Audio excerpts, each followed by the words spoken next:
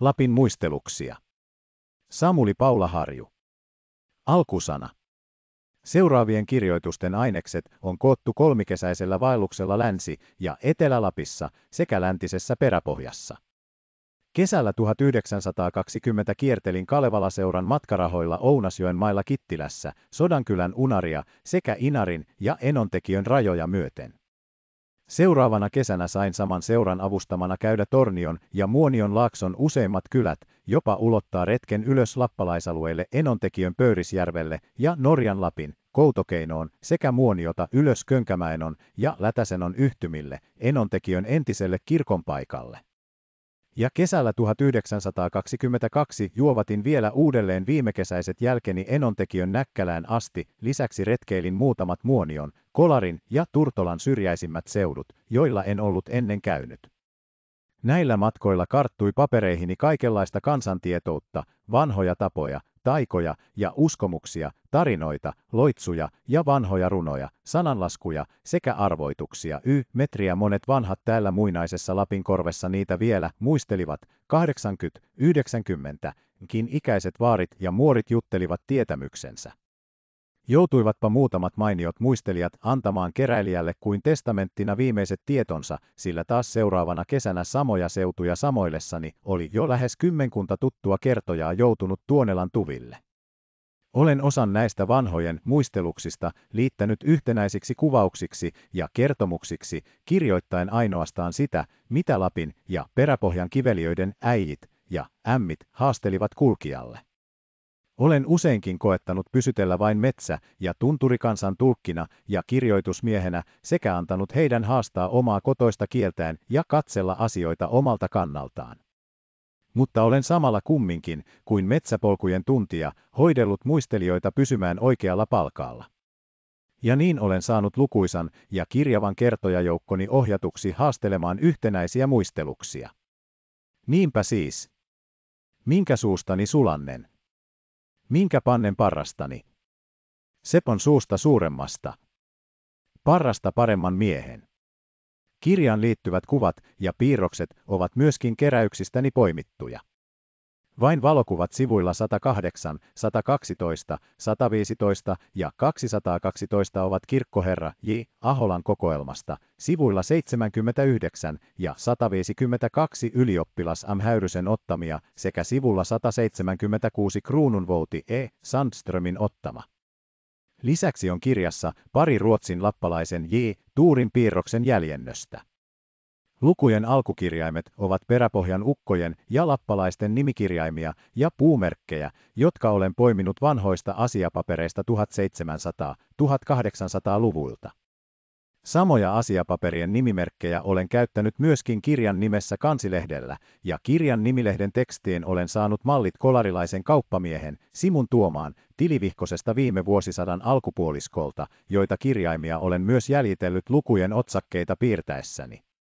Kansilehden yläkuvana on käytetty Enontekiön lappalaisen luupiirrosta ja alakuva, haasteleva lappalaispari on jäljennetty lappalaisvaimon, Näkkälän Antin emännän, Elle Marian, lyijykynäpiirroksesta.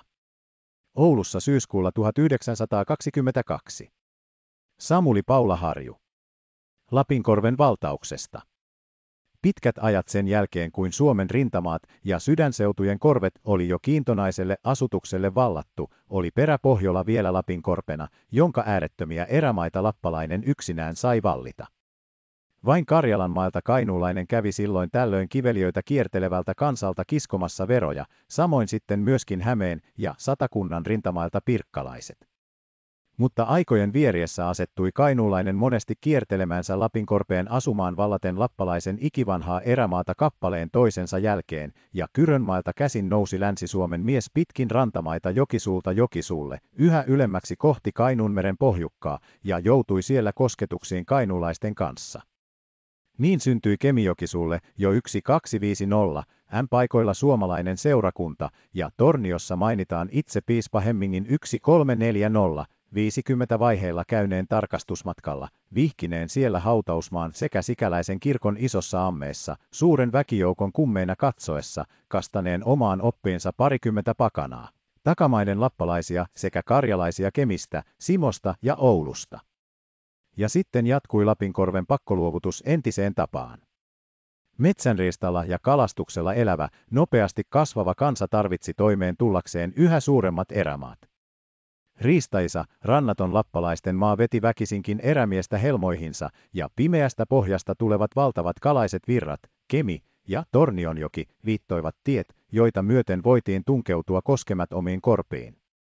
Ja mitäpä tarvitsi välittää vähäväkisestä metsäkansasta, karvaisista lintukotolaisista, enempää kuin muistakaan kiveliöitä kiertelevistä metsänelukoista, jotka myös jo ikiajoista olivat samoilleet samoja salomaita. Samanlaisia pakanoita kaikki. Niin nousi kemiläinen asutus ylöskäsin Kemijokivartta ja hajosi Haarajokia myöten yhä syvemmille sydänmaille.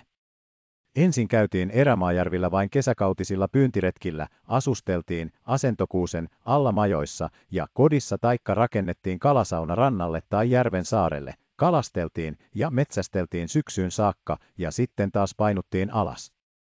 Mutta myöhemmin jo muutettiin mieluisimmille paikoille asumaankin ja silloin entiset eläjät saivat pian painua pois lähimailta. Vieläkin muistavat peräpohjan vanhat monia tarinoita kemiläisten eräretkistä, ja useilla kaukaisillakin metsäjärvillä on vielä kemiläisten kalakenttiä. Näillä vanhoilla kentillä nähdään muinaisten kalasaunojen ja aittojen jäännöksiä ja kuoppia, joita sanotaan kemiläisten kalakellareiksi sekä suuria kalansuomu- ja ruotokasoja. Niin on Kemiläissaari kalakenttineen suuressa Unarijärvessä, samoin on muinaisia kalakenttiä Kittilän Kinis, Molko, Sotka, Kuivasalmi, Sirkka ja Rautusjärvillä, jotka kaikki ovat suuren Ounasjoen vesialuetta. Ounasjokea myöten kohosivat etelän miehet vähitellen aina sen latvoille, jopa Ounas, Vuontis ja Peltojärville asti. Kemiläisten nimillä kulkivat kaikki Kemijoen ja Ounaan nousijat, vaikka hyvinkin saattoivat olla kauempaakin lähteneitä.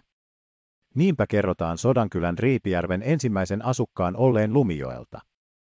Vainoa pakoon oli sieltä ukko lähtenyt, soutanut ylös Kemiä ja Ounasta, sitten sauvonut Meltausta myöten Unarille ja Kukasjärvelle, josta rupesi nousemaan Riipijokea ylös. Siellä katsoi karkulainen asentopaikakseen jo matotievan ja paneutui nukkumaan, mutta unissa sanottiin hänelle. Ei tämä ole sinun asuinpaikkasi. Mene niin kauan kuin tulee rimpien kumpu ja asetu siihen. Siinä on leipää sinulle ja sinun lapsillesi. Ja ukko lähti puskemaan yhä ylemmäksi, tuli Riipijärvelle, ja siellä oli järven rannalla suuri kumpu, jota joka puolelta rimmet ympäröivät. Ukko nousi kummulle ja rupesi siinä asumaan. Kittilän Sirkankylän esikoisen sanotaan saapuneen alhaalta, kaukaa Sirkka, nimisestä kylästä, joka on siellä, missä Vienanmeri pistää Pohjanmereen. Immeljärven pohjoispäähän, Konttisen törmälle, oli ukko asettunut, heittänyt konttinsa puun oksalle ja ruvennut taloksi. Siitä äijän asento oli saanut Konttisen nimen, ja se on Sirkan ensimmäinen talo. Kittilän kirkonkylään, Pietulaan, kerrotaan ensimmäisen asukkaan niin ikään tulleen Venäjän puolelta, ja sitä lyytä Pietulan taloa entisaikaan sanottiinkin ryssäksi. Ounasjoen latvoille, Kittilän ja Enontekiön rajoille, Kyrönkylään, oli ensimmäinen korvenraivaaja tullut aina Kyrönmailta. Enontekiön peltovuoman seutujen Hämeenkuotko ja Hämeenlantto viittaavat vielä kaukaisemmille seuduille. Ja Kittilän Kaukosenkylän tumman puhuva alkukansa sanoo olevansa lähtöisin aina Kaukaasiasta asti. Torniosta taas työntyi etelänmies Tornion ja Muonion jokia sekä niiden lisävesiä myöten pohjoisiin erämaihin. Jokilaakso sai ensinnä kiintonaiset asukkaansa. Sanotaan alhaalta saapuneen kolme veljestä, joista muuan asettui Vojakkalan oravaiseen, toinen meni ylemmäksi Mämmilään, Penikulman pohjoispuolelle nykyistä Turtolan kirkkoa, ja kolmas kulki vielä korkeammalle Muonion alustaan. Ja nämä ovat Jokilaakson vanhimmat asutukset. Neljäntenä mainitaan olleen nautapuodin, jonka Köngäsen ruukin perustaja Grape rakensi Jokisaarelle Penikulman alapuolelle nykyistä Alkkulan kylää. Arend Grape perusti Köngäsen ruukin lähelle Tornionjoen ja Muonionjoen yhtymää 1645, myi sen sitten Mommalle ja rakensi nautapuodin talon. Talon hävitti Keksin tulva 1677. Sen jälkeen rakennettiin talo Mantereelle. Jokivarrelta painui asutus Selkosille eränkävijän kulkiessa etumiehinä. Täälläkin tavataan kaikkialla tarinoita ja muistoja torniolaisista erämiehistä. Niin kerrotaan alatorniolaisten käyneen kalastusretkillä aina Kolarin Vaattojärvellä.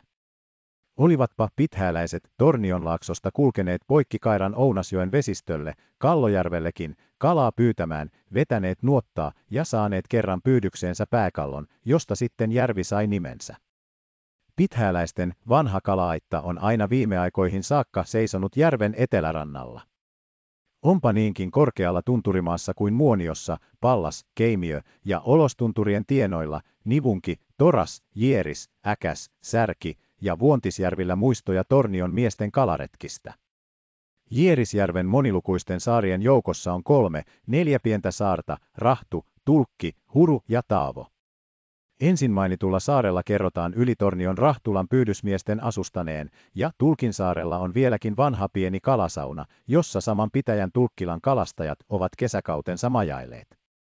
Sauna on jo hyvin rappeutunut, mutta sen seinät ovat aivan täpötäynnä sekä sisältä että ulkopuolelta kalamiesten nimimerkkejä, piirroksia ja vuosilukuja.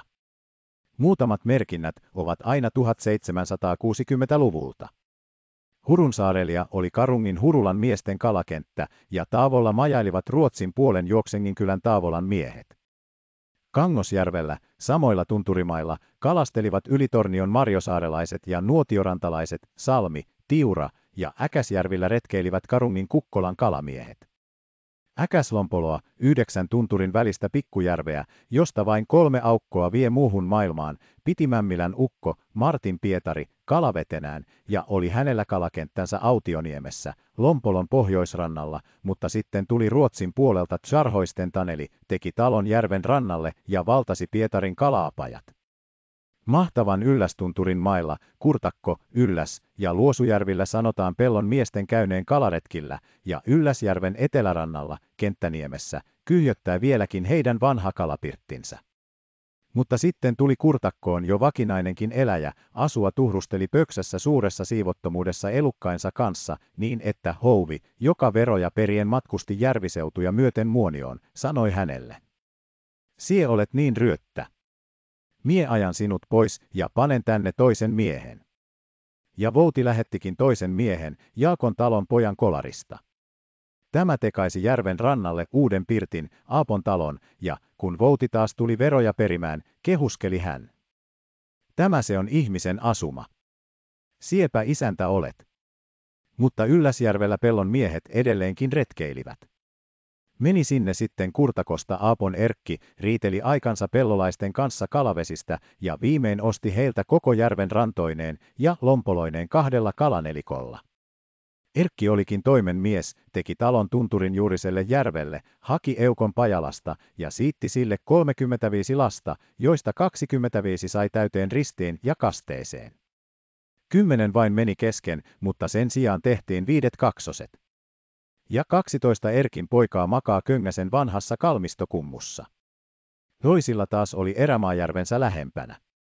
Niin Turtolan juoksengin miehet, Tuoppalan ukko ja Kuidun vaari kolusivat Kolarin sieppi, Vaatto ja Pasmajärvi, jopa menivät Kairan poikki Aalisjärvellekin.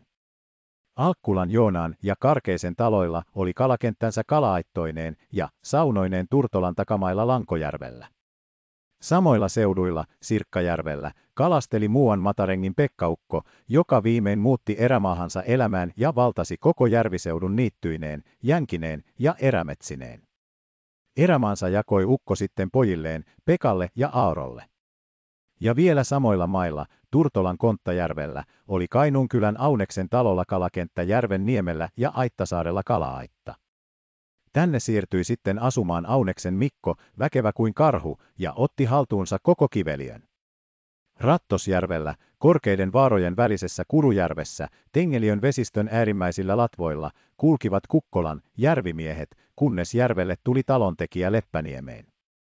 Silloin häätyivät Kukkolan järvimiehet heittämään kaukaiset kalavetensä, juurakkoryteikön, puuton, vain vihoissaan työnsivät apajeensa, etteivät enää muutkaan saattaisi niistä vetää nuottaa.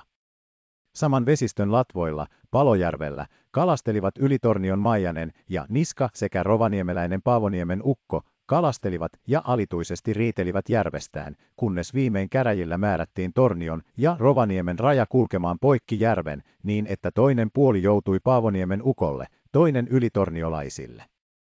Monesti tulikin erämiehille riita kalavesistä ja riistamaista, ja joskus etelän miehet joutuivat keskenäänkin toraamaan. Muonion Tapojärvellä kerran kalastajat kimpautuivat toisiinsa niin, että iskivät yhden kuoliaksi ja upottivat patakaulassa Halingonkosteeseen Äkäsjoen suun alapuolelle. Järveä, jonka nimenä ennen oli ollut Tahkojärvi, ruvettiin tämän johdosta sanomaan Taponjärveksi. Ja siitä sitten on saatu Tapojärvi. Suurta jokiväylää kohosilantalaisaisutus yhä korkeammalle Lappiin. Ylimuonion vanhimpaan taloon, Päkkiin, sanotaan ensimmäisen asukkaan tulleen jostakin alhaalta Päkkilästä, Kokkoon Kokkolasta sekä Vuopioon, Maunuksen maalta. Puraseen tuli 1700-luvun puolivälissä eläjäksi oli pellon Purasesta. Ja Kätkäsuvantoon sauvoi 5-6 polvea takaperin pari asukasta Mämmilästä. Toinen teki turvekodan alatalon tienoille, toinen autiomen paikalle. Tulijat pyydystelivät kalaa ja metsästelivät, mutta sitten autiomen asukas jätti kotansa autiomeksi ja muutti yhä ylemmäksi jokivarrelle, kuttaiseen. Myöskin Tornion ja Muonionlaakson valtaajain joukossa oli pitkän taipaleen miehiä. Semmoisia oli kolariukko, väkevä mies ja suuri noita, joka oli lähtenyt Rautalammelta. Ukko puski korkealle pohjoiseen, yläpuolelle Tornionjoen suuta, ajoi siellä eräältä isolta jokisaarelta pois suuren lappalaisjoukon ja asettui itse saarelle majailemaan. Jalkaisin kahlaili kolariukko matalaa karja myöten saareltaan mantereen puolelle. Ja kun sitten Karin kohdalle syntyi talo, sai se nimekseen Jokijalka, ja siitä taas tuli nimi koko kylälle.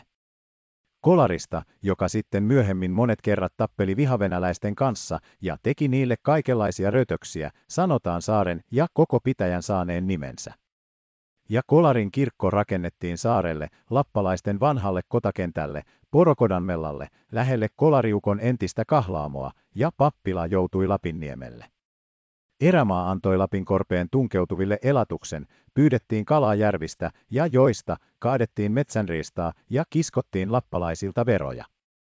Viljavia olivat silloin Lapin vedet, lohet nousivat suurin laumoin valtavia virtoja ylös, ja järvet oikein kuhisivat parasta kalaa, siikaa, harria, kueria ja rautua. Pieni niesajokikin, joka niesakeron juurelta parin penikulman pituisena laskee väylään, oli niin viljava, että vanha lapinäijäkin siitä sanoi, joka niesajoen oikein osaa pyytää, se on tynnyrin mies. Ahvenella, hauella ja muulla risukalalla ei erämies viitsinyt edes kattilaansa pilata. Ja suunnattomat selkoset olivat vielä metsänkarjan laitumina. Viilipeuroja silloin liikkui laumoittain kiveliöissä, samoin suurin joukoin hirviä, hirvipeuroja, oli myös karhuja, kettuja, näätiä ja saukkoja, ja suurimmissa erämaissa rakenteli majava piiloisiin metsäpuroihin ihmeellisiä patolaitoksiaan.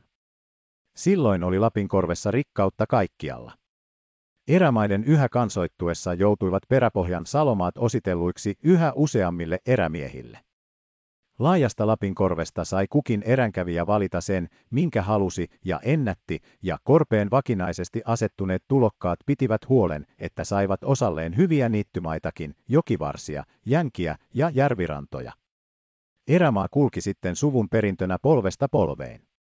On vieläkin monella vanhalla talolla muinaiset laajat niittymaansa ja metsästysalueensa, virkamaansa, joissa yhä vielä vanhat eräukot käyvät virkamatkoillaan, köpsytellen entisaikaan pilkotettuja suuntia pitkin virittelemässä ansoja ja loukkuja. Niin on Kittilän kirkonkylän Marjalan talolla erä ja niittymaansa Venejoella Särkelän takana, Särkijärven maasta penikulma ylöskäsin joen kahta puolta, Auneksen kotamaa, Hyvämännikkö, Juurivalanmännikkö, Tervaleili, Kapustaselänpalo ja Niemimaa aina Herrankaltioon asti. Samoilla mailla ovat Alatalon erämaat, Partoselkä, Sarvivaara, Autiomännikkö, Tiukupuljut, Parviojansuu, Hyvämännikkö, Kapustaselkä ja Rovaselkä. Näiden pohjoispuolella, Aakenusjoesta etelään, on Salmen talojen riistamaa Vuotsukkavaaralla, Hangasselässä, Isossa Lappalaisessa ja Kapustaselän ylipäässä. Anttilalla ja Kariniemellä on taas erämaansa Kelon tekemän ja Ounasjoen välisellä suurella kairalla eteläpuolella Kuusajokea, Kuoskiskumpu ja Kuoskisselkä, Konkeloselkä, Kontiolaki, Nilipäät ja Rakkumaaselän Jäkälälaki. Kelon tekemän taloilla on edellä mainittujen maiden eteläpuolella, Maunukairalla, suuret pyyntimaansa. Niin menetti erämaita kiertelevä pieni lapinukko taas mainiot kalavetensä, riistamaansa ja jäkäläkankaansa kintereilleen kulkevalle vanhalle vainolaiselleen, etelän miehelle, ja sai vähitellen väistyä yhä etemmäksi tunturien taakse. Oli kyllä suunnattomissa erämaissa tilaa kummankin kansan liikkua, ja vuosisatoja eli lappalainen ja lannanmies rinnakkain, mutta väkevämpi piti aina puolensa, ja heikomman täytyä siirtyä syrjään. Vain monilukuiset lapinkentät, kotasiat ja hautapaikat järvien rannoilla, poroaitojen lahoneet jätteet jäkäläkankailla sekä useat seitapaikat erämaassa kertovat Lapin korpien entisistä eläjistä, samoin kuin monet sadat tarinat ja muisteluksetkin, joita vanha kansa vielä kertoo.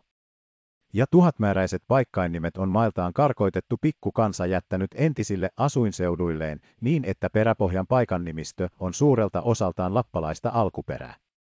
Näissä kiveliöiden nimissä elää vielä vanha Lappi. Ja elää se myös kansan kielessä, sillä suuren joukon sanoja ja lausumatapoja on peräpohjalainen omistanut edeltäjiltään. Jopa mailtaan karkoitettu Lappi elää vielä itse peräpohjan kansassakin. Paljon on pakenijakansan verta sekoittunut valtaajakansan suoniin. Monet Lapinkävijät, erämiehet ja uudisasukkaat joutuivat kosioretkille rikkaiden porolappalaisten tyttäriin ja saivat Lapin sukua pirttiinsä. Joskus taas lannanmiesten tyttäret mielistyivät koreapukuiseen tunturien kiertäjään ja menivät hänen kiertolaistoverikseen. Näiden jälkeläiset saatuaan lannanverta suoniinsa sitten vähitellen lantalaistuivat ja rupesivat viimein etelästä tulleiden tavalla elämään kiintonaisissa asumuksissa.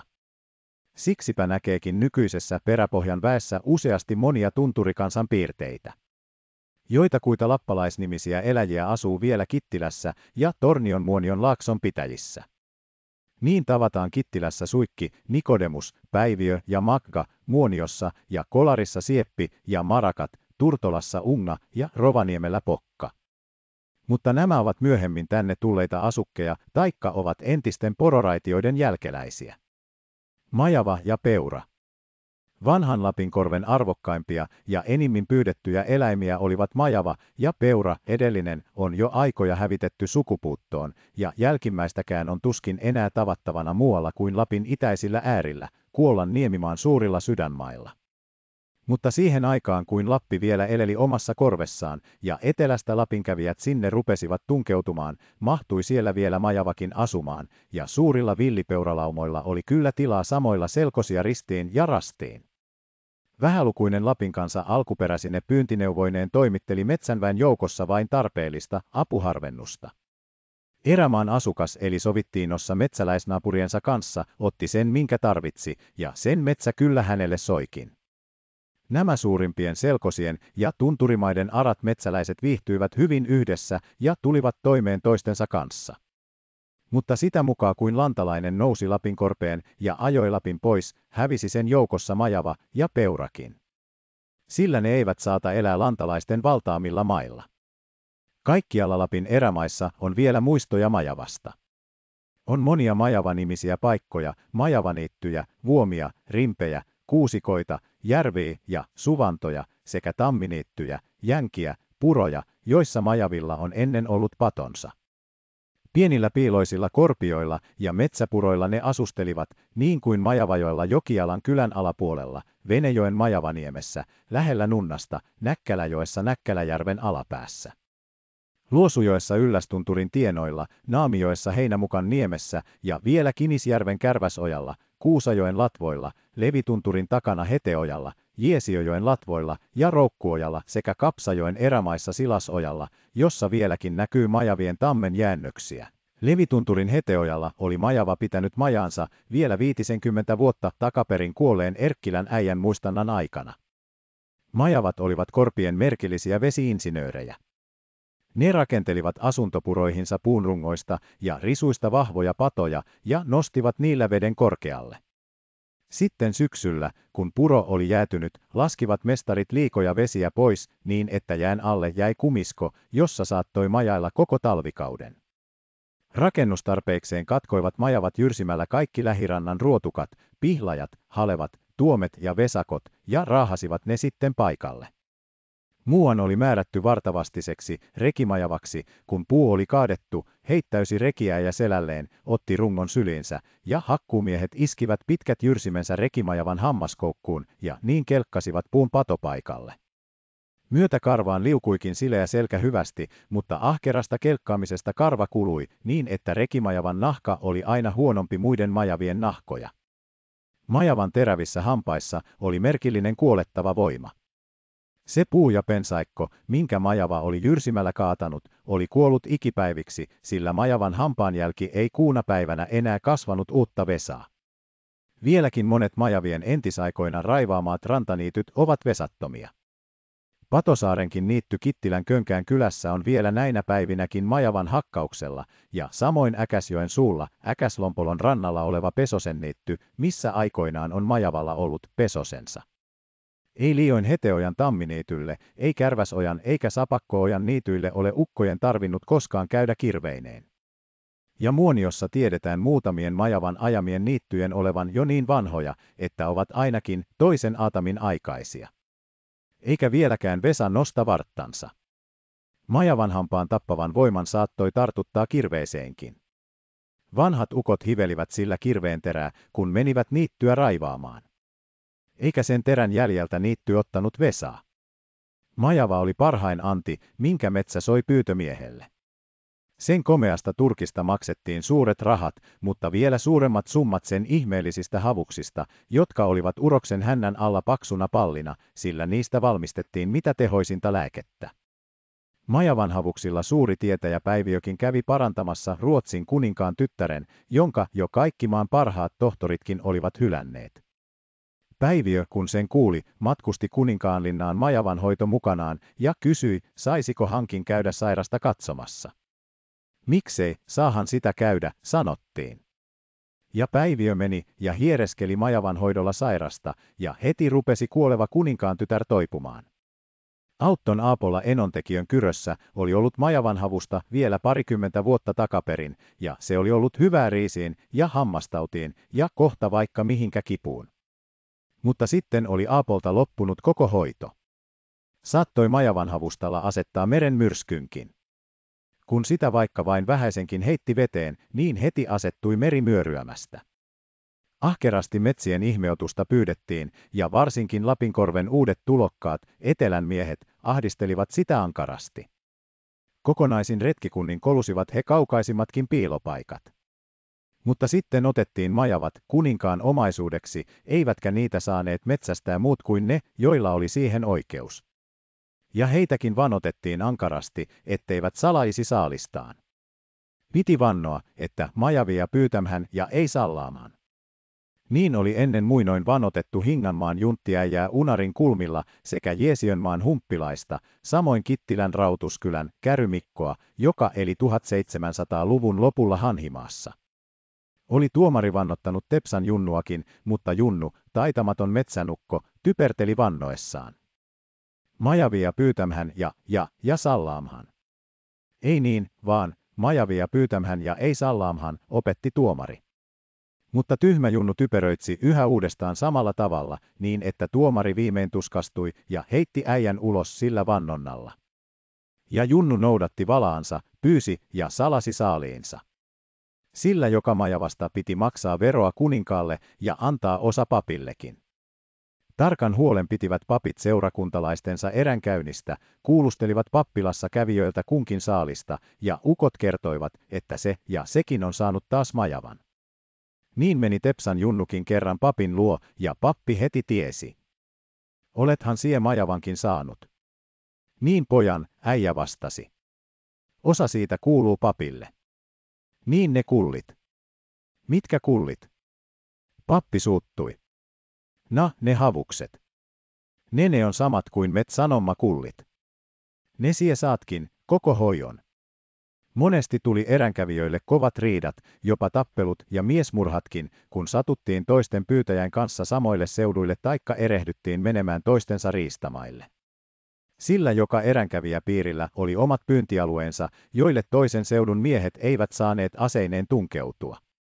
Niinpä kerran pari Kittilän miestä, Vesman äijäraukaksi ja Ollilan ukoksi sanottiin, menivät majavaretkellään pokan taakse ja joutuivat Inarin maan sisälle ja saivat saaliikseen muutaman majavan.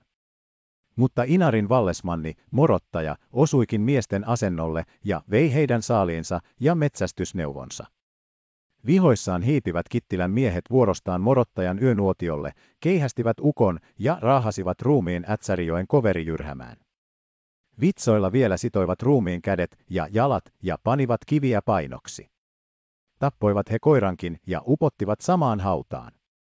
Asiasta tuli kyllä oikeusjuttu, mutta eihän kaukaisen korven tihutöitä ollut kukaan näkemässä eikä kuulemassa. Oli keihästäjä kyllä joskus juovuspäissään kerskunut. On tämän keihään nenässä mieskin tärissyt.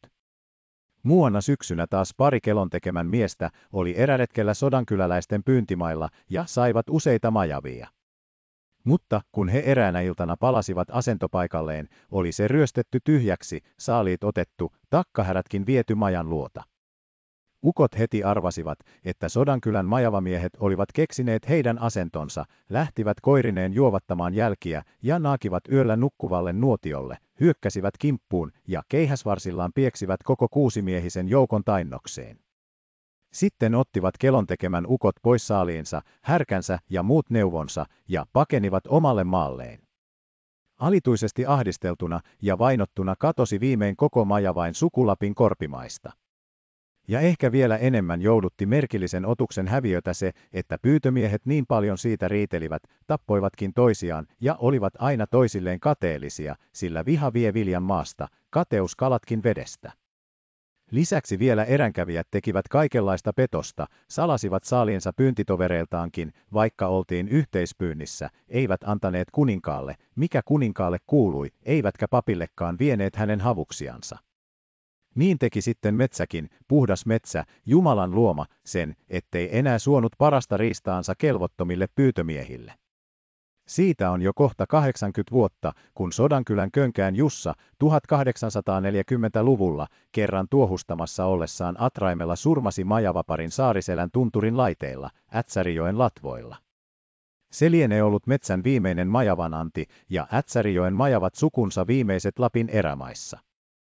Sen jälkeen saivat erämiehet koluta tyhjiä korpia ja katsella metsäpurojen autioita majavapatoja. Viidestäkymmenestä ruplasta myi könkään ukko koko saaliinsa, turkit ja havukset. Hampaat vain pani talteensa kirveen teroittimiksi, kun ei enää majavia ollut niittyjä raivaamassa. Lapinkorven uljaimpia eläimiä olivat villipeurat, metsien kruunupäiset, kepeäjalkaiset juoksijat. Ne olivat oikeita Lapin tunturimaiden kasvatteja, jotka toisinaan sataisina laumoina samoilivat tuntureilta outaseutujen jäkälämaille ja vaaran tullessa kohisten ja rytisten kiitivät pakoon kuin tuulispuuska. Vanhat lappalaiset pyysivät villipeuroja salahaudoilla, syvillä, petollisesti peitetyillä, piikkipohjaisilla kuopilla, joita toisinaan melkein vieri viereen kaivettiin jäkäläkankaille järvien taikka jänkien välisille kannaksille.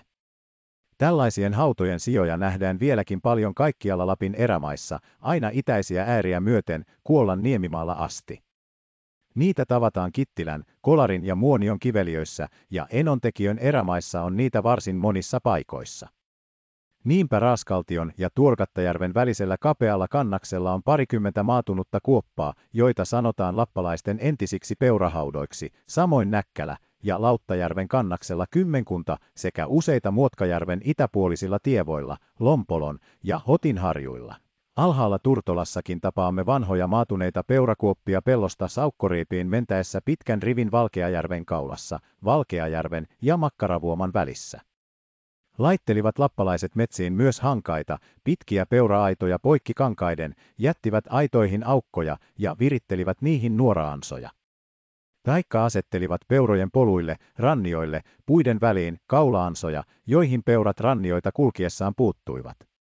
Samoja pyyntikeinoja käyttivät sitten etelän miehetkin, kun tulivat Lappiin, pettivät peuroja salahaudoilla ja rakentuivat hankaita pitkin selkosia.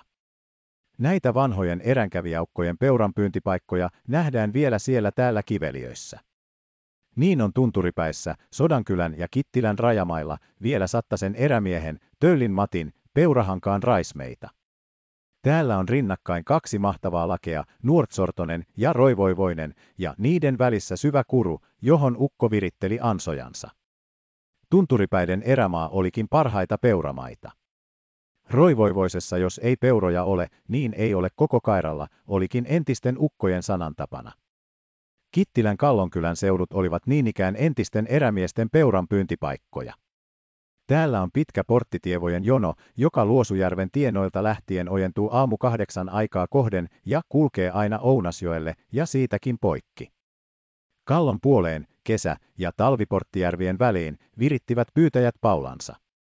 Mutta pääpyyntipaikka oli Kallojärven ja Syvänjärven välisen korkean hiekkaharjun porttikurussa. Siitä kulki villipeurojen valtarannio, ja Kallojärven kiviniemeen vartavasten rakennetusta pirtistä saatettiin heti huomata, milloin peura puuttui ansaan. Kittilässä Kapsajoen päällä, Tepastolompolon takamailla, nähdään myöskin jäännöksiä entisäijien peurahankaasta.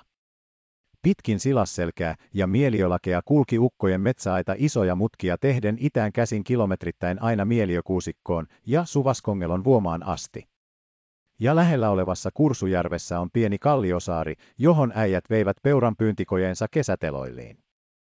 Saarella on vieläkin pystyssä pari patsasta ja niiden varassa poikkipuu, mihin peuraansa ripustettiin. Siellä ne säilyivät metsänpalonkin sattuessa. Sillä entisaikaan erämiehet monesti ilman aikojaan pistivät metsän palamaan, jopa joskus kateellisina turmelivat tulella toistensa riistamaata. Jeesiön seutujen vanhoja peuranpyyntimuistoja on vipukuusi, joka seisoo Jeesiojoella, kolme neljännestä Jeesiojärvestä alaskäsin. Kuusessa kerrotaan entisten peuramiesten pitäneen vipuansojaan.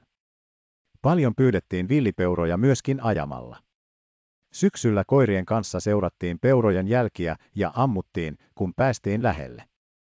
Lihat pantiin talvea odottamaan vartavasten rakennettuihin pikkuaittoihin, luoviin, lauttasiin ja nileihin. Mutta lumen aikana, syksyllä ja keväthangilla lähdettiin miehissä oikein väkiajoon. Pari, kolmekymmentäkin miestä liittyi samaan joukkueeseen, yhteiseen seurapyyntiin ajamaan metsien vauhkoa karjaa. Keveät ahkiot, veturit, jukkonuorasta jäljessä juoksemassa, hiihdettiin salolle, valittiin sopiva asentopaikka, johon heitettiin ahkiot ja eväät. Sitten lähdettiin naakimaan peuroja, ja kun tavattiin tokka, niin pamautettiin ja taas lähdettiin miehissä laukomaan pakeniain perässä, niin että. Sui, sui, suora varampuu. Anna mennä mäntysauvan. Vitsajuksut viuvotella. Vaippahousut veuhkustella. Ja taas ammuttiin ja ajettiin. Jos pelästyneet metsänelukat hätääntyivät eri partioihin, jakautuivat vainolaisetkin joka joukon kintereille. Mutta ajon päätyttyä kokoonnuttiin kaikin taas saaliin kanssa asentopaikalle. Siellä toimitettiin saaliin jakaminen. Kunkin peuran saamamies sai aina ensin päältä jaon kaatamansa otuksen selkärangan lihoineen, sitten muut lihat ja nahat tasattiin kaikkien pyyntimiesten kesken. Ja taas, kun oli yökausi asentopaikassa makailtu, painuttiin erämaihin tuottamaan surmaa metsänväelle. Ja kun onnistuttiin panemaan toimeen oikein suuret joukkosurmat, tuhoamaan koko partio, veistettiin sen muistoksi metsään, keripää, katkaistiin petäjä parin kyynärän korkuiselta ja veistettiin sen kanto nelikulmaiseksi sekä kannon nenä ihmispäätä muistuttavaksi muhkuraksi. Keripään kylkeen vielä leikattiin vuosiluku, joskus saamamiesten puumerkkejäkin. Monesti hakkasivat kaatomiehet jokainen oman keripäänsä. Tällaisia erämiesten metsätonttuja töröttää vielä Kittilän Kinisjärven takamailla useassa paikassa, Liivajoella ja Vuohin pöytämaassa, Mustanlompolon seuduilla on niitä koko joukko samalla tievalla. Joskus satuttiin tavoittamaan peurat metsän soljesta, peurahirvaat olivat tapellessaan sotkeutuneet sarvista yhteen ja niin tarttuneet merkilliseen metsänsolkeen, joka sitoi tapion komeat ajokkaat, etteivät voineet paeta metsämiestä. Toisinaan löydettiin hirvaat metsänsolkeen kuolleina. Vanhojen erämiesten, seurapyytäjien, entisiä asentopaikkoja muistetaan vielä muutamia. Sellainen oli aikoinaan ollut Seurujärvi ja sen lähellä oleva Jakovaara. Ne ovat Kangerkongottaman tienoilla kaukana erämaassa Seurujoen latvoilla, Kitisen ja Kapsajoen välisellä kairalla.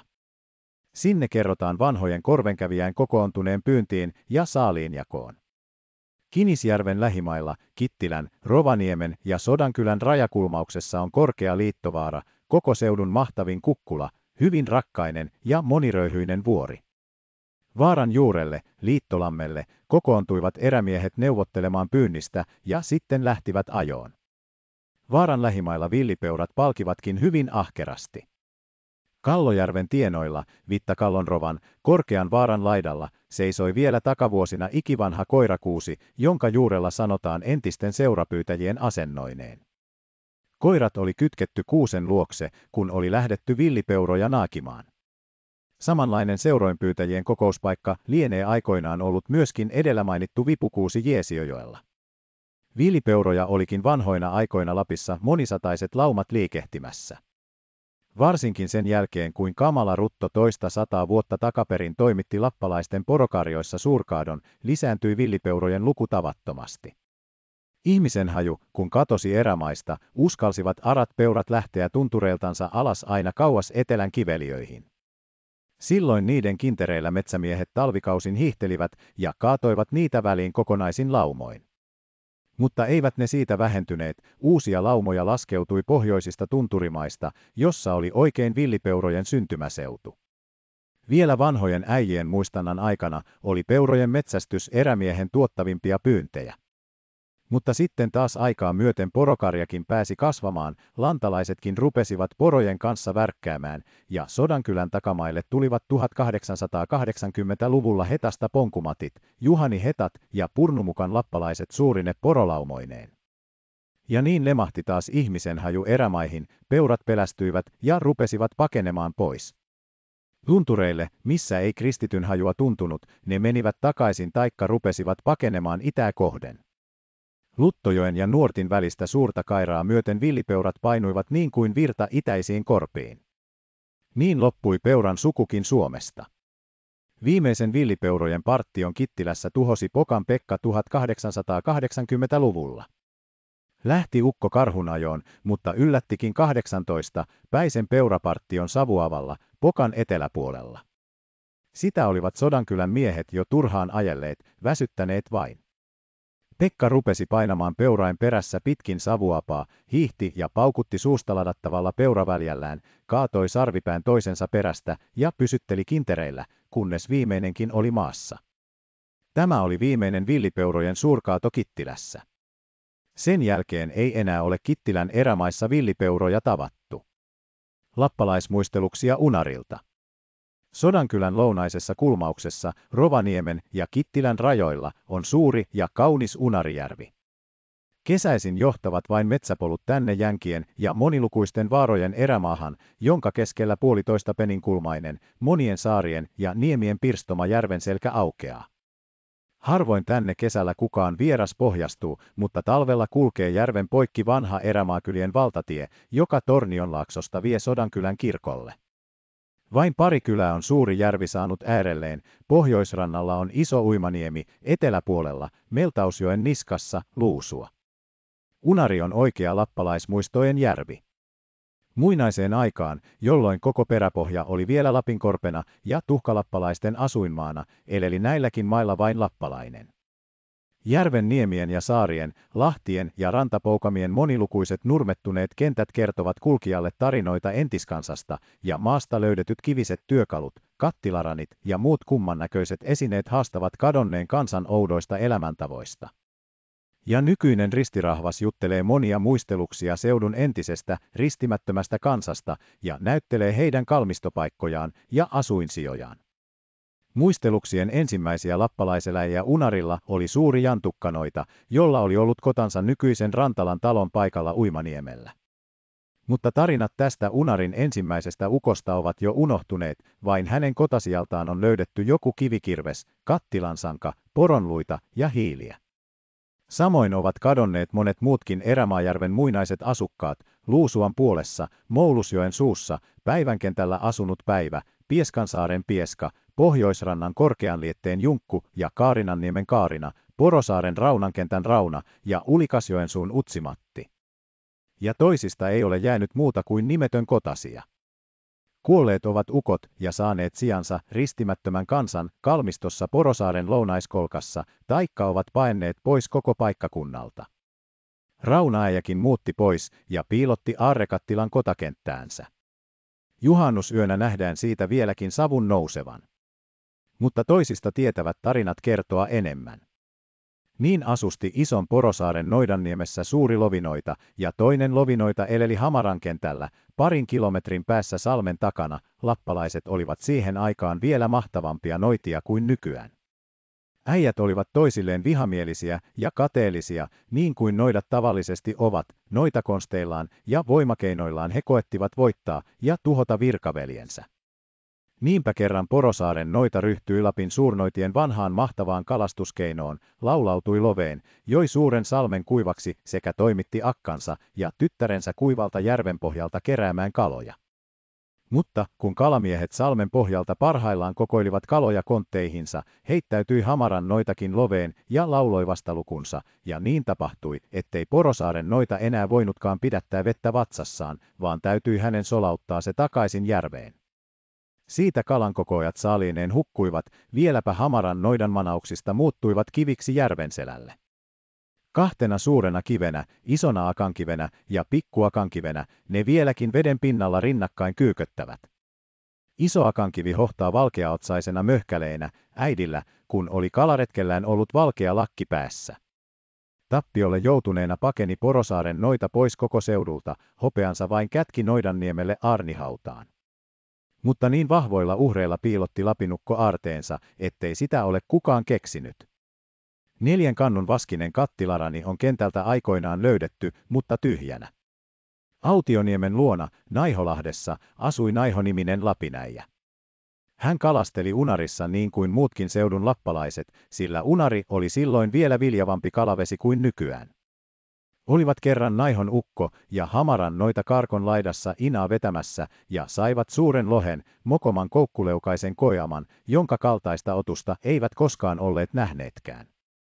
Pelästyivät äijät kovin, jotta mikä tämä on. Oikea kala ei ainakaan, jokohan marras lienee. Muisti silloin naihon äijä. Na, meidän poika kyllä tietää, mikä tämä on. Hän, kun on käynyt kerran markkinassa ja kahdesti myllyssä. Viiäänpä hänen nähä. Mutta eivät uskaltaneet ukot ottaa outoa otusta veneeseen, inassa vain veneen jäljessä raahasivat sen rantaan. Ja poika kutsuttiin tunnustelemaan. Tunsihan markkinat ja myllyt käynyt poikasen heti. Ellei tämä ole itse perkele, niin se on ainakin perkeleen poika. Tämä on tulella poltettava. Ja koukkuleukainen kojama poltettiin heti roviolla. Mutta niin sitten kävi, ettei sen erän perästä enää ole lohta unarista saatu. Ei ole se kala enää noussut siihen veteen, jossa hänen sukuaan niin kamalasti kohdeltiin. Mutta kauan eivät saaneet lappalaiset Metsäjärvillään rauhassa kalastella, kun jo kintereillä kulkeva etelän erämies ennätti tännekin. Kemiläiset nousivat Kemi- ja Ounasjokea ja sitten sauvoivat meltausta myöten ylös Unarille, rakensivat kalamajansa Kemiläissaarelle ja valtasivat pian lappalaisten parhaat kalaapajat. Syntyi pitkälliset riidat ja käräjöimiset Unarin seutujen kalavesistä sekä Lapin ja Lannanmaan rajasta. Kemiläiset olisivat halunneet kokonaan haltuunsa kalaisen unarin taikka ainakin rajan sen halki liittovaarasta lentovaaraan. Ja niin sitten raja määrättiinkin vedettäväksi. Mutta kun lähdettiin rajaa käymään, pettikin lappalainen opas rajamiehet, osoitti liittovaaralta Joukahaisvaaraa, joka on 7-8 kilometriä etelään liittovaarasta, ja sanoi, tuo se on lentovaara, josta savu nousee. Siihen raja ajettiin, ja unari jäi kokonaan Lapin puolelle. Käräjöivät kemiläiset kyllä senkin jälkeen, mutta karttoihin merkitty raja piti paikkansa. Ja kemiläiset kalastelivat Unarissa edelleen. Joka kevät saapuivat he koko joukolla erämaahan, viipyivät kesäkauden ja sitten taas syksyllä viimeisten muuttolintujen jäljessä laskettelivat alas omille mailleen. Nähdään vieläkin Kemiläissaaren rannassa heidän vanha kalakenttänsä, kemiläisten kentäksi sanottu, mustuneine kiuaskivineen. Osuivat Palapin erämaihin myös kaikkialle tunkeutuvat vihavenäläiset ryöstöretkillään, ja silloin saivat Metsäjärvien eläjät kokea vielä kovempaa. Monesti he menettivät kaiken omaisuutensa, jopa useasti joutuivat tuhon omiksi kokonaisin kotakunnin. Mutta toisinaan ovelat lappalaiset vuorostaan saattoivat ryöstelevän vainolaisjoukon surmilleen, ainaisesti ajeltuina ja vainottuina olivat vähäväkiset lappalaiset oppineet turvautumaan oveluuteensa. Monet tarinat kertovat kuulusta päiviöstä sekä vielä kuulummasta laurukaisesta, jotka vainolaisia kerran toisensa jälkeen syöksivät surman suuhun. Unarillakin on omat vainolaistarinansa ja sankarinsa. Unarin koillisrannalla, korkeassa, Marjetanniemellä, asui lappalaisukko Marjetta. Keitteli Marjetta-ukko muuana iltana poronlihaa kodassaan ja kuori rasvaa kattilasta. Näki äijä silloin kattilaansa kuvastuvan, kuinka vainolaisen partainen naama ilmestyi kodan räppänäreikään. Mutta Marjetta ei ollut tietääkseenkään, kuori vain kattilaansa ja itsekseen hyräillen hyöriskeli kodassa. Sitten yhtäkkiä äijä kaappasi jousensa ja pinkaisi terävän nuolen partaiseen naamaan. Kuolleena rötkähti räppänästä kurkistelija alas ja pelästyneinä lähtivät toiset pakoon. Saman vainolaisen luita on sitten myöhemmin, vanhain muistannan aikana, löydetty korkean lietteestä. Sääriluukin on ollut syrjäkämmentä tavallisen miehen sääriluuta pitempi ja leukaluu niin leveä, että sen haarat sopivat miehen leuan ulkopuolelle. Pääkallo on ollut suuri ja sen takaraivossa semmoista latinan kirjoitusta, mitä eivät tavalliset ihmiset, latinan taitamattomat, osanneet lukea mutta suuremman surman tuotti vihavenäläisille riunaukko, joka eleli Porosaaren pohjoisrannalla Riunan kentällä. Oli muuan kesäinen aamu. Riunan lapset olivat järven rantalietteellä leikkimässä. Huomasivat siinä outoja liikkujia järvellä, huutelivat. Uipiniemeltä tänne koiria. Yksi koira uipi, kaksi koiraa uipi, monta koiraa uipi tänne niemeltä. Riunaukko kuuli lasten huutelun, meni katsomaan, mitä koiria siellä uipi. Näki ukko heti, etteivät hänne mitä koiria olleet, vaan miehiä sieltä niemennokasta oli uimassa saarta kohden. Ja paikalla työnsi riuna veneen vesille, sieppasi kirveen ja keihään mukaansa ja lähti soutamaan uimamiehiä vastaan. Siellä heti keksi, että ne olivat vihavenäläisiä, jotka rakoksi puhalletulla lampaan rapamahalla kelletellen olivat surmaretkellä saareen.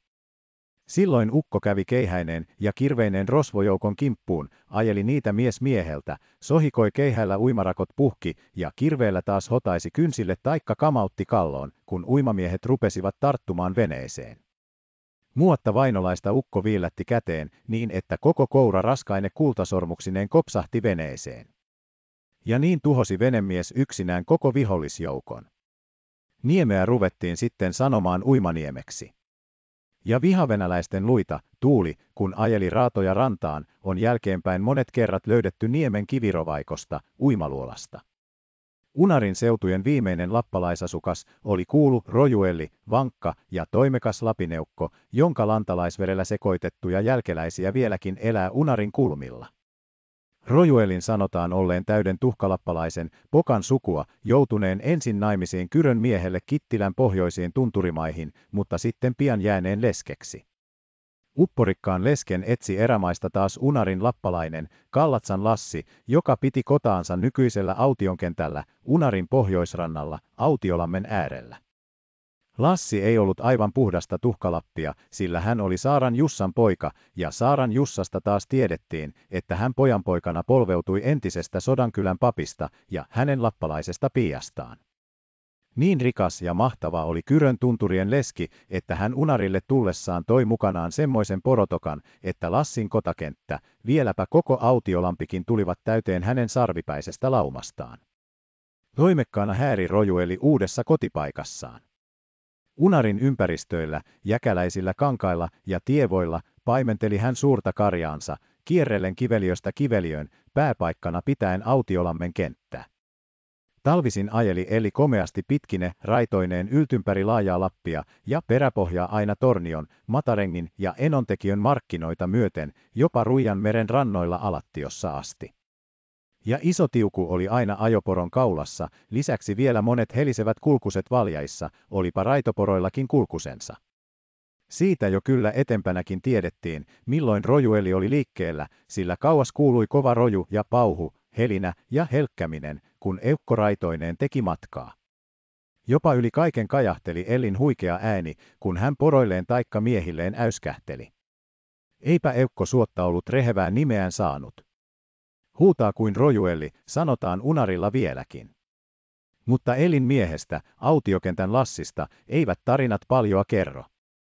Mahtavan akkansa rinnalla joutui hän kokonaan varjoon ja kuolikin jo ennen häntä jättäen Ellin yksinään rojuamaan. Sen vain muistelukset mainitsevat, että kerran meni ukko karhun tappoon ja Eukko oli tietysti mukana. Huonosti ukko ampui, ärsytti vain karhua, niin että se hyökkäsi kimppuun ja heitti äijän alleen. Silloin äijä päästi parun ja huusi Ellille. Helähytä vyöliskoukkua. Akka helähdytti avainkimppuansa ja karhu, joka on vihainen helinälle, heitti äijän ja lähti laukkaamaan eukkoa kohden. Mutta Akka asettui kirveineen kinokseen tappeluasentoon, kysäisten vain ukolta. Kummallako lyön, terälläkö vai pohjalla? Pohjalla, pohjalla. Neuvoi Lassi.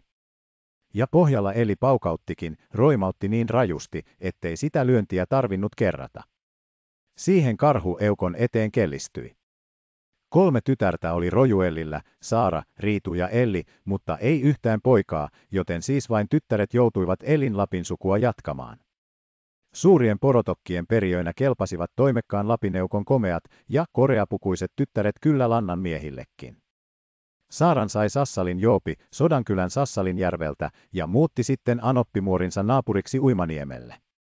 Riitu vietiin naapurijärvelle, Kierinkiin, Ristilän Matille, ja Ellin otti Seipäjärven Niiles, joka meni ja perusti Kierinkiin Kumpulan talon. Niin siirtyi Rojuelin tuhkalappalainen suku suomalaiseen polveen ja mukautui lantalaisten tavalla elämään kiintonaisessa asuinpaikassa, karjaa hoitamaan ja maata möyrimään. Saara kyllä jopeineen asusteli äitinsä tavalla, kierteli kiveliöitä porotokkain kanssa sekä kesät että talvet. Vasta vanhana asettuivat erämaiden kiertäjät Uimaniemen taloon asumaan, ja Joopista tuli Uimajoopi. Lappi, Rojuelin kieli, oli tyttärien kielenä, mutta oppivat he sitten jo miestensäkin kielen. Ja Lapinpuvussa tyttäret käyskentelivät, kuten ennen mahtava äitimuorinsakin. Mutta sitten jo seuraavassa polvessa kieli ja tavat vaihtuivat. Rojuelin kieli katosi, ja Lapin vaatteuksen sijalle tuli lantalaisen puku. Unohtunut on jo Kallatsan mummolta, yli 80-vuotiaalta Mäntyelliltä, Saaramuorin tyttäreltä, äitinsä kieli, samoin kuin hänen veljeltään, Rantalan jopiäjältä, puhumattakaan nuoremmista, neljännen ja viidennen polven jälkeläisistä, jotka parhaillaan ovat Uimaniemessä elämässä ja nousemassa. Ei ole lappalaisista eikä rojuelista enää muuta kuin muistelukset jäljellä, ja autiot kalakentät ja kotasiat mutta niistäkin jo monet ovat lantalaisten niittymaina taikka viljapeltoina. On sentään rojuellista vielä muitakin muistoja, vieläkin monet Uimaniemen nuoret pojat ja tyttäret komeilevat Lapin tummalla tukalla ja katsella väläyttelevät esiäitinsä mustaruskeilla silmillä. Alakylän ensimmäiset asukkaat. Kittilän suurimpia kyliä, Kirkonkylän ja Kaukosen rinnalla, on Alakylä Ounasjoen suuren väylän itäpuoleisella rantatasannolla. Täällä jo etelästä tulia ensi kerran saa hiukan Lapin tuntua, sillä kylän eteläpuolisille hiekkatievoille, parhaiten korkealle äijänpuljulle, kumottavat taivaan pohjoisilta ääriltä Lapin monilukuiset tunturit, Ylläs, Kesanki, Lainio, Pyhä, Aakenus, Kätkä, Levi ja kumputunturit, mahtavina, sinertävinä köyryinä. Eikä kesän aikana päiväkään mene enää mailleen viikkokausiin. Täälläkin alkuisin asusti lappalainen. Mutta helppo oli tänne lannanmiehen osata, suurta ounasta vain soutaa ja sauvoa vastavirtaan. Siksipä jo aikaisin tänne etelästä nousi ja saapuikin. Muuan karkulainen, jonka sanottiin olleen lähtöisin aina Ruotsista, Taalainmaasta asti, tuli ensiksi Lapinkorpeen ja asettui Alakylän lappalaisten seuraan, tehden talon jokirannalle. Naapureilleen miehellä oli aina tapana kerskailla. Mie olen mies muita mokompi. Mie olen sillan alta kiviarkusta löyvetty ja kauppialta kasvatettu ja pitkäkyntisyyteni takia pois häätty ja kaksi kertaa elämässäni liinapakkaan sattunut. Kerrottiinkin, että mies muita mokompi oli pikkulapsena liinapakkaan kääräistynä heitetty maantien sillan alle kuolemaan. Poika pahaisen oli kuitenkin löytänyt muuan kauppamies, korjannut kotiinsa ja kasvattanut apulaisekseen. Mutta pojasta oli tullutkin pitkäkyntinen niin, että isännän oli täytynyt häätää hänet maantielle. Sitten oli liinapakan mukana löydetty joutunut taas kommeluksiin, tappeluihin ja pieksänyt toverinsa liinapakalla pois päiviltä ja sen johdosta lähtenyt karkuun Lapin erämaihin, jossa ilmestyi miehenä muita mokompana ja teki talon Ounasjoen rannalle. Ja kun ei miehestä tiedetty muuta kuin hänen tarinansa, ruvettiin häntä sanomaan liinapakkaäijäksi ja miehen taloa mokoksi. Ja mokkona on liinapakkaäijän perustama talo sitten pysynytkin. Parhaat niittymaat Ounaan varrelta ennätti Mokon liinapakkaäijä valita asuinpaikaltaan aina Lainioille asti, jossa joutui Kaukosen asukkaan kanssa rajatusten Kentänniemellä, penikulma Kaukosesta alaskäsin. Mutta vanha pitkäkyntisyys pysyi Mokon miehessä Lapin korvessakin. Kaukosen ukolla oli kerran lehmä laitumella Kentänniemellä.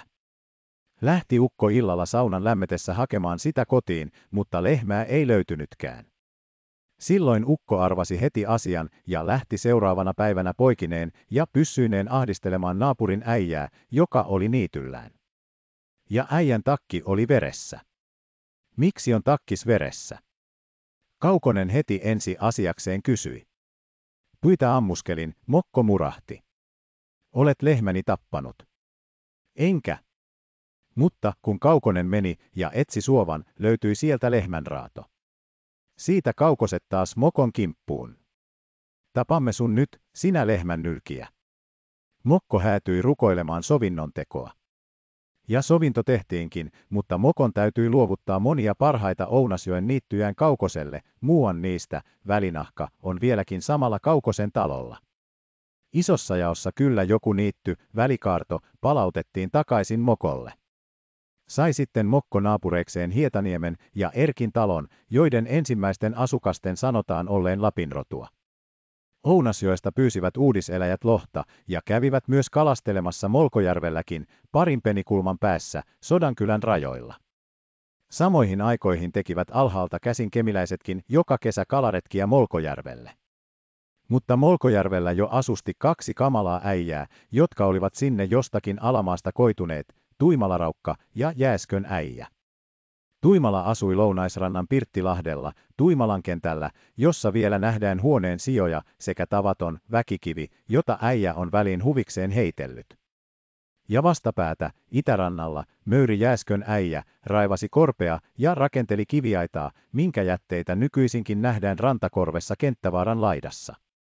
Äijä olikin vielä mokomampi kuin Tuimalan ukko, oli Molkojärvelle tullessaan vain kivellä istuen melonut ylös Ounas ja Molkojoet. Molkojärven korpikontiot vihasivat kovin kaikkia vieraita, jotka kävivät verottamassa heidän kalavettään. Varsinkin Jääskön äijä oli heille äkäinen.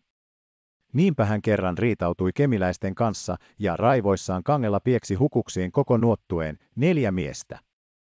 Miesten ruumiit ajautuivat sitten rannoille, Raappana-nimisen Raappanalahteen, Tiiron Tiirolahteen, Hannun Hannulahteen ja Lisman Lismalahteen. Veneramiskon ajoi Tuuli Laivalahteen. Sellainen meno Molkojärvellä säikähdytti Mokon ynnä hänen naapurinsa, saattaisi hurjapää helposti heidätkin samoin ruhjoa. Ja Molkojärvi oli hyvä kalavesi, jossa pitäisi saada pyydystää. Mokko lähti tovereineen Jääskön äijää puhuttelemaan. Kun miehet astuivat äijän pirttiin, niin siellä isäntä istuu pöydän takana, ja karhun leukaluut yksikseen omia aikojaan tanssivat pöydällä, saman karhun, jonka jääskön äijän suuri sonni oli hiljattain tappanut. Se kyllä miehiä hirvitti, mutta saivat sentään sanotuksi asiansa. Etkö lähde meidän kylään asumaan? Siellä on hyviä talonpaikkoja ja paljon hyviä niittyjä. Saat itse valita paikan ja niittyjäkin kyllä saat. Lähe pois sinne muiden joukkoon, korttoakos täällä kiveliössä yksin möyrit. Lähe katsomaan. Ja äijä lähti, meni veneeseen ja herrana istui, ja miehet lähtivät soutamaan Molkojokea alas ja sitten taas sauvomaan Ounasta ylös. Päästiin Pahtakosken niskaan, nurmikorvaan, jossa on suuri räystäskallio rannassa, niin jo sanoivat sauvojat. No, ei ole enää pitkä kylään. Minkälainen paikka tämä olisi? Mutta äijä vain istuu herrana veneessä, katsahtaa rantaan päin ja murahtaa. Ei tämä ole hyvä paikka. Sauvokaa eteenpäin. Tullaan Neitikosken niskaan, jossa on rannalla synkkä kuusikko, ja taas kysäistään. Minkäslainen paikka tämä olisi? Äijä nousee rannalle, ja miehet jäävät veneeseen odottelemaan. Vähän ajan päästä äijä palaa metsästä, kädessä verekset karhunkorvat, istahtaa veneeseen ja ärähtää. Ei tämä ole ihmisten asuinsia. Sauvokaa vain ylöspäin. Päästään siitä jo lähelle miesten asuinpaikkoja, ja sauvojat ovat jo kovin hätäyksissään. Silloin äijä komentaa. Soutakaapa kosteeseen. Eihän tästä ole enää kaukana teijänkään koti. Miehet soutavat rantaan, äijä nousee maalle ja sanoo. Tähän mie asetun. Ja siihen äijä asettuikin ja teki Jääskön talon neljänneksen alapuolelle mokkoa. Niittyjä hän sai valita Ounasjoelta, Lainiosuvannolta. Talon paikastaan arveli äijä. Kyllähän tässä pari-kolme polvikuntaa elää hyvästi, mutta voivat sitten ohjakkeet ja orjantappurat tukahuttaa pellot. Niin tuli Molkojärven pelottavasta äijästä Alakylän asukas, ja Alakylän miehet saivat rauhassa käydä Molkojärvellä kalassa. Heillä olikin siellä sitten aina viime aikoihin saakka jokaisella omat kalakenttänsä ja aittansa, samoin kuin lähellä olevalla Saarijärvelläkin. Mutta vaikka Jääskön äijä olikin nyt oman kylän miehiä ja kävi yhdessä kalaretkillä Molkojärvellä ja heinätöissä Lamiosuvannolla, vistotti kuitenkin toisia koko ukko. Harvoin hän pistäysi kylässä, eleli vain jokitörmällään ja raivasi rantakorpeaan. Näkivätpä naapurit, jotka salaa pitivät ukkoa silmällä, kauhukseen hänen joskus suurella kivilaakalla meloskelevan poikkijoen. Ja vielä enemmän kauhtuivat kylänmiehet, kun kerran näkivät, minkälainen valta äijällä oli hiisiinkin, joita siihen aikaan vielä majaili niilläkin selkosilla, pahtakahiossa, joen länsirannalla. Oli hiisiä ja kyllästynyt ihmiskansaan, joka jokea myöten myötäensä nousi erämaahan hänen rauhaansa häiritsemään. Hiisi päätti sulkea koko Ounasjoen ja lähti akkoineen ja poikineen kantamaan pahtakalliosta hirmuista kivitakkaa jokea kohden. Taakkansa rymäytti äijä virtaan poikkiteloin ja akkahiisi rysäytti toisen jatkoksi. Mutta silloin juuri sattuikin jääskön äijä rannalle. Kun poikahisi aikoi paiskata väylän tukkoon, jyräytti jääskö rannalta. Poika, äläs heitä sitä siihen. Hiidenpentu pelästyi niin, että kivirökkiö rysähti hänen selästään alapuolelle muorin kannannaista. Hiidet laukkasivat korpeensa ja Ounasjoki jäi patoamatta. Mutta hiisien kantamaat kivirökkiöt ovat vieläkin kuin patona poikkiteloin Ounasjoessa, ja sanotaan niitä äijänpadoksi, ja rannalla olevaa jääsköäijän uudistilaa nimitetään 1700-luvun alkupuolella asiakirjoissakin äijänpadon taloksi. Sieppijärvi. Naamioen juoksulla Kolarin sydänmailla, vaarojen välissä, on matala heinärantainen Sieppijärvi, jonka nykyään jo melkein kokonaan täyttävät vetiset heinäsaarekkeet. Korkeassa kortteikossa ja luhtaheinikossa vedenpinta vain siellä täällä läikkyy silmänteenä taikka kiertelee monilukuisina salmina ja kanavina vesiaulakkeesta toiseen. Tuiki tuntemattomia olivat entisaikaan kolarin suuret selkoset, eivätkä Köngäsen ruukin isot herratkaan väylän länsirannalla tietäneet, minkälaisia maita ja mahdollisuuksia piili itärannan synkkien asumattomien erämaiden pimennoissa. Lähettivät he silloin Lapinäijän, Salojen tarkan samoilijan, Siepin, sinne löytöretkelle. Kepsutteli löytöretkeilijä aamuaurinkoa kohden poikki paripeni kulmaisen kairan, kulki synkkiä kuusikkokorpia, kapusi vaaroja, mutta enimmäkseen sai sotkea suuria jänkiä ja aapoja, tuli viimein männikkökankaalle ja vaaralle ja sen takaa löysi Metsäjärven, löysi toisenkin, tarkasteli maita ja tutki vesiä ja tallusteli sitten taas takaisin ruukille ja muisteli herrallensa suuren tutkimusmatkansa tulokset. Na, löysin mie jängän, suuren jängän, ja löysin mie järven, ei suuren järven, mutta viljaisen järven, kaloja paljon oli. Ja kaksi suurta vaaraa oli järven ympärillä, yksi vaara tällä puolella ja yksi vaara tuolla puolella. Ja järveen tuli iso joki pohjoistuulen puolelta, ja iso joki lähti suvituuleen päin, ja joessa ui paljon lintuja, niin paljon lintuja, että päivä pimeni, kun lentoon lähtivät. Na, sitten oli taas järvi, pitkä järvi, ei leveä järvi, mutta kalajärvi.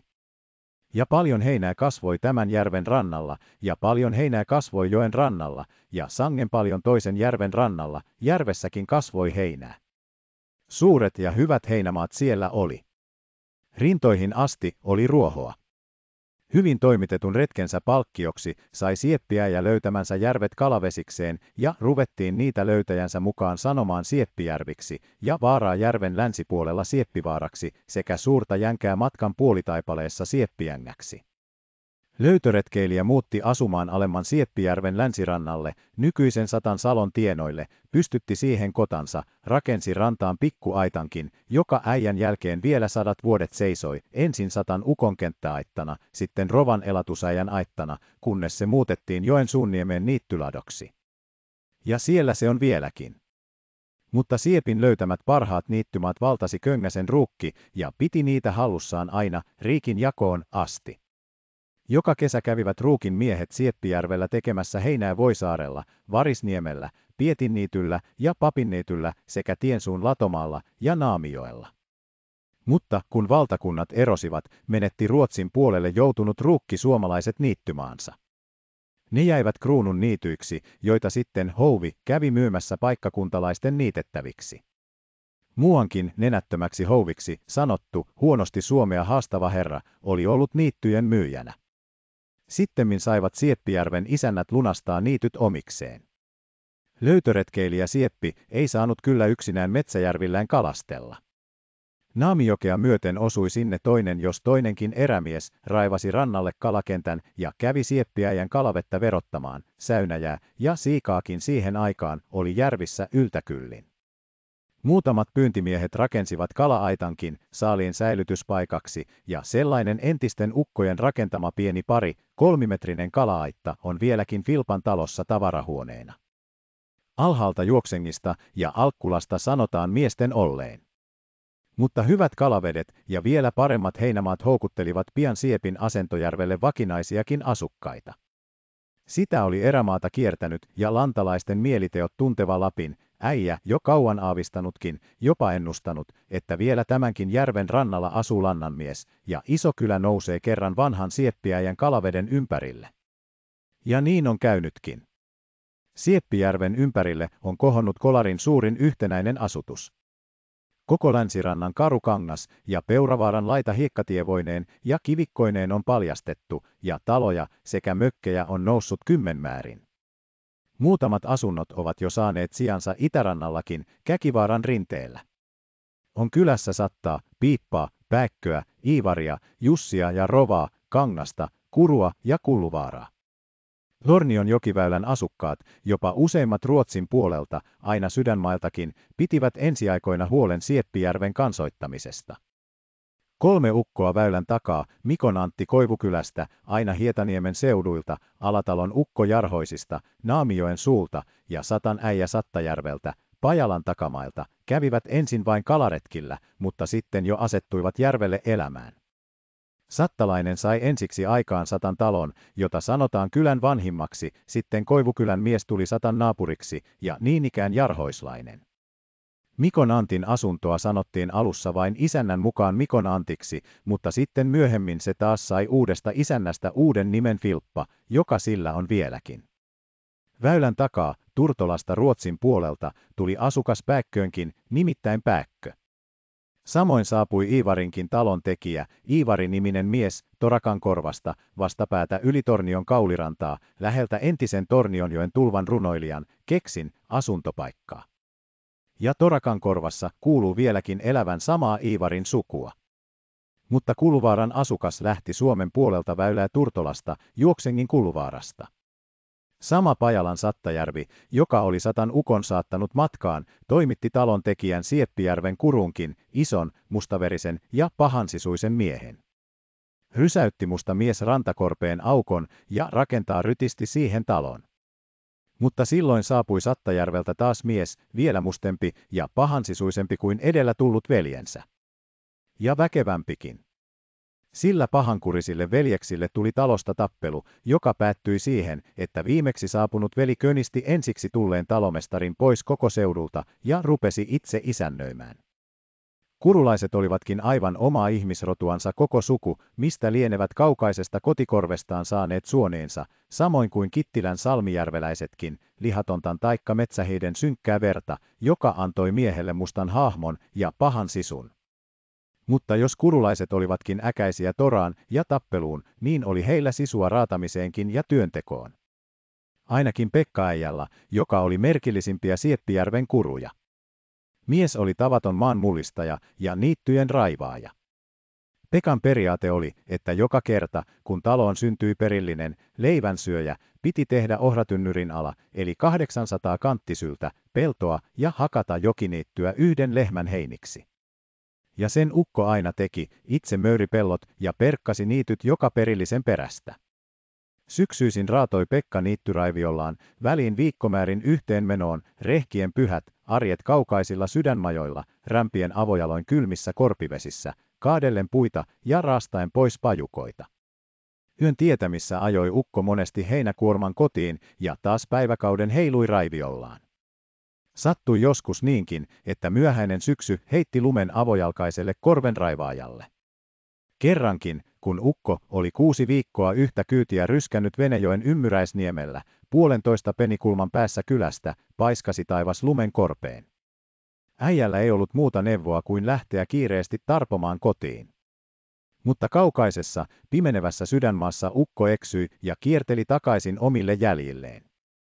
Kovin kummissaan hän niitä katseli ja ihmetteli.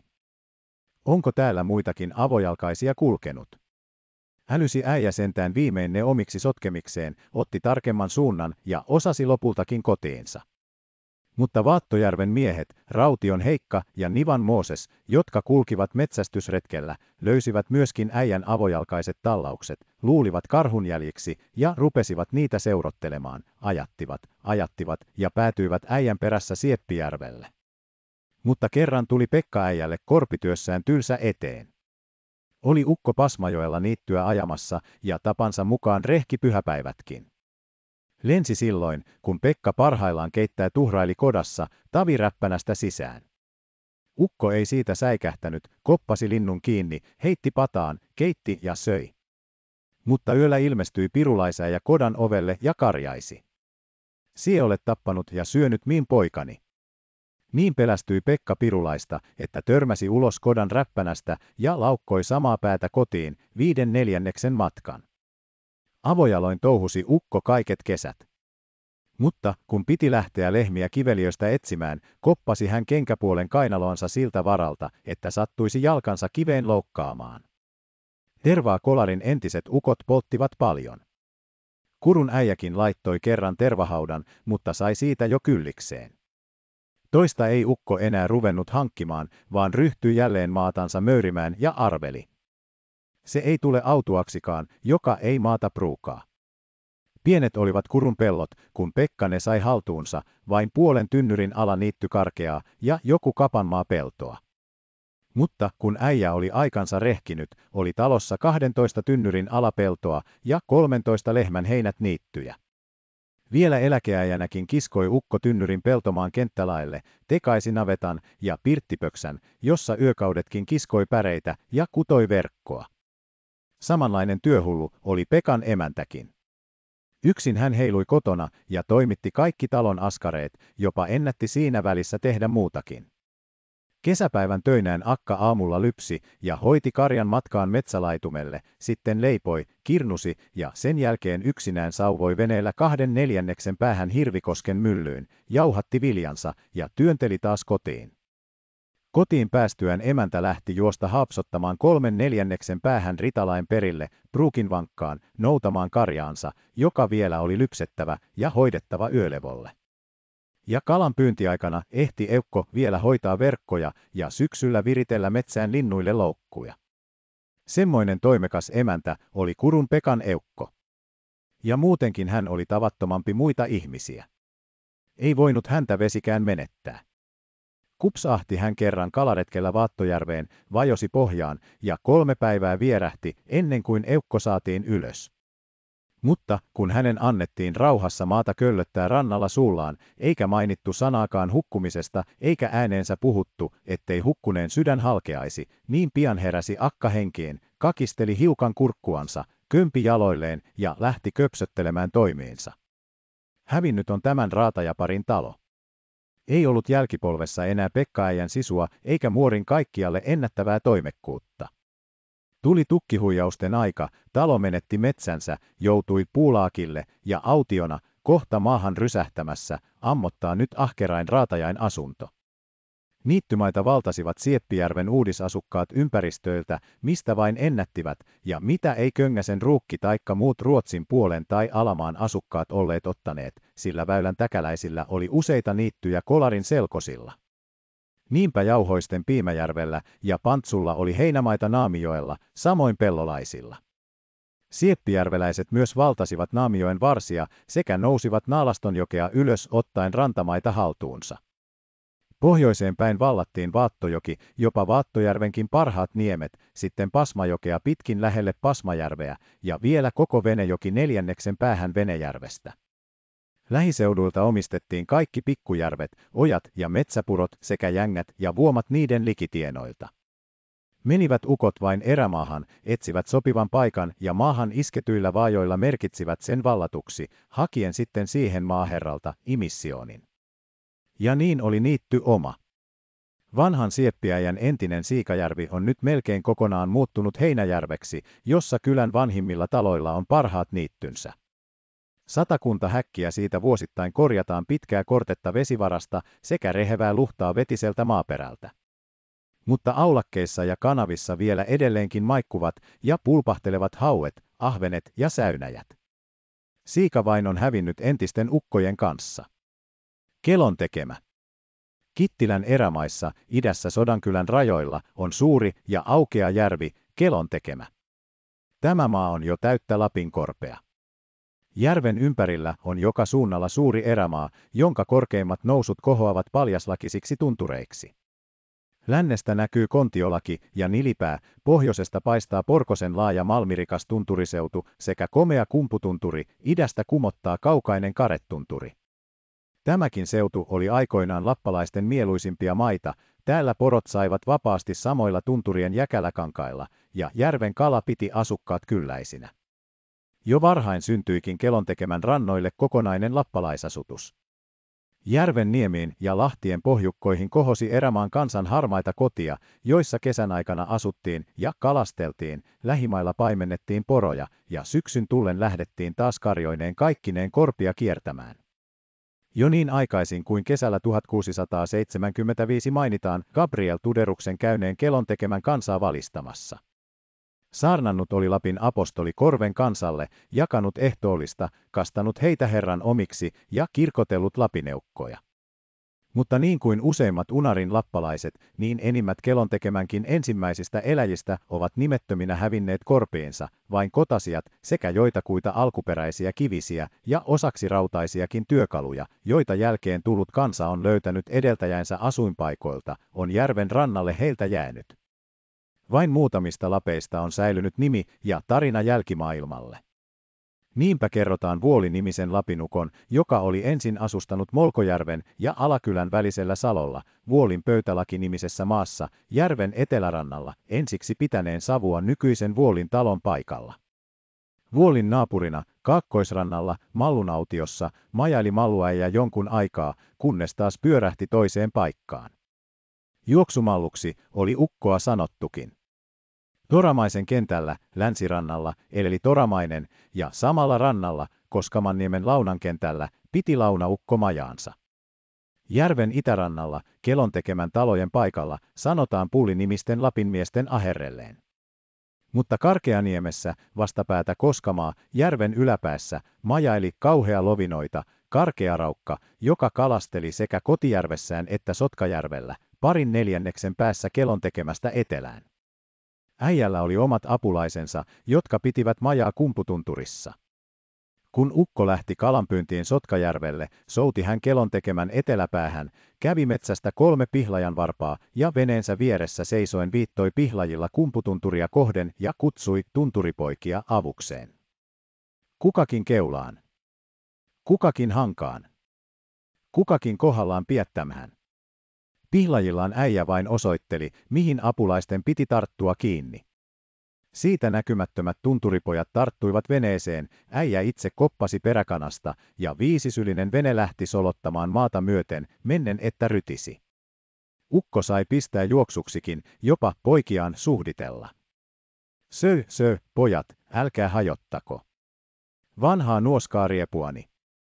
Poikki palokumpujen ja yli ison sotkavuoman näin muotkittiin ja päästiin Sotkajärvelle, jossa ukko laski kyytimiehet pois ja rupesi kalastelemaan. Mutta kun oli kyllikseen saanut kalaa, kutsui karkean äijä taas tunturipojat avukseen, ja niin palattiin samalla rytinällä takaisin kelon tekemälle. Uutosen kummulla asui toinen lapinnoita, Paalulan Niila, eläen riitakannalla Riimin Niilan kanssa, joka myöskin oli noita. Riimin Niila kierteli Porkosen tunturimaita ja piti majaa Lomajärven seuduilla. Äijät kadehtivat toisiansa, tekivät toisilleen kiusaa ja voimakeinoilla koettivat toisiaan pelotella. Kerran oli Paalulan ukko kalalla Vianselällä ja lauleli verkkoja kokiessaan. Paalulan köön muna kuslee. Paalulan köön muna kuslee. Lauleli ja päästeli kaloja verkostaan. Mutta yhtäkkiä heitti äijä kokemisen ja souti maihin. Siellä hänen kalakosiossaan, asentokuusen alla, vönki syltä pitkä käärme. Semmoista ukko oli juuri aavistanutkin, eikä siitä säikähtänyt, otti vain vökälettä niskasta ja lauleli. Paalulan köön muna kuslee. Sitten heitti hän sen pois ja karjaisi. Mene sille, joka on sun lähettänyt. Kaulaan kaulahuiviksi. Mutta ei saa mitään pahaa tehdä. Paikalla lähti Mato vönkimään ja Niila lauleli perään. Paalulan köön muna kuslee. Ja jo aamulla oli Mato riimin Niilan kaulahuivina. Mutta sitten saapui kelon tekemänkin Lappalaisjärvelle lannanmies, jopa kolmelta suunnalta, kalaista Erämaan järveä valtaamaan, etelästä, Unarin järveltä käsin, noustiin Kierinki ja Sotkajokia, idästä, Sodankylästä päin, Jiesiojokea ja Kittilästä, Ounasjoelta, pientä Kuusajokea pitkin. Ja pian oli lantalaisilla, joka pyydyskunnalla oma kalakenttänsä Metsäjärvellä. Länsipuolelle, Koskamanniemelle, kohosi pitkin rantaa asentopaikka toisensa viereen. Siinä oli Kittilän miehillä välitalon kenttä, Karin kenttä ja Salmen kenttä, siinä Pietulan miehet asustivat Ryssän kentällä ja tepsalaiset Tepsan kentällä. Itärannalla Sodankylän lahdella majailivat sodankyläläiset. Viimein tuli lantalainen kelon tekemälle asumaan. Ensimmäiseksi vallattiin vanha vuoliäjän raivaama kenttä ja saatiin siihen vuolin talo, joka ennätti ottaa haltuunsa parhaat lähellä olevat niittymaat. Sitten syntyi pulliukkojen tasoittamalle tantereelle kelon tekemä, joka pitkät ajat vielä jakaannuttuankin kulki kirjoissa pullin nimellä. Koskaman kalakenttien vaiheille, lähelle vanhaa launan asuinsijaa, kohosi Koskama. Karjanhoitoa metsän asukkaat harjoittivat, heiniä saatiin kyllä järven rannoilta, Kievan ajoilta ja Kelon tekemäjoen matalilta rannoilta. Ja karjan lisää hankittiin järven haltijalta. Siihen aikaan oli Kelon tekemän vetehisellä vielä enemmän karjaa kuin nykyään, joukottain komeita vedenlehmiäkin. Niitä Kelon tekemän emännät koettivat pyydystellä omikseen, ja joskus siinä onnistuivatkin. Mutta vaikka karjaa oli kylässä, ei koko järvellä ollut ainoatakaan hevosta. Porolla lappalaisten tapaan toimitettiin ajotyöt, jopa ajettiin nautahärälläkin. Mutta osattiin hevonenkin hankkia. Oli kelon tekemän Nikun talossa mainio tietäjäakka, joka noita keinoillaan pani hevosen aina sauvon maasta asti tulemaan. Oli muuan kesäpäivä, kun akka istui ikkunapuolessa hamppua kehräten ja laulellen. Tänä päivänä se tulee. Se pitkän matkan vieras. Kauan aikaa akka näin lauleli, katsahti jo ikkunastakin ja hyräili. Jopa se liinaharja souteleipi. Jopa se liinaharja souteleipi. Ja taas vähän ajan kuluttua katsahti ikkunasta ja sanoi. Nyt vierasta vastaan ottamaan. Hypähti eukko ylös ja juoksi rantaan. Siellä oli hevonen, liinaharja, järven ylitse uituansa juuri maalle nousemassa. Akka heitti tulukset hevosen ylitse, otti kiinni ja talutti pihalle, löi kämmenellään kahta puolta lapoihin ja sanoi. Matkan pää on tähän päättynyt. Pie kotinas ja pysy kotonasi. Tamma jäi taloon ja varsoi, ja siitä on hevosen sukukelon tekemässä saanut alkunsa. Kemin Lapin, laajaan seurakuntaan kelon tekemä kuului jo lappalaisaikana, eikä kirkon Jumalan temppeliä silloin ollut likimaillakaan, kaukana Lannanmaassa vain, Kemissä ja Torniossa. Eikä sitä niin suuresti liene kaivattukaan, olihan oman Jumalan palvontapaikkoja kyllä ympäri erämaita. Niitä käytiin kumartamassa, vieläpä yhä edelleen nekin, joita Tuderus oli kastevesillään huuhtonut. Ruvettiin sitten hankkimaan herranhuonetta Lapin perukoillekin, Sodankylän ja Kittilän erämaiden kansalle. Kelon tekemä oli silloin vähällä saada kirkon omille rannoilleen. Hirsiä jo ajettiin kasaan Puliniemelle, kylän rantaan, jopa lähdettiin sinne vedättämään kirkonkelloakin. Mutta kuorma kaatui pimeänä talviyönä ja kello upposi Kuikasenkarin pohjattomaan hautaan noin kilometri Koskaman rannasta. Syntyi siitä riitaa, ruvettiinpa sodankyläläisten kanssa rajoistakin kinastelemaan, ja niin rakennettiin 1689 kirkko Sodankylään, Jeesiojoen ja Kitisen väliselle niemekkeelle. Kirkkoa varten ajetut hirret jäivät kasaansa lahomaan. Mutta kelon tekemän nimen sanotaan saaneen alkunsa Kuikasen hautaan uponneesta kellosta. Järven nimenä olisi ennen ollut muka Rattamajärvi, mutta kellojutun jälkeen ruvettiin sitä sanomaan kellon tekemäksi, ja siitä sitten on saatu nykyinen nimi. Vanhoissa asiakirjoissa, jopa kirkonkirjoissakin aina viime vuosisadan loppupuolelle, on kylän nimi merkitty kellon tekemäksi, mutta lienee se kieleen perehtymättömien virkamiesten väärinkirjoitusta. Niin jäi Kelon tekemä vain syrjäiseksi kiveliökyläksi, ja kylän kirkkoina olivat edelleenkin erämaan seitapaikat, joiden luona yhäkin tietäjät sekä vanhan uskon harrastajat kävivät palvontamatkoillaan.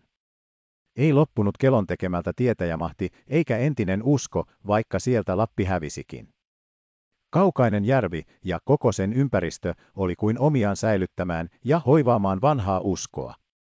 Kelon tekemä onkin niin merkillinen järvi, kaksipohjainen, niin kuin monet muutkin Lapin ihmeellisimmät vedet. Syvällä tavallisen pohjan alla on toinen pohja epämääräisessä syvyydessä ja vienee sieltä mannunalainen salakäytävä aina Rujanmereen saakka.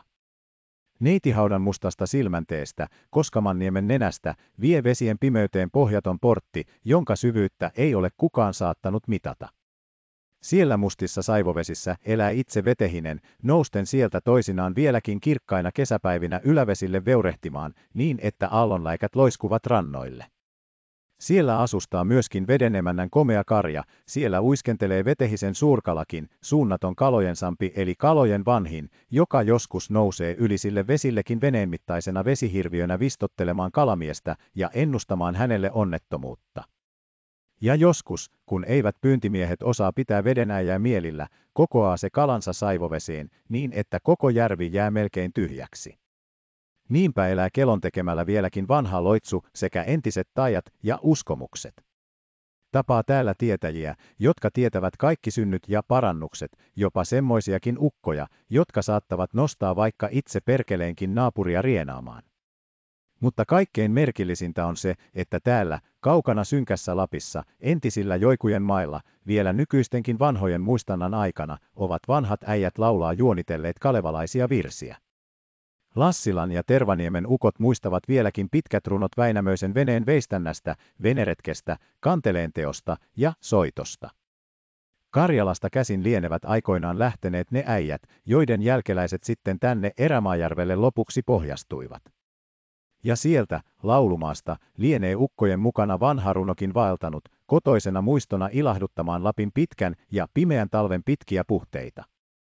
Rauhassa ovatkin ukot täällä saaneet juorotella, sillä ei ole kelon tekemä liiaksi maailman jaloissa. Entisaikaan kyllä kulki ikivanha, oikein neljännespatsain mitattu ja viitoitettu Lapintie Muonionjoelta, Kolarista, Kurtakon, Kallojärven ja Kaukosen kautta kelon tekemälle ja täältä edelleen Vaalajärven ohitse Sodankylän kirkolle. Mutta ei sitä, ainakaan kesän aikaan, kovin ahkerasti vaellettu. Maassa lepäävät jo kaikki vanhat kelon tekemän raivaajat. Monet ensitaistelijat lienevät saaneet leposiansa palokummun tievassa, Lapin kalmistossa, Koskaman lähellä, ja lannanmiehille on useinkin ensi lepotilaksi kaivettu kuoppa Manalaissaareen, ison hautamännyn juurelle, joka vieläkin monine vuosilukuineen seisoo saarella entisajan muistona. Tepastolompolon tarina. Tepastolompolon kylä, jolla on niin komealta kaikuva nimikin, on Kittilän pohjoisilla kulmilla, Ounasjokeen laskevan Tepaston jokilaajentuman, Tepastolompolon itärannalla. Niin kuin useimmat muutkin peräpohjan ja Lapin lantalaiskylät on Tepastolompolokin lappalaisten pohjustama. Lapin kansan muinaisille asumassoille on kylä kohonnut, ja sen kansakin lienee suurimmaksi osaksi kohonnut lappalaiselta pohjalta. Ei saanut lappalainenkaan etumiehenä tunkeutuessaan erämaihin taisteluitta itselleen asuinsia ja asumaoikeutta. Sillä jo ennen Lapin kansaa oli kaikki Lapinkorven erämaat vallannut mahtava taalojen suku. Taalot olivat kamalan suuria, hirveitä ja väkeviä metsän jättiläisiä, jotka saattoivat kerrallaan työntää taskuunsa vaikka nelikollisen hopeaa. He asuivat maakuopissa, kaikkein pahimmissa korpirovaikoissa ja tunturimaissa, pyydystelivät metsästä majavia, peuroja ja muita otuksia ja kalastelivat järvistä. Vihoissaan olivat taalot kovin, kun lappalaiset ilmestyivät niille maille, joissa he ennen olivat saaneet kenenkään häiritsemättä asustella. Siksi he tekivätkin lappalaisille kaikenlaista rauhattomuutta, tappoivat ja söivät heidän porojaan, vieläpä pyydystelivät heidän pieniä ristimättömiä lapsiaan ja pistelivät suuhunsa suurina herkkuina. He rakentelivat lasten kulkupaikoille ovelia ritoja, joihin panivat juustopalasia syöteiksi, ja kun paha aavistamaton lapintenava meni juustoa tavoittamaan, takertui hän ritaan ja joutui taalon paistiksi. Useasti taalot myös houkuttelivat taikka ryöstivät lappalaisten tyttäriä tai vaimoja emännikseen, ja heillä sitten tapattivat täitä takkuisesta tukastaan. Tepastolompolonkin äärettömät erämaat olivat joutuneet taalojen valtaan. Seitsemän suurta metsän jättiläistä majaili taalonorkumassa, synkässä korpisessa kurumaassa, puoli penikulmaa järvestä etelään. Asettuipa sitten Tepastolompololle, nykyisen uuden kartanon paikalle, järven kaakkoisrannalle, asumaan väkevä Tuomas, oikein vahva ja jämerä porolappalainen. Mutta ei saanut mies kauankaan olla rauhassa, ennen kuin jo taalot rupesivat häntä vainoamaan, hävittelivät hänen porojaan ja ahdistelivat hänen kotakuntaansa. Ja viimein tuli erämaan asukkaille ankara yhteenotto. Tuli Taalo itse tuomaan luokse ja tahtoi häntä painimaan, jotta kumpi voittaa, se saa tappaa häviölle joutuneen. Yhtä kaikki, sanoi Tuomas. Mennään järvelle painimaan, siellä on tilaa heitellä. Tuomas pani rautapiikkikengät jalkaansa ja niin lähdettiin. Kaljamajalla syntyi tuima temmellys, jossa rautakenkäinen väkevä Tuomas helposti sai Taalon alleen ja tappoi hänet. Mutta Taalo ennätti sanoa, Kyllä minua väkevämpi vielä tulee. Toisena päivänä tulikin toinen taalo, vielä väkevämpi, ja vaati Tuomasta painimaan. Mentiin taas järvelle taistelemaan, mutta Tuomas voitti senkin ja tappoi, jolloin se taas ehti sanoa. Kyllä minua väkevämpi vielä tulee. Ja tulikin seuraavana päivänä kolmas hirviö ja taas neljäs, vieläpä viideskin, ja jokainen oli aina väkevämpi edellistänsä. Mutta aina väkevä Tuomas ne voitti ja nutisti hengen pois. Mutta tuli vielä kuudeskin kiveliön kummitus, ja se oli jo niin jämerä äijä, että ruhjoi tuomaan polvipuolellensa jäälle, jopa oli vääntää allensakin, surmaniskua ottamaan, kun vielä pääsi lapinukko ylös, ja vuorostaan väänsi jättiläisen jäälle ja surmasi. Mutta eikö sekin vielä huutanut? Kyllä minuakin väkevämpi vielä tulee. Silloin väkevää Tuomasta alkoi jo hirvittää. Ei uskaltanut ukko enää odotella uutta taaloa toraamaan, vaan pakeni pois kotapaikaltaan. Mutta kun Tuomas sitten kerran kulki kuortanovuomalla, yllätti hänet taalo, kauhean suuri jätti, hirmuinen keihäs kädessä, ja kysyi, kun ei Tuomasta tuntenut. Missä on väkevän Tuomaan kota? Tuomas osoitti aurinkoa kohden ja sanoi. Tuolla päin se on, missä päivä paistaa.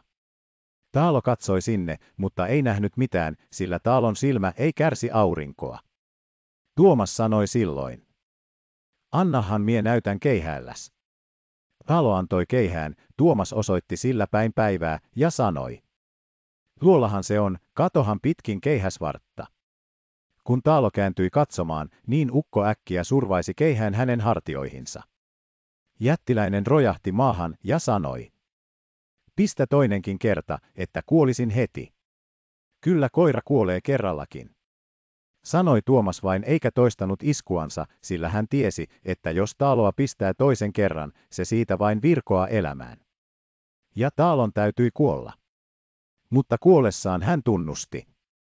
Miehen käteen kuolen, kun kuolen. Niin voitti väkevä Tuomas viimeisenkin metsän hirviön, ja siihen loppui koko Tepastolompolon seutujen taalosuku, eikä niitä sen jälkeen enää ole niissä metsissä nähty, ei kuultu. Mutta taalojen raadot raahasi Tuomas järveltä lounaisrannan metsikköön ja kuoppasi ne sinne korkeaan tievaan. Vieläkin nähdään tievalla useita pitkiä syviä kuoppia, joita sanotaan taalojen haudoiksi. Vankkoja petäjiä oli ennen seisonut hautojen ympärillä, ja petäjien kyljessä oli ollut pilkat ja ristit, mutta nyt on petäjät jo hakattu maahan. Siitä pääsi Lapinukko ja Lapin suku yksinään erämaan isännäksi, kun taalojen suku oli työnnetty turpeeseen. Mutta osui tännekin viimein Lannanmaan erämies ja rupesi riitelemään niitä maita, jotka lappalainen oli henkensä kaupalla valloittanut kiveliöiden peikoilta ja hirvityksiltä. Eikä Lapin miehellä ollut muuta neuvoa kuin suostua alakyntiseen sovintoon, ositellen parhaat apajansa uuden tulokkaan kanssa, jolla oli aina kuninkaan lupakirja matkassaan, taikka heittää koko seutu lannan miehelle ja itse uudestaan painua selkosille ja siellä taas ryhtyä taisteluun metsän jättiläisten kanssa, joutuakseen sieltäkin karkotetuksi, kun oli ensin korpiseudun pohjustanut lantalaiselle kelvolliseksi. Muoniosta kulkeutunut Mooses Raukka ensimmäiseksi asettui väkevän tuomaan asuinmaille. Iso ja väkevä mies oli hänkin, mutta laiska ja saamaton ukonköriläs. Nelisnurkkaisen pirttipöksän rutisti äijä Tepastolompolon rannalle, nykyisen Lompolon talon paikalle, ja siinä kalaa pyydellen elää tuhrusteli, ei viitsinyt maata möyriä eikä edes niityistäkään huolehtia, vaikka Lompolon matalat rannat olivat mitä parhaimpia heinämaita. Nälkääkin äijä näki, kun ei kyennyt hyvän saalien aikana hankkimaan kalaa pahan päivän varaksi. Ja nälkään saamaton äijä kuolikin, sortuen aittamaan salolle, kun kerran puutteessaan lähti puljun lappalaisasunnosta, parin penikulman päästä, etsimään evästä. Ukon perhe joutui ajelulle ja asunto jäi autioksi. Tuli silloin Silpo Heikki, silmäpuoli irtolaismies peltovuomasta, tunturien takaa, ja ilman mitään valtasi Mooses Raukan aution kömmänän, ruveten siinä asumaan. Pitkät ajat sai Silpo Heikki siellä rauhassa kelletellä ja lompolossa kalastella.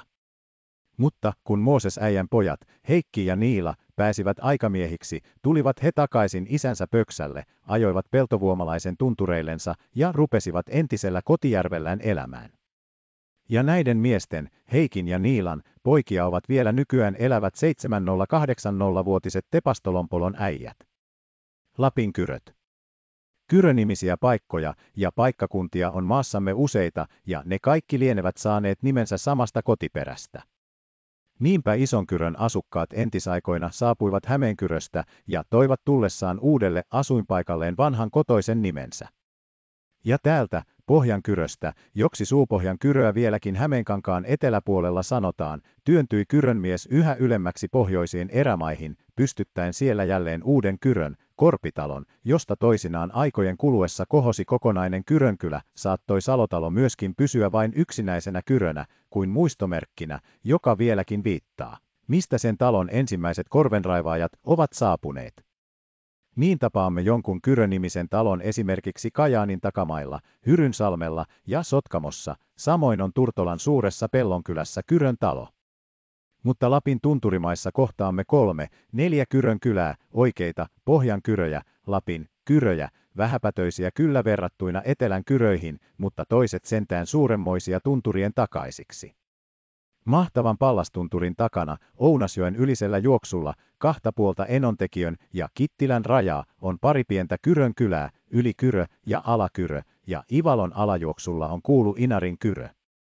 Kansan muistelusten mukaan on näiden kylien sukulähtöisin Suomen kyröstä. Ison vihan kamalina päivinä, vanhan Venäjän vihan aikoina, lähti isosta kyröstä, niitä on Suomessa kaksi kyröä, isokyrö ja vähäkyrö, vainoa pakoon kaksi veljestä, Olli ja Pekka, paeten peräpohjaan ja viimein päätyen Lapin erämaihin pallastunturin tienoille. Sopivaa talonpaikkaa ja eräseutua miehet etsivät, mutta ei löytynyt mieluisaa sijaa. Tekivät he siitä sopimuksen lähteä kumpikin eri suunnalle, ja kun löytävät sopivan paikan, niin ilmoittavat siitä toisilleen pyssyn laukauksella. Niin lähdettiin taas kiveliöitä kiertämään. Olli osui pallastunturin taakse isolle kauniille Vuontisjärvelle, katseli sen rantamaita ja pamautti pyssyllään. Pekka oli juuri silloin päässyt Ounasjoelle, Vähänkosken niskaan, ja oli myös aikonut ampaista merkkilaukauksen. Niin mielistyivät veljekset kumpikin omaan löytöönsä, että tekivät molemmat erämaahan oman kotinsa. Olli rakensi asunnon Vuontisjärven pohjoispäähän palorantaan, ja Pekka pystytti mökin vaaran laitaan Vähänkosken länsirannalle. ja kaukainen Lapin kiveliö oli saanut raatajilleen kaksi kyrön miestä. Mutta veljesten valitsemat asuinpaikat eivät lopultakaan olleet mieluisia. Vuontisjärven asennolle tuiskutti talvella tunturista lunta niin ylettömästi, ettei tahtonut liikkumaan päästä, ja Ounasjoen asukasta taas häiritsi Vähänkosken alituinen kohina. Kokosken kohuu. Korvaninkin halkasee ei ei ei ei. Valitteli Pekka asuinpaikastaan, joka lisäksi oli vaaran pimeällä pohjoislaidalla kovin hallanarassa maassa. Niin muuttikin oli Vuontisjärveltä Ounasjoen rannalle, puoli penikulmaa yläpuolelle Pekan asuinpaikkaa, ja Vähäkosken asukas siirtyi korkean vaaransa päivän paisteiselle etelärinteelle ja rakensi Savupirtin nykyisen autton ja Mikkolan väliselle kentälle. Pelonkin Pekka siihen heti raivasi, kylvi korvalakillisen ohraa ja korjasi vuoden tulokseen kokonaisen kielon eli neljä kappaa. Mielissään sanoikin ukko. Nyt olen päässyt Jumalan selän takaa hyvään paikkaan. Ounasjoessa ja Lähijärvissä veljekset kalastelivat, kävivätpä kalassa Keräsjärvelläkin pallastunturin takana. Mutta Kerässiepin asukkaat, jotka pitivät Keräsjärveä omana kalavetenään, olivat miehille vihaisia, jopa äkäpäissään kerran repivät heidän nuottansa, rikkoivat veneen ja upottivat kaikki syvään jokijärämään. Mutta Kyrön miehet eivät siitä pelästyneet, noutivat kotoa uuden nuotan, yön tietämissä vetivät veneensä pallastunturin ylitse, ja aamulla jo taas olivat nuottaa kiskomassa niin kuin ennenkin. Kirves kourassa olivat miehet sitten vuoron perään vartioimassa, etteivät keräsieppiläiset saisi toistamiseen toimittaa ilkityötänsä. Kyrönmiesten avaamat metsäpäivät laajenivat vähitellen isommiksi aukeiksi.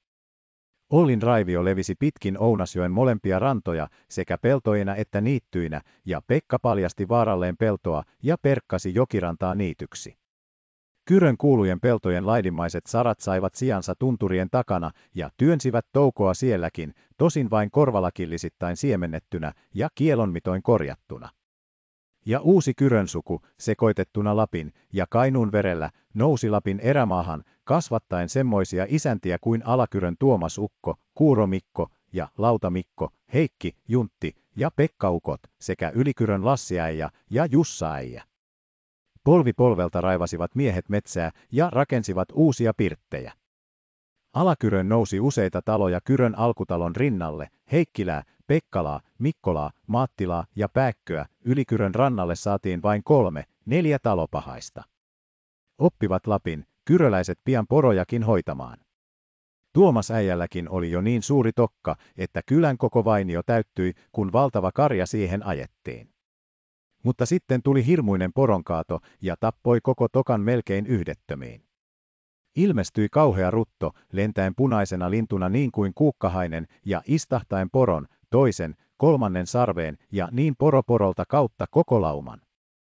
Ja heti kaatui se poro, jonka sarvessa ruttolintu oli käväissyt. Niin hävisi Tuomaan ja monen muunkin tokka, kun omistajat eivät tienneet Lapin tietäjien vasta taikaa. Mutta Anundi Sarre, Lapin, äijä, tiesi tajan, tappoi sen poron, jonka sarveen ruttokukkeli ensiksi istahti, sohaisten puukon kurkkuun ja viiltäen, rinnan halki, repäisi sisälmykset pois, työnsi tervastuleen ja poltti ne poroksi. Eikä sen enempää rutto kaatanut Anundin karjaa. Lähtipä taas sitten, 1758, tunturien kyröstä muuan mies. Mikkolan Heikki, etsimään uusia maita, nousi Lapin tunturiselän taakse ja painui pitkin Ivalonlaaksoa suunnattomien erämaiden halki itää kohden, aina lähelle Jokisuuta, ja teki sinne uudistalonsa. Ja tämä oli alkuna uudelle Kyrölle, tunturien takaiselle suurkylälle, jossa taas Kyrön suvun uusi haara rupesi versomaan. Tuli myöhemmin, 1805, kamalan porokaadon jälkeen Kittilän erämaista toinenkin kyröläinen, Tuomas Tuomaanpoika, jonka isän karjan rutto oli surmannut. Koko perheineen, hevonen, lehmiä ja lampaita mukanaan matkusti mies lähes 30 penikulmaisen taipaleen tunturien ja jokien yli Ivalon suupuolelle ja pystytti sinne oman talonsa penikulman yläpuolelle Heikin perustamaa asuinpaikkaa. Tuomas oli kova maan möyriä, mutta vielä ahkerampi karjanhoitaja ja niittyjen raivaaja. Ivalon suuret suvantorannat pani hän kasvamaan heinää ja kartutti karjansa parinkymmeneen lypsävään. Tuomaan alustamalle maaperälle nousi niin ikään uusi Kyrön haara ja kohosi Törmäsen komea kylä. Inarin kyrö ja Törmänen ovatkin kyröläisten mahtavimmat voimannäytteet Lapissa, suurimmat ja väkirikkaimmat kylät koko tunturien takaisessa Suomessa. Ivalon alajuoksun laajat suvantorannat ja Suistamon monet matalat saaret tarjosivat Pohjan kyrön peltojen kasvateille uudet koekentät, joilla saivat näyttää kotoista kuntoaan ja nostaa Lappiin vielä pohjoisemman kyrön, joka olosuhteisiin katsoen kyllä kelpaa emokyrönsä rinnalle. Niin saavat suupohjan kyröläiset sanoa suurista pelloistaan, että ne ulottuvat aina Lapin tunturien taakse ja että heidän talonsavunsa kohoavat kotalappalaisten mailla, siellä missä rurjat palavat, ja vielä, että heidän miehensä leikkaavat paksua leipää leivättömässäkin Lapissa. Vielä on jäljellä Pallastunturin takana Vuontisjärven pohjoisnurkassa, Palorannan nurmettuneella kentällä, Katajikossa, Kyrön ensimmäisen Lapin esikoisen talonsia kiuasraunioineen. Samoin Vähänkosken niskassa Ounasjoen rannalla, synkässä metsikössä, näkyy toisen Lapinkorven esiraivaajan asunnonsijoja ja kiviraunioita. Niiden vieressä vieläkin iän kaiken. Kokosken kohu Soittaa erämaan säveltään. Peräpohjan viimeisiä porolappalaisia. Entisen Lapinkorven erämaita liikkuessa saa siellä täällä kankaiden laiteilla, jonkun jängän taikka Metsäjärven lähettyvillä, nähdä vanhan hirsistä salvetun porokaarteen lahoneita jäännöksiä, jotka toisinaan kilometrittäin jatkuvat pitkin selkosta. Ne ovat porolappalaisten töitä, muistoja tunturikansan viimeisistä jälkeläisistä, jotka isiensä entisillä mailla, tällä puolen Lapin tuntureita, vielä elivät vanhalla totutulla tavallaan, kiertelivät karjoineen ympäri erämaita, kunnes sortuivat hautaan taikka kunnes yhä tihenevä lantalaisasutus pirstoi heidän suuret laidunmaansa, ettei metsien kasvatti saattanut niissä enää tulla toimeen. Kansan muisteluksissa elävät vielä nämä viimeiset peräpohjan lapinsukuiset poromiehet, ja useat heistä ovat jopa nykyistenkin vanhojen muistannan aikana kierrelleet porotokkineen takamaita. Tientäysi taskisia.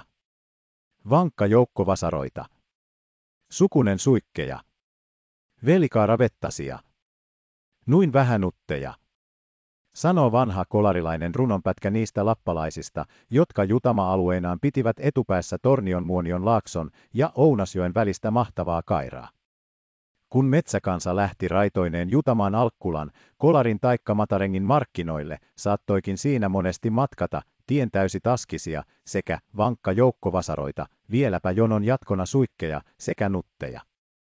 Taskiset ja vasarat sekä suikit olivatkin lukuisimmat ja varakkaimmat koko seudun tuhkalappalaisesta kiertäjäkansasta. Vanhaa Lapin lähtöä olivat nämä joukot aikomaan tunturien taakse painutta polvea, joka oli sieltä myöhemmin lähtenyt painumaan taas takaisin etelää kohden. Muonion sydänmailla, ahvenkielisen jäkäläisillä kankailla, on vielä vanha rappeutunut porokaarre pienen, vaarain välisen saivon, Rumanjärven, rantatievalla. Siinä on aikoinaan taskisten joukko porotokkineen häilännyt ja sitten taas lähtenyt karjoineen erämaata kiertämään. Täällä vaelteli muinaisiina vuosina Hetan tunturimaista tullut Sieppiolin poika, Matti Sieppi, jota ruvettiin sanomaan taskismatiksi, koska ukolla oli sanantapana. Taskis hyvä ottaa. Kun taskis tarvitsee. Ja siitä sai koko Siepin perhekunta Taskis nimen. Siepin vanha Matti oli totinen, jylkkymies, joka hallitsi suurta tokkaansa, ja sai sen vielä suuremmaksi, kun nai Sarren Stiinan, Anundi Sarren ja Inga Suikin tyttären. Sillä Anundiäijä, vanha, 1775 syntynyt porolappi, oli koko tunturimaiden kuulurikas. Vaikka äijä olikin vain pieni, paksu, valkkopunainen käpsä, oli hänellä poroeloa niin paljon, että saattoi kerskailla. Na, ei voi hukat eikä varkaat niitä koskaan hävittää. Ja kuivia poronlihoja oli äijällä pitkin erämaita pienissä puokkuaitoissa niin määrättömästi, että ne lahoivat ja mätänivät. Anundiäjän poroista sai Stiinakin osansa, ja niin sitten Siepin Matti Tuhantisen tokkansa kanssa lähti muoniosta kiertämään. Monet lantalaisetkin jättivät poronsa Matin hoitoon, ja ukko juti joukkoineen kesät talvet Muonion kirkonkylän takalistoilla ja väylän varsilla aina salmi, ja Löyttyjärven seutuja myöten. Tuohikodassa ukko vain asusteli, ja sinne teki Stiina perillisensä, milloin missäkin sydänmailla, Löyttyjärvellä, Rumalasaivolla, Äijävaarassa. Neljä poikaa ja kaksi tytärtä tuohikota tuotti, ja sitä mukaan kasvoi elokin, kun kaitsiain luku lisääntyi. Taskistalossa, vaarain raossa. Kasvaa poikaa neljä. tiesi vanha laulukin kertoa Matti äijän pojista. Mutta aikuisiksi tultuaan painuivat äijän pojat omine karjoineen omille teilleen. Matti meni Turtolaan raitioimaan ja häipyi sinne, Heikkikin kulkeutui etelään päin aina Turtolan Konttajärvelle, sai lantalaisemännän ja joutui itsekin viimein lantalaiseksi. Jussa, veljesten vanhin, meni ensin kolarin miesten raitioksi, sitten Turtolaan, ja juti niin joukkoineen monet vuodet kaikki selkoset Ounasjoen kairalla aina Rovaniemen ja Kittilän takamaita myöten, kunnes hänkin häätyi talonomistajaksi Rovaniemen jääsköön, osti pienen mökin, josta viimein asui suuren ja komean talon. Äijän tyttäretkin joutuivat maailmalle, Tiina-Kaisa vietiin Ruotsin puolelle, Kitkiöjoen Antille Pajalaan ja Priitamari pääsi Muonion Nivunkijärven Iskolle lantalaistalon emännäksi. Mutta pahnan pohjimmaisin, Äijävaaran kodassa 1841 syntynyt Simon Petteri jäi isänsä kanssa kiertelemään omia kotiseutuja. Väsyi viimein vanha Matti äijäkin alituiseen jutamiseen ja pysähtyi pienelle Salmijärvelle, jonka ympäristöjä oli ikänsä kierrellyt. Sinne olikin äijä jo 1842 vanhan päivän varakseen rötistänyt pikkumökin ja saanut nyypyykin paikan. Siellä eli Salmijärven äijä lantalaistapaan viimeiset vaiheensa, ja siellä päättyi 94-vuotiaan tunturikiertäjän elämä 1885. Salmijärven mökissä eli sitten Simukin lantalaisemäntineen, mutta hoiteli edelleenkin porokarjaansa. Kolmet, neljätkymmenet vuodet juti Simu isänsä jälkiä neljä, viisisataisen tokkansa kanssa, sai väliin elonsa suuremmaksikin, mutta sitten taas sitä menettikin. Monesti sattui, että väylän takaa Ruotsin lappalaisten porot kulkivat tälle puolen, ja niiden joukkoon eksyi Simun porojakin joskus kymmenittäin, satakuntakin, kadoten sitten rajantakaisten mukana sen tien Ruotsin lappalaisten erämaihin. Lantalaiskarjaakin saatiin taloon, mutta maan myyrtäjäksi ei metsien miehestä ollut muuta kuin sen verran vain, että peruna ja karjalle heiniä saatiin kasvamaan. Jymytalo on sittenkin kohonnut vanhan, taskismatin, pohjustamalle paikalle. Vieläkin siinä asustaa yli 80-vuotias Salmen Simu jäntteränä tiukkapiirteisenä erämaan miehenä. Salmijärven äijän toiset pojat ovat jo aikoja sitten kuolleet. Vielä pari vuotta takaperin eli Rovaniemen Jääsköllä Jussan vanha leski, 95-vuotias, Pehkosen muori, Anna Aslak. Koutokeinossa, monien tunturien takana, oli muori syntynyt 1825 hettalaisen Niila Aslakan kodassa, saanut jo lapsena jäämerenkin tunturiseutuja kierrellä, joutunut sitten Muonion pappilaan Kolströmin palvelustytöksi ja sieltä Siepin Jussan toverina uudelleen erämaita matkaamaan. Enimmän ikänsä olikin muori asunut kuin metsäläinen, synnyttäen metsässä perillisensäkin. Poromiehenä oli Eukko toiminut vielä miehensä kuolemankin jälkeen, vaikka jo oli saatu talokin, missä voitiin asua. 400 poroa oli ollut muorin merkeissä, ja karjastaan oli hän aina vanhaksi asti itse pitänyt huolta, hyvin tuntien kaikki sarvipäänsä. Mutta mitä ei metsien visu ja tarkka muori oppinut tuntemaan, se oli seteliraha. Monta, monta on pois, sai muori monesti päivitellä, kun pojat kävivät salaa verottamassa hänen rahakiisaansa. Mainittavimpia ja tunnetuimpia kaikista peräpohjan viimeisistä porolappalaisista olivat vasarat, vanhan vasaran, laaja suku. Enontekiön ja Rounalan tunturimaissa, Suontavaaran ja Laimovuoman jutamakunnissa oli vasarain joukko jo satoja vuosia elänyt.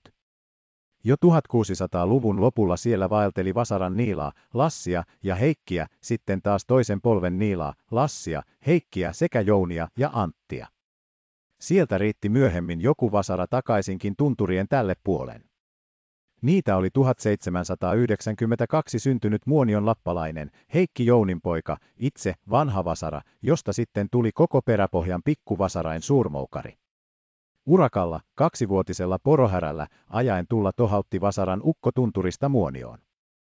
Nauratti kyllä vanhoja poromiehiä, kun pikku miehenkäppyrä lasketteli heppaisella ajokkaallaan, mutta miehenkäppyrä oli hyvä suustaan ja sukkela toimiltaan.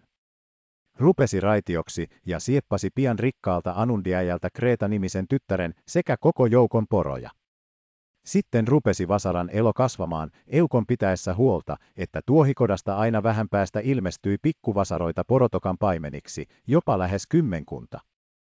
Vanha Vasaran äijä oli aito Lappi, joka koko elämänikänsä uskollisesti seurasi lappalaisvertaan koskaan päätymättä elämään ummehtuneeseen lantalaispirttiin. Äkäsjärven alapäässä, tunturien vaiheilla, oli äijällä pääpaikkansa, jossa hän useasti majaili. Siellä Ruonajoen suussa, järven rannalla, oli komea kenttä, jossa ukolla oli kodat, aitat ja luovat, porokaarteet vasakarsinoineen ja lypsinkenttineen. Mutta talven lähestyessä lähti ukko taas takamaita jutamaan. Pitkin Muonion ja Ounasjoen välistä vedenjakajaa painui hän etelää kohden aina Ylläsjoelle ja Kallonkylän seuduille asti, kierrellen taas toisia maita takaisin pohjoiseen. Sileillä metsämailla, outapaikoissa, oli äijällä aina kotakenttänsä, ja metsissä hän yletaikojaan eleli, vain kerran, pari vuodessa pistäytyen ihmisten ilmoilla, väärtejään, tervehtimässä ja erämaajuttujaan kertomassa. Mutta milloin metsän ukko sattui lähimaille kotakuntineen, tulivat lantalaiset väliin koko joukolla kotaväen väärteiksi, ja ukko kestitsi heitä parhaansa mukaan. Oli vanhalla vasaralla, kyllä, millä väärtejään kestitä. Suuri oli ukon tokka, ja porot suuria, komeita, vaaleakylkisiä suivakoita. Niistä äijä olikin ylpeä, useasti kerskaten. Ei mene polvilleen vasaran suivakka vielä tänä kevännä.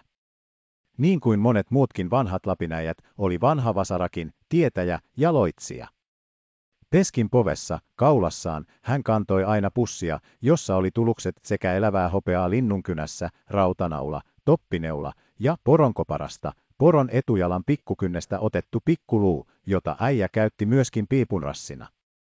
Niitä tarvitsi ukko korttoja karkoittamaan sekä kaikenlaisissa taikatempuissaan. Mutta kun nuotio sattui vingahtamaan taikka siitä piukahti tulipoukko, hypätä käpsäytti äijä suoraa päätä tulen ylitse, että pakenisi se paha, minkä tuloa piukahtaminen ennusti. Joskus vei ukko tovereitaan hautausmaalle katsomaan, kuinka kirkkomaan kansaa nostetaan. Ja kun äijä viittoi kädellään ja supisi jotakin, niin väkeä nousi haudoista niin kuin sääskiä. Näettekö, näettekö, äijä huudahteli ja nosti yhä enemmän. Mutta kun katsojia jo rupesi vistottamaan, viittasi Vasara vain kädellään, jolloin koko kansa vaipui takaisin hautoihinsa. Päissään oli Vasaran Heikki tavaton joikaamaan. Pääsipä hän vähänkään väkevän makuun, niin silloin alkoi juominen ja joikaaminen. Helposti äijä silloin käpsähti ahkionsa ja lähti laukottamaan, ajaen naapuriinkin ja jojaten lasketti monet kerrat ympäri kotaa, ennen kuin pyöräytti pihaan ja astui sisään. Ramppavuollo, uoo. Ramppavuollo, uoo. Äijä useasti hoilasi. Ja sitten taas vaihteeksi joikasi pitkän juotkun. Inarijärven jäällä. Kariselän päällä. Kumputunturin hännässä. Jiesiojärven rannassa. Laulavatpa ne Lapinkin lapset. Heinäperseet heippasevat. Kuotsana, kaatsana velluvaa. Vellun neijun velluvaa. Tuollapa vielä suoppaki. Tuollapa vielä suoppaki. Juopotellessaan äijä tuli joskus kristillisiinkin mielialoihin, jolloin hän itki ja joikasi. Kärsi vaivaa, uoo, uoo. Niin kuin Ristuksen sotamies, uoo. Niin autuaksi tuet. Uoo, uoo, uoo. Eikä vanhan vasaran, vain yksinään tarvinnut juoda ja jojata. Kreetamuori oli siinä yhtä jalo kuin ukkokin. Rikkaan Sarren tytär oli kyllä näykäs eukko vielä vanhanakin, vaikka toinen jalka oli kuivanut koukkuun niin, että piti pitkän kepin varassa köppelehtää. Mutta se ei estänyt eukkoa silti toisinaan jotakuta ryppyä ottamasta, niin että vähän mieli ailahti. Ja silloin Kreetamuori helposti päästeli. Puoras puornanen paarne. Joi joi joi joi joi joo. Vellan neijanen neita. Je je je je je je. Vielä vanhanakin oli Vasaran äijä, jalo sanasankari ja hyvin kälmi kujeilemaan. Sattoi hän ripustaa poronsa kaulaan ison ottingin muka kulkuseksi, heittää rouvot selkään ja sitten lähteä ajelemaan, saattoi hän myös huonon härkänsä liiduta valkeaksi laukkiporoksi ja vaihettaa sen sitten kuutamolla tukkimiehille. Kotatulen ääressä istuttaessa äijä piippua sytyttäessään monesti muka epähuomiossa kärventeli tulivarvulla naapurinsa partaa ja tuhrutti tuletonta päätä piippunysäänsä. Nuorilta miehiltä ukko tiedusteli, tyttäriä tarkoittaen. Olettekos nyt nähneet?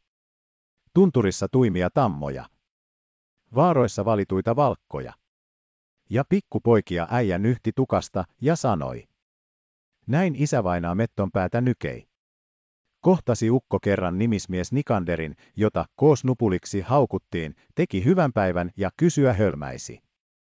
Siekö se olet se koosnupuli? Kuka niin on sanonut? Nimismies ärähti. Na, mie olen kuullut tuolla kylällä kaikkien niin sanovan. Kerran taas seuroissa käpsytteli Vasara kälmeissään pastori Kajanusta puhuttelemaan, paiskasi kättä ja huudahti. Täälläpä se Erkki Väärtikin on. Mikä Erkki? Pastori kummasteli. Na, se Lompolon Erkki. En minä ole Lompolon Erkki, minä olen pastori. Suo, herra pastori, anteeksi. Mie luulin sinua Lompolon Erkkiäjäksi, kun sie olet semmoinen iso röhnä kuin Lompolon Erkkiki. Oli vanha vasara, uskovainenkin. Ainakin hän sen tunnusti kristityille, kun nämä kerran tulivat ukolta uskoa tiedustelemaan. Na, on minulla puolikolmatta uskoa, äijä sanoi. Mitä sie sitten uskot?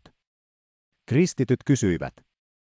Na, mie uskon vaphaasti ja vakhaasti, että Jumala on minut luonut, ja sen mie uskon täydellisesti, että se äiti on minut synnyttänyt, joka minut on imettänytkin, mutta sen mie uskon vain puolittain, että se mies, jota sanotaan minun isäkseni, on minut siittänyt. Ja tässä uskossa vanha vasara kuolikin. Se tapahtui talvisydännä 1878 Sijakkapalon kodalla, miesajoen Latvojen Outamaalla. Salmen Simu, naapurin kotamies, oli tullut alhaalta kolarin markkinoilta, ja sinne Simun luokse lähti yhdeksättäkymmenettään käyvä, sairasteleva Vasaran äijäkin köppäisemään, Lannanmaan tuliaisia saamaan. Saipa ukko matkasanomat kyselyiksi, niin jo pyysi. Anna nyt, poikani, mulle lähtöryyppy. Sai äijä ryypyn. Ojentautui sitten nojalleen kiisaa vasten, pani kätensä ristiin rinnalleen ja sanoi. Hyvästi nyt, poikani. Nyt mie lähen. Na, mihinkäs sie, väärti rakas, nyt sitten lähet? Simu ihmetteli. Na, siihen isoon suothaan, vastasi äijä. Ja siihen vanha vasara, kuoli, päästen haluamansa isoon suothaan, missä uskoi suuren sukunsa häntä jo odottelevan. Vanhan vasaran jälkeen tulivat päävasaroiksi ukon pojat, joiden tehtäväksi nyt tuli uusien vasarain toimittaminen peräpohjan porokaarteille. Äijällä oli kuusi poikaa, Heikki, Niklaavu, Olli, Antti, Johan Petteri ja Kusto sekä kolme tytärtä, Anna-Stiina, Priita-Kaisa ja Kreeta Johanna. Rikkaan poromiehen tyttäret joutuivat kyllä pian naimisiin. Riita Kaisan sai suikin Antti, Kreeta Johanna vietiin Sodankylään Vuojärven Jussalle ja Annastiina meni Kehämatille, pikkumökkiin väylän varrella.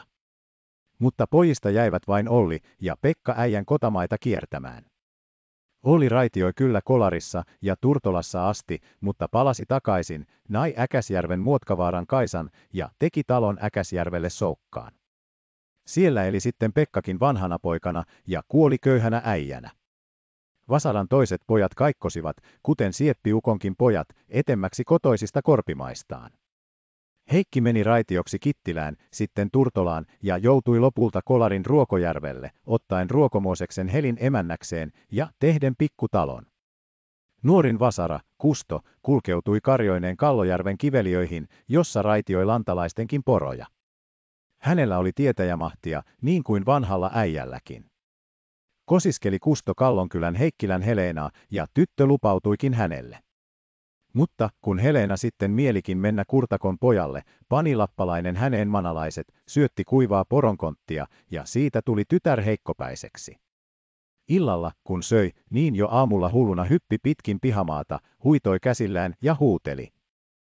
Huh, huh, huh, Juhan Erkki Aapon uudet siivet, huh, huh, huh eikä saattanut Jauhojärvenkään tietäjä päästää tyttöä lappalaisen rikkeistä. Surullisen lopun sai Vasaran kustokin. Toistakymmentä vuotta takaperin kuoli hän tielle Kallojärven kulmilla. Metsätietä alakylään ajaessaan äijä yöpimeissä vaipui ahkioon, pienen koiranpennun vain jäädessä poveen vikisemään.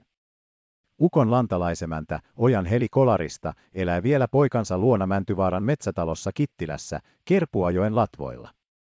Vasaran Antti eleli Kittilän Alakylän miesten pororaitiona ja oli ukolla itselläänkin muutamia satoja sarvipäitä. Eukoksi sai Antti Jääskön Ollin tyttären Alakylästä. Antti oli mainio karhumieskin, ennättäen olla mukana monen kontion kaadossa, ja useasti päästi äijä vain keihällä pedon päiviltä. Mutta vanhana heitti ukko koko porotoimet, rakensi kodan metsään Ounasjoen rannalle, pari neljännestä Alakylän alapuolelle, ja asusteli siinä ypö yksin, pyysi kalaa ja kävi joskus kylässä. Viinalle oli Antti Ukko yhtä ahnas kuin vanha vasarakin, kun hän sai pullon, köpötteli hän kiireesti metsäkodalleen ja pörräsi siellä yksinään niin kauan kuin pullossa hilkkui. Mutta silti oli Ukko uskovainen ja oikea kristitty. Viinaa hän kyllä nimitti perkeleen viljaksi, mutta kun ihminen syöpi ja ihminen juopi, niin saattoi hänkin pyytää, antakaahan nyt sitä viinaperkelettä. Kun äijä sitten vähän humaltui, tuli hän liikutuksiin ja alkoi voimallisesti saarnata ihmisen veriruskeista synneistä ja kalliista lunastuksesta. Vanhana vaarina kuoli ukko Alakylässä kymmenkunta vuotta sitten. Mutta Niklaavu, toinen järjestyksessä vasara, äijän pojista, kierteli Kittilää aina itäisiä ääriä myöten. Hän majaili tokkineen, jossa oli sekä omia että talollisten poroja, milloin Pöntsön seuduilla, milloin Aakenusjärven tienoilla, milloin taas Rouravaaran kankailla, siellä on vieläkin pystyssä suuri petäjä, johon on kaiverrettu Anna-Kaisa Vasara, Niklaavun tyttären nimi, milloin Porkosen tunturimaissa Sodankylän rajoilla. Ja täällä, Porkosen korkeimman huipun, valkoisen isän, juurella päättyi Kittilän kiertäjän elämä. Ukko sairastui ja kuoli Pahtavaaran laitaan suuren petäjän juurelle. Kuolinpaikalle sitten petäjän kylkeen naulattiin risti, johon leikattiin kirjoitus, tässä on Niklaav, Vasara, kuollut 13, p. LOK 6857 risti on vieläkin paikoillaan, ja tunturin juurella on äijän kodan raunio sekä aittojen ja luovien jäännöksiä. Näillä vanhoilla vainajan sijoilla asuu yhä vielä vanha Lapin henki, ja manalaisetkin siellä kummittelevat, sillä niihin paikkoihin, mihin ihminen metsässä on kuollut, jää aina haltioita, jotka sitten monet ajat siinä kuvailevat ja kummittelevat ja kiusaavat muita ihmisiä, niin etteivät ne saa ensinkään rauhaa. Monesti ovat kotapaikalle asettuneet erämiehet saaneet rauhattoman yösiän. Niklaavu oli noutanut eukon aina Ruotsin kaaresuvannosta asti Anna Tomman, joka oli ikivanhaa Lapin sukua. Mutta lantalaisia tuli näiden tuhkalappalaisten pojista, ja tyttäret joutuivat lantalaisten emänniksi Anna-Kaisa Kittilän Toivoselle, Kreeta Kallon keskitaloon. Lyhyt paksu äijä oli Niklaavu ja tavaton syömäri. Kalaretkelläkin ollessaan ukko keitti aina kolme viiden kannun vetoista kalakattilaa, ja sitä myöten kuin kalat valmistuivat, pisteli hän ne peräperää poskeensa. Ollessaan Tilkkuanjärvellä kalassa, poskesi Niklaavu viikon kuluessa semmoisen määrän haukia, että kentälle karttui hevoskuorma ruotoja. Ruotokasa oli niin suuri, ettei äijää juuri näkynytkään, kun hän istui kasan vieressä kalakaaroineen, heittelemässä yhä uusia ruotoja valtavaan varustukseensa. Olikin äijällä maarua, mihin haukea työntää, maha rieppasi ihan polvissa, kun hän kävellä taapersi. Suuri oli suikkienkin suku, jonka jutama-alue ulottui Muonion laaksosta aina Kitisen vesialueelle. Suikkeja nähtiin sekä Muonion ja Kolarin vesialueelle että Kittilän kiveliöissä aina pohjoisilta perukoilta Rovaniemen ja Sodankylän puolelle saakka. Heidän vanhoja asentopaikkojaan on vielä pitkin erämaita. Vanhaa Lapin lähtöä olivat suikitkin, kahta eri haaraa, toinen muonion, toinen Kittilän suikkeja. Lantalaisten pororaitioina he valtavien tuhatlukuisten tokkien kanssa kiertelivät kaikki sydänmaat ristiin, rastiin, ja monella raitiolla oli omiakin poroja satamäärin. Muonion suikkien sanotaan saapuneen Ruotsin puolelta. Vanhimpana suikkina muistetaan vielä vanhaa Olli Pekka Suikin poikaa, joka oli syntynyt 1799. Olli oli pikkuinen mies ja niin kivaääninen, ettei pikkupojalla ääni sen kivempi. Voi pahkilas, kirosi äijä kimakalla äänellä, kun jostakin sattui suutahtamaan. Pääpaikkanaan piti pikkuäijä Pakajärven seutuja, samoillen suurine laumoineen ympäri erämaita aina kangosselkää myöten. Mutta sitten kerran juti ukko yli Kairojen kiriselle ja asettui pokkaan, suikin talopahaseen muka lannan mieheksi, mutta pian hän sieltä palasi takaisin metsäkotaansa ja pysyi edelleenkin vain lapinäijänä. Semmosena ukko kuolikin, sokeana vaarina Pakarovan tuohikodassa kesällä 1876. Pakajärven Salo olikin sitten Suikkien kotoinen erämaa ja syntymäseutu keskellä Suikkien palasta, joka pohjoisessa rajoittui Sieppien ja Vasarain jutama-alueeseen. Täällä oli monet kalaiset metsäjärvet, jäkäläiset kankaat ja korkeat vaarat, Tahkovaara, Valkea vaara, Kiuasselkä ja tunturimainen Kiuaslaki sekä etempänä idän alla, yllästunturista alkaen pohjoiseen kulkeva mahtava tunturien juonto. Täällä jo ikimuistoisina aikoina olivat entiset äijit ja äijien äijitkin asustaneet, kunnioittain ja kummastellen katselleet komea Pakasaivojärveä ja käyneet Pakasaivon takana kankaalla suurta seitapahtaa palvomassa. Oliajan pojat, Pekka, Lassi, Antti ja Feetta, jäivät kotiseutujaan kiertämään. Joka kesä ennen juhannusta saapuivat he kotakuntineen Pakajärven pohjoisrannan kentälle, kalastelivat järvissä räkän aikana, lypsivät poroja ja valoivat sadoittain juustoja. Viisi kotakuntaa oli kentällä, neljä veljesten kotaa ja viidentenä Lassin pojan, Feetan, kömmänä. Kierrettiin sitten taas kiveliöitä ja syksyllä Mikkelin seuduissa, porojen rykimäaikana, palattiin jälleen Pakajärvelle, toimitettiin poroerotus, jonka jälkeen kukin lähti oman elonsa kanssa omille teilleen. Metsien miehinä pysyivät veljekset koko ikänsä, ja omasta heimostaan he etsivät emäntänsäkin. Feetalla oli vaimona Kristiina Junkka Pajalasta, Antilla Vanhan Vasaran, Priita Kaisa sekä Lassilla Rauni Marakat Kaaresuvannosta. Vanha Pekkakin löysi viimein lappalaisensa, nai piikansa, Pekka Labban lesken, Margitin. Pahkilas kyllä. Manaili ukko piikaansa, mutta otti lopulta akakseen. Tunturisukua oli Lassin Reetankin eukko, Inkeri Kitti Pajalasta. Vanhoina ukkoina kuolivat suikin veljekset erämaahansa. Antti väsyi Äkäsjärvelle, Feetta ja Lassi kuolivat Pakajärvelle, ja Pekka pääsi äijiensä luokse Kolarin saarella, Rautiossa 1895. Pekan suureen suottaan meno tapahtui komeasti kuin ainakin oikean vanhan lapinäijän lähtö. Kun ukko oli henkensä huokaissut, alkoi kuulua porokellojen pauke, ensin vain hiljemmin, mutta sitten yhä kovemmin ja kovemmin niin kuin olisi raidolla ajettu pihaan, ja sitten kävi rysäys pirtissä, niin että seinäkellokin helisi, ja outo humaus löi läpi huoneen niin väkevästi, että läsnäolijatkin tunsivat ruumiissaan kovan krokkauksen. Ja taas alkoivat porokellot pihalla poukkua, raito tuntui lähtevän matkaan, ja vähitellen häipyi kellojen ääni kuulumattomiin. Helkytellen ajoi vanha erämaiden kiertäjä ikuiseen lepoonsa. Näihin miehiin loppui muonion suikkien kiertolaiselämä. Heidän jälkeläisensä jo päätyivät asumaan paikoillaan. Fetta teki mökin entiselle kotakentälleen Pakajärvellä, jossa vieläkin muorineen elää, ja toiset hajaantuivat mikä minnekin, Äkäsjärven seuduille, Jierisjärvelle ja Kolarin puolelle. Tyttäretkin joutuivat lannanmiehille emänniksi. Kittilän suikkien erämaana oli Ounasjoen ja Kitisen välinen kaira. Jo vanhaan aikaan oli suikkilaisten kotatantereena ollut Alaselkien seutu.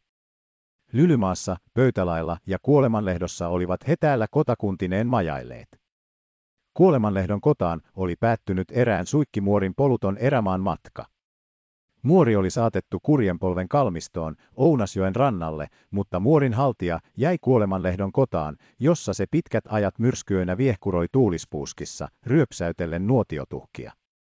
Vanhoja Kittilän suikkeja oli Pekka Äijä, joka raitioi paikkakunnan poromiesten tokkia siihen aikaan, 60-70 vuotta takaperin, kun porojen mailla oli kauhea kaatokesä, jota vieläkin muistellaan. Se oli kamala kesä, oli niin polttavan kuuma, että aurinkokin mähötti taivaalla kuin verilimppu. Hirmuinen helle ja räkkä tappoi poroja niin, että ne tokittain kerrassaan luokona kaatuivat. Mutta jos elukat ennättivät veteen puhkumaan ja rypemään, jäivät ne henkiin. Järveen porot kilvan puhaltautuivatkin, missä vain pääsivät. Aakenustunturistakin kerran suikin raitioima suuri lauma hirveällä rytinällä ampaisi niin kuin patonsa murtanut koski läpi metsän ja rantaryteikön suoraa päätä Aakenusjärveen, jossa se sitten päiväkauden puhalsi ja huohotti. Kesät talvet vanha suikki Pekka kiersi Kittilää. Äijän porokaarteita, nilien ja luovien jätteitä nähdään vielä Kerolain laidassa Sirkan takana, Kullirovassa Rastin ja Vesmajärven välisellä salolla sekä Saattoporassa, Hirvaslain rinteellä, Kumputunturin tienoilla. Koko elämänsä oli Pekka Äijäkin oikea Lapinmies, uskollinen porojen paimen. Mutta jälkipolvi jo luopui äijän tavoista. Muuan tytär, Priitamaija, meni kuitenkin eukoksi vanhalle Kariniemen Jussalle, korteäijälle, joka, niin lannanmies kuin olikin, eli kuin lappalainen, vei Priitamaijansa Kuusajärvelle Korteniemen pirrikotaan, ja siellä hänen kanssaan asua tuhrusteli kesät talvet, kalasteli ja sai puolikymmentä pientä kortenniemeläistä kotakentälle teutaroimaan. Mutta isoiksi tultuaan Pirrikodan kasvatit lähtivät metsäpesästään, mikä välitalon leskelle mieheksi, mikä uuden talon emännäksi, mikä uuden putaan vanhan tuomaan vaimoksi. Joitakuita suikkeja asui aikoinaan Rovaniemelläkin, muuankin, 50-60 vuotta takaperin kuollut ukko, kuljeskeli Tokkineen Tapionkylän takamailla ja jätti jälkeläisiä mökkiin Meltausjoen varrelle. Rovaniemeltä taas lähti 70-80 vuotta sitten Antti Suikki Kittilään, nousi pohjoisille äärille aina Pokkaan asti, johon Lesken Pekkaraukka, rikas lappalainen, 3000, hän poron omistaja, Pokkasukua, oli häätynyt mökkiläiseksi ja lehmänhoitajaksi, kun suuri pororutto hävitti koko karjan ja teki miehestä melkein kerjäläisen. Antti Suikki nai Pokan tyttären, Sohjan, teki naapuriksi Suikin mökin, myi sen sitten Muonion oli Suikille ja otti akkansa kotimökin haltuunsa. Ja täältä, Kittilän karusta perukasta, rupesi taas tulemaan uutta Suikin sukua. Vanha Antti, kuulu haippa, raitioi erämaassaan sekä lantalaisten että lappalaisten poroja, menetellen monesti niinkin, että joutui monta kertaa oikeudenkin kanssa tekemisiin. Jälkipolvi sitten jo aivan lantalaistui ja muuttui sekarotuiseksi. Pokan Pekka, Antin poika, elää vielä Pokassa 70-vuotiaana käppelänä ukkona. Vanhaa Lapin sukua oli Nuttikin, vaikka sitä vain, nuin vähän, olikin liikkeellä. Suomen puolen tunturiseuduissa Enontekijön Lainio, Romma ja Peltovuomassa eleli 1700-luvun alkupuolella nuttilähtöistä Anttia, Marttia, Jussaa ja Jounia, sitten Anttia, Ollia, Joopia ja Jounia. Muuan nutti, Antti Ollinpoika, painui Muonion poropaimeneksi ja nai rikkaan Anundi Sarren Kaisan, kulki raitiona Turtolaa ja Ylitorniota myöten ja tekaisi talonkin Muonion Tiurajärvelle.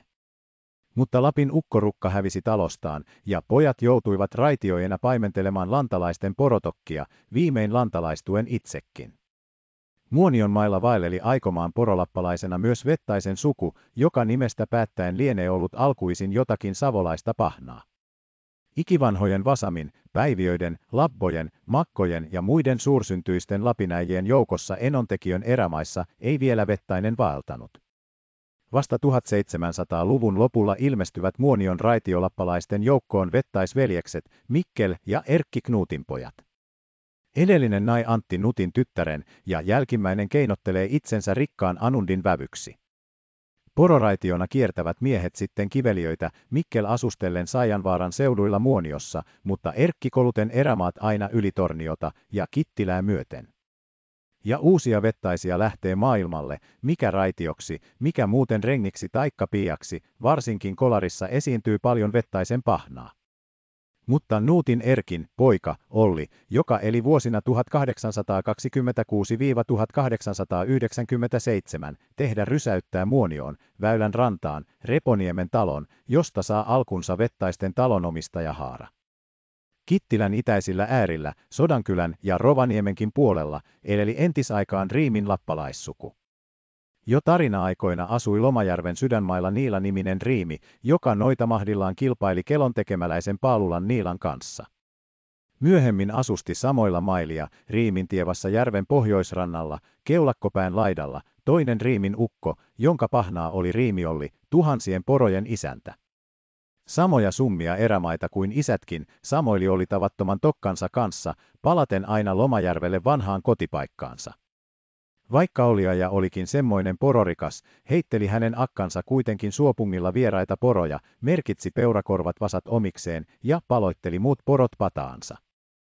Ukko oli kyllä niin pyhä, ettei saattanut syödäkään varastettua lihaa, vaikka sitä varkain keitettiinkin, mutta lopulta itse pyhäukkokin lankesi, söi lihaa ja joutui viimein kruunun leipiin akkansakin puolesta. Kahdeksan tytärtä ja yhden ollipojan sanotaan riimiukon pahnasta lähteneen. Poika joutui lantalaisten poropaimeneksi kolariin ja sodankylään, ja rikkaat tyttäret kelpasivat kyllä lannan miehillekin.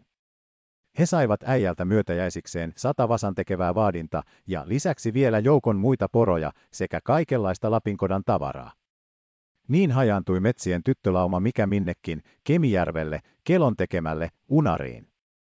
Mutta lapsena jalkansa paleluttanut, puujalalla kolkkaava Riimin Elli jäi omaksi, asuen, jalkapuoliellinä, Sodankylässä ja vielä vanhanakin muistellen. Hehei, Lomajärven maassa olen mie syntynyt. Rovaniemellekin kulkeutui entisaikaan muuan riimi, kierrellen porokarjoineen pohjoisesta Kemijärven javarukseen, siirtyen sieltä Majavaan ja viimein Rovaniemen Ylinampajärven takamaille. Tämä riimiukko oli onnistunut saamaan eukokseen papin tyttären, joka oli niin korkea lähtöä, jotta aatelissukua. Ja toimekas lapinakka korkealähtöisestä tyttärestä tulikin. Äijänsä kuoleman jälkeen hän vävyineen, Ylinamman Matti oli nainut Anna-Maijan ja Perunkajärven Kulppiaapo Kaijan, raitioi tuhatpäistä tokkaansa kesät talvet metsiä kierrellen, vasoitti ja lypsi poroja ja puserteli juustoja, pari tuhattakin syksyn kuluessa. Viilipeurojakin, joita silloin vielä kiveliöissä liikkui, muori joskus heitteli kiinni, hiipien kesyn poron varjossa lähelle ja sitten kärhäyttäen suopungin villiporon kaulaan. Mutta kerran poronvasoituksessa jouttipalolla kevätsulilla muori vilustui, ajettiin ahkiolla kipeänä kotiin ja kuoli jo seuraavana päivänä. Siitä on kulunut jo noin 70 vuotta. Kierteli sitten vielä siellä täällä joitakuita lappalaisraitioita, jotka eivät olleet niin laajaa lähtöä kuin edelliset eivätkä jättäneet jälkeensä niin suurta pahnaa. Toiset tulivat tänne yksinäisinä tuntureistaan, vaeltelivat metsiä ja sitten taas hävisivät jäljettömiin. Niitä oli kolarissa elänyt Kofelon Lassiukko, Kohvin Lassi, suuri karhuntappaja, joka aina karhun kaadettuaan teki mustan pojan makkaraa, niitä olivat Turtolan jaukkaäijät, Pekka, Mikkeli ja Antti, niitä myöskin naisun äijä, joka tuli Ruotsin Lapista, tälle puolen ja raitioi jonkun aikaa kolarilaisten poroja. Vanhoja Lapin raitioita oli Kissakaijakin, Priita-Kaisa Kissa, joka viime vuosisadan alkupuoliskolla 1821 muutti Pajalasta Kolariin. Elämänikänsä eleli eukkometsässä Pirrikodassa Sieppijärven eteläpuolisilla sydänmailla, ensin renkinsä, löytty Heikin, kanssa, kunnes meni emännäksi lappalaiselle Olli Kurvanderille. Mutta sitten jäi Kaisa yksinään metsäkotaansa, ja vielä vanhanakin, kun ei enää jaksanut porojen perässä juoksennella, eli vain metsissä, kelasi juuri köyttä ja kutoi juuri vakkoja, kulkien niitä kylillä kaupittelemassa ja taas kadoten kiveliönsä. Kaisa kuoli kolarissa noin 50-60 V takaperin ja haudattiin Sieppijärven kalmistoon. Aitolappalainen oli Kaaresuvannosta tullut Ungan Pietikin, joka eli viime vuosisadan loppupuoliskolla kolarissa poromiehenä. Satoja poroja oli Pietillä itselläänkin ja satoja lantalaisporoja paimennettavina, ja suuren tuhantisen tokkansa kanssa äijä kierteli alituisesti Pasma, Kontta, Ruuhi ja Raanujärven välisiä sydänmaita. Ukko teki jo pikku Pirtinkin Näläntöjärvelle, mutta asusteli silti kuitenkin porojensa matkassa metsäkodassa. Pieti oli totinen kristitty ja taitava porojenhoitaja. Muutamissa vuosissa hän sai palkisensa pari, kolmisataisen poromäärän nousemaan yhtä moneen tuhanteen. Poromiehenä Pieti kuolikin yli 20 vuotta sitten. Ja Ukon poika, Antti Unga, vaeltaa vielä isänsä jälkiä, hoitelee 70 poroparttiotansa kolarin kiveliöissä ja asustaa sen matkassa joskus metsäkodallakin. Ukko onkin enää ainoa aitolappalainen, joka täällä alhaalla, vanhojen lappalaisten perintömailla, vielä elää isien tavalla. Erämaista olivat Lapin pororaitiot tulleet, erämaissa monet elivät koko ikänsä ja usean päivät päättyivät kiveliön kotaan. Omia porojakin oli miltei joka raitiolla, mutta suurin osa paimennettavasta karjasta oli lannanmiehen omaisuutta, jota lapinukko hoiteli palkkapaimenena. Kruunun päältä sai raitio tavallisesti vuosipalkkaa niin, että tuhatmääräisen tokan pari paimenta saattoi ansaita 500 kruunuisen vuodessa. Mutta siitä maksusta piti raitioiden korvata porojen lantalaisten heinämaille ja sauroille tekemät vahingot. Lisäksi saivat paimenet taloista niestajuuston, lehmänmaidosta tehdyn eväsjuuston sekä kuovat ja vanttuut. Joskus sai paimen isoista porotaloista niestaa leiviskän voita, tynnyrin jauhoja sekä leiviskän kahvia ja sokeria kesäiväikseen. Kesäisin raitiot lypsivät laumaansa ja tekivät juustoja. Mutta juuston jokaisesta lypsävästä vaatimesta vei paimen mettän lahjana isännälleen. Loput hän sai syödä taikka myydä omiksi hyvikseen. Kymmenen leiviskääkin kokoontui tuhatkuntaisesta tokasta kesäjuustoa, ja juustonaulasta maksettiin kruunu. Vanhaan tapaansa Lapin miehet myös kuivasivat poronmaitoa poron vatsalaukussa, taikka metson ja koppelon kuvuissa. Maidon sekaan he panivat vedessä keitettyä juomukaalia, joskus ruotukan lehtiäkin. Muikeaan juomuruohoonsa oli lappalainen niin opastunut, että hän kylvi sitä keväisin porokaarteeseensa lypsyajan varaksi. Syksyisin keräsivät poromiehet maitoa isoihin pitkäkäisiin ankkoihin ja upottivat ne suliin kaltioihin, joissa saivat olla koko talven. Keväällä maidottomana aikana kaivettiin astia hangen alta esiin, ja paksu puuromainen maito oli mainiota kahvinhöystettä. Joskus pistäytyivät metsien miehet kylässä poroisäntien luona, ja hyvin heitä taloissa kohdeltiin. Hyvin kohtelivat kodan asukkaat lantalaisiakin, kun he tulivat vieraisille metsäkodalle, Lapinkylään, joksi lappalaisten asentopaikkaa sanottiin, vaikka se olisi ollut vain yksinäinen kotakin. Jos sattui olemaan juuston tekoaika, syötti kotakansa, väärteilleen, rasvaiset juustot, juotti juustoherrat, missut, antoi väkevää klapattua maitoakin, joka oli suuta myöten makeaa. Kuivattua poronlihaa, kuuta ja kieltäkin hän nouti aitastaan. Vielä eväiksi ja tuomisiksi työnsi vieraanvarainen metsänmies väärtilleen juustoa ja lihaa. Se oli sitä vanhaa hyvää aikaa, jolloin porolappi sai vielä vapaasti vaeltaa metsissään ja jolloin porokarjoilla oli suurilla kairoilla yltäkyllin maata ja laidunta. Ja voi sitä rikkautta, mikä silloin oli kiveliöiden kansalla. Silloin oli poroja niin paljon, että metsät vilisivät, ja lihaa oli kyllä ja rahaakin, millä ostaa. Lihava lahtiruho maksoi vain 10-20 kruunua, ja kolmella topalla sai hyvät lapinkengät. Mutta kun porottomat lantalaiset lisääntyivät ja tuppausivat jokaiseen kiveliön kolkkaankin, niin he rupesivat kaikkia hallitsemaan ja poromiehiä komentelemaan ja ahdistelemaan, ja siitä kävi elämä niin ahtaaksi, että porotkin viimein loppuivat. Mutta porojen mukana katosi kaikki rikkauskin, ruoka loppui ja loppui rahakin, kun porot ja lappalaiset hävisivät metsistä. Oikein haikeana on monen vanhan poromiehen mieli muistellessa mennyttä aikaa. Mutta se aika on mennyt palaamatta koskaan takaisin, vaikka vanhat sitä kuinka hartaasti kaipaisivat. Muinaiset porokaarteet ovat lahoneet metsiin, sinne ovat entiset kodatkin rysähtäneet, ja vanhoja kotasioja löytyy miltei jokaiselta tievalta ja kangasmaalta, kun vain rupeaa sammalta ja turvetta kuokkimaan pois. Ja niiden mukana on peräpohjan viimeinen porolappikin hävinnyt. Tuulisten tunturien ja avarain erämaiden vapaa kiertolainen on vaipunut turpeen alle tai joutunut lopulta elämään ahtaassa hirsihuoneessa. Tuhatlukuista villiä metsänkarjaa raitioinut paimentolainen on häätynyt hoitamaan tyhmiä ja hitaita lannanelukoita.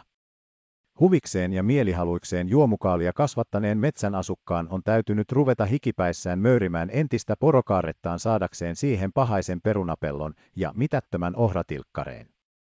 Lapin kodalla. Olet lähtenyt etsimään peräpohjasta kadonnutta kotalappia, poroja paimentavia vasara, äijiä ja suikkiukkoja. Olet saanut jättää taaksesi kittilät ja kolarit, muoniotkin, ja nousta tunturien tuolle puolen hettaan asti Enontekijön kirkolle, etkä ole tavannut ainoatakaan porovasaraa, saat jättää vielä hetankin selkäsi taakse ja painua poluttomiin erämaihin yhä vain pohjoisia tunturiseutuja kohden. Sillä vanha entisaikainen porolappi elää enää vain perimmän Lapin laidinmaisilla seuduilla. Tuhkalappalaisen valtakunta on siirtynyt kaukaisimpiin erämaihin, sinne, missä mahtavat tunturit kiertävät ympäri taivaanrannan, missä kesäpäivä kuukausittain yhtä päätä pysytteleeksen näköpiirin yläpuolella, ja missä talvella taas on melkein päättymätön yö. Kotalappalaisen kotimaana ovat kaikki tunturit, hänen kietkamensa kiikkuu siellä, missä ei enää kuusi viihdy, eikä vähän tyytyväinen petäjäkään saata kasvaa, missä vain vaivaisen varpumatalana hiipii maata pitkin ja itsepintainen koivu koettaa käkkyräisenä pitää puoliansa taistellessaan armotonta luontoa vastaan. Samoin kuin pieni lappalainen, sen kohtalotoveri, joka väkevämpien armotta riistäessä parhaimmat kappaleet on saanut osakseen kaikkein karuimmat seudut, mitkä eivät ole muille kelvanneet, sekin koettaa pysytteleitä kiinni viimeisessä tähteessä, jonka on saanut turvakseen ja kotoiseksi konnukseen. Kovin pieniksi on jo supistunut Suomen porolappalaisten joukko, joka vielä vanhaan tapaansa elää erämaan ikuisena kiertolaisena. Inarista on kotalappalainen jo melkein kadonnut, eikä ole porokarjan kanssa kiertäjiä enää monta Utsioellakaan, vain Enontekiön mahtava tunturiseutu on jäänyt Porolapin asuinmaaksi. Se on kuin mikäkin lappalainen ulkomuseo, jossa vielä saa nähdä vuosisatain takaista Lapin elämää entisessä alkuperäisyydessään. Ei ole suuri enää Enontekijönkään kotakansan suku. Pöyrisjärven tunturiseudussa, Norjan rajoilla, asustaa kesäkautensa kymmenisen kotakuntaa Näkkäläjärviä, Prokseja, Makkoja ja Suuren Porojärven sekä Kilpisjaurin ympäristöillä, Haldiin eteläpuolisissa loppumatomissa tunturimaissa, majailee toistakymmentä kotajoukkoa Kalttopäätä, Labbaa, Valkeapäätä, Vasaraa, Palojärveä, Juusoa ja Tornensista. Erämaan kiertäjien koko sukukunta käsittää kaikkiaan noin 120 henkeä. Kolme, neljä pitkää erämaapenikulmaa yli tunturien ja jänkien saat taivaltaa päästäksesi Hetan kirkolta Kotalappiin. Saat välillä levähtää peninkulma petäjällä, johon jo 1700-luvun matkamiehet ovat nimimerkkejänsä ja vuosilukuja kaiverrelleet, sekä Kaijanmaan autiotuvalla, jossa synkkinä syksyöinä haltijat mökkäävät, saat sivuuttaa kauniin Näkkäläjärven komeine seitakivineen ja Lapin, taloineen, saat jättää viimeiset petäjätkin, jotka autioilla tievoilla yksinäisinä ja orpoina kyhjöttävät. Metsä loppuu jo ennen näkkälää ja alkaa autio, puuton tunturimaa, joka aukeaa eteen kuin äärettömyys. Tämän rannattoman tunturimeren ulappaa kiertelee Näkkälän poromiesten sukukunta. On siellä pienen Raaskaltiojärven rantamalla vaalean harmaa keila, joka näkyy jo kauas rantatievoille. Keilan mustasta huipusta kohoaa sinertävä savusuitsu, josta arvaat sen ihmisasunnoksi, sillä savu on ihmisen tunnus ja asentopaikan merkki erämaassa vielä varmemmin kuin muualla. Mistä savu kohoaa, siellä on aina tuli ja tavallisesti tulentekijäkin. Harmaa keila on Näkkälän Jussan asuntolouvekota, jossa ukko perheineen majailee viettäessään karjoineen kesäsydäntä raskaltiolla. Äkäinen on kodalla vastaanotto, kun vieras sinne rantajängän mutahautoja kierrellen, kaarellen saapuu. Kymmeninen koiralauma ryöpsähtää rähisten vastaan ja haukkuu ikenet irvissä, niskakarvat porhossa, vieraalle vihaiset tervehdyksensä. Kohta kotakin työntää ilmoille kummastuneen joukon suurta ja pientä väkeä, vääräsääristä, kapeanilkkaisia, nahkahousuisia lintukotolaisia, joiden kirjotakit, punapaulat ja punaiset lakit iloisesti vilkahtelevat ruskeassa ympäristössä sekä kodan harmaata seinää vastaan. Niin harvoin tämän aution erämaan asukas näkee vertaisiankin vieraita, että heitä kyllä kannattaa käydä koko kotaväen katsomassa. Vielä harvemmin saa tunturimaan asukas nähdä lannan reisantteja. Ne ovat jo niin merkillisiä vieraita, että heistä voi vaikka jojatakin. Lantalaiset, nun nun nunnu. Nun nunu nun nun nun nun nunnu. Kävelevät, nun nun nunnu. Nun nunu nun nun nun nun nunnu. Tuntureita, nun nun nunnu. Nun nunu nun nun nun nun nunnu. Ylös ja alas, nun nun nunnu. Nun nunu nun nun nun nun nunnu. Saattaa kuulla jonkun joikaa ja äijän heistä runoilevan. Eikä erämaan suurta kesäistä rauhaa häiritse mikään muukaan kulkija. Tunturien petoeläimet ovat silloin piiloissaan, vain arkajänis käpsähtelee käkkyräkoivikossa, ruskea riekko juoksentelee vaivaisvarpujen suojassa, tunturilla lentelee kirjava pissihaukka, järvessä pulikoivat vesilinnut ja jängällä suuri kahlaajain joukko. Mutta ne kaikki ovat samaa tunturikansaa kuin kotaväkikin. Ne on luotu kaikki tähän samaan ruskeaan ympäristöön ja jokaisella on oma tehtävänsä, asuma-alansa ja majapaikkansa. Lappalaisen majapaikkana on tämä rantakuivikko ja pesänä tuo harmaamatala keila, josta eläjät, niin kuin muutkin metsäpesän oliot, kummissaan ilmestyvät kurkistelemaan rauhanhäiritsijää. Metsänväen arka, hiukan pelästynyt ja kysyvä ilme esiintyy kotakansankin kasvoilla, kun outo vieras astuu hänen majalleen. Sillä ei hän voi arvata, mikä lienee vieraan matkamiehen tarkoituksena. Tämän tietäen lappalaisopas kotaa lähestyttäessä useasti jo etukäteen rientää viemään tietoa matkamiehen tulosta. Jos pörrökarvaisten penikkain vastaanotto onkin tavallista äkäisempi, on kotaväen kohtelu sitä mieluisempaa. Lappia ja Suomea he latelevat sekaisin, Ruijan tunturikodasta tuotu emäntä ei juuri muuta osaakaan kuin omaa saamekieltään, ja pieneen majaansa he vievät vieraansa. ei ole erämaan kansan koti juuri vieraita varten varattu enempää kuin muidenkaan metsän asukasten asunnot. Se on aiottu vain oman väen olosiaksi, ja hyvässä sovussa saa sekin siinä pysytellä, ahtautuen vieri viereen kyköttämään kuin ainakin pennut pesäänsä. Sillä asunto on varsin ahdas, kotapermantona on vain kolmi, nelimetrinen maapalanen, ja korkeutta on niin paljon, että ainoastaan keskellä, räppänäaukon kohdalla, suommuoran alla, saattaa kodan päämies seisoa suorana. Käyrien pielipuiden ja kotariukujen varaan pingoitettu vaateloude sulkee suojaansa pienen lappalaismaailman, eristäen sen ulkoilmasta. Savulla se on vain koristettu ja kirjavoitu, ja ainoana tauluna on räppänäaukosta näkyvä palanen sinistä taivasta. Mutta tämä maja on porolappalaisten koti, ja sen suojassa on hänen kotoinen lietensä. Keskellä kotapermantoa on seitsemällä kivellä ympäröity tulisia, jonka mieluinen loimo lämmittää ympärillä olioita. Maapermannolla, joka on peitetty koivunrisuilla, porontaljoilla ja ruijanraanuilla, vain istutaan tai lojotaan kahden puolen tuulta. On siinä vielä sikinsokin kaikenlaista talon tarvekapinetta, keittoastioita, kahvikaluja, kiisoja, laukkuja ja ruokatarpeita, jauhopusseja ja maitovatsapalloja, kaikki vain permannolla ovipuolessa taikka peräosassa, poassossa. Tässä kotaväki nukkuu yönsä, lepäilee päivälläkin, tässä syö liha ja kalakeittonsa sekä särpää mustan kahvinsa, tässä askartelee tupatyönsä, ompelukset, kudonnat ja puukkotyöt. Kiisoille taikka taljavuoteelle hän istuttaa vieraansakin ja tarjoaa hänelle kotansa parhaita, sillä sitä lintu linnulle, mitä linulla itselläänkin. Emäntä keittää rasvaa tiukkuvia Tunturijärven siikoja, joita yhteisestä kaarasta pistellään sormin ja kastetaan samaan rasvakuppiin, tarjoaa ulkona kevätahavissa kuivattua poronlihaa ja viimeksi pyöräyttää väkevän kahvin, johon kermaksi sekoitetaan poron vatsalaukussa kuivattua hapanta poronmaitoa. Hyvä on tunturikodan kestitys, hyvästä sydämestä tarjottu ja mielihyvällä otettu vastaan.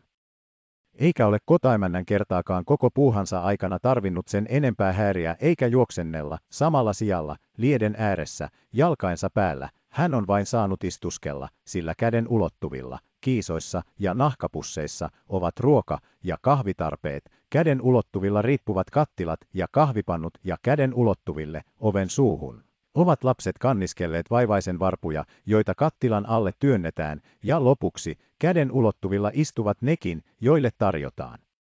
Jos asunto on ahdas, niin sitä enemmän on tilaa ulkona. Koko rantakenttä kivineen ja mättäineen on samaa kotia kodan kanssa. Aurinkoisena päivänä saattaa lappalainen istua työskentelemässä siinä yhtä hyvin kuin kodassakin. Kenttä onkin työmaan näköinen.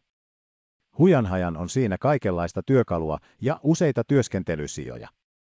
Siinä on puiden pilkkomispaikka, siinä parkkipadat ja roukauskattilat, siinä leivänpaistamisuunikin paljaan taivaan alla, siinä kirveskalsua, kuokkapahasta ja lapionraakkia, puukkoa, vasaraa, höylää ja tahkontapaista, kauhaa ja kaukaloa. Ja joukossa pitkin kenttää nähdään kumollaan, syrjällään ja kohdallaan ahkioita ja porokelkkoja, jopa kottakärrytkin. Kivillä ja kantojen nenissä roikkuu joitakuita takkikuluja sekä muuan karvaton kinnipeski. Kentän pohjoisreunassa on parin koivunhaariikan ja korvakkojen varassa lyövi, katos ja telineistö, jossa nähdään yhtä ja toista kotaväen tarvekalua, kenkäheinäkääröjä, tervaastia, kantosatulaa, laukkua, poronlänkiä, puntaria. Lyövin katon suojassa säilytetään kuivattu poronlihavarastokin ja koivunoksalla riippuu pari kuivattua poron verimahaa.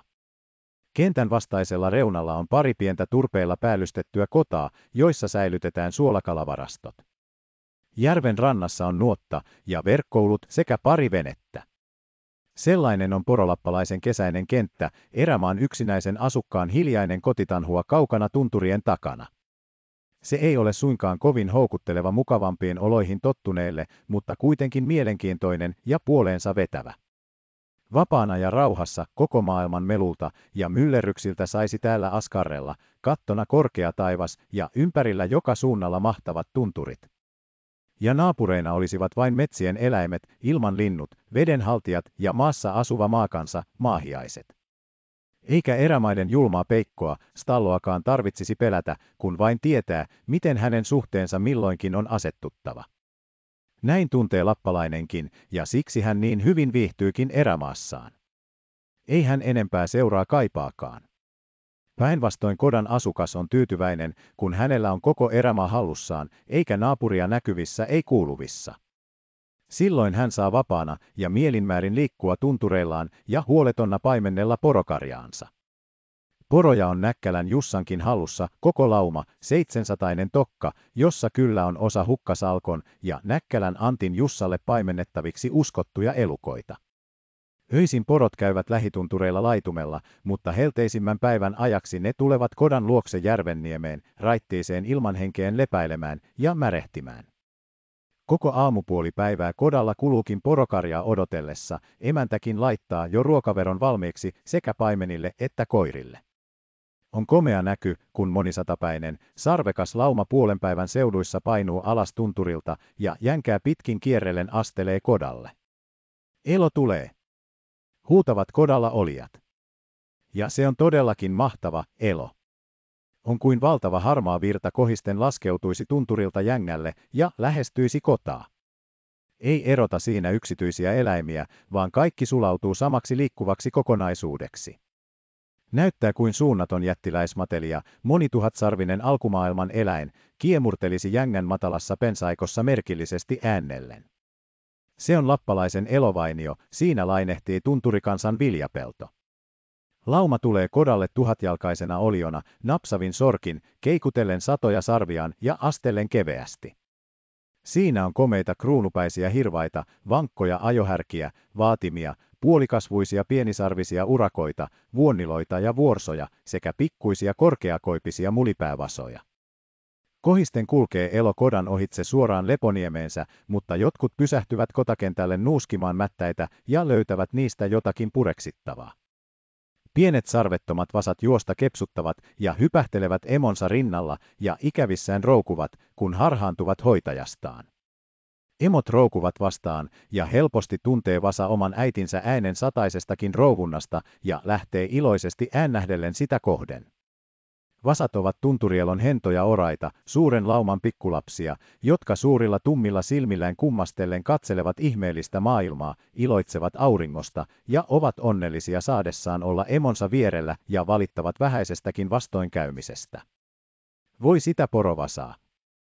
Kun se rouvuskelee. Nun nun nun nu. Voi sitä ruohovasikkaa. Kun se rouvuskelee.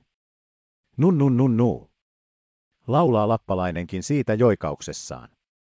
Lauman perässä astelee koirineen kaksi raitiota, kotapoika, 13-vuotias Antti ja kodan renki Juunas Kelottijärvi. Koko yökauden he ovat porojen kintereillä kierrelleet erämaita ja koirineen huolehtineet, että tokka pysyisi koossa. Nälissään ovat paimenpojat, nälissään heitä seuranneet koiranressukatkin. Raitiot käyvät kotaan suurustamaan, mutta koirille tarjoaa kotaimäntä aterian ulkona kentällä. Siihen kokoontuu talon koko halliväki, kymmenkunta karvaista koirankuonolaista, pennoa, naattua, tsikkaa, salmua, tilkkua, murjua, lumpua, kuolehvia ja parimustia, joille emäntä ammentaa kattilasta vartavasten keittämäänsä veriveliä suureen kaukaloon. On siinä silloin ruokaruotsi ja syömäsaksa murkinalla ja käy aika äkäinen elämä, murina ja lotkiminen, kun tämä kansa aterioitsee. Ei siinä siunata eikä myöskään kiitellä, vaan latkitaan, minkä ennätetään, pannaan lopuksi toimeen pikkutappelun nujakkakin ja sitten huulia nuoleskellen heittäydytään kentälle ettoneille. Astuskelee pari karvakoipea ylpeänä kotaankin, vönkii yli emännän kahvitarjoilun ja heittäytyy kylläisenä isännän makuutilalle. Mutta taitava porokoira on kotalappalaisen kaikki kaikessa, paljon suurempiarvoinen kuin huono mies. Sillä koira on porolauman oikea paimentaja ja kurissa pitäjä. Ilman nopsajalkaista, avosuista, äreätä rakkiansa ei poromies saattaisi pitää villiä karjaansa koossa. Niemen äärimmäiseen kärkeen vetäytyy koko porolauma. Siellä se veden ja tuulen hengessä lepäilee polttavimman päiväsydämen rauhassa kiusallisilta Lapin syöpäläisiltä, jotka vilpas tuuli ajaa tiehensä. Syöpäläistä, räkkää, onkin helteisinä päivinä jängillä, vuomilla ja matalilla mailla poroparan ja kaiken elävän olennon kimpussa, miltei henkimenoksi. On mitä monenlaisinta tihulaista, sääskeä ja parmaa, saulakantekijää ja kurmuntekijää eli pottaposkaa. Varsinkin vaaleat porot saavat räkästä kovin kärsiä, sillä niiden kimppuun osaavat kaikki paholaiset, ja pienet heikot vasat monesti sortuvat ja kuolevat erämaahan syöpäläisten ylenmäärin kiusaamina. Mutta on räkästä hyötyäkin porokarjan paimenelle. Kiusaajain ahdistamana porolauma laukkaa vuomilta ja jängiltä ylös viileille tuntureille ja pysyy siellä paremmin yhdessä koossa. Räkkää pakoon Näkkälän Jussankin tokka, joka päivä vaeltaa Raskaltion niemelle. Tätä tihulaisten ansiopuolta muistelee lappalainen jojatessaan. Sääski ajaa porot tunturiin. Vuomista pois porot ajaa kokoon. Ei porojen kanssa tulisi toimeen. Jos ei sääskiä olisi. Se on pikku elävä. Mutta kyllä sen edessä elo pakenee. Mutta pieniä peurakorvaisia vasoja odottaa kova kohtalo. Käy niemelle mies suopunkeineen, heittää vasan toisensa jälkeen kiinni, keikauttaa maahan, istuu päälle ja suurella puukolla leikkaa korviin veriset merkkinsä. Vasa, parka roukuu ja kimpuroi ja vipattaa vainottuja korviaan, mutta säälimätön suurpuukko sivaltaa kappaleen korvasta, palase toisesta, lisäksi vielä puraisee reunoihin pikkupykäliä ja halkoimia, jonka jälkeen vasta laskee elukan irti. Sukkelasti ponnahtaa vasa pystyyn ja roukuen ja verisiä korviaan puistellen juoksee etsimään emoansa. Mutta nyt on pikku elukka otettu muun karjan yhteyteen ja omistajan merkkeihin, eikä ole enää kenen tahansa, porovarkaan, kähvellettävänä. Tämän seurakuntaan ottamisen ovat kaikki porot saaneet elämässään kokea. Jokainen sekä iso että pieni sarvipää on korvarikkoinen, saman isännän porot samalla tavalla. Joka poromiehellä on oma merkkinsä, ja kun on satoja poromiehiä, pitää olla satoja erilaisia merkkejäkin. Niitä saa poromies sivaltamalla poron korviin erilaisia leikkauksia, sanoja, eri asentoihin. Leikkauksia on hyvin monenlaisia, on poikkikorvaa, vitaa, haaraa ja halkoa, pykälää, pisteitä ja reikää, vuoluhankaa, pistohankaa, vastahankaa ja rappuhankaa, lumppiota, linnun varvasta, kengänilttiä, suovankantaa, salvosta ja vintintolppaa, svatnaa ja kieskaa. Niin on esimerkiksi vanhan kuulun porolappalaisen Matti Pongun poromerkki seuraava, oikeassa hanka päällä, pykälä alla ja päällä, vasemman nokka poikki, päällä pistohanka, reikä ja siitä hankaan halki. Ja Enontekijön rikkaimman poromiehen 1921 kuolleen Isko Näkkäläjärven merkki oli oikea poikki, pykälä päällä ja kaksi pisteltä alla, vasemmassa hanka päällä ja siinä pistel. Vanhat lapinäjät entisaikaan ottivat talteen vasan korvista leikatut merkkipalaset, pujottelivat ne rihmaan ja piilottivat kiven alle erämaahan niille seuduille, missä porot enimmin palkivat. Silloin porot pysyivät paremmin niillä mailla, erämaahan kätketyt osaset niitä sinne vetivät ja siellä pitelivät. Iltapuoleen asti viipyvät porot Leponiemellään. Sillä aikaa toiset paimenet, toinen renki ja palvelustyttö, Proksin Elle, koirineen varustautuvat vuorostaan seuraavaksi yöksi raitioimaan. Heinillä täytetyt kengät pauloitetaan jalkoihin, hartioille vetäistään harmaa sarkakaapu, luhka ja suopunkivyyhti heitetään yli olan, evästäkin varataan reppuun. Koiransa kaulaan nauhoittaa renki ison puukalkareen, koira, kun muuten olisi liian kova poroja laukoittamaan. Näkyy piski kyllä tottuneen mokomaan kaulakellukkaansa, kantaen sitä tyytyväisenä kuin ainakin asiaan kuuluvaa virkamerkkiä. Näin kaikin valmiina odotetaan porojen lähtemistä, sillä tokka saa itse ratkaista sen asian.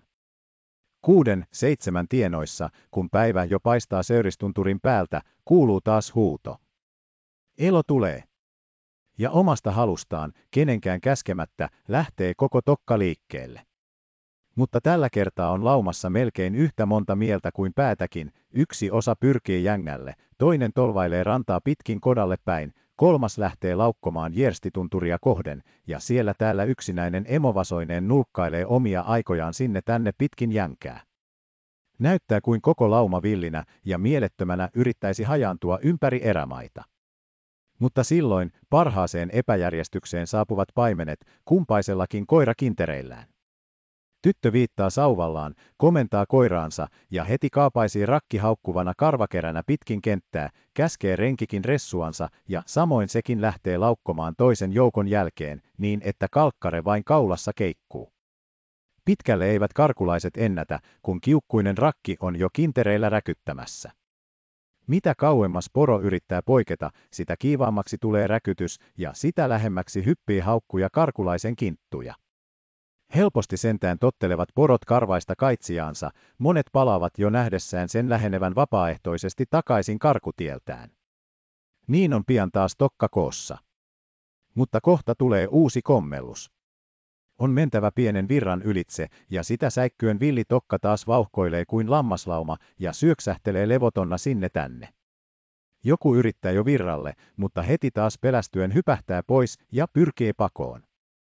Mutta haukkujapaimenet pitävät laumaa kurissa ja painavat sitä yhä joelle päin. Viimein muuan suurisarvi uskaltaa astua vettä solkkaamaan ja kohta törmäävät perässä toisetkin ja yhdessä rytäkässä polskehtii koko tokka ylitse. Silloin on päästy pahimmasta. Seitsensatainen elo järjestyy taas pitkäksi jonoksi ja asettuu rauhallisena jänkää vaeltamaan. Pohjoiselle painuva päivä valaa paljaslakiselle tunturille ihanan sadunomaisen väriloiston, ja laaja, aitolappalainen, ruskea jänkä loistaa aivan ihmeellisenä auringon valjussa valossa. Jängällä liikkuu satasarvinen lauma harmaana elävänä virtana kohti kesäyön auringossa hohtavaa söyristunturia. Paimenet astelevat sauva kädessä, koira kintereillään, rauhallisesti perässä kuin ainakin hyvät paimenet laumaansa seuraten. Seuristunturin matalaan, harvaan rantakoivikkoon katoaa tokka ja hajaantuu laitumelleen. Päivän tärkein toimi on päättynyt, elo saatu tunturille palkimaan. Paimenesta saapuneet raitiot jäävät kotaan loikomaan ja juomaan emännän keittämää kahvia. Mutta isäntä on kymmenvuotisen Inga-tyttären kanssa lähtenyt kalalle ja palaa sieltä vasta puolioissa. Silloin laitetaan heti kalakeitto kattilaan ja saadaan oikein rasvainen iltanen, sillä Tunturijärvien siika on tavaton tauromaan, antamaan rasvaa keittoon ihan kanneksi, kun vain pyyntimies ei ole erehtynyt kalalla ollessaan kääntämään venettään vastapäivään. Jos sellaisen taitamattomuuden tekisi, silloin ei kala tauroisi. Mutta semmoista erehdystä ei vanha lapinukko ole tehnyt. Ei hän myöskään ole laskenut venettään rantaan kiinni ennen kuin on korjannut pois pyydyksensä, sillä tällöinkin olisi kaloista tauro mennyt maahan. Niin tauroa ukon tuoma siika vahvasti, ja kotaväki saa päivänsä päätteeksi yltäkylläisen kalakeiton, jonka päälle voi aivan tyytyväisenä kellahtaa porontaljoille ja vetäistä peitokseen paksun ruijanraanun. Niin sopii siinä, väsymättömän auringon valvoessa, vedellä unia seuraavan päivän puolille asti. Silloin taas Elo saapuu Kotajärvelleen tuuluttelemaan, palatakseen iltasella uusien paimenien saattamana tunturiinsa. Samanlainen on jokainen seuraavakin päivä, oli se pyhä taikka arki, sillä tunturikodassa ei ole koskaan pyhää, yhtämittainen loputon arki vain, yksitoikkoinen kuin kotaa ympäröivä rannaton tunturimaa. Elo tulee ja menee samalla tavalla joka päivä, ja kalamies käy joka ilta järvellä. Vuoropäivin loikovat paimenet ja koirat kodalla, jossa emäntä istuskelee lapsineen kaiket päivät, hoitaen mustaa kahvipannuansa ja keittäen kalaa sekä pari kertaa päivässä koirillekin mustan vellin, ja välitöikseen kutoen sukkaa, vantutta, kengänpaulaa taikka ommellen monikirjaisia Lapin parseeleja. Ei tiedä tunturimajan asukas maailman menosta. Ei jaksa tänne asti postimies kulkea, eikä hänellä olisi tänne mitään tuotavaakaan. Sanomalehti on kodan harrastuksille vieras, onpa pieni, lapinkielinen, Norjassa toimitettu Nuorttanastekin täällä tuntematon. Vain joskus, ani harvoin, etsi joku kirjelappunen tunturin asukasta, tullen jonkun kulkijan matkassa tai tavaten omistajan sen kirkolla käydessä. Porolappalainen muuttoretkellä. Heinäkuun lopulle, Jaakonpäivän aikoihin asti, oleskelee Näkkälän Jussa Raskaltiolla. Mutta sitten, kun pahin räkänaika on ohitse, muuttaa ukko pois järvirannan kesäiseltä kentältä, jota korkeat tunturit, Jiersti, Seuris ja Tiermesvaarat kolmelta puolelta piirittävät, ja jossa porokarjakin joka päivä on saanut järven hengessä rauhassa levähtää. Kun porolappalainen muuttaa, muuttaa hän koko taloineen. Hän rysäyttää kotansa kasaan, kääräisee leveät kotalouteet kokoon ja sitoo kimppuihin pielipuut sekä kotariuvut, parikymmentä pitkää seivästä. Samoin kimppua hän kaikki muutkin talon tarvekalut, keittoastiat, kiisat, laukut, ruokatavarat, vähät työkapineet, vaatteet ja makuutarpeet. Autio kotamaa koivurisuineen ja tulisijoineen, lyövvi, jonka katoksen alle on kasattu porokelkat ja ahkiot odottamaan talvea, ja kalakodat kalapönttöineen vain jäävät rannalle osoittamaan ihmisen aheruspaikkaa. Niin sälytetään koko koti kaikkineen porohärkien selkään ja lähdetään jutamaan uusille laitumille. Takkahärät on kollostettu raitioon, jota kotakunnan päämies itse johtaa taluttaen ohjasnuorasta etumaisinta poroa. On härillä millä mitäkin kannettavaa, mikä laahaa kyljilleen kahden puolen sonnustettuja kotariukuja, mikä vetää pielipuita, mikä taas kantaa louteita. Joku poro on saanut osakseen keittokalut, toinen ruokatavaroita, kolmas makuvaatteita. Tavarat on sonnustettu kahden puolen poron kylkiä puisen kantosatulan korvakkoihin ja nuoritettu poron vatsan alatse, etteivät ne pahojakaan maita kuljettaessa pääse putoamaan. Muutaman härän selässä istuu pikku tyttönen, toisella taas ratsastaa poikatallukka, mutta kaikkein pienin kyköttää äitinsä selässä kietkamessa. Eukko tallustaa perässä tyttärineen pitäen huolta raidon jälkipäästä. Rengit, piika ja poika hoitavat koirien kanssa tokkaa, joka niin kuin ainakin tahtoo kulkea omia teitänsä. Näin meneskellään länttä kohden poikkimaiden, poikkivuomien ja purojen, kiertäen vain isot jängät ja aavat. Jotkut lappalaiset, kun muuttomatka ei ole kovin pitkä eikä pahoja maita myöten tarvitse kulkea, sonnustavat härät kelkkojen eteen, latovat tavarat ja lapset kelkkoihin ja laskettavat pitkin sulia maita, niin että anturat kahisevat. On se matkantekoa, kun tunturin kotakansa on liikkeellä. Toisaalla jutaa hiljalleen takkahärkien raito, toisaalla mennärymistää tokka. Ja kyllä sen sivullinenkin kuulee, missä satapäinen lauma liikkuu, tuntuu kuin olisi koko tunturin vanha väki liikkeellä. Siellä paimenet huutelevat koirilleen, koirat ajelevat räkyttäen karkulaisia tokkaan, ja roukuen ja napsavin sorkin lainehtii poroelo eteenpäin. Päästään Söyristunturin takaisille tievoille, ja siellä taas asetutaan taloksi. Sukkelasti käy tunturilaisen talonteko, eikä siinä toimessa tarvita edes miestäkään. Neljännestunnissa pari naista kodan kokoon kapsauttaa. Pielipuut vain hosaistaan reijistään suomuoraan, nykäistään pystyyn ja sitaistaan väliin poikittain tueksi toaresmuorat, sitten pistellään kotariuvut niitä vasten nojalleen, ja peitoksi räväytetään suuret louteet, toinen toiselle, toinen toiselle sivulle. Louteiden reunat piställetään nauhasilmukoilla toisiinsa ja kotapuihin, ja puukapuloihin sitaistu pitkä kapea vaatekappale ripustetaan ovireijän peitteeksi. Sitten vielä kuusi, seitsemän kiveä arinaa ympäröimään, pari puukappaletta oven reunasta arinakiviin sivupuolen oleskelusijoja rajoittamaan sekä kattilakoukku riippumaan suomuoraan. Talo on valmis. Sitten ripustetaan kahvikattila hahlakoukkuun, viritetään tuli alle, ja kohta kodan huipusta kohoava savusuitsu ilmoittaa uuden ihmisasunnon nousseen erämaahan. Näppäriä ovat lapinnaiset kodantekohommissa, pienestä pitäen siihen tottuneita. Satoja kertoja he ovat saaneet kotinsa purkaa perustuksia myöten ja yhtä monta kertaa taas kohentaa sen pystyyn.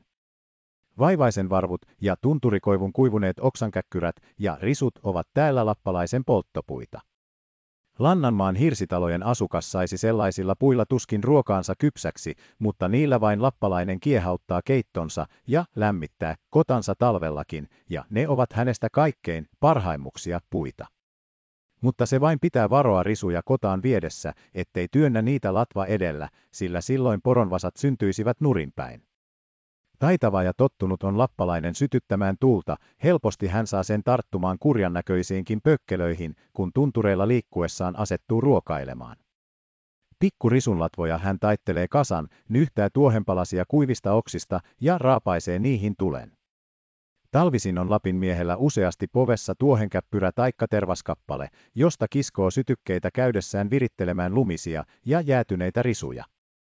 Mutta tievan laille ei lappalainen koskaan tee asentotultaan eikä myöskään metsäpolulle. Tievan lailla palavan tulen saattaisi stallo helposti huomata ja tulla ahdistelemaan, ja metsän palkaita liikkuu maahiainen. Pari, kolme kuukautta on Söyristunturin seutu raskaltiolta tulleiden kotipaikkana. Täällä raitioidaan tokkaa ympäristön tievoissa ja kalastellaan lähijärvissä. Täällä jo joudutaan lypsämään poroja, sillä vasat ovat varttuneet jo niin isoiksi, etteivät enää ole aivan riippuvaisia emon ruokinnasta. Joka päivä lypsää lappalainen vaatimet ja saa joka porosta korttelin verran maitoa pyöreään, kapeasuiseen, koivunpahkasta koverrettuun varsinappuunsa. Osan maidosta hän kuivaa kotasavussa poronvatsapalleroissa maitomahoiksi, osan tekee juustoiksi. Kattilassa haalistetun maidon hän juoksuttaa vesitilkalla, jossa on liotettu poron makonahan suortuvia, ja juustot hän puristaa vartavasti kaavoihin, lokkiin. Niitä on varakkaalla poroisännällä kymmenkuntakin erikokoista, isoimman halkaisia 32 sm, pienimmän 10 sm, pyöreää kehystä, joiden reiäkkäät pohjat ovat täynnä koristeleikkauksia, useasti niissä on vuosilukukin sekä omistajan nimikirjaimet. Valmiiksi puristetut juustot lokkineen ladotaan päällekkäin, kapeampi aina yläpuolelle ja viimeksi iso kivi painoksi. Siinä saavat juustot yökauden puristua ja valuttaa herää pois, jonka jälkeen ne ripustetaan lyöviin kuivamaan. Mutta kun talvi heittää ensimmäiset lumensa, heittää Näkkälän Jussakin Söyristunturin takaiset tievat, lyö taas kotansa ja tavaransa kasaan ja lähtee pois koko tunturimaasta. Sillä alastomilla, tuulisilla tuntureilla ei lappalainenkaan saattaisi talvella asua. Talvella on pakkanen siellä vielä ankarampi kuin muualla, ja myrskyt möyryävät niin rajuina, ettei keveä kota pysyisi pystyssä. Eikä porokarjakaan tulisi talvella tuntureilla toimeen. Siksi muuttaakin kotakunta eteläisempien Outamaihin Hetan ja Näkkälän välille. Outamailla ei talvi tunnu niin ankaralta kuin puuttomilla tuntureilla. Lumikelillä käy majanmuutto paljon hauskemmin kuin kesällä. Tavarat saadaan ahtaa ahkioihin ja kelkkoihin ja ajella suoraan yli jänkien ja järvien. Pitkänä raitona vain lasketellaan pitkin maita ja koko tokka, paimenien ja koirien ohjaamana, tulla rytistää mukana. Kankaalle jonkun jängän taikka järven lähimaille pystytetään kota, lumilapioidaan vain paikalta pois ja sitten talo pystyyn. Luminen erämaa on yhtäkkiä keskellä talvea herännyt eloon. Kota työntää savua ilmaan, nahkapukuinen metsänväki häärii kodan ympärillä, jossa on ahkioita, kelkkoja ja kaikenlaisia tavaroita sikin sokin, ja joitakuita porojakin seisoo kotamalla jäkälän ääressä. Metsä ihan vilisee ja elää, kun sarvipäinen harmaa lauma siellä liikkuu. Samoille hetan outamaille ajautuvat talveksi myös Pöyrisjärven näkkälät ja proksit. Hekin heittävät tunturinsa ja jutavat hetasta etelään, Muotkajärven ja Palojoen kankaille, jopa aina Sonkamuotkan takalistoille. Palojoen tienoille laskeutuvat korkeasta tunturimaastaan myöskin käsivarren, lappalaiset poro ja Kilpisjärven ympäristöiltä. Mutta Pöyrisjärven makkat viettävät talvensa peltovuoman ja Nunnasen seuduilla. Silloin ovat hetan talviset metsät asuttuja, kun niissä Näkkälän ja Porojärven lappalaiset pitävät majaansa ja porolaumat palkivat kankailla. Poroja on Näkkälän miehillä yhteensä yli neljä tuhatta. Rikkaimpana isäntänä häärii joukossa Tuomaan Antti, jolla on 600-700 sarvipäätä, sataisia laumoja hoitelevat myöskin iskovainajan perilliset. Mutta aikoinaan oli Näkkälän joukkokunnalla poroja tuhansittain. Iskoäijäkin omisti yksinään lähes kolmituhantisen suurlauman, josta saattoi jakaa jokaiselle kuudelle lapselleen, sitä mukaan kuin ne tulivat aikuisiksi, perinnöksi 600 päätä. Porojärven poromiesten, Lapin palkisen, lauma nousee neljännelle tuhannelle, ja heidän rikkaimpiansa on Palojärven Antti, viisisataisen Tokan isäntä, sekä Valkeapään Maaret, jolla on 400. Sodan aikana on enontekijön miesten, niin kuin muidenkin lappalaisten, poroelo entisestään paljon vähentynyt, mutta on sitten taas ruvennut nopeasti kasvamaan. Koko talvikauden oleskelee porolappalainen suojaisessa metsäseudussa muutellen sielläkin aina vähän päästä paikasta toiseen. Hyvällä jäkälämaalla saattaa porotokka viivähtää toistakin kuukautta, mutta huonolta kankaalta täytyy sen siirtyä pikemmin pois. Ja kotaväen pitää seurata perässä. Samaa Lapin pakkasperää on alava Outamaakin, mutta vaatekodassa lappalainen viettää talvensakin.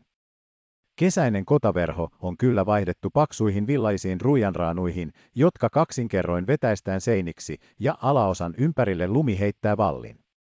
Mutta räppänäaukko on aina avoinna, ja pakkasöinäkin katsovat kotaan synkän kylmän taivaan tähdet taikka valaisevat sitä roihuavat ruijantulet. Päivisin kyllä palaa kodassa alituisesti tuli ja tuntuu sen loimossa lämpöiseltä, mutta kovilla pakkasilla ei savu tahdo jaksaa kohota ylös, vaan täyttää koko kodan. Keitoista nouseva ja hengityksestä sekä kosteista vaatteista lähtevä höyry vielä sekaantuu joukkoon niin, että kota on täynnä harmaata huurua kuin kylmä sauna. Purkuilmoilla kyllä ei pakkanen eikä huuru ahdistele, mutta silloin rajuilma ryöpyttää lunta räppänästä ja ovivaatteen raosta sisään, jopa välistä niinkin, että kodan asukkaat aamulla saavat kaivautua kinoksesta. Mutta kotaväki, kodassa syntynytkin, on alun pitäen jo tällaiseen tottunut. Ei sitä huuru häiritse, ei lumipurku kiusaa, eikä öinen tähtien tuikkiminen räppänästä pelota. Lämpöisissä moninkertaisissa poronnahkapukimissaan nukkuu lappalainen yönsä taljoilla paksun villaraanun alla, tietämättä pyrystä ja pakkasesta, vaikka talven isäntä tulee monesti kotaan niin kovana, että aamulla on keitto vesikattilassa paksussa jäässä. Pakkanen ei lappalaisen luontoa langeta, päinvastoin hän on silloin paljon toimeliaampi kuin talvisella suvisäällä, samoin kuin porokin, joka kiljuvalla pakkasella on tavallista hurjempi menemään. Talvi on lappalaisen ja poron ihana aika. Silloin pääsee vapaasti menemään minne haluaa ja saa kulkea mistä mieli tekee. Eivät pidätä järvet, eivät estä pohjattomat jängät, ja leveillä sorkillaan ojustaa poro kyllä umpienkin halki. Hyvillä mielin ajelee lappalainen tunturimaassaan, päästelee yli tunturien koutokeinoon ja jäämeren rannalle, alattioon, josta jutaa elintarpeita kesänkin varaksi. Ei ole talvella kiusallista räkkääkään, joka Lapin valoisan kesän tekee niin sietämättömäksi kaikille eläville. Mutta on talvellakin vastuksensa, Lapin suuret susilaumat. Ne ryöpsähtävät tunturilta väliin koko joukolla porokarjaan ja tekevät kamalaa jälkeä, syöksyvät saman tien toiseen, kolmanteen ja neljänteen tokkaan ja joka paikassa iskevät eloa maahan, kaatavat ja hävittävät kuin tuli. Kymmenittäin poroja saattaa hukkaparvi yhtenä yökautena tuhota, kiitäen pitkät matkat laumasta toiseen. Hukka on tavaton meniä ja on sillä oma kyytinsä. Komealla raamikkaalla nuotilla siitä lappalainenkin laskee joikunsa. Hukka se se on koko mies. Yhdeksän tunturivuomaa menee. Yhdessä veikissä poikki. Ja se on vain nelijalkainen elävä. Se on eri poika se. Joka niin pitkältä menee. Ja hakee pyytöä. Mahtaa se poron herra olla. Kun se poron saa kiinni. Niin se repii niin kuin valkia. Se polttaa niin kuin valkia. Niin kuin hyvä valkia. Se poron hajoittaa ja syöpi. Niin kuin valkia polttaa. Ja hukan työ on niin kauhea. Kun se työn on tehnyt. Niin se menee tunturiin ja ulvoo. Vihatulle hukalle tekivät entiset lapinäijät joskus sellaiset rähkät, että nylkivät sen elävältä ja sitten laskivat alastonna laukkaamaan. Ja tästä tekosesta oli se hyöty, ettei susi enää koskaan tullut niille maille, missä nyljetty toveri oli henkitoreissaan harpponut. Näin teki ennen Jouni Hetta, enontekijön lappalainen, hukalle, joka syöksyi hänen kimppuunsa tunturilla. Äijä survaisi karvakintaisen kouransa pedon kurkkuun, kieppasi suopungin kaulaan, sitoi leuat samalla suopungilla yhteen sekä nuoritti kuonon puuhun. Välittämättä hukan keturoimisesta ratkoi ukko surpuukollaan nahan auki, kuoraisi sen pois selästä ja sitten vasta laski paljaan elukan menemään. Eikä liioin tullut hukka enää siihen tunturiin. Joulu ja pääsiäinen ovat lappalaisen suuria pyhäaikoja, jolloin hänenkin alituiseen arkeensa tulee hauskaa vaihtelua antava katkeama. Ajetaan jouluna joukottain kirkolle yhdeltä ja toiselta kotipaikalta. Mutta silloin on Lapin pimeä yö kaikkein synkimmillään ja kaikki tunturin pimeät peikot ovat liikkeellä. Silloin metsäkodassakin pitää kaikkien liikkua aivan hiljaa ja äänetönnä. Eivät edes lapset saa taajoa eikä telmätä. Jos kovin taajoisivat, tulisi tunturista stallo ja söisi taajojat suuhunsa. Niin teki stallo koutokeinossa, Oskalon lähellä, Turkihanvaaran kodalla, tappoi ja söi lapset, jotka vanhempien kirkossa ollessa pahasti taajoivat, vieläpä muutti kodat, porot ja kaikki kiviksi. Ja ne kivet ovat vieläkin vaaralla nähtävinä. Jouluyönä onkin itse stallo liikkeellä, ajaen raitoineen kodan ohitse. Siksi siivotaankin kodan ympärys hyvin puhtaaksi, ettei stallon raito tarttuisi mihinkään oksaan taikka puuhun. Ja kotaan varataan vettä, että stallo saa, jos haluaa, pistäytyä juomassa. Ellei vettä olisi, imisi stallo veren nuorimasta lapsesta. Pääsiäinen on paljon iloisempi ja valoisampi pyhäpäivä. Silloin koko tunturien maa ajaa kevättalven kirkkaita hankia lähiseutujen kirkkopaikoille, koutokeinoon, kaaressuvantoon ja hettaan. Silloin on tunturikansa komeimmissa pukamissaan, mustissa ja valkoisissa purkapeskeissä, joista punainen ja keltainen paistaa, ja hopea ihan häikäisten hohtaa ja helkkää. Outo luulisi näkevänsä jopa satujen tontturuhtinaita ja kääpiökuninkaiden koreita tyttäriä. Silloin haudataan edesmennyt Lappi, kastetaan vastasyntynyt kansa ja vihitään monet uudet parit uutta tunturipolvea jatkamaan. Pääsiäispyhät ovatkin tunturiväen varsinaisia hääpyhiä. Silloin on kotapoika toimittanut kosimisensa, valinnut omansa, vaihettanut hänen kanssaan poroja, antanut monet hopeaiset ja kultaiset sormukset, vieläpä hopeahelyjä rinnan ja vyötäret täyteen, ja sitten saattanut kirkolle papin eteen. Lapin kiertäjäkansa, nuoret ja vanhat, vieläpä, kotakansan koiratkin täyttävät pääsiäispyhinä kirkon käytäviä myöten.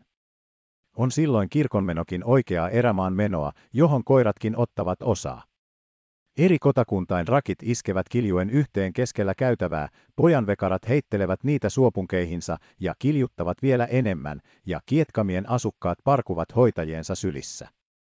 Papin saarnan sattuessa monet vanhat eukot tulevat liikutuksiin ja rupevat hurjina hihkumaan, hyppimään ja käsillään huitomaan.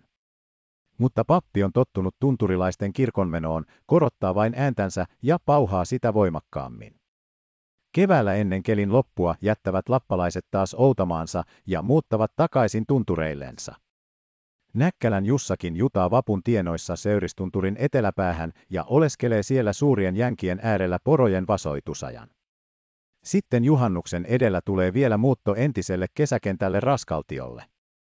Niin on vuosi kiertänyt ympäriinsä ja kotakansa kiertänyt erämaansa. Sitten alkaa taas sama erämaan kierto, jolle ei tule loppua enempää kuin ajan kiertokululle. Ei ole tunturilaisella pysyväistä olinsia, vaan hän elää kuin alituinen matkamies. Vaikka hänen kotansa seisookin tunturin juurella, on se kovin löyhästi maahan kiinnitetty. Poron varkaus. Porolappalaisen kotina on koko erämaa, ja siihen hän on vahvasti kiintynyt. Täällä elää hänen suuri elonsa, hänen liikkuva valtava viljavainionsa, joka hänet säätää ikuiseksi erämaan kiertäjäksi. Se tarvitsee aina uutta voimaa maasta, ja hänen täytyy pitää alituisesti sitä silmällä, olla viljansa vierellä kesät, talvet, niin kuin lannanmieskin asuu aina peltojensa äärellä. Silloin tulee elo parhaiten hoidetuksi ja menestyy hyvin sekä säästyy susilta, ahmoilta ja muilta tunturien rosvoilta. Sillä tunturimaissa on paljon pahempiakin rosvoja kuin nelijalkaiset ryövärit, vaikka nekin liikkuvat ja polttavat kuin tuli. Monesti katoaa laumasta poro, saattaa kadota useampikin sarvipää, jopa joskus hävitä kymmeniä, satojakin, niin ettei aina edes löydy raatojakaan, kuten suden jäljiltä. Silloin on ihmisrosvo liikkunut erämaissa. Milloin vain tokkaa ei kylliksi tarkoin vartioida, saattaa siitä päästä joku partio karkuteille ja joutua toisen seudun alueelle taikka muuten eksyä kauas erämaihin, ja silloin voi koko joukko helposti olla mennyttä.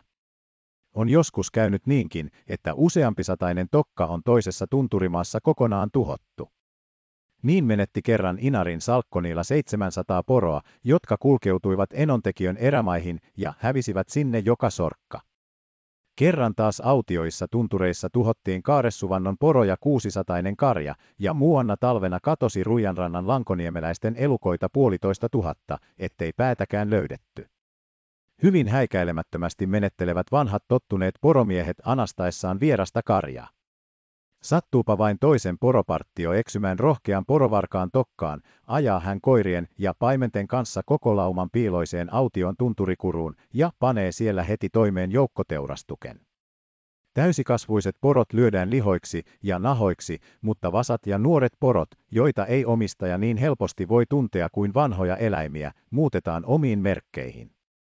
Ellei yhdessä paikassa ennätetä tehdä valmista kaikista vieraista elukoista, saavat loput jäädä tokkaan, kunnes taas sopivassa tilaisuudessa rymäytetään koko karja toiseen jylhään kuruun ja jatketaan siellä teurastusta. Näin tehdään vielä siitäkin edelleen siksi, kunnes on saatu kaikki selväksi. Taljat ja lihat myydään Norjaan, mutta sisälmykset ja muut jätteet heitetään tappotantereelle. Kolonnäköinen on tällainen erämaan teurastuspaikka. Niinpä oli Vuomavaaran pohjoispäässä enontekijöllä eräässäkin suuressa kurussa, jossa joku suurvaras oli toimittanut oikein joukkosurmat, koko tanner yhtenä rapana ja lihana. Saattaa sukkela ja kälmilappalainen hyvän hetken sattuessa siepata poron ja toisenkin oman seutulaisen, jopa naapurinkin karjasta, ja peurakorvan vasan hän voi näppärästi merkitä omilla pykälillään ja linnun varpaillaan, kun ensin on suurpuukollaan toimittanut emon päiviltä. Sillä porojen mailla toisen, elävän, omaisuuden kähveltäminen on aivan tavallista elinkeinoa, eikä sitä pidetä juuri rikoksenakaan. Ei liene edes syntikään heittää jotakuta poroa semmoselta, joka myös tekee samalla tavalla, sati vain sattuu sopiva tilaisuus. Ja mikäpä synti se olisi? Ei ainaskaan. Sehän on ainoastaan toisen lainaaman tavaran takaisin noutamista. Mutta jo vain se on synti, jos keikauttaa poron sellaiselta isännältä, joka itse ei koskaan koske toisen tokkaan. Samoin myöskin kuolleen tavaran ottaminen on häpeällistä varastamista ja kuolemansyntiä. Näin sanotaan lapinäjien rikoskaaren varkauspykälässä, ja lappalainen noudattaa sitä ja ottaa, milloin vain onni hänet hyvälle paikalle ohjaa, lainansa pois. Ja tämän todistaa lappalainen jojussaankin. Salkko sanoo, nun nun nuu. Kyllä niin paljon saapi. Toisen poroja varastaa. Kun itseltäkin katoaa. Eikä se synti ole. Nun nun nun nu. Ja niin lainailevat lappalaiset alituisesti toistensa tunturieloa ja panevat silloin tällöin vierasseutulaisten karjassa toimeen oikein suursurmat. Autioissa jylhissä tuntureissa tapahtuu salateurastuksia ja poromerkkien väärennyksiä sekä suurlahtauksia niin paljon, että jos ne kaikki kertoisi, tulisi niistä ainakin raamatun kokoinen kirja, ja siihen raamatun verran sanoja, olkoon vain raamattu niin iso kuin onkin. Mutta sitten kumminkin, kun kuolema rupeaa kurkistelemaan kodan ovesta, tulee lapinäijälle hätä, ja entinen elinikäinen lainanotto alkaa tuntua synniltä ja näyttää hänelle kadotuksen kuilua. Kun on äijä viiteen, kuuteenkymmeneen ikävuoteensa saakka suruttomana ja rentona keikautellut poroja, niin rupeaa jo seitsemännelle kymmenelle joutuessa uskoa tunnustamaan ja etsimään uskovaisilta synninpäästöä, sillä eihän sitä tiedä, vaikka taivaan Herran lakipykälissä lainaaminenkin luettaisiin kuoleman synniksi. Moni vanha äijäparka pelkää kuoleman uhatessa kamalasti ja makselee naapureilleen niitä poroja, joita muistaa joskus heiltä ottaneensa. Ja naapurit tietävät selän takana kertoa ukkoraiskalla olevan siksi paljon ottoja, ettei hänen koko omaisuutensa riittäisi niiden maksamiseen, jos suorittaisi kaikki, mitä on tunturien takaisiakin poroja päästänyt päiviltä. Sanovatpa muutamat äijällä olevan tunnollaan niin paljon poronsurmia, että saisi joka hyyksen panna päästään, eikä vielä sittenkään riittäisi. Jotkut vielä arvelevat, Sati äijä vielä siitä virkkuu ja pääsee porokiekeröillensä, niin jo vain se ottaa luonnossa takaisin kaikki, mitä on maksellut. Lopun lähetessä useat ukkorukat turvautuvat uskonveljensä todistukseen anteeksi annetuista ja verellä maksetuista synneistä, uskovat ja saavat autuaan lähdön. Monet kutsuvat papin neuvomaan pelastuksen tietä ja antamaan synninpäästön. Niin tuotiin pappi vanhan poroäijän kotaan, kun tämä jo oli henkimenoissa. Kysyi kuoleva Jumalan mieheltä. No, jaksatko sie antaa anteeksi sata poroa? No, kyllä sen nyt jaksaa, pappi vastasi. No, jaksatko tuhat? No, kyllä senkin. Na, kaksi tuhatta. Ehkä vielä. Na, kolme tuhatta. Ehkä. Na, viisi tuhatta, kahdeksan tuhatta, kymmenen tuhatta. Näin suunnaton määrä hirvitti jo pappiakin, eikä hän kyennyt sanomaan mitään. Näin tavattomat synnit olisivat vaatineet anteeksi saamista varten suurempaa todistajien joukkoa kuin sillä hetkellä sattui kuolinkodassa olemaan. Kuoleva äijäraukka näytti olevan kauhean kadotuksen ovella. Mutta silloin äijän poika löi kämmenellä isää olkapäähän ja sanoi. Kuole sie, isä, rauhassa, kyllä kaikki maksetaan. Äijä kuoli rauhassa, ja kymmenen tuhatta päätä jäi pojan maksettavaksi. Samalla tavalla ehkä lienee äijäkin aikoinaan saattanut kuolevan isänsä tuolle ilmalle, mutta jättänyt sitten maksamatta, lisännyt vain ja niin saanut kymmentuhantisen anteeksi pyydettävänsä. Ja saman hyvästelyn ja maksulupauksen taas vuorostaan ukon poikakin kuoleman hetkellään saanee pojaltaan, ja tämä taas pojaltaan. Kuinka monta tuhatta sitten lopuksi tulleekkaan papilta anteeksi pyydettävää? Näin suuriin lukuihin ennättäneet lapinäijät ovat sentään jo päätään pitempiä muita poromiehiä, tavallista ovelampia tunturikettuja, jotka osaavat liikkua niin taitavasti, ettei heidän jäljilleen milloinkaan päästä, vaikka he väliin panevat toimeen oikein suurkaatojakin. Heillä on omat renkinsäkin, jotka saavat päämieheltään elatusta, joskus kruunun joka porosta, mikä metsästä löydetään, kun vain osaavat pitää suunsa kiinni ja todistaa käräjilläkin päämiehensä puolesta, sillä monesti joutuvat poromaiden suurmiehet tuomarin pöydän eteen kertoilemaan erämaan retkistään. Sellaisista äijistä kannattaa kyllä jopa komealla nuotilla jojatakin, vieläpä ansaitsee hän useammankin nuotin.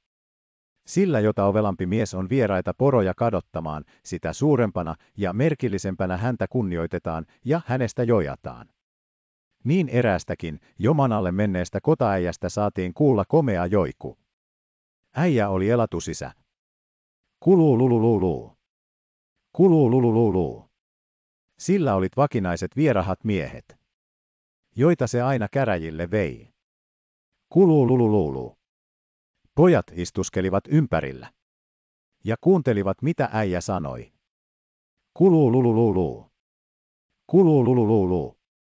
Ja äijä haisi savulle aina. Kuluu lulululu. Se jakeli niille elatusta. Vuorsoja se anteli. Kuluu lulululu.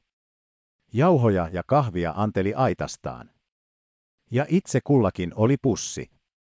Kuluu lulululu. Kuluu. Jopa semmoisen äijän rengistäkin, pojasta, kannattaa jojata. Voi sen äijän iskoa. Kuluu. Äijältä otti jo 700. Kuluu lulu. 700 poroa selällään. Kuluu. Sitten meni käräjiin. Ja vannoi kruunun päälle poron. Kuluu. Sitten tuli käräjistä isko levitteli äijän satakruunusia ja sanoi. Kuluu luuluu. Onko näissä äijän taljoissa jo kurmuja?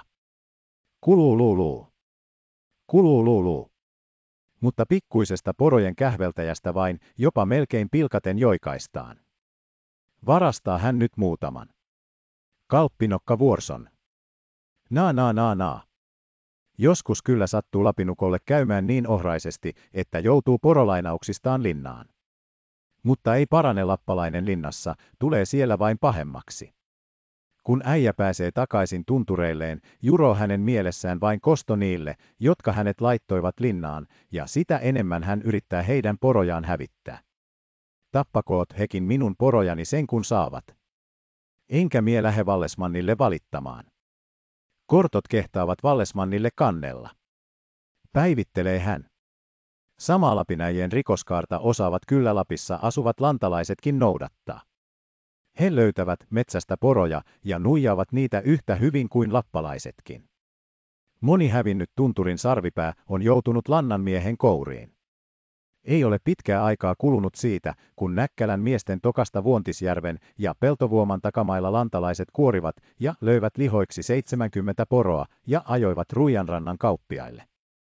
Mutta kukapa otti niistä selvän, kun suurteurastus toimitettiin asujaimettomassa kiveliössä. Lantalaisten porovarkaus onkin oikea varkautta ja silkkaa syntiä, eikä mitään lainaamista taikka omansa takaisin ottamista, niin kuin lapinukkojen välinen poronkähveltely. Sillä monellakaan Lapin lantalaisella ei ole edes sarvenkantavaa, sati sitten siksi, että lappalainen voisi vuorostaan häntä verottaa.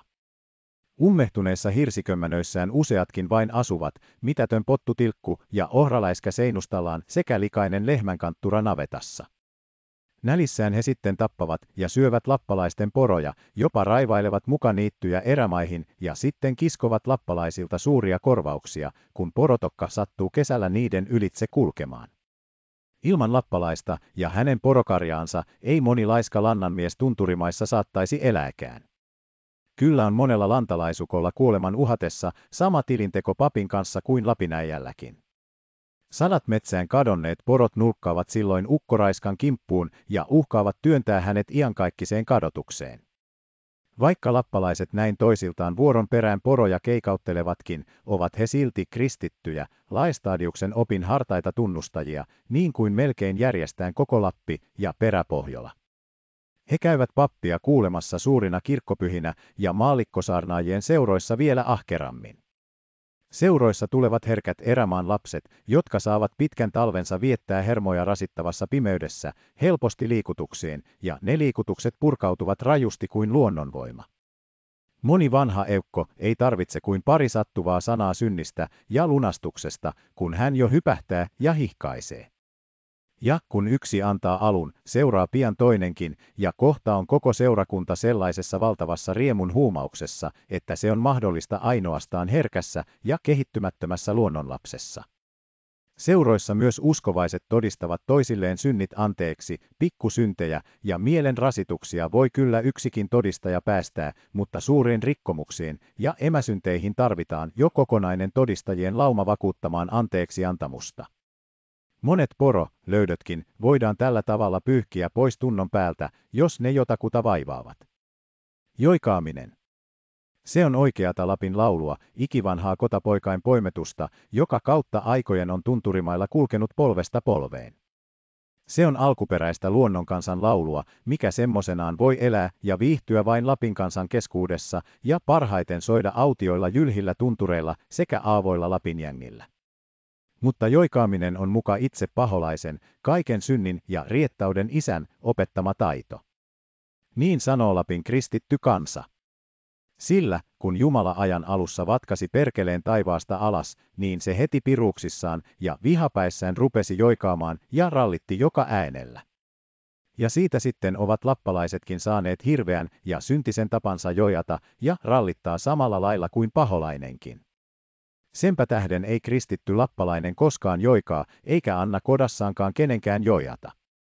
Kauhuissaan hän kuulee suruttomien pirun palvelusta ja pakenee kiireesti pois koko paikalta sanoen, että pitäisi Jumalalta rukoilla järkeä, jottei ihminen menisi niin pitkälle syntisyydessään, että rallittaa niin kuin pärkalak, ulvoo niin kuin työnsä tehnyt hukka tunturilla ja volisee niin kuin yksinään rannalle heitetty koira.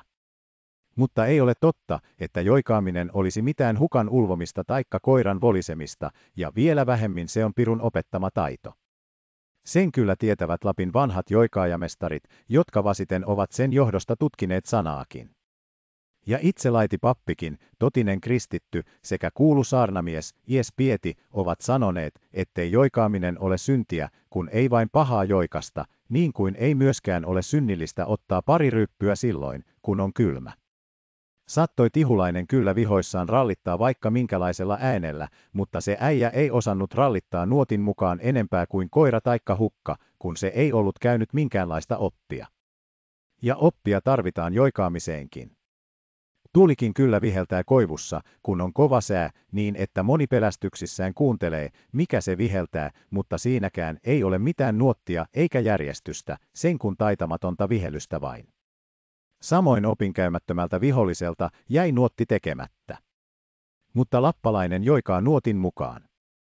Sillä joka jojussa on oma nuottinsa, johon on pantu pikku pykheitä, joissa pitää vuoroin laskea, vuoroin taas nostaa, aivan niin kuin virren veisussakin ääntä jutkutetaan. Ja toista kohtaa pitää venyttää hyvin pitkään, mutta toinen paikka sutkauttaa vain lyhyesti. Niin kuin esimerkiksi pirihannaa jojattaessa. Voi jaa, Piri Haanna. Kuinka se oli kaunis. Voi jaa, voi jaa. Kuinka se oli liikkuva. Voi jaa, voi jaa. Niin kuin elävä hoopia. Mutta tästä kaikesta ei tihulainen rallittaessaan tiennyt mitään enempää kuin siitäkään, että jojussa pitää myös olla sisälläpito. Sillä ei lappalainenkaan turhia ulvo eikä volise, vaan hän laulaa aina asiaa. Itse joikaaminen ei ole niinkään tähdellistä kuin se asia, mistä joikaaminen johtuu.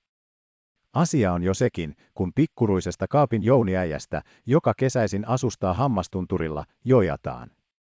Voi pientä miehenpätkää. Nun nun nun nu. Voi pientä miehenpätkää. Nun nun nun nu. Ja kun siihen vielä pannaan sopiva nuotti, niin tulee joikuun kyllä siksi sisällystä, minkä pikku jouniäijä ansaitseekin.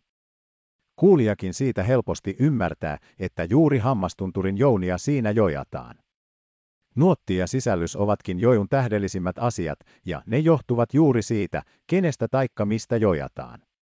Niinpä semmoinen mies, joka on hyvin toimekas ja joutuisa liikannoltaan, vaatii pontevan ja miehekkään nuotin, joka lisäksi kulkee hopusti, mutta hitaammalle tulee hitaampi ja pehmeämpi nuotti. Niin kuin Ketomelan äijällekin, joka aina liikkui hitaasti, ajatteli pitkään ja teeskeli töitään hiljakseen, niin että koko elämäkerta oli vain tuollaista hunteeraamista, häntä kuvaava joikausnuottikin oli samanlainen, hidas, pehmeä ja pitkään kulkeva, komealta kuului sentään sekin, kun äijästä jojattiin. Satakunta oli poroa. Ja kaksi oli taloa. Ja lehmiä vielä. Ja äijä siivo oli, ja sauva oli hän. Sauvostelemaan porojen perässä. Mutta Jaakon pieti, repäisevä toiminen kaaressuvannon lappalainen, joka päivässä pisti ja nylki 50 poroakin, sai hopusti kulkevan, komean ja kovan nuotin joikuunsa. Jaakon pieti, nun nun, no no. Suuri, nopea käsi. Joka 50 poroa. Päivässä nylki hajalle. Nun nun nun, no no no. Ja sen hän tarvitsikin. Sillä miehelle, joka on toimelias ja hoppu, häätyy olla hoppu ja kova nuotti, ja vielä kovan puustaimen päältä, niin kuin virsikirjassakin toinen nuotti on kovempi ja kovilla puustaimilla tehty. Pietin joussakin on P kova puustain ja pehmeä nunnunkin loppu O hon, joka myös on kovanlainen. Tuntureita laukkova, tulena raivoava hukkakin vaatii oikein komean ja raamikkaan nuotin niin kuin vaunut, ja siinä on kovat puustaimet ja hoppuliikanto. Mutta taas, kun pojat rakkaudessa joikastavat tyttäristä, nuotti käy hyvin heleästi ja lempeästi. Samoin myös poronvasoista jojataan pehmeästi ja lempeästi. Vasat roukuvat. Kun vaatimet lähtevät. Etteivät toiset kuule toisiansa. Ja ne pelkäävät etteivät löydä emoansa. Jos taas jostakusta jojataan vihassa, silloin syntyy oikein kova ja kiukkuinen nuotti, joka menee hyvin terävästi, jopa oikein haukkumisen mallissa. Jokaisella henkilöllä, josta jojataan, on oma nuottinsa, joka on aina sama, jojattaisiin hänestä mitä tahansa. Mutta suurilla pororikkailla ja liikkuvilla miehillä saattaa olla kaksikin nuottia, voipa hyvin arvokas henkilö, oikein suuri ja ovela porotokkien surmaaja, saada viisikin nuottia. Nuottia pantaessa tulee sitten sisältökin esiin. Siinä juuri selostetaan jojattavan elämäkerta, sanotaan kuinka hän elää, tai mitä hän tekee, tai minkä näköinen hän on, tai kuvataan hänen luonnettaan. Joikaaja siinä kuvittelee omassa mielessään, että sellainen on se ihminen niin kuin hän joikaa, joko hän sitten muistelee jojattavaansa rakkaudessa taikka vihassa, taikkapa leikkiä ja pilkkaakin tehden. Pojat varsinkin muistelevat kauniita, nopsaliikkeisiä, näppäräkätisiä tyttäriä rakkaudessa ja siitä joikaavatkin. Niinpä he sanovat koutokeinolaisesta Simmaellistä. Se Simmaelli. Se oli vielä kaunis. Se pitäjän kaikkein kaunein. Pientä punaposkista Oskalan Annia muistellaan. Se Oskolan Anni. Se pehmeä ja hieno. Se vielä hyvä. Ja se vielä kaunis. Se istuskeli. Lapsiriepu vielä istuskeli. Ja näppäräsorminen joen mukaan Elli saa joikauksen. Joen mukaan Elli. Sehän se on seppä. Hän kutoo paulat. Ja kuro kengät. Ja kaunis hän on. Samoin tytötkin muistelevat ja tekevät nuotteja niistä pojista, jotka ovat heistä mieluisia, tekevätpä oikein mieluisista nuotteja kaksittainkin. Varsinkin liikkuvat pojat ja taitavat suopungin heittäjät ovat tyttärien mielisuosiossa, ja sukkelat ja rohkeat poronvarkaat miltei kaikkein enimmin. Tosisiivosta miehestä, joka ei uskalla edes yhtä kalppinokkaa heittää, eivät tyttäret paljoa perusta, hän ei ole edes joikauksen arvoinen. Mutta rohkea suopungin heiluttaja saa heiltä heleän ja komean joikastuksen. Se oli semmoinen poika, että pysyi suopunki kädessä. Ja tarttui kiinni, mihin heitti. Ja se oli orjespoika. Kun se heitti, niin kyllä tarttui kiinni ja Pietin Antti ja tyttäret ylistävät. Se Pietin Antti. Haldeessa asuu porojen kanssa. Ja se on joutuisa ja reipas. Ja sitten se tappaa poroja. Samoin myöskin Kaijan Annin aslakkaa. Kaijan Annin aslakka. Se on näykäs ja kaunis. Se on oikea varas. Voi, se Kaijan aslakka. Haukkumisensakin toimittaa lappalainen joikaamalla, panee nuotin ja sovittaa joikuun haukuttavan elämäkerran taikka muita hänen ominaisuuksiansa. Sitten hän joikaa ja haukkuu, haukkuu ja joikaa, sanoo väliin haukkumasanoja ja taas vähin loikkaisee nunnuttamalla. Niinpä toinen haukuskelee vanhaa vaipunutta porovarasta. Salkko on suuri porovaras ollut. Nun nun nun nun nun nu. Nyt on kyky loppunut. Nan nan nan nan nan naa. Ja porot pääsevät. Nun nun nun nun nun nu. Rauhaan salkolta. Nan nan nan nan nan naa. Ja lantalaispoikaa, joka vastoin vanhempain tahtoa kosiskelee Lapin tyttöä, haukkuu tyttären isä. Kuoppalan aukku. Nan nana nanna. Se Aatamin suhka. Lollo älo lollo. Se helvetin mukka. Nan nana nanna. Se hevosen nokka. Lollo älo lollo. Se unipeski. Nunnunu nunnu. Muotkatunturin vanhasta Jounin niilaäijästä, joka aina aamuisin köpsöttelee kotansa ovelle ilman laatua tarkastelemaan, joikaa lappalainen pientä pilaa laskien. Jounin niila vanhus. Muotkatunturin hukka. Etelään nuuskii. Ja kintuilleen laskee. Taitavat joikaajat päästelevät pitkiäkin muisteluksia, joissa on sattuva nuotti sekä asiaa sisällyksessä. Niin saamme kelojuunaasta kuulla pitkän reippaan juotkun. Voi sen kelojuunasta. Se se jo tienaili, luu luu. Toista kymmentä vuotta. Ouliina vainaan Annia. Na, kyllä se jo on rikastunut. Lolololo, tallalalaa. Kyllä se jo itsekin on. Vähän rikastunut. Kululululu. Kun se on tullut Salkon Jussan tyköön. Kululululu. Ei sillä ollut vaatetta päällä. Lolololo, tallalalaa. Nyt sillä pojalla on. 70 poroa. Niin niin niin niin niin. Kukapa sen olisi uskonut? Että kulkumiinan pojasta. Semmoinen tuli. Kuluu luu lulu. La la la la la. Ei sitä ole koiraa. Karvaan katsomista. Kolo älo lo älo. La la la la, lo lo kolo. Ottavat mestarit elämäkerran myös eläimistä, porosta ja poronvasasta, hukasta, ahmasta, sääskestä ja panevat niille sopivat nuotit. Palkistuntureista, suurista jängistä ja ruijantulistakin tekevät taitavat joikusepät nuotin ja rupeavat joikaamaan. Ruijanmeren tuntureista päästelevät koutokeinon lappalaiset komeita joikuja. Enontekijön poromiehet lasketellessaan laajan, monilakisen ja monikuruisen ounastunturien ryhmän lukemattomia myötäleitä ja vastaleita huikkailevat näkemyksiään ja kokemuksiaan. Voi onnistunturia onnetonta. Lo lokolo älo älo, lo lokolo älo älo. Lo lo lo lo lo, lo lo lo lo lo. Na, pyhäkeroko siinä vielä oli. Lo lokolo älo älo, lo lokolo älo älo. Lo lo lo lo lo, lo lo lo lo lo. Na, haaravaarako siinä vielä oli. Lo lokolo älo älo, lo lokolo älo älo. Lo lo lo lo lo, lo lo lo lo lo. Na, kiekerökö siinä vielä oli. Lo lokolo älo älo, lo lokolo älo älo. Lo lo lo lo lo, lo lo lo lo lo. Na, rautuvaarako siinä vielä oli. Lo lokolo älo älo, lo lokolo älo älo. Lo lo lo lo lo, lo lo lo lo lo. Na, tappuriko siinä vielä oli. Lo lokolo älo älo, lo lokolo älo älo. Lo lo lo lo lo, lo lo lo lo lo. Na, pippakeroko siinä vielä oli. Lo lokolo älo älo, lo lokolo älo älo. Lo lo lo lo lo, lo lo lo lo lo. Na, outtakkako siinä vielä oli. Lo lokolo älo älo, lo lokolo älo älo. Lo lo lo lo lo, lo lo lo lo lo. Na, pahakuruko siinä vielä oli. Lo lokolo älo älo, lo lokolo älo älo. Lo lo lo lo lo, lo lo lo lo lo. Voi ounistunturia onnetonta.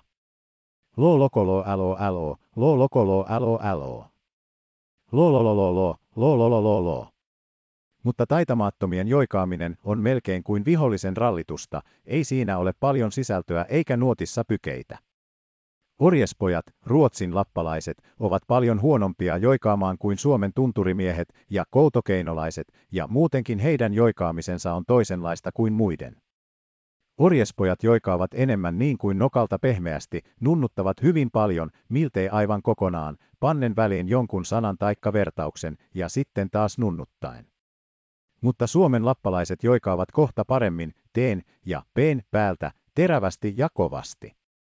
Suomen tunturimies onkin miltei terävämpi ihminen kuin orjespoika. Maa, kun on täällä viljaisempi ja jäkäläkentät paremmat, järvissä suuria rasvaisia siikoja ja porot lihavia, niin Suomen mies saa syödä väkevämpää ruokaa ja jaksaa sitten hyvin ja osaa paremmin jojatakin kuin orjespoika. Jotkut sukkelat lapinäijät saattavat tekaista joikauksen itsestäänkin, ottavat vain elämäkertansa taikka muut sattuvat sanat ja panevat niihin oman erikoisen nuottinsa. Ja sitä sitten saattavat ruveta muutkin joikaamaan. Niin tuli kerran raameus Romumikkoon niin, että hän jojaten rupesi kerskaamaan rikkaudellansa ja sai aikaan pitkän luettelemisjoikunsa. Oppee Mikko Hetta, uusi talo. Oppee Mikko Hetta, iso pirtti. Oppee Mikko Hetta, iso aitta. Oppee Mikko Hetta, hyvä maa. Oppee Mikko Hetta, vanha muori. Oppee Mikko Hetta, uusi navetta. Oppee Mikko Hetta, seitsemän lehmää. Oppee Mikko Hetta, uusi talli. Oppee Mikko Hetta, nuori ori. Oppee Mikko Hetta, kymmenen härkää. Oppee Mikko Hetta, lakso riita. Oppee Mikko Hetta, minun morsian. Kodassaan ei lappalainen joikaa, sillä seinien sisässä ei ääni lähde hyvästi ulos eikä soi niin komeasti ja vapaasti kuin ulkoilmassa ja korkeilla tuntureilla. Mutta pitkiä tunturimatkoja ajellessaan lapinäijät aikansa kuluksi oikein juorottavat. Varsinkin tyyninä pakkasöinä, kun kuu kumottaa taivaalla, tähdet vilkkuvat ja tunturit ja vuomat häämöttävät salaperäisinä, on hauskaa joikailla, ja joikaaminen kuuluu silloin tunturimaissa hyvin kauneilta. Poronkin on sitä hupaista kuulla, pikkunulkkaa, kun ajetaan. Metsissä ja tuntureilla porotokan mukana kulkiessaan myös paimenet aikansa vietteeksi joikaavat ahkerasti. Ja häissä, kun on muutamia kertoja annettu hyvät ryypyt, jojataan väliin, niin että sen kun yksi kahina vain käy. Mutta alattion markkinoilla ei anneta joikastaa. Sen on hukkasalkkokin monta kertaa tullut kokemaan, sillä joka markkinoilla ryypyt saatuaan on hän sitä yrittänyt ja aina joutunut putkaan. Mutta sitten markkinoilta palattaessa on kyllä saatu jojata, ja onkin oikein miehissä joikastettu, niin että ruijan tunturit ovat kaikuneet, ja sudetkin lähimailta peloissaan kaikonneet syrjäpuoliin. Joskus käyvät Lapin joikaajat kilpailemaankin, kuka osaa, sepemmän, nuotin ja kuka useamman muistaa. Niin kerran Näkkälän Jussan Anni ja Proksin Pierran Elli rupesivat kilpailemaan ja joikasivat kaikista ihmisistä, mitä vain muistivat, Hetan ja Koutokeinon lappalaisista ja lantalaisista. Koutokeinossa syntynyt Jussan Anni oli sepempi joikaaja ja muisti enemmän kuin Pierran Elli. Lapin joiku elää vieläkin puhumattakaan nuorista pojista ja tyttäristä, jotka toisistaan joikailevat, on Lapissa vielä sellaisia suruttomia vaareja, jotka kyllä uskaltavat jojata ja osaavat joikujen kaikki pykeet laskea ja nostaa niin kuin pitääkin. Sellaisia äijiä on Näkkälän Reima Hukkasalkko, joka joikailee vaikka pirtissäkin, niin että uskovainen Romu Mikko kauhistuu, laukkaa ulos ja huutaa ovelta, että niinhän sinä ulvot kuin hukka ja Niila Tornensis Porojärven mailla on mainio joikaamaan. Koutokeinossa on koko joukko joikumestareita, Lassan Jaakko ja Kaarin Pierran, Pierra, Maaretan Mikko ja Maijan Aslak. Matin Kleemettiäjä on kauhea joikaamaan, tehden sitä talvikaudet tuntureilla aivan myötäänsä, ja Pintän Niila on joikaamiseen oikein seppä, vaikka ei a a tunne. Jopa jotkut naisetkin ovat mestarijoikaajia.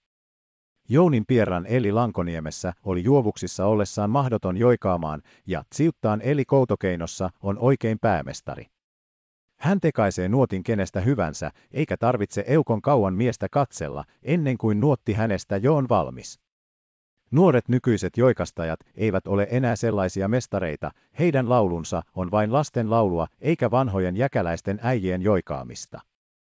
Niin kuin nuoren Marjonan Jussankin, joka kyllä yrittää joikastella, mutta hänen joikunsa on kaikkein alkuperäisintä laatua, lähennellen jo, ellei juuri tihulaisen rallitusta, niin ainakin pikkupennun ulinaa. Ei osaa joikumestari muuta kuin vou vou vou vou vou vou. Vu vu vu vu vu vu. Ja jonkun sanan vain lykkää väliin siteeksi. Mutta ikälopuilla joikaaja äijillä on Lapin vanha laulu ja nuotti säilynyt veressä. He ovat sen perineet vanhoilta entisenä hyvänä aikana, jolloin ei omien isien laulua vielä pidetty syntinä eikä halveksittu. Eivätkä nämä äijät ole laulussaan koskaan huomanneet mitään pahaa eikä synnillistä, kun eivät ole pahaa jojanneet. Eivätkä huomaa sitä nytkään. He joikaavat vieläkin, kun tuntureille pääsevät, yhtä kirkkaasti kuin entiset uskottomat ukotkin, joikaavat niin, että tunturit kajahtelevat. Matin Kleemetti luultavasti joikaa yhtä kauheasti vielä monta talvea. Ja hukka Salkkokin, joikaa vaikka Romumikollekin hänen oman joikunsa, jopa hyvän tuulisena naurahdellen kuuntelee, kun joku laskettelee hänen omaa komeaa, reipasta joikuaan, jossa kerrotaan, kuinka Salkko kolttahirvallaan lasketti ketomellan törmää ylös. Kaikki muut raidon porot oikeenivat törmässä, mutta väkevä servakka vain veti, ja Salkko päästeli ohitse kaikkien muiden ajomiesten. Tästä Salkon rennosta ajosta saatiin joiku. Nulpot kaikki jo selällään oli. Lokolo lo lo lokolo lo lo. Mutta kolttaservakka vain veti. Ja Salkko kätteli ohi ajaessaan kaikkia. Ja kauppaili turskia. Ja käsi vain heilui. Lokolo lo lo lo lo. Ei ne härät hirttyneet. Vaikka kolttaservakka veti. Lokolo lo lo lo. Ja Salkko meni pirttiin vain. Ja joikaili. Ja antoi ryyppyjä vielä. Ja joikaili. Salkkoäijä, lokolo lo lo lo. Lähtee ajamaan lo lo. Ja ajaa yötä myöten Kittilään asti. Ja sivu Kittilänkin, lokolo lo. Kyllä Salkolla vielä, lo lo. On semmoinen servakka, lo lo. Että se yhtenä yönä, lokolo. Nulkkaa Kittilään asti. Lokolo lokolo lo lo lo. Paljon on kyllä Lapin laulu entisestään vaiennut. Varsinkin viimeisinä vuosina, jolloin Espaanin tauti kamalana raivosi Lapissakin, moni suruton rupesi tunnustamaan uskoa ja luopui synnillisistä menoistaan. Koutokeinossakin useat vanhat äijät heittivät joikaamisen pois. Muita lauluja ei lappalainen helposti opi, omaan lauluunsa hän vain on mestari. Sitä hän kyllä kykenee jutkuttamaan, ja sitä riittää hänellä vaikka laulaisi vuorokauden yhteen menoon. Alku hänen laulussaan on, mutta loppua ei tulekaan. Riittäähän sitä vaikka kuinka pitkälti, kun väliin puhuu sanoja ja sitten taas joikaa ja nunnuttaa.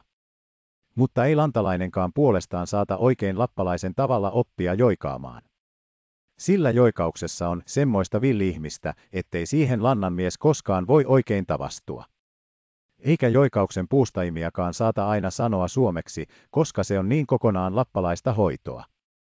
Lapin suurnoitia. Jo vanhastaan on Lappi tunnettu noitien maaksi. Suomalaisetkin, jotka itsekin olivat koko etevää tietäjäkansaa ja muualla suuressa noitamaineessa, pitivät vasta Lappia oikeana tietäjien maana ja Lapinnoitia kaikkien noitien noitina.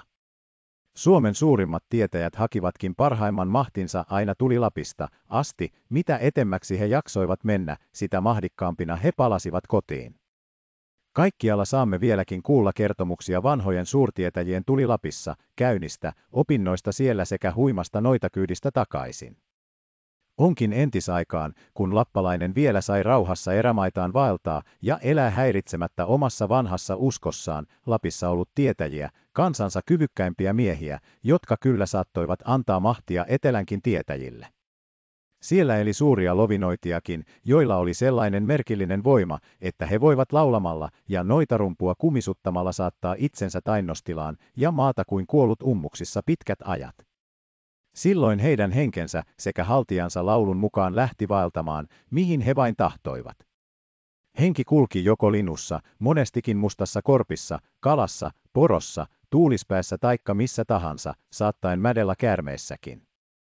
Noita antoi vain apulaiselleen sanat, joilla hänet määräajan kuluttua oli herätettävä henkiin, sillä oli muistettava kutsua noidan henki sieltä, mihin hän oli sen kätkenyt.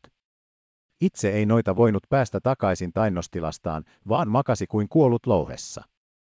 Siihen hän ikuisesti jäikin, eikä henki enää palannut takaisin, jos vain jokukaan meni häntä liikuttamaan, tai ellei apulainen tai joku toinen henkilö häntä oikeilla sanoilla vapauttanut lovestaan. Niin muuankin noita sai maata kätkössään 50 vuotta, ennen kuin apulaispoika muisti sanoa isänsä antamat päästösanat. Vieläkin silloin noitaajan henki palasi, mutta nuhteli. Voi, poikani, mahoit sanoa 50 vuotta ennen. Nyt on jo. Kasvanut kuusi kulmaluille. Katajapensas parran päälle. Ei ole enää helppo nousta ylös. Ja äijän ääni vaipui siihen, ja koko ukko pemahti pölyksi. Tällaiseen loveen menoon ei tarvittu vihollisen voimaa, sillä se ei ollut mitään pirun palvelusta. Joka ihmisellä on hänen oma haltijansa, vaikka hän ei tavallisesti tiedä siitä mitään. Mutta suurilla lovinoidilla oli salainen viisaus ja voima niin, että he voivat panna haltijansa palvelemaan isäntäänsä, pitämään hänen puoltansa ja kulkemaan hänen henkensä mukana. Samoin he saattoivat ottaa toiseltakin ihmiseltä hänen haltijansa, jopa viedä hänen suojuvansakin, eli varjonsa, niin ettei ihmisestä päiväpaisteessakaan syntynyt minkäänlaista kuvahaista. Ounasjoen länsirannalla, levitunturien takana, Taalovaaran laidassa on synkässä metsässä vanha nurmettunut kenttä, jonka sammaltuneille kiviraunioille jo vankat puut ovat kasvaneet. Se on Torajaisen autio, Kittilän suuren tietäjän muinainen asuntopaikka, ja jo ristimättömän Lapin aikana sanotaan Torajaisen siinä pitäneen kotaa. Siihen aikaan ei ollut vielä poroja Kittilän mailla, ja kaikki villipeuratkin olivat kiveliöistä kadonneet, luultavasti olivat Inarin noidat vetäneet ne omaan maahansa. Silloin Torajainen, Kittilän noita, päätti ottaa selvän, mihin peurat olivat hävinneet. Hän, vanha lovinoita, lauloi itsensä louheen, lensi Lapin tunturit ja jängät aina Inareen asti ja huomasi, että Inarainen, Reinajalka, on vienyt viljan meidän maasta. Kitka, kitka Kittilästä. Vääräsäären väkivaltaa. Sotahan nyt haastaa. Ilman armon anelematta. Ilman rauhan rakentamatta. Torajainen piiloutui pilkkukuonoisen peuravaatimen pikkukynnen alle ja ruukalti Ivalojoelle, joka oli Inarinmaan ja Kittilänmaan rajana, kutsui sinne kaikki Inarin peurat ja lähti sitten ohjaamaan niitä Kittilää kohden. Ja kuin pilvenä tuli peuralauma erämaiden halki aina Ounasjoelle asti, Torajaisen asennolle, laskeutui jokeen ja rupesi nousemaan vastaista törmää ylös. Mutta Inarissa, oikeassa noitien maassa, asui silloin myöskin suurnoita, Tierna, Inarin iso noita, jolle haltija heti antoi asiasta tiedon. Hän huudahti. Torajainen, Stuora noita. Vei meidän maasta viljan kaikki. Kaikki ketut, kaikki saukot. Kalat kaikki kaivoistakin. Voja voja voja naa. Kiskoo, kiskoo kittiläinen. Inarin härkää reimasäärtä. Voja voja voja naa. Laulautui hänkin loveen, meni valkkovaatimen takajalkaan ja lähti joukkoineen rukattamaan Torajaisen jälkeen. Juuri, kun Torajainen tokkineen oli nousemassa Ounasjoen törmää, tohahti niin kuin tuuli tunturista, tuli viheltäen, vonkuen ja puitarepien, ja iski peuralaumaan. Ammu valkkovaainta. Huusi Torajainen pojalleen, joka jousineen oli törmällä. Heittäkää pilkkukuono vain kiinni. Komensi Tierna joukkoaan ja syöksyi jokeen, ettei jousimies ennättänyt ampua. Inarin miehet heittivät pilkkukuonovaatimen kiinni, ja Torajaisen täytyi tulla esiin sen pikkukynnen alta. Mutta hän sieppasi heti pojan jousen ja ampui itse valkkovaadinta, niin että Tiernankin täytyi tulla piilostaan pois. Tuli siinä suurnoidille tora ja tappelu, mutta ei kumpikaan voinut toistaan masentaa. Viimein täytyi äijään sopia, niin että viljaa ja eloa pitää olla kummassakin maassa, molemmin puolin rajaa, ja niin lähti Inarin isonoita kuljettamaan omaa osaansa takaisin tunturien taakse, ja Torajaisen törmälle jäänyt osa pysyi Kittilässä. Siitä lähtien oli taas peuroja sekä Kittilässä että Inarissa, ja opittiin niistä sitten kesyttämään poroeloa. Mutta siinä paikassa, missä peurat nousivat maalle, Torajaisen aution lähellä, on vieläkin Ounasjoen törmässä syvä kuru, Torajaisen nautto, joka rannasta mutkitellen nousee kankaalle Taalovaaraa kohden, ja sen pohjoispuolella on pienempi kuru, mistä Tiernan tokka painui takaisin Ounasjokeen. Kittilässä Kuivasalmenjärven koillisrannalla, Päiviön kentällä, asui muinaisina aikoina Päiviö, Kittilän sydänmaiden ensimmäinen asukas, jonka sukua nykyisetkin Lapin lukuisat päiviöt ovat. Päiviökin oli noita, jopa oikein hirmuinen lovinoita, joka siakkapuolella saattoi laskea kellostapulinkin vaaran huipulta, huimaavan korkeasta ja jyrkästä rinnesyöksystä alas Ounasjokeen, niin ettei edes rasvakuppikaan, jonka hän oli asettanut päälaelleen, pudonnut eikä läikähtänyt yli laidan. Monia suuria ja merkillisiä töitä teki Päiviö, kävi Ruotsissakin Majavanhaustalla parantamassa kuninkaan tyttären ja vihavenäläisiä hän monet kerrat saattoi noita konsteilla surmilleen. Osuivat vainolaiset kerran Päiviön asennollekin. Kylläpä Karjalan perkele nyt puohkii, arveli Päiviö. Vihavenäläiset ottivat Päiviön rengin ja lähtivät viemään joukossaan. Renki pyyteli Päiviötä. Nakkaa, isäntä rakas, sanaparilla perääni. Mene jalkoihis vain. Sanoi Päiviö. Mutta kun viholliset pääsivät erämaihin, loitsi Päiviö ketun edellä juoksemaan, ja sitä lähtivät he koko joukolla ajamaan, jättäen vain yhden miehen vartioimaan vankia. Silloin juoksi porometsästä, työnsi päänsä rengin haaroihin ja laukotti hänet selässään Päiviön asennolle. Ketun ajajat lopulta väsyivät ja eksyivät korpiin. Toisen kerran pani Päiviö poikansa luotsimaan vihollista metsien takaiseen lappalais, siitaan, ja toimitti metsään poronvasan juoksemaan edellä. Sitä taas nälkäinen joukko rupesi lennättämään, mutta vasa laukkasi metsiä ristiin, rastiin ja eksytti ajajansa selkosille, jolloin viimein Päiviön poika yhtäkkiä hypähti vasan selkään ja ratsasti sillä tiehensä. Oli taas sitten Päiviö itse vainolaisia soutamassa järven ylitse ja mentiin saareen levähtämään. Siellä loitsi ukko kaksi oravaa laukkaamaan pitkin saarta. Vainolaiset kävivät oravia ahdistelemaan ja, kun saivat ne kiinni, rupesivat niistä keskenään tappelemaan. Sillä aikaa lykkeli Päiviö huomaamatta kaikki veneet vesille ja nosti tuulen ajamaan ne järven selälle. Tuli siitä joukolle hätä, mutta Päiviö loitsi pikkualuksen Metson peräkumppiluusta ja tarjoutui noutamaan veneet. Metson peräkumpilla istuen ja käsillään meloen souteli Päiviö järvelle ja heitti vihavenäläiset saareen. Tapahtui kerran, ettei lohi enää noussutkaan Kittilän jokiin, vaikka se ennen oli kaiket kesät suurina joukkoina molskehtien kohonnut kaukaisimpiinkin korpivesiin. Silloin Päiviö lähti ottamaan selkoa, mikä oli lopettanut lohen nousun. Meni noita louheen, piiloutui Säynäjän suolenmutkaan ja lähti laskemaan jokea aina Keminsuulle asti. Huomasi Päiviö silloin, että jokivarrelle pitkin matkaa oli asettunut uutta kansaa ja että monet koskipaikat oli seivästetty aivan umpeen, joten nousulohet puuttuivat satimiin.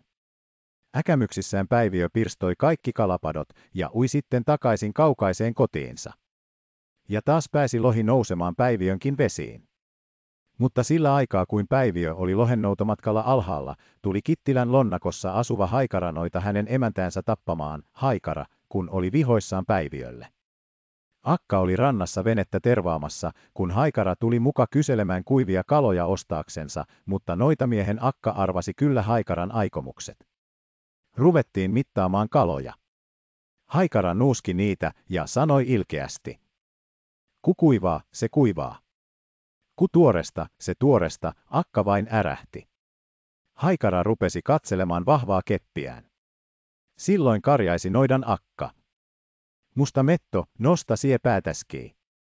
Ja sen sanan päälle lensi haikara keskelle järveä, niin että jämähti, ja virta kuljetti ukon alas Loukisjokea Ounaaseen, ja sitten Ounasta aina Kuusajoen suulle, jossa hän tarttui kuin märkä raasu suureen haikarankiveen, keskelle jokea. Siinä roikkui noita pitkät ajat, kunnes kesätulva nousi ja työnsi hänet Molkojoen suun alapuolelle, Molkokönkään alle, haikarankariin, johon taas jäi virumaan. Vasta syksyllä tuohustajat pimeänä yönä löysivät äijänraadon ja raahasivat rantanuotiolleen. Siinä kalamiehet katselivat kamalaa löytöään, tunsivat ukon ja arvelivat, että onkohan Lapin noitaraasu taas ollut. Hauen suolen soikelossa. Kolmannessa koikelossa. Ja sinnehän noita olikin henkensä piilottanut hauen mustan unimaksan alle, ja siitä heräsi heti henkiin, kun sai kuulla päästävät sanat. Hepokalliolle, neljänneksen ylöskäsin, pyysi noita hänet saattamaan, koska siellä häntä kyllä kyyti odottaa. Sinne ukko kannettiin, ja siellä hän lauloi itselleen komean hevosen, hyppäsi selkään ja laukotti alakylään, ylitalon noidan, pötysklaavun luokse. Pötysklaavua rupesi haikara nyt houkuttelemaan apulaisekseen, että käytäisiin yhdessä päiviön kimppuun. Mutta ei rohjennut lannannoita, vaikka oli suuri noita hänkin ja oli monta kertaa ajellut näkymättömällä kyydillä lähteä Lapin noitaa vastaan. Eikä uskaltanut haikarakaan yksinään, palasi vain nolona lonnakkoonsa ja koetti elää sovittiinossa Päiviön kanssa. Kävi suuri Päiviö noita toisenkin kerran Keminsuulla, matkaten taaskin kalana taipaleensa. Hän oli kuullut huhuja uudesta opista ja uudesta Jumalasta, joka oli niin mahtava, että uskalsi ruveta taistelemaan lappalaisten suuria jumalia vastaan ja hävittämään heidän pyhiä paikkojaan. Vastaan noita soti alussa uutta uskoa, mutta sitten vanhana, kun Sodankylään tuli ristinjumalan pappi, antoi hän kastaa itsensä. Mutta vanhan noita voimansa päiviö siinä kaupassa menetti. Ei voinut hän enää loveenkaan laulautua. Risti minut rikkoi. Papinkaste painoi. Valitteli hän muistellessaan kadotettua kykyänsä. Asui sitten Kittilän kirkonkylän ensimmäisinä eläjinä kaksi suurnoitaa, Pietula ja Hannula, jotka aina olivat keskenään sotajalalla. Hannula pani Pietulan karjan metsänpeittoon, Pietula kostoksi noitui Hannulan äijän sonniina maata möyrimään, Hannula nosti käärmeen Pietulaan, Pietula pani karhun Hannulan kantapäille. Ja kaikenlaista muuta kiusaa äijät toisilleen keksivät. Pietula mahto mennä loheenkin ja kalana vesiä matkata, ja Hannula saattoi suurena lentonoitana kulkea tuulispuuskissa. Mutta kerran Pietula laski lohena Ounasjokea, joutui pyydykseen ja menetti pyrstönsä, ja siitä lähtien on Pietulassa ollut jalkavaivaisia. Hullusti kävi Hannulankin lentomahdille. Äijä meni kerran Pietulaan, ja Kitti emäntä, Lapinlähtöinen akka, nappasi äkkiarvaamatta lammasraudoilla äijän otsatukasta suuren tukon. Ei ennättänyt Hannula muuta kuin karjaista. Kitko! Ja otsatupsu oli maassa. Eikä sen perästä äijä enää päässyt lentämään. Sirkan kylässä asui ennen Konttinen, Kittilän viimeisiä suurtietäjiä, Sirkan ensimmäisen asukkaan, Konttis Raukan jälkeläisiä. Lappalaisten ikivanhoilla pyhillä mailla, kahden tunturin välissä, kauniin Immeljärven rannalla, monet ajat asunut lantalaissuku oli lantalaiseen tietäjämahtiinsa saanut lappalaistakin voimaa. Konttis Raukkakin oli ollut semmoinen tietäjä, että oli muuripadalla soudellut Immeljärvellä. Konttinen oli myöhemmän ajan tietäjiä, kun jo uusi usko oli ennättänyt Lappiinkin ja kirkko saatu Sodankylään, jossa jo pappikin ja vallesmanni asuivat. Lapinkorpien kansalle oli annettu ankara määräys, että jokaisena rukouspyhänä piti joka ainoasta erämaan asunnosta olla ainakin joku ihminen kirkossa. Vaatipa punakorva, pappi vielä, että heinäajan rukouspäivänä kansan piti jo lauantaiksi saapua kirkolle ja yksissä miehin niittää pappilan jokirantaniitty. Sodankylän kirkolle täytyi konttisenkin mennä, ja Salmen äijän kanssa yhdessä he tekivät pitkän matkansa. Heti pantiin ukot niittämään, vaikka oli kova helle, Marjatan sunnuntain aatto. Pistippä muuan niittymies, joka oli kyllästynyt punakorvan lauantaityöhön, heinät tuleen, ja rätisten lensi liekki pitkin kuivaa luokoa. Mutta silloin kontti sukko lähti astelemaan poikki luovon, ja siihen tuli tyrehtyi. Punakorvakin sai kuulla tämän noidan työn, ja illalla, kun äijät tulivat rippikirjoitukseen, kysyi hän konttiselta. Milläs voimalla se konttisen vaari valkean sammutti? Ei ole mulla mitään voimaa. Sanoin vain, isä ja poika Hallikhon valkeaisen, ja siihen se loppui. Eikä pappikaan siihen mitään mahtanut, kirjoitti vain ukot ripille. Mutta ulos tultaessa kysäisi Salmen ukko konttiselta. Ekkö sietee mitään, kun pappi niin sanoi. Mitäs mie, kun ei ole hammasta, murahti konttinen vain. Syksyllä, tuomiosunnuntaina, tuli pappi Kittilän Kaukosen kylään saarna ja palkankantomatkalle. Kaukosessa oli silloin pieni kirkko, käräjätupa ja markkinapaikka, Holmanlinnaksi sanottu, ja sinne taas piti Kittilän kansan saapua joka talosta sakon uhalla. Punakorva tuli jo lauantaina kaukoseen, istui asuntotalossaan ja tiedusteli, ketä on tullut kirkolle, onko tultu sieltä ja sieltä. Jo viimein kysyi. Onko Salmen äijä tullut? Onko tullut Konttisen vaari? Ei ole näkynyt vielä, sanottiin. Kun tulevat, niin käskekää puheelleni, varasi pappi. Ja kun ukot tulivat, vietiin heidät heti papin luokse. Kuinkas olet voinut? Kysyi punakorva konttiselta. Hyvästi on voitu. Kuinkas kirkkoherra on voinut? Pappi vastasi. Hyvästi kyllä. Mutta on tullut kummallinen vahinko.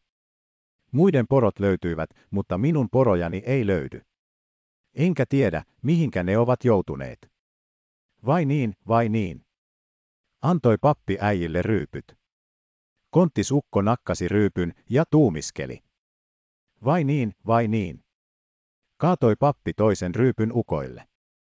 Kontinen katsahti pikareensa, heitti suuhunsa ja tuumiskeli. Vai niin, vai niin. Kolmannenkin ryypyn pappi tarjosi. Konttinen katseli pikarinsa lävitse pitkän aikaa ja puheli. Kyllä pappi poronsa löytää, ei ne ole kaukana, tuossa ne on kaikki yhdessä, järven rannalla rytiä pieksävät, kaunis männikkö on eteläpuolella, kellovaatimella on valkea vasa. Ja sieltä porot löytyivätkin. Lähellä kotia, järven rannassa, vain petäjikön vierellä pieksivät rytiä, ja kellovaatimella oli valkea vasa. Olivat ukot taas kerran Sodankylän kirkolla, ja sattui silloin punakorvan luona olemaan Vallesmannikin, Matliini, joka oli kuullut konttisen mahdista. Rupesi Vallesmanni ukkoa pilkkailemaan. Kun sie et anna minulle mitään, ahmaa, kettua, vaikka karhuakin. Onko se minun vallassani antaa? Murahti konttinen. No, kun sie olet papillekin porot toimittanut, Vallesmanni ilvehti. Äijä ei sanonut mitään.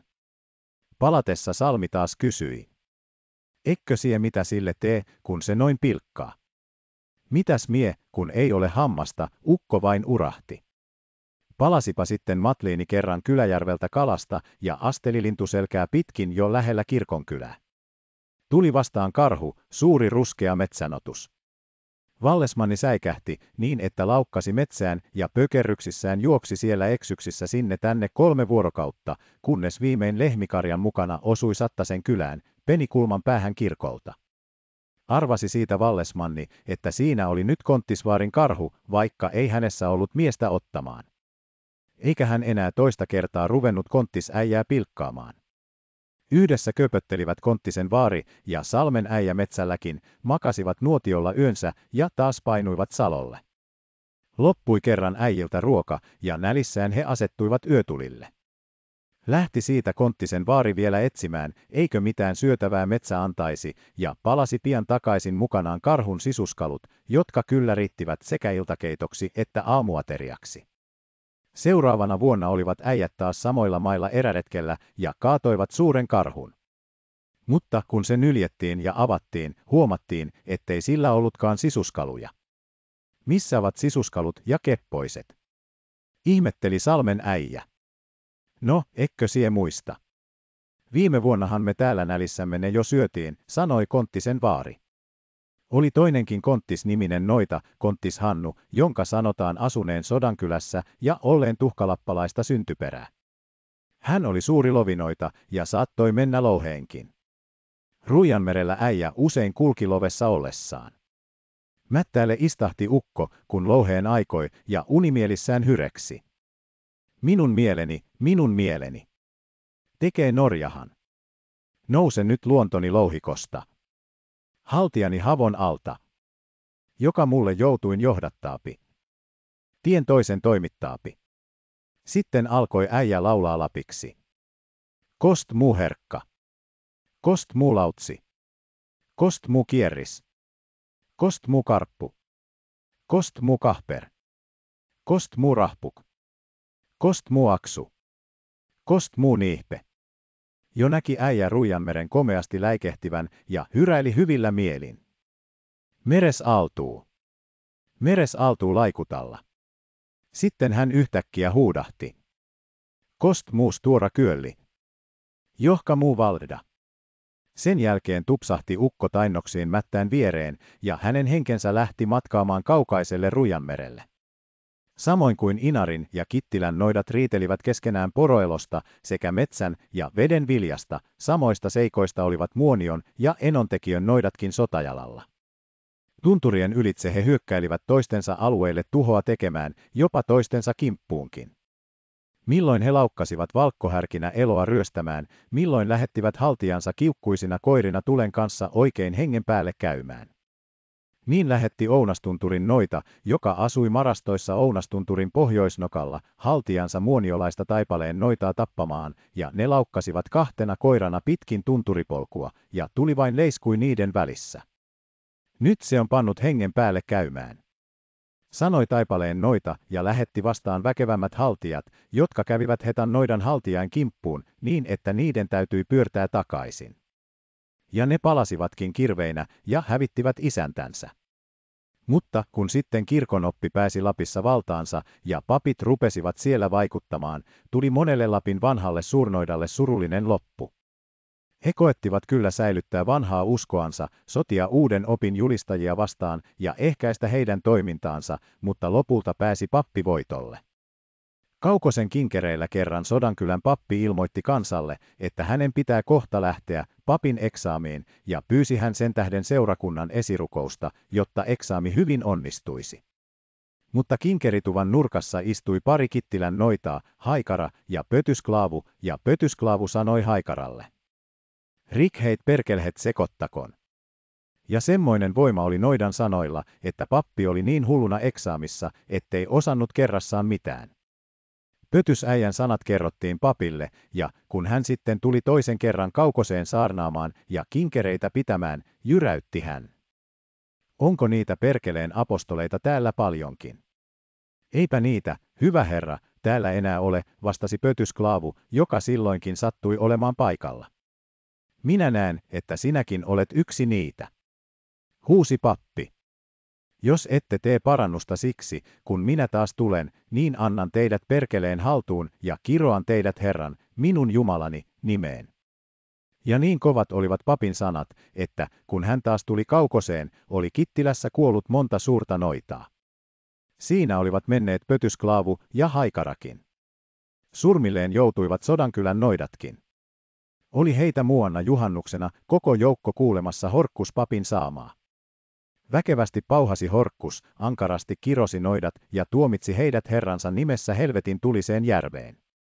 Kauhistuneena kuunteli kansa pappinsa pauhaamista ja kauhtuen katseli vanhoja tietäjiänsä, jotka siellä täällä muiden joukossa istuivat.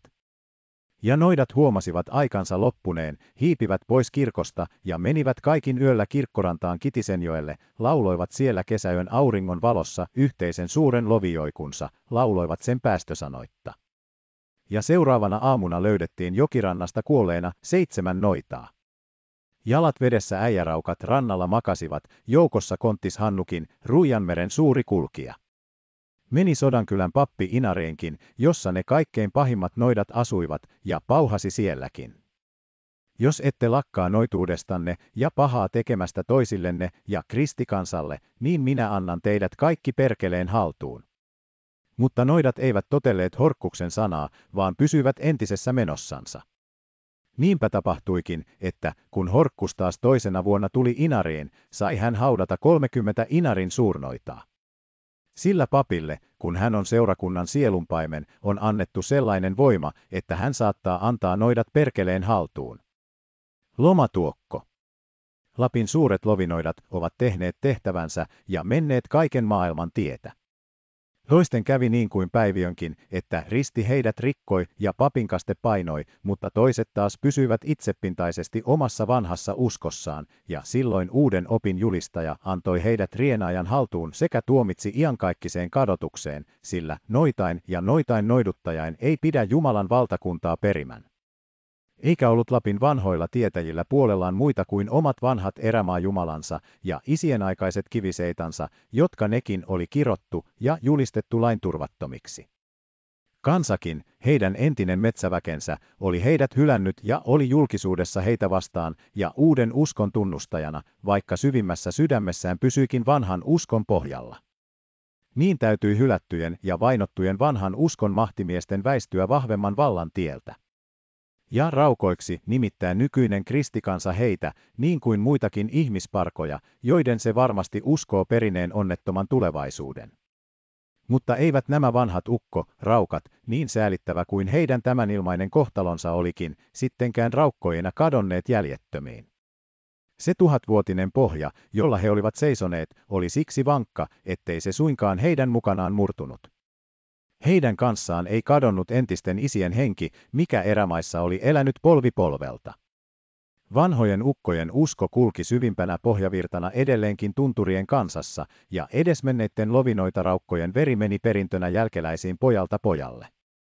Niin että vielä näinä päivinäkin, satoja vuosia lentävien lovinoitien jälkeen, elää tietäjiä tuli Lapissa, ja erämaa uskoo heidän mahtiinsa ja tarvitsee heidän taitoansa. Eivät kyllä nykyiset mahtajat enää kyhöydy louheen menemään, eivätkä matkustamaan hauen eikä säynäjän suolen soikeloissa, mutta tuulispuuskissa, kun ne oikein näverin kierrossa viehkuroiden mennä rymistävät, tietää vanhakansa vieläkin noidan hengen valtavan. Noidan puuskaksi vanhat sellaista viehkuroijaa sanovat, ja sen lähestyessä lennättävät siihen puukkonsa ja ärjäisevät. Tästä halki. Puske puita, mäijytä mäntyjä. Mutta älä minuun koske. Mene ilmaan, piru. Siellä on sulla lentosia. Ja rauta sekä luonnokas sana tekevät sen, että tuiminkin tuulispuuska pyöräyttää kyynäspäämutkan ja väistyy kristittyä ihmistä. Sellaisia lapinnoitien jälkeläisiä elää vielä muuan Kittilässäkin, nimittäin Tuomas Lomajärvi, Lomatuokko, koko pitäjän parhain tietäjämies, 80-vuotias äijänkäpsä.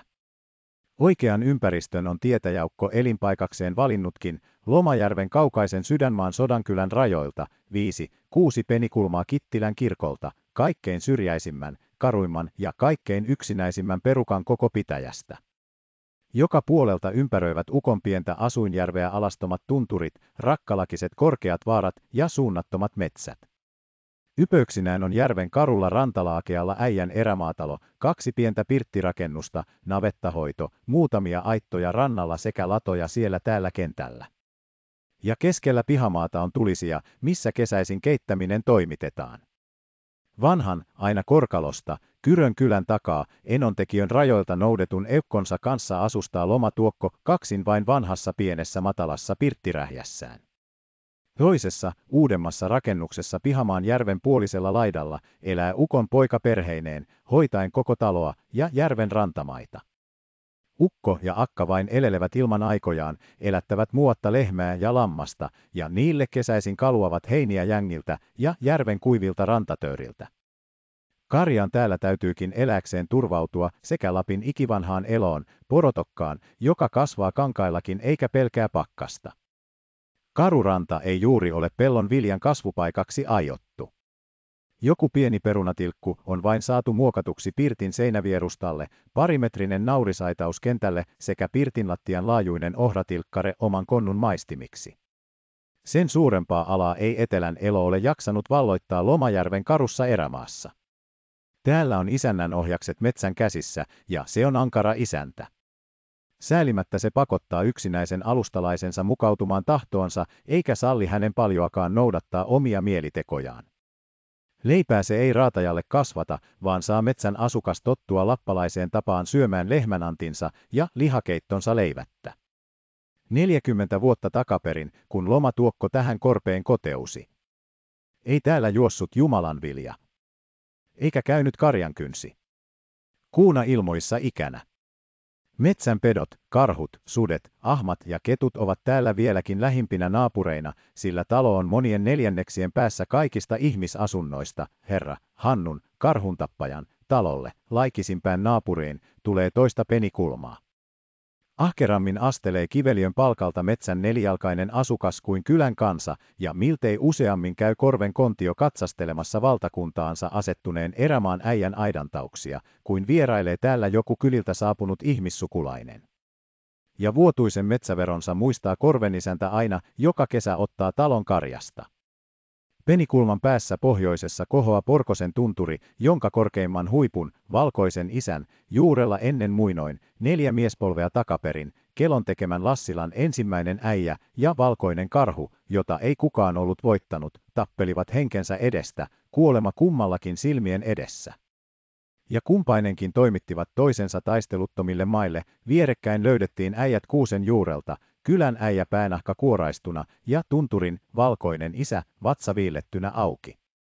Parin, kolmen neljänneksen päässä on silmänpaistamalaki, jonka rinteellä ennen vanhaan Lapin pikkutyttö näki pensaikosta kiiluvan kumman näköisen metsän silmän ja sanoi isälleen, silmä paistaa, silmä paistaa. Ukko pinkaisi terävän nuolensa kiiluvaiseen ja kiskoi sitten ryteiköstä esille suuren karhun. Lapin saloa olikin Lomajärven erämaa ennen muinoin. Täällähän ikivanhoina aikoina tietä joi Riimin Niila, täällä kierteli sitten vanha Riimi suurine tytärparvineen ja taas myöhemmin Juti poroineen Vasaran Niklaavu, kunnes Porkosen juurella Juti toisille ilmoille. Samaa Lapin saloa on tämä seutu vieläkin, täällä on jäljellä vielä entisten lappalaisten kotasijoja ja hautapaikkoja, riimintievat ja Rumanautton kummun haudat, ja vanhan Lapin henki asuu kaikkialla.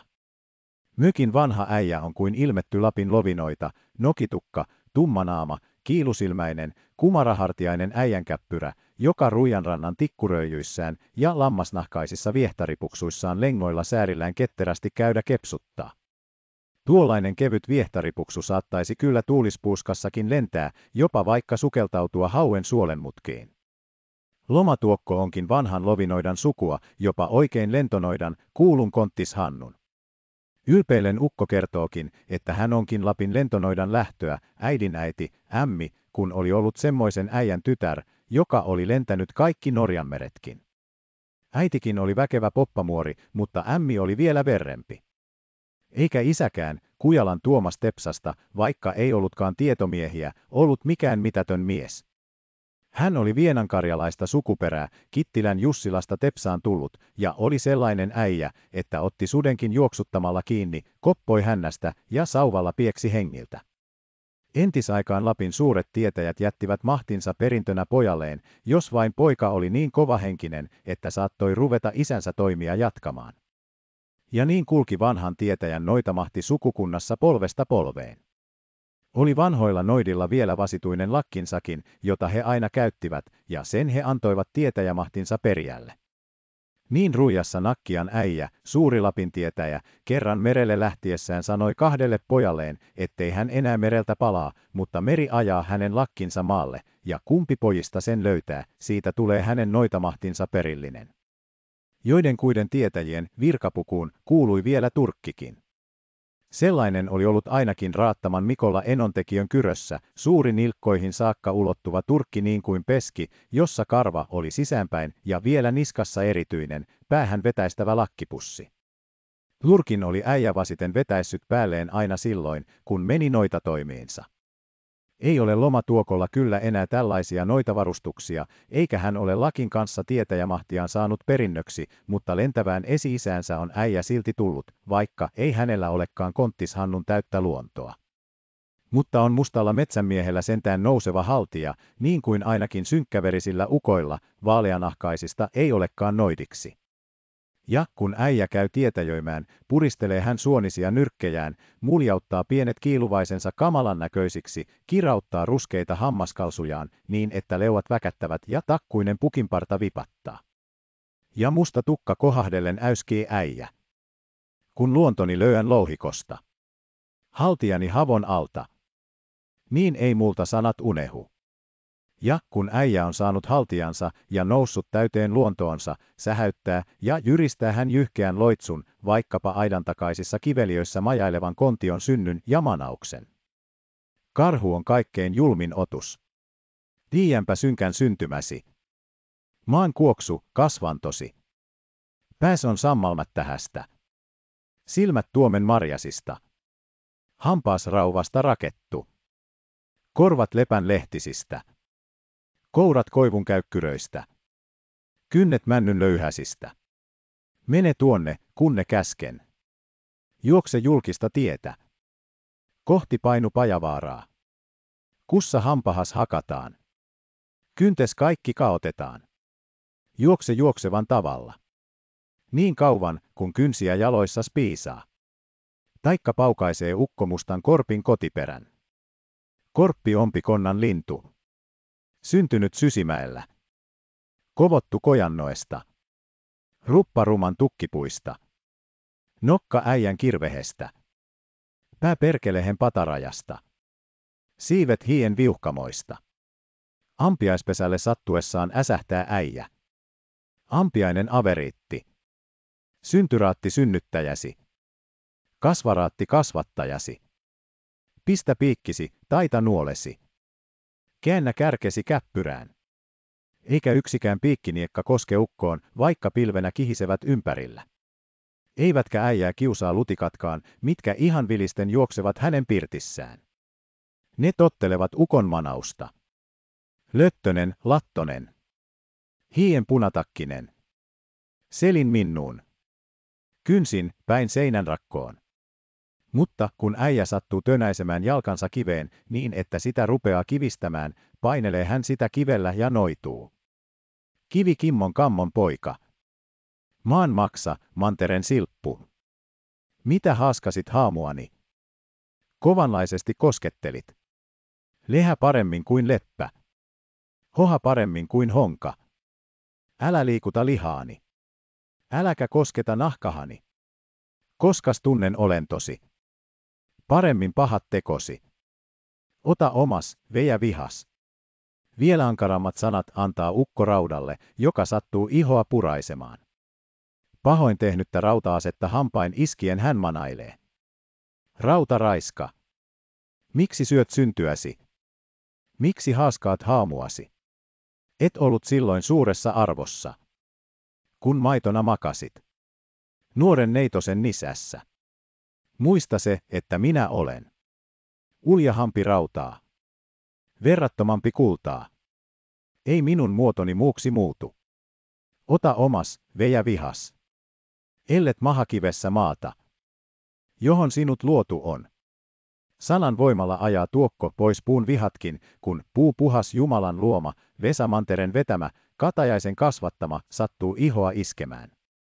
Sievästi hän puuta, koska se on kaikkein tarpeellisin, käskee pysymään alallaan ja kehoittaa.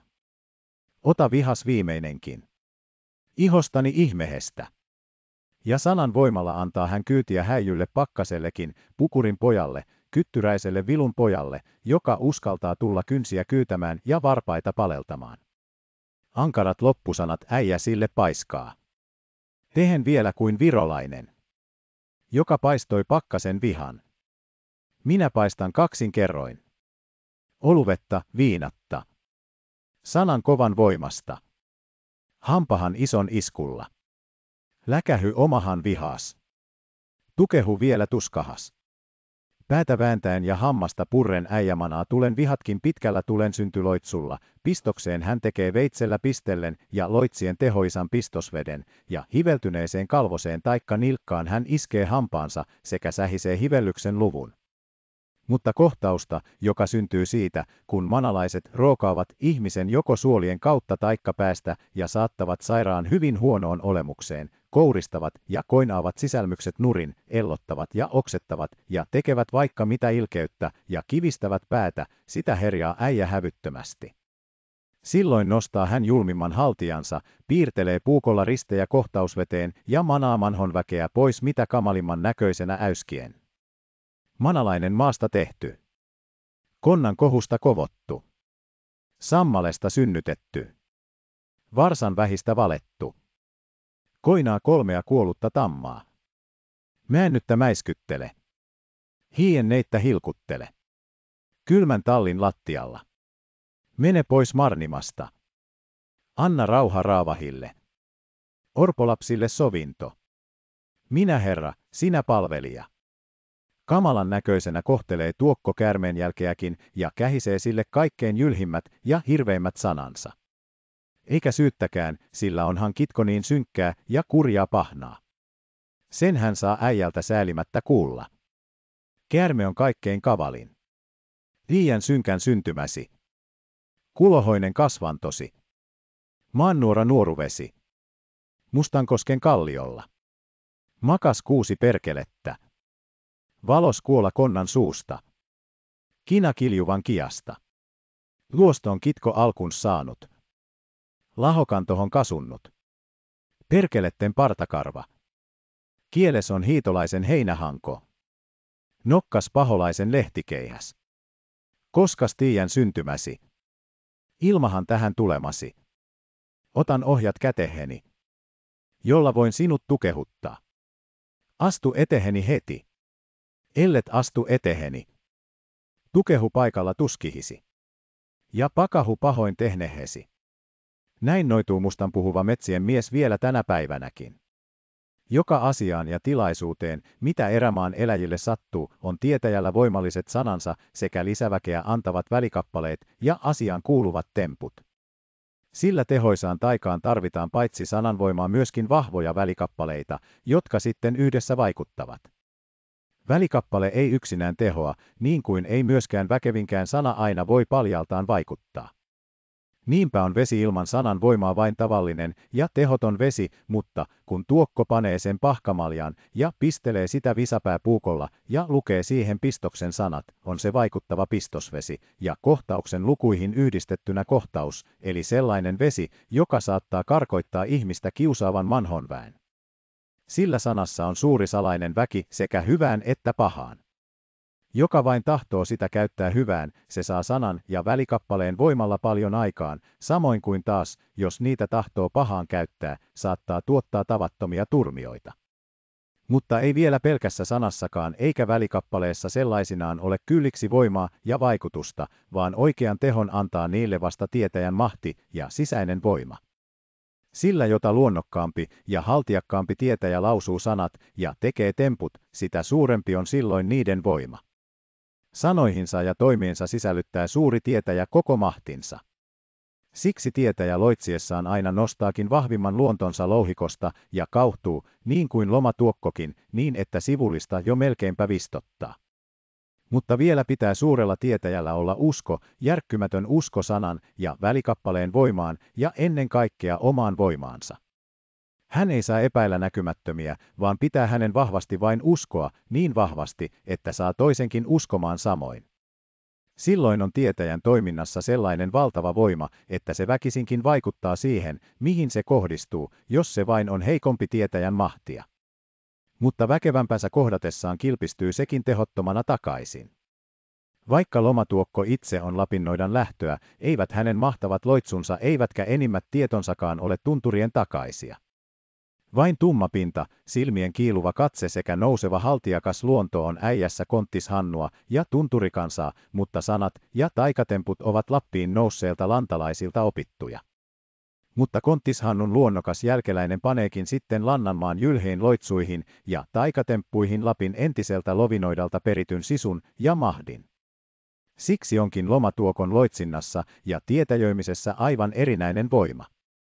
Siinä yhtyvät Suomen ikivanha loitsu sekä Lapin tuhatvuotinen kuulu taikamahti ennen lopullista sammumistansa viimeiseen voimakkaaseen yhteistoimintaan.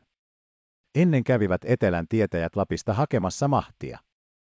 Mutta sitten aikojen vieriessä ovat Lapin suurnoitien jälkeläiset joutuneet vuorostaan lisäämään taitoaan etelän tietomiesten viisaudella. Niin kuin Loma Tuokkokin, Kittilän erämaiden viimeisiä tietäjiä, Lapin lentonoidan jälkeläinen. Seitapalvonnan muistoja.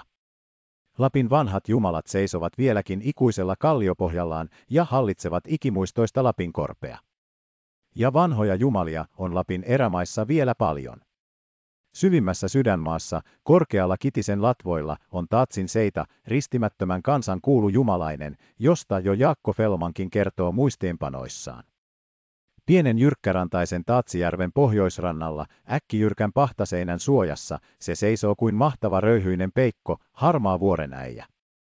Voimakkaasti kohoa karkea patsas pystysuoraan vankoilta perustuksiltaan, ja kuusi, seitsemän syltä korkealle kohottaa se röyhyisen lakensa.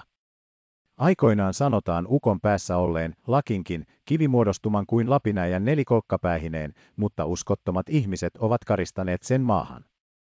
Tatsijärvi on kuin luotu metsäläiskansan erämaatemppeliksi, ahdas ja syvä jokilaajentuma, johon päästään vain kitisen monia koskia sauvoen korpien halki. On alempana ensin isompi järvi kuin esikartano, jonka perukasta mutkittelee kapea jyrkkärantainen väylä piiloiseen ylälompoloon, kaikkein pyhimpään, missä vuorenukko hallitsee. Tämä lompolo on kuin jonkun vuoren loukuttaja, jättiläisen kallion repäisemä mahtava kuilu.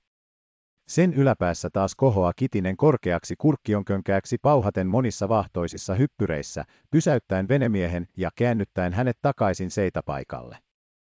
Koskematon ja karu on koko seitaseutu, käekkyrämännyt ja karalatvakuuset seisovat äyräillä, ja ympärillä on villi ääretön erämaa. Ei kulje tänne kirkkokansan tietä, porojen palkaita vain risteilee kankailla sinne tänne. Mutta metsäkansa ei polkuja kaivannutkaan, sen käymätienä oli koko erämaa. Tatsin seita oli koko seudun lappalaisten palvontapaikka. Sen luokse Karhulan sammukin Kaisamuoreineen sekä Murri-Pekka Akkoineen kalaretkillään soutivat ja lauloivat sille. Jos saamme kaloja. Jos saamme suuren siian. Niin suurimuksen siianpään. Me sinulle tuomme. Komeasti kumisi silloin korkea pahtaseinä, ja jumalapatsaasta kuului kuin tiukujen helkettä. Hyvillään lähtivät sitten kalamiehet pyyntiinsä, saivat saalista, ja palatessaan soutivat taas Jumalansa juureen ja uhrasivat sille isoimman siianpään. Oli kivipatsaan vieressä nojallaan pitkä koivuriuku, pitkä käsi, jonka latvaan oli vitsoista väännetty keri kuin sauvansompa. Siihen asetettiin anti ja ojennettiin vieressä olevalta kalliolta seitakiven ylimmille pykälille. Heuran pyytäjätkin kävivät Taatsin jumalaiselta anomassa apua. He rukoilivat. Jos peuroja saamme. Niin suurimukset naamasarvet. Me sinulle kannamme. Niin lauloi Karhulan sammukin kerran Taatsilla kalalla ollessaan jumalaiselle. Ja vuoren vanhus kuuli heti hänen rukouksensa, vähän ajan päästä laukkasi rantatörmälle neljä suurta villipeuraa. Lähdettiin niitä lennättämään ja saatiin yksi kaadetuksi. Heti aamulla saatteli sammu komeat sarvet jumalaisen olkapäille. Ratsin vuorelaista palvoivat myöskin koutokeinon lappalaiset, jotka 50-60 vuotta takaperin monena kevättalvena porolaumoineen salakättä asustelivat Taatsijärven jäkälämailla. Pari, 30 perhettä, Pierran Aslakkaa, Vieman Pietaa ja Iisakkaa sekä Jussan Jussaa oli heitä Taatsin laitumilla, kotasijat seisoivat Taatsin palolla, ja ahkerasti kävivät tunturien täkäläiset viemässä anteja jumalaiselle suurien tokkiensa menestykseksi. Kasoittain karttui seitakivelle uhreja, peurahirvaan ja poronkin sarvia, siian, taimenen ja hauen päitä, huonommista kaloista ei lappalainen välittänyt, ei niitä jumalaiselta rukoillut eikä uhriksikaan kantanut. Kasoittain oli anteja seitakiven pykälillä, ja kasoittain oli niitä putoillut maahankin. Siinä ne saivat rauhassa lahoa. Vasta myöhemmän ajan epäuskoiset rupesivat vatkomaan niitä järveen, ja viimeisen, pitkän käden, Murripekan äidin valmistaman, pirstoi laitin Niklaavu palasiksi jo kymmeniä vuosia sitten. Mutta vieläkin joku vaalennut luukappale makaa jumalaisen jaloissa. Ei ollut Taatsin jumalainen ainoa Lapin erämaita hallitseva seita. Tunturien maassa seisoi entisinä aikoina joka seudulla oma jumalansa. Vanhan Lapin muinaisia pyhäkköjä tavataan vielä monin paikoin pitkin lappalaisten entisiä asuinmaita, ja nykyinenkin kansa kertoo muisteluksia menneen polven palvonnasta. Niin oli Kittilässä, muinoin kiviseitä Korteniemellä, Kuivasalmen järven rannalla, lähellä Suurnoidan, Päiviön, kenttää. Se oli järven kalajumala, joka antoi pyytäjälle veden viljaa. Mutta kalamies ei saanut mainita kissan, ei koiran eikä minkään korttoelävän nimeä. Jos hän sen teki, ei seitä antanutkaan kalaa. Sirkkajärven Seitaniemellä oli Jumalana suuri kivilaaka, jota palvoivat sekä kalamiehet että peuranpyytäjät. Suuri sarvikasa oli ennen seidan juurella, ja niin ankara väki siinä asui, ettei kostamatta saanut uhrikasaakaan liikuttaa. Sirkan äijääkin, joka kerran ylpeydessään potkaisi sarvirökkiötä, tulivat lapinhaamut yöllä vaivaamaan niin, että äijän piti mennä asettamaan sarvet jälleen sijoilleen. Hävinneet ovat jo molemmat jumalat, rikottu ja upotettu järveen. Kuivasalmen järven Seitakiven hävittivät kylän pojat. He olivat ukkojen kanssa kalalla, ja äijiä kiusaten hokivat koko ajan, kissa, koira, sika, perhana, mutta sattuivat sentään siitä huolimatta saamaan kaloja. Siitä pojat näkivät, ettei seidasta ole enää taikaa, soutivat kiven luokse ja pyöräyttivät sen järveen. Pienellä metsien ja jänkien kätkössä piilevällä Jänkäjärvellä, Hossan takana, Ounasjoen itäpuolella, seisoi ennen komea seita, joka hallitsi koko ympäristöä. Seitasaarella, lähellä länsirantaa, se seisoi suurella jänkäpounulla ja oli punertavasta kivestä muodostettu tai muodostunut ihmiskuva, jossa lukemattomat kirkkaat kissankultaiset pissit kimaltelivat.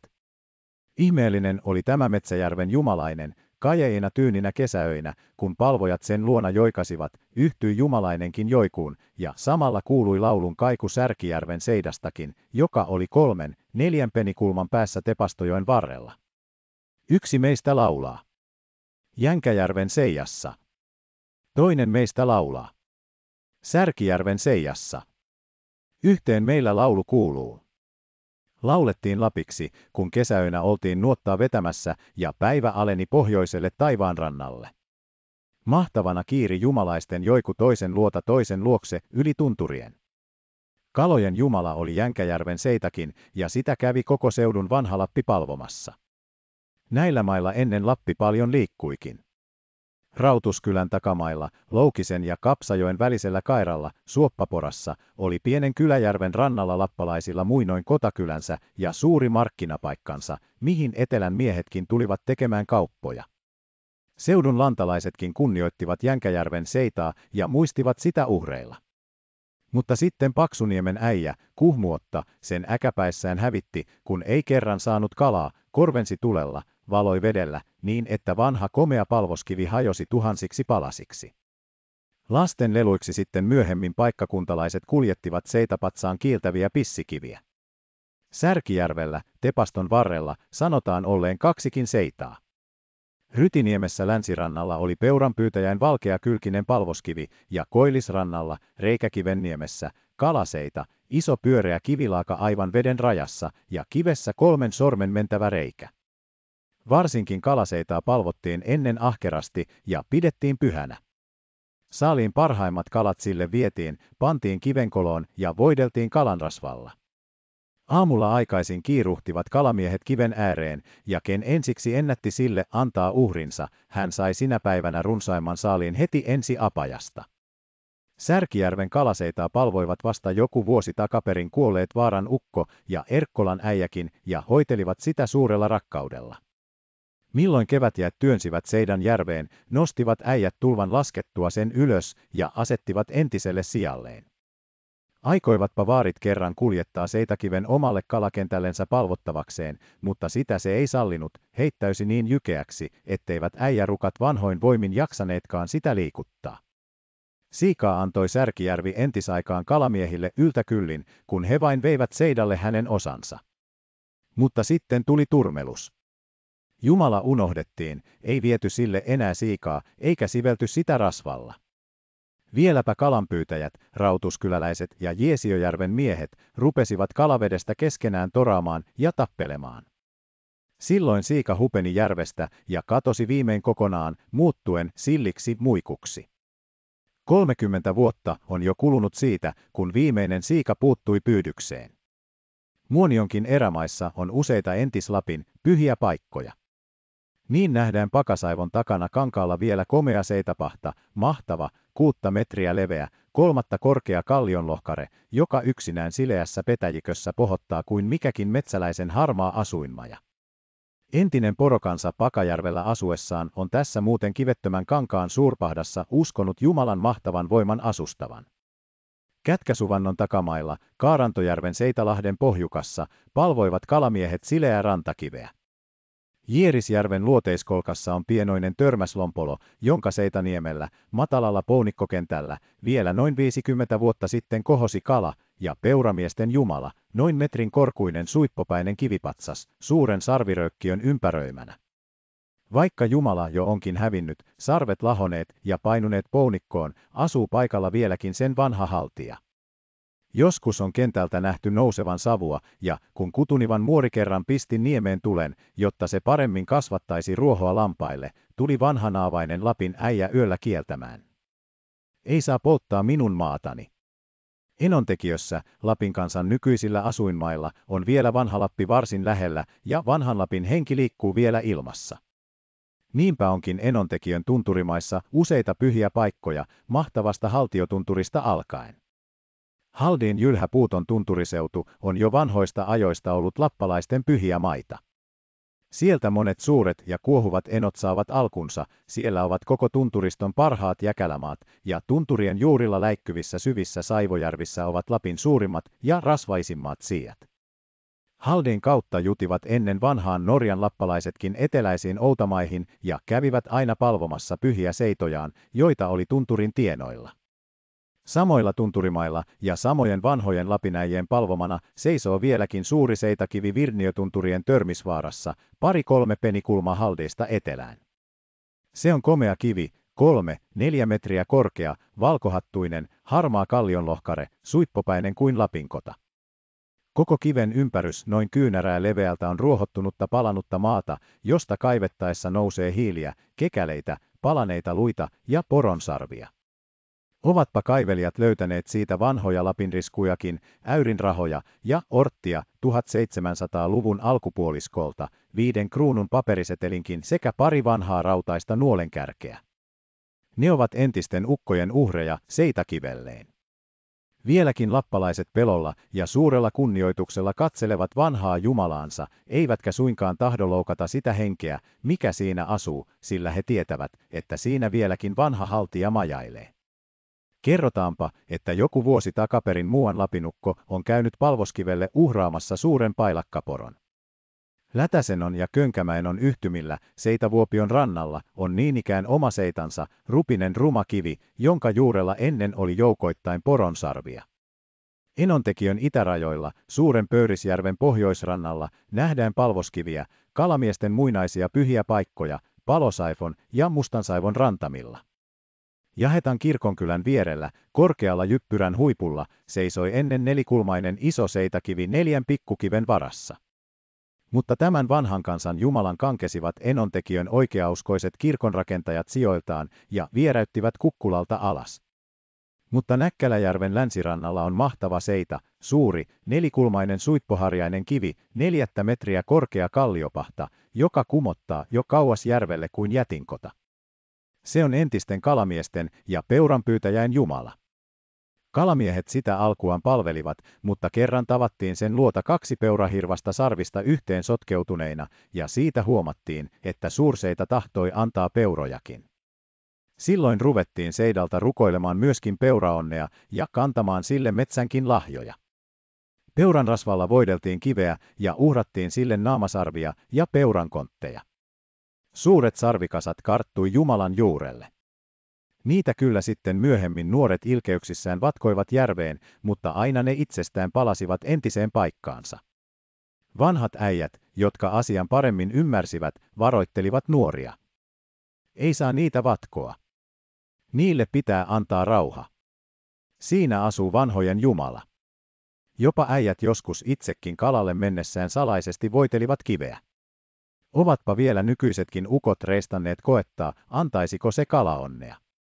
Kittilän rajamailla, Ketojärvellä, on kalanpyytäjäin ja poromiesten seita, parimetrinen, harmaa, sileä rantakivi, jota vanhan polven aikana vielä nillukkaukko ja muuan toinen rikas lapinäjä palvoivat. He sivelivät sitä kalanrasvalla, voitelivat voilla ja viinallakin valoivat, ja saivat paljon kaloja. Poroelokin lisääntyi nopeasti. Monesti kuultiin seidan öisin joikaavan, syksyisin kuului pyhältä rannalta koko yön. Tiijukka, tiijukka. Tiijujujui. Koutokeinossa, Norjan Lapissa, suurien lukemattomien tunturien maassa on vieläkin pystyssä monet vanhat jumalaiset. Siellä on pyhiä tuntureitakin ja vaaroja, jotka jo semmosenaan, koko mahtavuudessaan, ovat pyhän ja salaperäisen haltijan asuntona. Sellainen on Pasevaar, Pyhävaara, Koutokeinon ja Nauvuonon kulkutien varrella. Ohitse ajettaessa pitää sitä aina kauniisti puhutella ja jojata. Kaunis vaara, voja naa naa. Anna hyvästi tunturi laskea. Voja naa naa, voja naa naa. Kaunis, pyhänaa, voja naa naa. Silloin pyhä vaara antaa hyvästi laskea tunturin, mutta jos ei muista eikä tahdo jojata, nostaa tunturi tuiskun, ja silloin on hyvin huono päästä alas. Norjan lappalaisten vanhoja palvoskiviä nähdään vielä Jarkavaaralla Raisjoen varrella, Koutokeinon pohjoispuolella, Seitterasvaaralla Muldisjoen varrella lähellä Jäämerta, Kiesjaurilla Koutokeinon lähimailla ja Kivijärven kutumarastossa Suomen rajoilla sekä Kilkkasjaurilla pari penikulmaa Suomen rajalta pohjoiseen. Koutokeinossa ennen asuivatkin kaikkein harteimmat vanhanuskon miehet, joilla oli tuhantiset porotokat, palvoselot. Semmoisia vanhan kansan äijiä oli Mahtin Aslakka, joka Koutokeinon siepissä kuoli lopulla sadannetta kymmenettään pari, 30 vuotta takaperin. Pyhällä Halditsohkalla paimenteli ukko kesäisin porojansa, ja siellä oli hänellä vanha palvospaikkansakin, jossa aina määräaikoina kävi uhraamassa. Mutta kun äijä ei vanhana enää jaksanut seitä paikalleen kulkea, otti hän Norjanmeren rannalta, kirjikaissesta, pienen palvoskiven, kolmi, nelikorttelisen, harmaan pitkulaisen kappaleen kuin tahkokiven, juti sen haldin kautta kotiinsa ja hoiteli kotoisena Jumalanaan. Ensin säilytti ukko kiveä kotirannassa, joessa, ja kävi joka päivä sitä katsomassa, otti sen ylös vedestä, silitteli ja hyväili ja pani taas paikoilleen. Mutta vanhana, kun ei äijä enää jaksanut kulkea joellekaan, kantoi hän sen vuoteeseensa päänpohjeen ja säilytti siinä kuolemaansa asti. Hyvin menestyikin aina ukon elo, ei kenelläkään koko koutokeinossa ollut niin suurta ja komeaa tokkaa kuin Mahtin Aslakalla. Muutamasti omisti äijä kaksikin siitaa, suurta kotakuntaa, ja hänen porotokassaan oli 4000 5000 päätä. Mutta tästä suunnattomasta laumastaan ei ukko myynyt ainoatakaan elukkaa, sillä ei ollut lupa myydä. Vanhoja silmäpuolivaatimia ja viallisia härkiä hän vain lahjoitteli toisille sivakoista ja sivakkain vitsajuksista. Kuollessaan lupasi äijä poikansa pojalle, Niilalle, perinnöksi puolen palvoskiveään. Ja sen sai Kiila, piti tallessaan, ja pian kasvoi hänen tokkansa parituhantiseksi, ja pysyi niin suurena ukon kuolemaan asti, joka tapahtui kolme, neljä vuotta sitten. Mutta Kiilan jälkeläiset nyt pian kyllä köyhtyvät, kun ovat viime talvena tulleet ristityiksi. Vanhanuskon miehiä oli Korran Pietikin, jo ulkonäöltäänkin, ollen oikein ruma vanha äijä kuin tunturin karvainen peikko. Syksyisin etelään jutaessaan hän aina laumoineen kulki vanhaan pyhään paikkaansa tunturissa. Parhaisiinsa pukeutuneena meni äijä palvoskeivelleen, makasi siellä Jumalansa juurella yönsä ja sitten aamulla päänsä paljastain kumarteli sitä ja lupasi. Tuon sulle lannanrommia. Keväällä palatessani. Jos sinä suojelet minun eloni. Niin ettei yksikään poro. Vieri pahdalta alas. Kun keväällä meren rannalta palaan. Ja vaikka keväällä palattiin toisia maita takaisin, teki Pieti äijä matkan tunturijumalan luokse, maaten taas yön sen jaloissa. Yöllä tuli vanhan lapinäjän haamu herättämään häntä ja kysyi. Toitko lannan tuliaisia? Heti hypähti äijä ylös, valoi kiveä lannanrommilla, voiteli lannanvoilla ja sitten palasi tokkaansa. Eikä yksikään ukon poroista pudonnut jyrkkien ruijan tunturien hirveihin autseihin, vaikka toiset niihin joukoittain menettivät karjaansa. Oli siellä muuankin kamala paikka, josta koko lauman piti kulkea. Toisella puolella oli jyrkkä pahtaseinä, toisella pohjaton kuru ja välissä vain kaltainen kallion olkapää. Mutta kun Pieti jumalaisensa luota palanneena parhaissa pukimissaan ohjasi elonsa kulkua, niin hyvästi karja siitäkin ruuhkasi lävitse.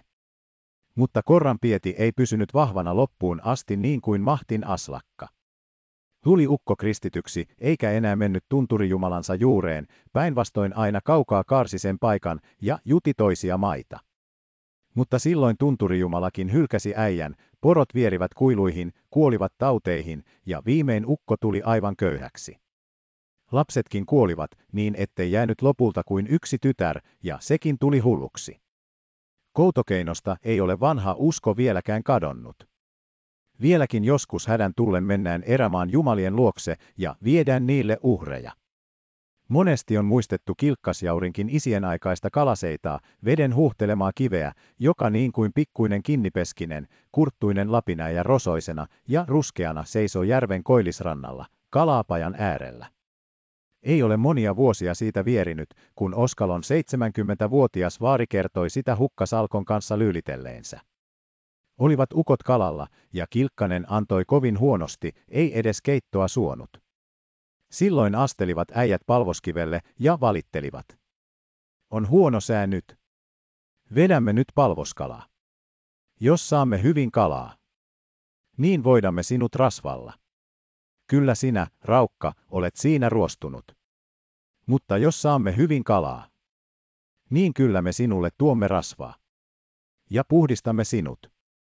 Sitten mentiin taas vetämään, ja Kilkkanen laskikin nuotan täpö täyteen. Hyvillä mielin kiskottiin pyydys apajalle.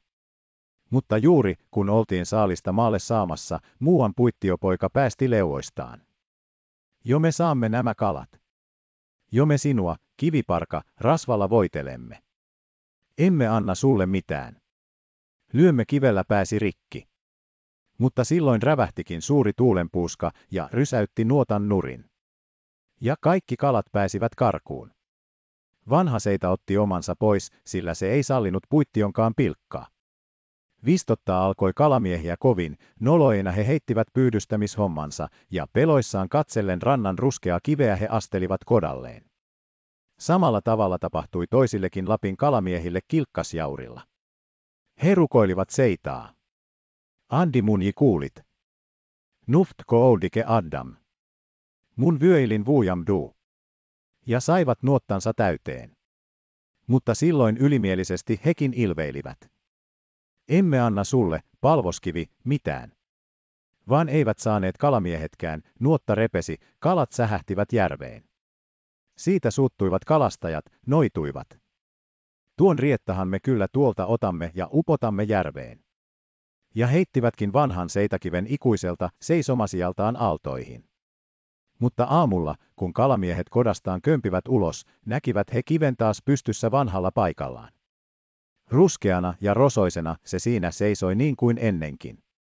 Jopa se vielä kosteana loisti entistä kirkkaammin aamuauringossa. Ja samalla paikalla seisoo kilkkasen pieni ruskea jumalainen vieläkin. Sellainen on kilkkasjaurin seitakivi.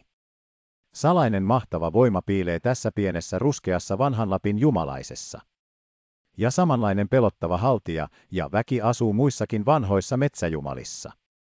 Eivät ole kyenneet Lapin apostolit eivätkä ristinjumalan papit niiden ikivanhaa voimaa ja tuhansien vuosien takaa periytynyttä mahtia kokonaan tuhoamaan, vaikka kykenivätkin joukoittain niiden muotoja pirstomaan ja maahan sortamaan. Vanhat Lapin jumalat piilevät vieläkin erämaiden kätköissä ja seisovat ikivanhoilla sijoillaan tunturien kalliopohjalla. Ja vahva usko isien jumaliin elää erämaan kansan veressä, piilen siellä kaikkein syvimmässä kätkössä. Salkkoniila. Melkein koko peräpohjola ja Lappi tunsi Salkkoniilan. Hyvin monet tunturimaiden kulkijat saivat nähdä hänet suurine porolaumoineen erämaita kiertämässä, taikka taas kohtasivat ukon komeine raitoineen markkinamatkoilla. Tuttu oli ukko tunturien takaisille koutokeinonkin asukkaille, näkivätpä jäämeren rannankin kaukaiset kylät hänet markkinakentällään. Kaikki ovat kuulleet ainakin kerrottavan Salkkoniilan merkillisestä mökkääjästä, Pirusta. Salkkoniila, Niila Länsman, oli vain vanha, 1822 syntynyt lapinäijä, mutta upporikas pororuhtinas, joka nuorempana miehenä oli porotokkineen tullut Utsioelta Inariin, kierrellyt ympäri pohjoisia tunturiseutuja, mutta sitten vanhana asettunut elämään hirsistä rakennettuun pirttipöksään Inarin etelälaidalle, Iivalon päälle. Lismajoen ja Ivalon yhtymille, Saariselän vedenjakajan takalistolle. Samassa Lapinsiitassa, jota sanottiin Salkonkyläksi, asusteli pikkupirtissään myöskin Pikku Hannu, Kitti, toinen Lapinmies, suuren porokarjan omistaja hänkin. Suunnattomat olivat näiden pororuhtinasten karjalaumat siihen aikaan, kun ne olivat suurimmillaan. Sanotaan Salkkoniilalla parhaina päivinään olleen 4000, 5000 sarvipäätä, jotkut puhuvat 10 000 kin, ja pikkuhannulla taas oli 5000, 6000, niin että ukkojen yhteinen elo nousi toiselle kymmenelle tuhannelle. Vieläkin muistelevat Lapin vanhat miehet niitä aikoja, jolloin Salkonkylän äärettömät laumat tuntureilla ja jäkäläkankailla vaeltelivat. Niin kuin mahtava kohiseva virta ne vyöryivät tunturin rinnettä alas, ja niin kuin suunnaton itikkaparvi ne täyttivät koko ympäristön. Semmoiseen virtaan jos eksyi vieraista tokista poroja, niin sinne ne tavallisesti hukkuivat saamatomiin. Sillä sellaisesta monituhatpäisestä laumasta ei kukaan vieras saattanut mennä omaansa yrittämäänkään, eivätkä porojen isännät taas itse välittäneet, oliko heidän karjassaan vierasta sukua vai ei. Sanotaanpa, että ukot vielä tahallaankin, vartavasten, ajelivatkin syrjäpuolista vieraita poroja omaan eloonsa. Sitä kyllä ei ainakaan Salkkoniilan tarvinnut tehdä, sillä hänellä oli omat ajeliansa. Salkkoniilla oli niitä oikeita vanhoja lapinukkoja, jotka vielä uskoivat isien jumaliin ja niitä palvoivat. Vaikka hän olikin kristitty ja tunnusti kirkonoppia peläten pappienkin Jumalaa, niin hänellä oli verissään isiltä perityt pyhät tiedot ja uskomukset, joihin hän luotti enemmän kuin pappien opetukseen. Niin kuin isät olivat tehneet ennen häntä, niin teki Salkkoniilakin. Joka syksy porojen rykimäaikana, kun talvi jo oli tullut tunturimaihin, varustautui niilaukko matkalle. Parhaat peskit ja lakit, kengät ja kintaat, kaikki uusia ja puhtaita, puki hän päälleen ja valjasti kaksi parasta ajohärkää ahkioiden eteen, varaten niihin evästä kaikenlaatuista, vieläpä viinaakin. Laumastaan valitsi ukko kaksi kauneinta poroa, kaikkein mustimman ja kaikkein valkoisimman hirvaan, sitoi ne ahkion perään ja lähti ajamaan tuntureita kohden. Ei kenellekään niillä sanonut, mihin hän menee ja mitä varten. Ei, vaikka kuka olisi kysynyt, sen kun sanatonna vain painui kiveliöihin. Vasta parin viikon kuluttua ukko palasi tunturilta, yksinään ajellen poroillaan, mutta komeat hirvaat eivät olleet matkassa. Nytkään hän ei kertonut kenellekään, mihin oli hirvaat hukannut, ryhtyen vain hyvillä mielin ja tyytyväisenä toimiinsa ja ketteränä kepsutellen.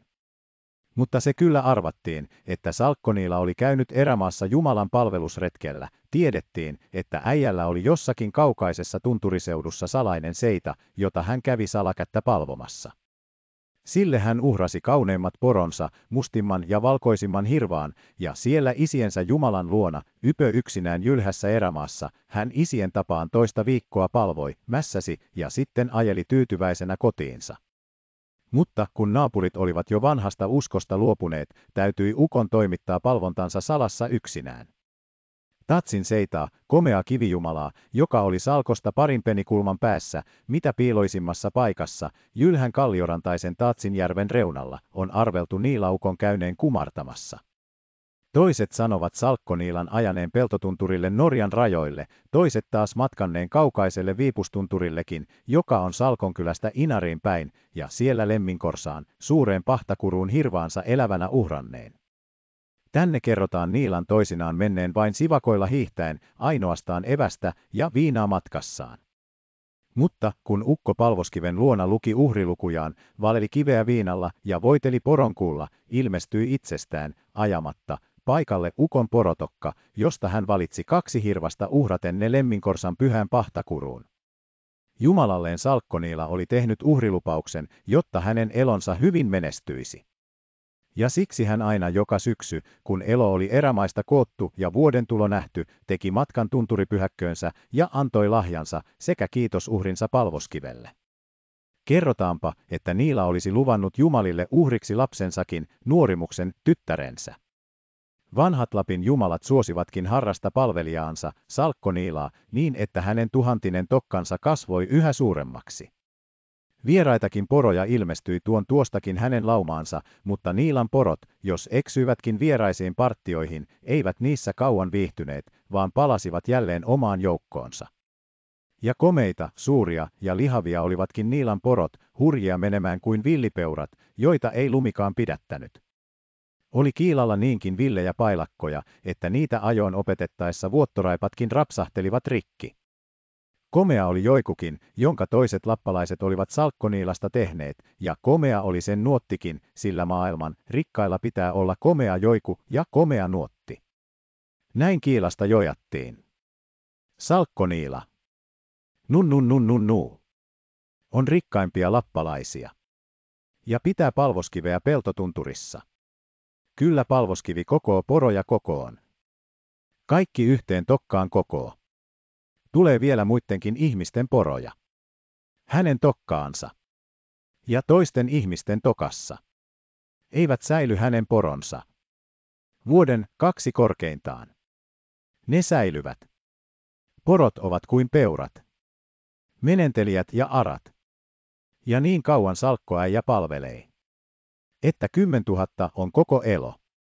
Jotkut kyllä, kadehtijat ja vihamiehet, sanoivat Salkkoniilan palvelevan pirua ja joikasivat. Salkkoniila. Nun nun nun nun nu. Palvelee pirua. Jotta porotokka suureksi tulisi. Rahaakin, markkoja ja kruunuja, hopeakolikoita ja seteleitä karttui kasoittain Niilalle. Jopa sai ukko rahoja niin paljon, ettei enää uskaltanut kaikkia kiisoissaan eikä aitoissaan tallettaa, vaan piilotteli varkaiden pelosta niitä omiin salapaikkoihinsa, milloin mihinkin. Sitoipa niillä kerrankin 20 000 markkaa hopeaa ja seteleitä karvakenkään, kääräisi sen tuohikäppyrään, kiersi kuusen koskuksiin ja sitten kätki aarteensa metsään, kaatuneen lion alle ja peitteli vielä kävyillä ja sammalilla niin huolellisesti, ettei enää itsekään aarrettaan löytänyt. Sinne se jäi kiveliöihin metsän hyviksi. Ei Niilan kyllä olisi tarvinnut olla varkaista huolissaan, sillä hänellä oli omat huolehtijansa. Niinpä kerrankin Niilan renki varasti isäntänsä kätkön ja lähti karkuun. Mutta pitkälle hän ei ennättänyt, kun jo näkymättömät ajajat olivat kintereillä ja kiusasivat miestä, juoksuttivat hulluna erämaassa ristiin, rastiin, niin että hänen täytyi viedä rahat sinne, mistä oli ottanutkin. Niin auttoivat ja suosivat isien jumalat vanhaa salkkoniilaa. Valtavine laumoineen hän kierteli tuntureilla ja ajeli komeasti suurilla villeillä äärillään Ruijan rannoilla ja kaikilla markkinapaikoilla. Joka syksy hän aina katosi pariksi viikoksi erämaihin. Mutta sitten seurasi kova koettelemusten aika. Mitä lienee Salkkoniilla tehnyt, millä lienee Jumalansa vihoittanut, kun häntä rupesi kova onni vainoamaan, kun Lapin vanhat jumalat eivät häntä enää suosineetkaan. Olisiko ukko joutunut epäuskoon, ruvennut horjumaan luottamuksessaan isien jumaliin ja arvelemaan itsekin, että hän, kuten muut sanoivat, palvelee sittenkin pirua. Eivät jumalat suvaitse rinnallaan muita jumalia, eivät Lapinkaan jumalat. Nekin tahtovat miehen kokonaan. Tuli Lappiin suuri porojen surma, kamala ruttonuoli ampui jängästä ja kaasi karjat melkein sukupuuttoon.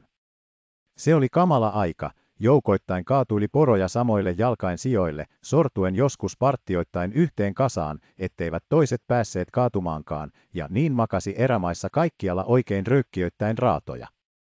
Ei mennyt surma Niilankaan ohitse, vaan teki surkeat tuhot hänenkin komeassa, valtavassa laumassaan. Ja, kun Niila siitä taas vähän pääsi jaloilleen, rupesi hän saamaan uusia Jopin sanomia, poroparttioita karkaili hänen karjastaan, milloin minnekin vieraille alueille, häviten sinne ja tulematta enää takaisin niin kuin ennen.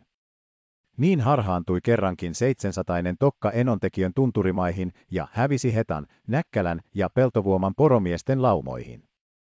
Monet kerrat rohkenivat poronrosvot käväistä itse kiilan tokassakin ja viedä milloin poron milloin kaksi, jopa useasti koko joukonkin. Eivätkä näkymättömät huolenpitäjät enää ahdistelleet rosvoja, vaan ne saivat kenenkään häiritsemättä hävitä saaliineen. Siitä jo uskalsivat varkaat käydä ukon rahakätköjenkin kimppuun, ja monet ovelat petturit viekoitelivat ja narrasivat äijän menettämään omaisuuttaan kerran toisensa jälkeen.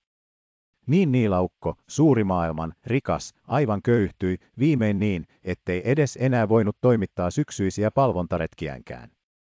Ei ollut hänellä lopulta enää poroja, ei juuri merkin kantavaa, sati sitten mustaa ja valkeaa hirvasta, ukkorukka oli joutunut kokonaan jumaliensa hylkäämäksi niin kuin muinoin Djob, suuri Itämaan hurskas. Mutta vielä kovempaa sai Lismajoen pirtin köyhäksi riistetty ukko kokea, sillä Salkkoniilan jumala oli vielä ankarampi kuin Jobin jumala. Kun ukko ei enää saattanut toimittaa lupaamiansa hirvaita tunturien seitakivelle, tuli Jumala aivan tyytymättömäksi ja suuttui Niilalle kokonaan. Olihan Niila vielä luvannut nuorimuksen tyttärensäkin uhriksi, mutta ei ollut sitäkään antanut. Silloin vanha, ankara tunturien valtias tuli Niilan pirttiin möykkäämään. Ja niin sai kuulu Salkkoniilan, Piru ja kolkuttaja äijä alkunsa. Se oli merkillinen olio se Salkkoniilan kolkuttaja. Joka yö se kävi ukon asuinpirtissä elämöimässä. Kuului ensin kuin kynsillä olisi raapaistu porstuan lattiata, sitten kahinaa sillan alta, ja sen jälkeen alkoi mökkää ja toimia pontevammin. Se röykytteli ovia ja kolkutti seiniä, täräytteli ikkunoita ja paukutti lattiaparsia, pirtin lailla se kopsehti ja nurkissa tassutteli, ja toisinaan se tuli sisäänkin ja heilutti kattilaa koukussa niin, että kolisi, heitteli istuinpöliköitä, helisteli avaimia taikka raaputteli uunin takana ja tömisteli jalallaan lattiata. Mutta tavallisesti ei mitään näkynyt, ei minkäänlaista olentoa, sen kun liike vain kuului ja käpsehtiminen, ja toisinaan esineet liikahtelivat ja ponnahtelivat paikoiltaan näkymättömän käden heitteleminä. Joskus sentään nähtiin pimeästä loukosta kuin kirkas silmä, joskus vilahti ovessa musta taikka valkea koira, ja välin nähtiin vanhan, harmaan lapinäijänkin häilähtävän oviaukossa. Päivällä ei näkynyt eikä kuulunut mitään, mutta kun yö tuli ja tulet oli sammutettu, alkoi heti entinen elämöiminen. Varsinkin seurasi kolkuttaja uhriksi luvattua tytärtä, vasta sen jälkeen, kun tyttö oli pannut makuulle, ilmestyi mökkäjäkin ja kolkutteli aina kovimmin sillä kohdalla, missä tyttö oli. Tätä ehkä epäuskoiset luulevat vain tavalliseksi takkavalkeatarinaksi ja Lapin vanhojen erämaan kiertäjien vilkkaan mielikuvituksen tuottamaksi tunturimaailman kummitusjutuksi. Mutta moni rehti mies ja vakava vanha ukko on Salkossa käynyt ja viettänyt siellä porokaarteella ollessaan useita öitä, siten itse ollen paikan päällä näkemässä ja kuulemassa Lismajoen pirtin kummaa kolkutusta. Onpa kerran Inarin nimismieskin, Rossander, apulaisineen vartavasten käynyt Ukon asunnolla ottamassa asiasta selkoa, tutkinut siellä ja nuuskinut kaikki paikat, laittanut miehet vartioimaan sekä ulos että sisälle, ja itse asettunut lattialle loikomaan ja vartiota pitämään. Ja heti, kun on tullut pimeä ja tulet on sammutettu, on näkymätön olento alkanut entisellä tavallaan ilmoitella olemassaolostaan. Eikä ole Vallesmanni voinut muuta kuin tunnustaa, että Salkkoniilan mökissä on todellakin merkillinen ja käsittämätön möykkäjä. Eikä Salkon kolkuttaja vain omia aitojaan möykytellyt. Hyvin kärkäs se oli tekemään kaikkea, mitä kummastelemaan tulleet taikka muuten taloon sattuneet vieraat sillä teettivät. Niin kuin kerrankin, kun joukko Kittilän poromiehiä vietti Salkossa yötänsä ja illalla kolkuttajan kanssa ilvehti. Mykkäjä ensin ilmoitti olemisestaan porstuassa raapiskellen. Ensimmäinen leikos tuorat saahpan. Ei ole kuin suuri hiiri, Salkkoniila sanoi, kun toiset jo hörössä korvin kuuntelivat. Mutta silloin alkoi kattila kannattaimissaan uuninkupeella ankarasti heilua ja röykyttää kiveä vasten, niin että niilaukon täytyy jo tuskastuneena kieltää. Ele, jalla pärgalak, mun undu rujehtat suouhki. Jotta, älä, tyhmä piru, minun uutta pataani riko. Sanoi siitä muuan poromies. Osaat sinä kyllä pataa paukutella, mutta etpäs voi niin kovasti lyödä jalkaa lattiaan kuin minä. Mutta silloin, kun näkymätön nurkassa jymäytti jalan lattiaan, niin seinät ja ikkunat tärähtivät ja kattilat lattialla hypähtivät. Silloin mies irvisteli. Tulepas, piru, kortille. Vai osaatko sie korttia lyöä? Heti alkoi nurkasta kuulua läiskettä, aivan kuin olisi kortteja pöytään lätkitty. Pelaat sie, köyhä piru, korttia kyllä, mutta eipäs sulla ole rahoja. Taas yllytettiin. Kova helähdys vain kuului, kun pirtin nurkassa kaadettiin kokonainen eli kolattialle. Ja kaikkea, mitä vain yllytettiin, uunintakainen teki, sahata jyrskytti, hakata kalskutti, takoi, jauhoi, kiljui, päästeli röhönauruja, yski, ähki ja aivasteli. Heittipä poromies siitä tuppipuukon vöineen nurkkaan ja sanoi. Etpäs sie saa tuotakkaan liikkeelle. Rysähdys ja tuppivehkeet rapsahtivat peräseinään. Viimein uskalsi joku ilvehtiä. Etpäs sie, piruparka, uskalla tulla näkyviin. Tulepas miehen kanssa painimaan.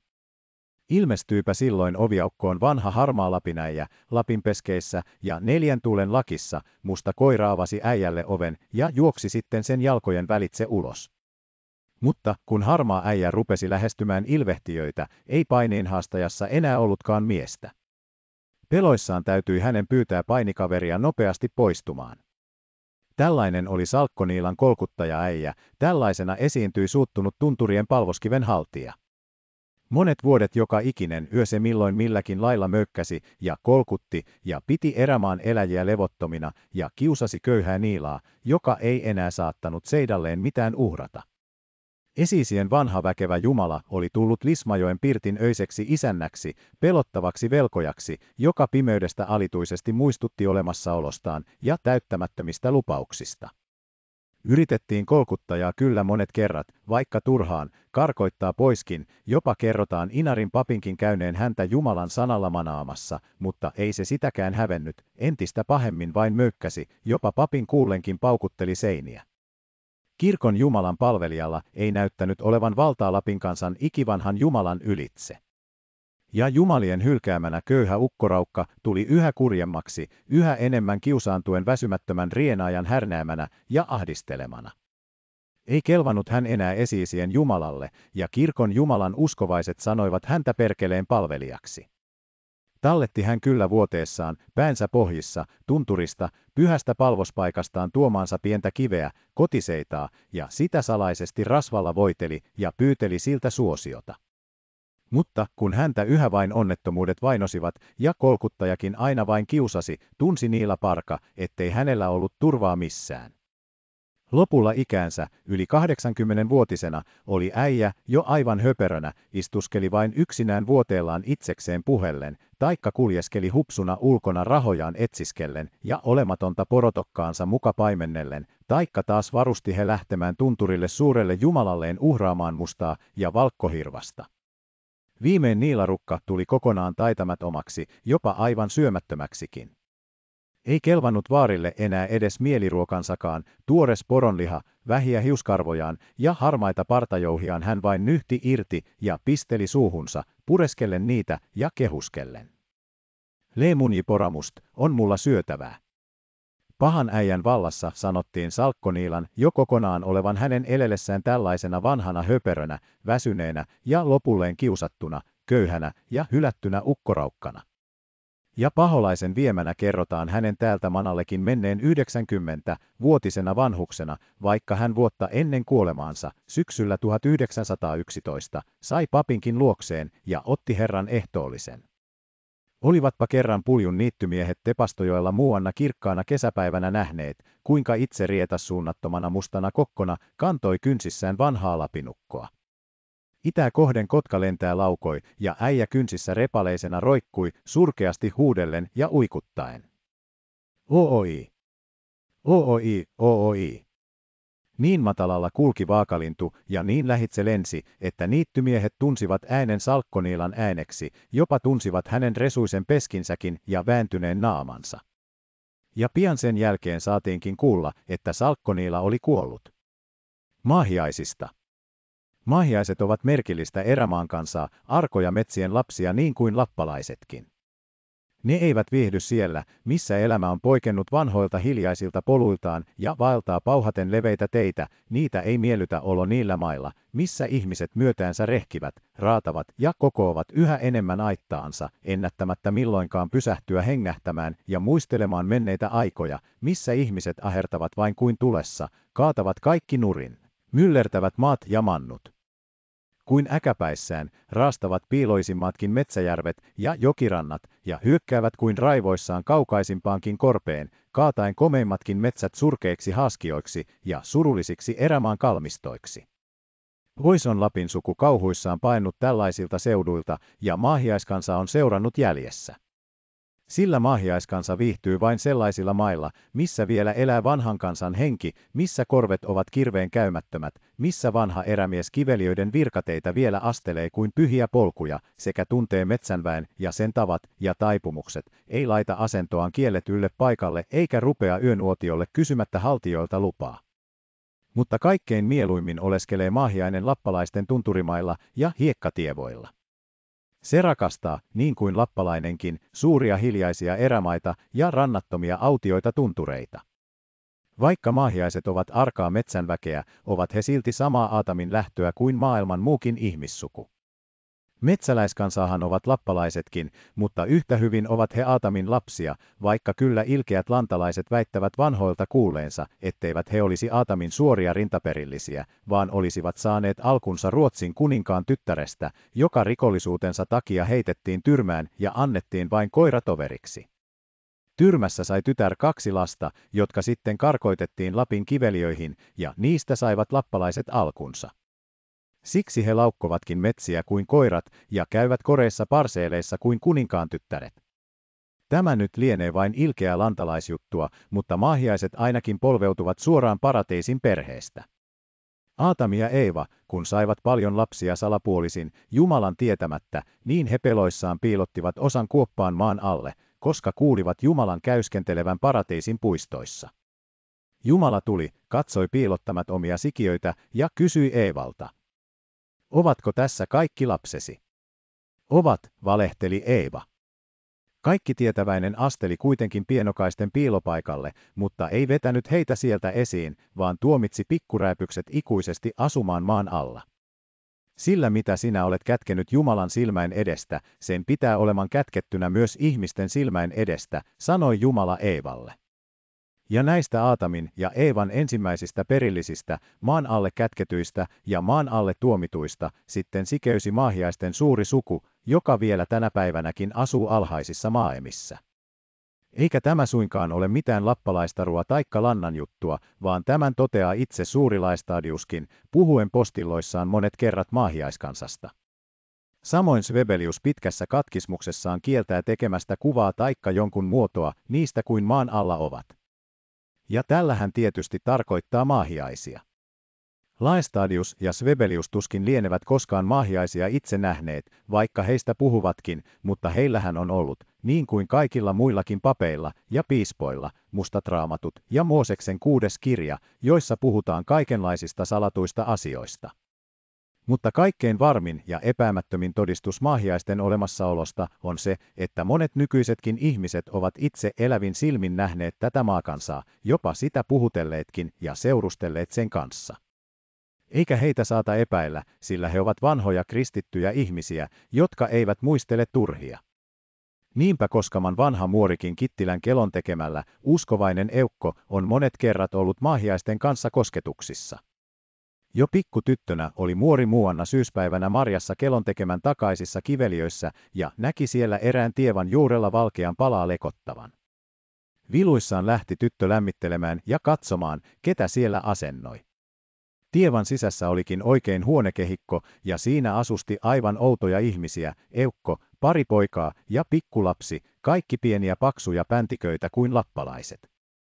Tuli paloi pirtissä arinakivillä, ja eläjät istuskelivat sen ympärillä. Marjoja oli tuohipotassa lattialla, kalapuolikko nurkassa, karjan viljaa puostioissa ja muutakin ruoanpuolta niin kuin ainakin ihmiseläjillä. Hyvin kohtelivat metsäpirtin asukkaat pikkuvierastaan, tekivät hänelle tilaa tulen ääressä, puhuttelivat häntä ja kyselivät hänen kotioloistaan, vaikka kyllä kuuluivat niistä tietävänkin, vieläpä senkin, että tytön äiti ja ämmi olivat noitia. Mutta kun tyttö tahtoi ottaa maahiaisen pikkulapsen syliinsä, pelästyi eukko ja ärähti, älä koske siihen. Vain isompi poika, ruman näköinen Turnseik, irvisteli tytölle ja tuuppi häntä, mutta pienempi poika oli niin näppärä, että saatteli tytön aina kotimetsän laitaan ja sieltä vasta lähti lipittämään takaisin. Jälkeenkin päin tapasi Koskaman tyttö maahiaisia useasti, milloin marjamatkalla, milloin karjassa ollessaan, houkuttelivatpa ne monesti häntä tulemaan heidän tievapirttinsä asukkaaksi. Joskus sattui tyttö keksimään, kun maahiaisnainen suihkaili kylän lehmille ja niin laukotti niitä ympäri kankaita asentoaan kohden. Mutta kun tyttö huusi, mitä sie siellä teet, katosi nainen, eikä tullut esiin, vaikka tyttö olisi kuinka huikailut. Maahiaisten majoihin joutui aikoinaan Reeta Heljukin, Pekka Koskenniskan ämmi Kittilän tepastolta. Oli Reeta nuorena ollessaan lehmän ajossa tepaston takana Ritalaksossa ja rupesi siellä männystä karistamaan käpyjä, kun yhtäkkiä maa löysäsi ja hän humahti maan alle. Siellä oli komea talo ja muhkea emäntä heti vastassa hillaropeineen. Mutta Reeta ei huolinut hiloista, sanoi vain, ettei hän jouda syömään, sillä hänellä on kiire viemään lehmiä kotiin. Silloin tuli kamarista oikein kaunis tytär, teki suuren voileivän ja sanoi, ei se sulta, vanhalta ja rumalta, huoli. Mutta minä annan verestä ja hiiniä voileipää, koska olet evättä joutunut matkalle.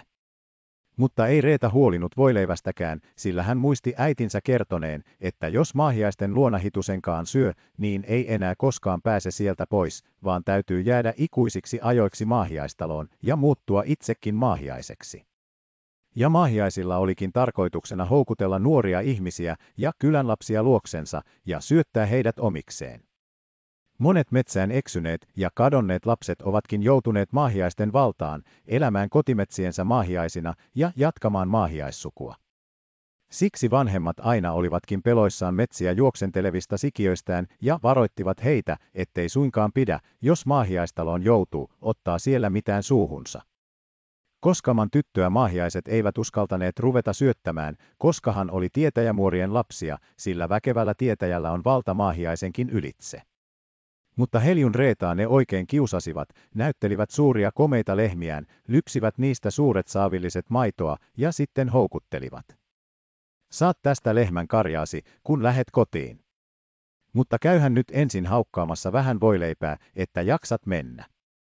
Mielellään olisi Reeta ottanut komean lypsykin ja nälissään syönytkin hiiniä, voileipää, mutta ei uskaltanut, koska ei halunnut tulla maahiaiseksi. Surullisena hankkiusi hän vain lähtemään pois. Mutta ystävällinen maahiaismuori lupasi kuitenkin vieraalleen lehmän, neuvoipa vielä keinonkin, miten lehmän saa pidätetyksi, vieläpä hyvästellessään ohjaili. Saat nähdä, kuinka paljon siitä tulee maitoa. Mutta et saa lypsää kaikkia maitoa, sillä se ehtyy, tulee huonoksi, jos vain lypsät maitoperäksi. Silloin minä otan lehmäni pois ja haukun sinua ylimääräisestä lypsystä. Ja nyt saat lähteä, koska et saattanut syö hiiniä voileipääkään. Reeta Helju astui ulos komeasta maahiaistalosta, rapsautti oven kiinni ja samassa huomasi olevansa Ritalakson männyn alla. Toisena päivänä ilmestyikin Heljun karjaan vieras komea lehmä. Reeta naaki heti lähelle, kiskaisi huivin päästään niskan kautta ja heitti sen lehmän selän ylitse, ja elukka rupesi seuraamaan karjaa. Suuren saavillisen sai Reeta lehmästä maitoa, mutta ei malttanutkaan heittää siihen, vaan keräsi kaikki astiat, mitä vain oli, ja nilkoi nekin täyteen. Mutta kun Reeta sitten saatteli karjaansa laitumelle, istuikin maahiaismuori metsässä kivellä, huusi hänet luokseen ja torui. Eppä siemalttanukkaa olla lypsämättä ylimääräisesti, vaikka mie kielsin. Sie hävitön, kehtasit kiskoa lehmältäni maitosuonet rikki. Mie otan lehmäni sulta pois. Ja lehmä katosikin heti Reeta Heljun karjasta. Maahiaiset ovatkin oikeata karjakansaa, ahkeraa ja taitavaa. Heidän karjansa on komea joukkoa ja mahtava näky on, kun se liikkuu maan päällisillä laitumilla. Lehmät ovat suuria ja lihavia, punaisen ja mustan taikka valkean kirjavia, komeasti keikkuvat niiden leveät sarvet, ja täyteläiset suuret tuumet heiluvat kuin ämpärit ja miltei maata lahaavat, kun lehmät astua keikuttelevat. Hyvin useasti onkin nähty maahiaiskarjaa maalaitumilla. Enontekijön erämaissa nähdään niitä monesti. Niinpä Vuontisjärven Lompolon lanttoon ilmestyy miltei joka kesä kokonainen karja rantavesakkoon ahmimaan. Mutta kun lehmiä vain jokukaan lähestyy, katoavat ne heti maan alle. Peltovuoman takana, Nunnasen tiennoillakin, on joskus nähty jokunen lehmä, ja Koutokeinon Aitjärvellä on Artjärven äijä useat kerrat keksinyt maahiaiskarjan vaeltavan Alattionjoen rantatievoja myöten pohjoista kohden. Kerran ilmestyi Kittilän tepastolla keskitalon vainiolle suuri komea karja, mutta kun sitä ruvettiin pyytämään kiinni, hävisi se kerrassaan näkymättömiin. Useasti on sentään maahiaisen lehmä saatu pyydetyksikin, mutta tietoa ja taitoa on siinä tarvittu, on pitänyt silmää räpäyttämättä hiljaa hiipiä lähelle ja sitten äkkiä viskata oikean olkapään kautta lehmän ylitse puukko tai tulirauta, silmätön neula, kannaton nappi taikka vain lakki, huivi tai joku muu vaatekappale, heti tarttua lehmään ja taluttaa se kotiinsa.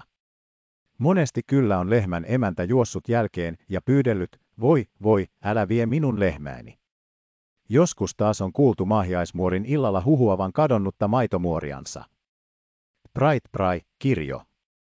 Pride Prai, karjo. Prai, haikea haluna. Maahiaiselta saadut lehmät ovat erinomaisia lypsämään. Mutta pitää vain varoa, ettei kisko maitoa loppuun asti.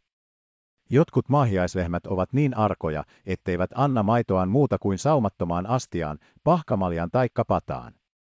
Saumalliseen urreastiaan jos rupeaa lypsämään, laskeekin lehmä veren. On maahiaisilla lampaitakin, vaikka niitä on vain harvoin nähty. Ketomellan Jussa keksi kerran ollessaan juhannuksen aikana Ounastunturin Rautuvaarassa poroja paimentamassa maahiaisen lampaan. Musta elukka juoksenteli kuin ahma porotokassa, jolloin äijä laukkasi katsomaan. Ka, lammas se onkin, älysi ukko, sieppasi hattunsa ja heitti yli olkansa lampaan ylitse, otti kiinni, sitoi peskiensä ja kantoi selässään kotiin. Lammasta hoidettiin navetassa, eikä se syönyt muuta kuin hillanlehtiä, eikä juonut muuta kuin hetevettä. Ei se viihtynyt toisten lampaiden joukossa, eikä osannut samalla tavalla määkiäkään, ikisi vain, ii, sen villa oli kuin koiran karvaa. Koko kesä ja syksy elätettiin lammasta, mutta sitten joulun aikana lehmä puski sen kuoliaksi. Poroja hoitavat rikkaat maahiaiset kuten maanpäällisetkin, ja komeasti, niin että kellot paukkuvat, ne väliin ajavat pitkin vuomia ja tuntureita. Mutta niitä ei silti useastikaan saada nähdä, etempää vain kuullaan kova meno ja pauke. Seurisvaarassa Näkkälän tunturiseutua. Enon tekijä. Norjan rajoilla näki Näkkälän salkko kerran tullessaan pohjoiskyliltä kaksi kotakuntaa majailevan. Ihmisiä hääri kotapaikalla poroineen, ja kota tuprutteli huipustaan savua. Salkko luuli Pöyrisjärven lappalaisten siellä majailevan, käänsi härkänsä ja ajaa kahautti siitaan. Mutta samassa kodat ja kaikki elävät olennot hävisivät, ei löytynyt edes jälkiä lumihangesta. Muutenkin on maahiaissuku paljon rikkaampaa kuin maanpäällinen kansa. Heillä on komeat talot, koreat vaatteet sekä paljon rahaa, kultaa ja hopeaa, sillä kaikki se suuri rikkaus, minkä maa kätkee sisäänsä, on heidän hallussaan. Sitä paitsi ovat maahiaiset ottaneet hoitoonsa kaikki ne lukemattomat aarteet, joita ihmiset aikojen kuluessa ovat panneet maahan piiloon. Eivätkä he anna niitä pois, vaikka joskus satuttaisiin löytämäänkin, mutta jos poika keksii isänsä taikka esi-isänsä kätkemän aarteen, niin se täytyy luovuttaa. Kaikki, mikä on maanalaista, on maahiaisten hoitoon kuuluvaa. Karhukin, joka talvella nukkuu maakomiskossaan, saa heiltä silloin hyvän hoidon. Maahiaiset ruokkivat sitä, vaikka ei karhun vatsaan näytä mitään karttuvankaan. Maanpäällisiä veljiään ja sisariaan kohtaan ovat maanalaiset Aatamin lapset yleensä suopeita, jos vain nämä ylemmät vapaan ilman asukkaat antavat maanalaisille sukulaisilleen rauhan. Ja se niille tavallisesti annetaankin.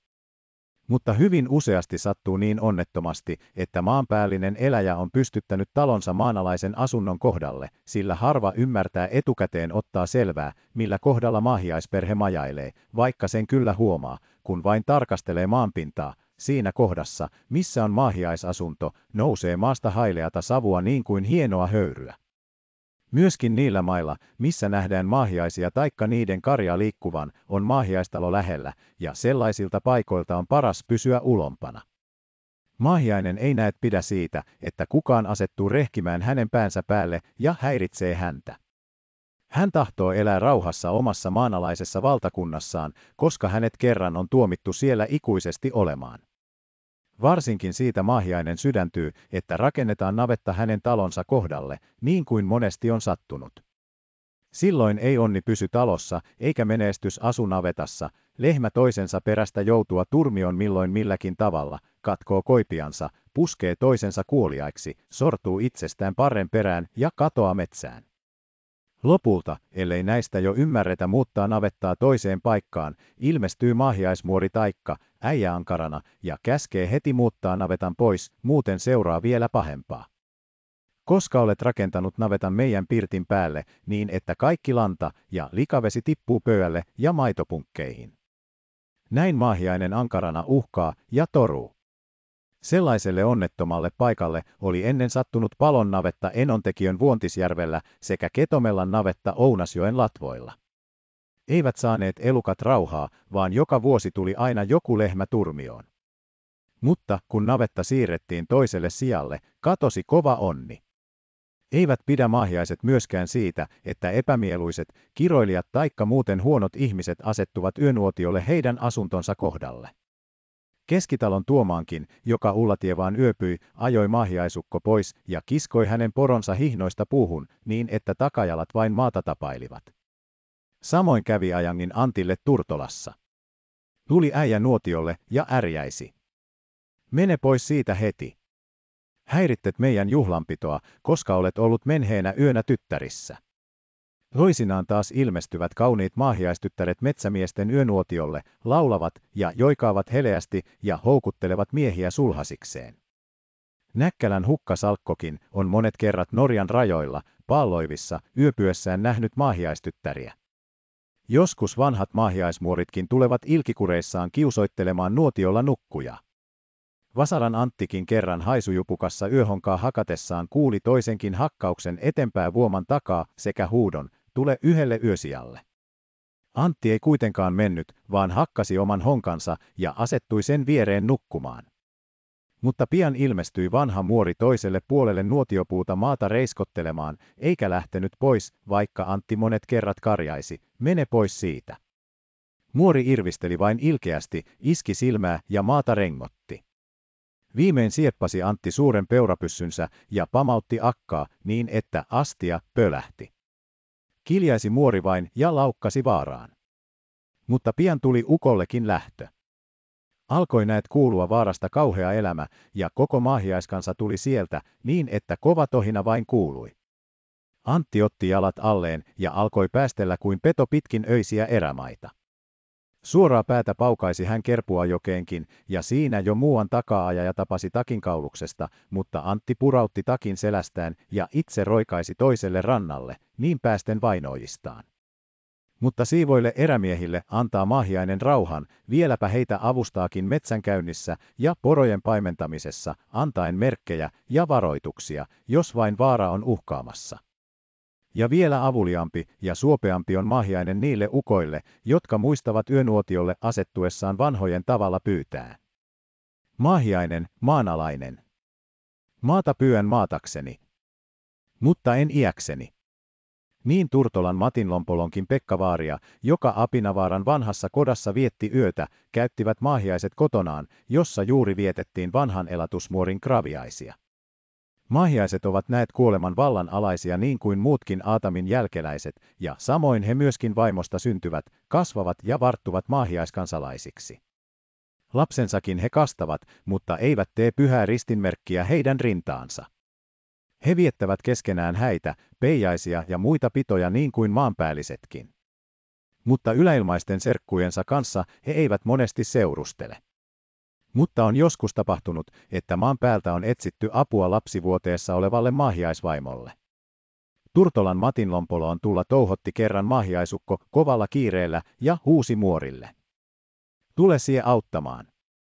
Akka on lapsia saamassa. Mistä sie olet, kun en mie tunne? Muori kysyi. Ei kaukaa, ei kaukaa, tuosta vain navetan takapellolta.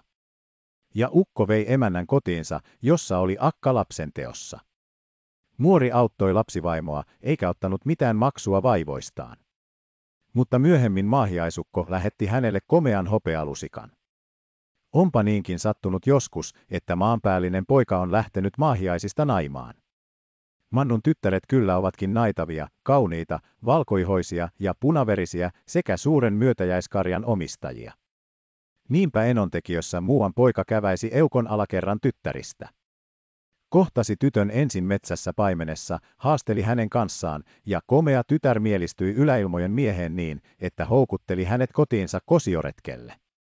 Siellä kosiomiehelle tarjottiin vaikka mitä hyvyyttä, mutta tytön neuvon mukaan ei poika huolinut mistään, tytärtä vain kärtti eukokseen. Ja saikin. Pidettiin maahiaishäät, ja tyhjin käsin lähtivät nuoret matkalle maanpäälliseen miehelään. Mutta tytär kielsi poikaa katsomasta taakseen kertaakaan koko kotimatkalla. Jäljestä kyllä kuului aikamoinen meno, Koirat haukkuivat, kellot paukkuivat, lehmät ynisivät ja ammuivat, ja ihmiset huusivat ja elämöivät niin kuin Lapin kodalla, kun siellä aherretaan porokarjan kanssa. Niin mentiin hääsaatossa kotia kohden. Mutta kotiportailla jo ylkämies vilkaisikin olkansa ylitse, kun jälkipuolen elämöiminen paisui yhä suuremmaksi. Mahtava joukko komea karjaa oli paimenen ja koirien ajamana seurannut nuoren parin kintereillä, siinä oli suurituumisia lypsäviä, tuntuvia nuorukaisia, lihavia vasikoita ja mahtavia sonneja sekä vielä iso lauma lampaita. Lähes puoli karjaa oli jo ennättänyt pihaan, mutta vielä suurempi puoli oli tulemassa portin ulkopuolella. Ja se osa katosi paikalla, kun sulhasmies katsahti taakseen, karjalauma katkesi kuin puukolla leikaten. Maahiaisnuorikko kyllä torui siitä miestään, kun menetti parhaan osan hänen myötäjäiskarjastaan, mutta sille ei enää mahdettu mitään, vaan sai maahiaisminiä tyytyä siihen, mikä oli jäänyt pihaan. Harvat tämänilmaiset eläjät ovat vierailleet maahiaisten luona, paitsi mitä ovat tahtomattaan joutuneet siellä käymään.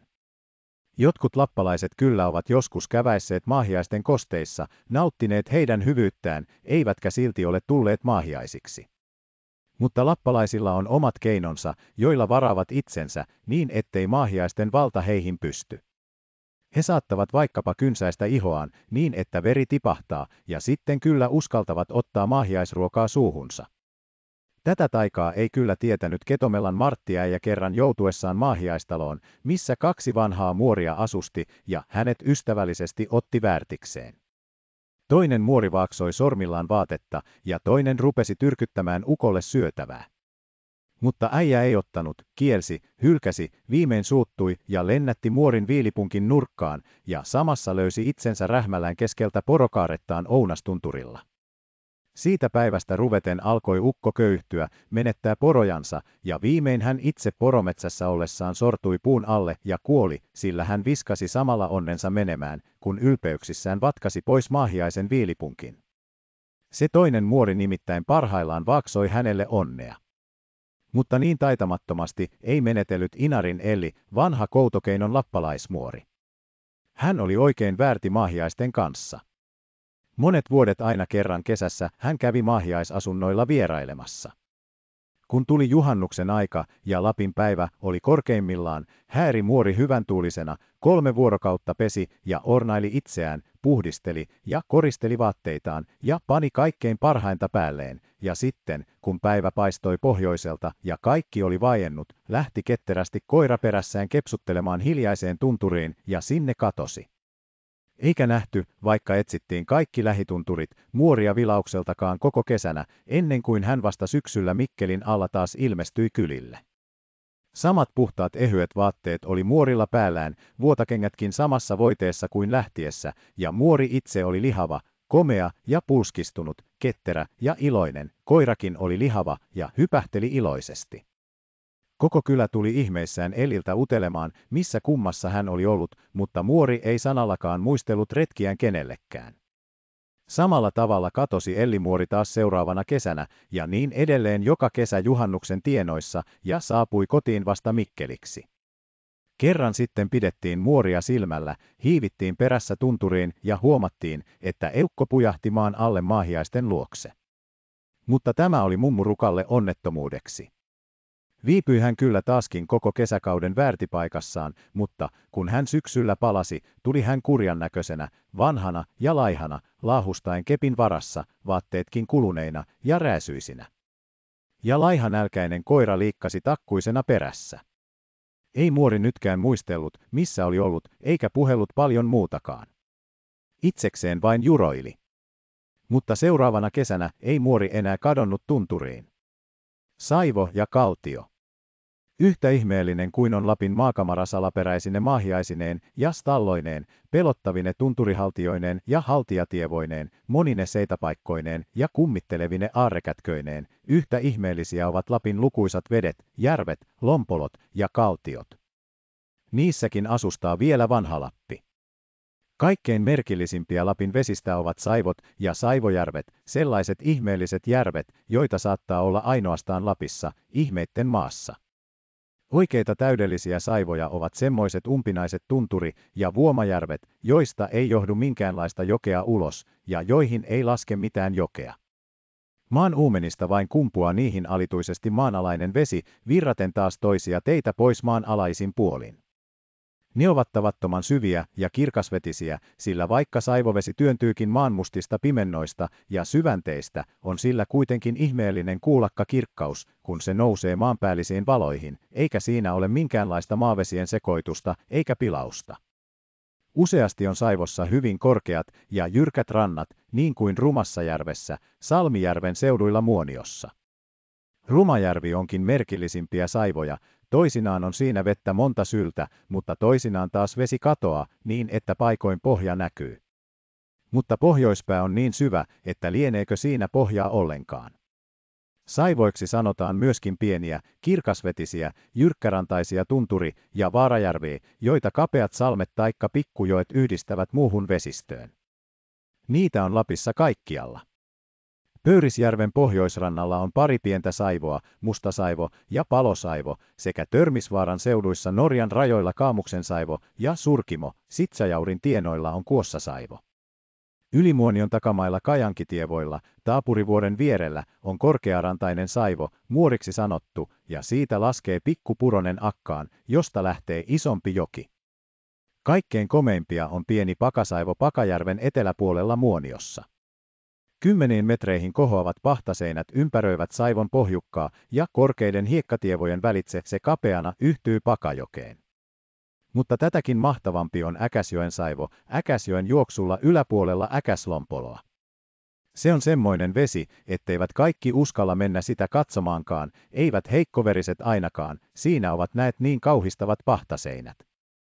Toisella puolella on korkea kirkkopahta, toisella hirveä hammaspahta, ja ylpeiden kallioseinien välitse juoksee saivosta kapea väylä Äkäsjokeen. Niin kirkas on saivon vesi, että kalatkin näkyvät niin syvältä, ettei niitä ylettyisi iskemään, vaikka olisi kuinka pitkä arina. Saivon syvyyttä ei tiedä kukaan, eikä sitä uskalla ruveta mittaamaankaan. Äkäslompolon Heikki Vainaja kerran yritti mitata laskien nuoraa monta syltä, eikä tavannut pohjaa. Mutta silloin tuli haltia sanomaan Heikille. Jos vielä toisen kerran tulet mittaamaan, niin tulet itse perässä. Kaloilla on saivoissa hyvä elämä, niissä, kun on niin hohtavan puhdas vesi ja suotuisa pohja.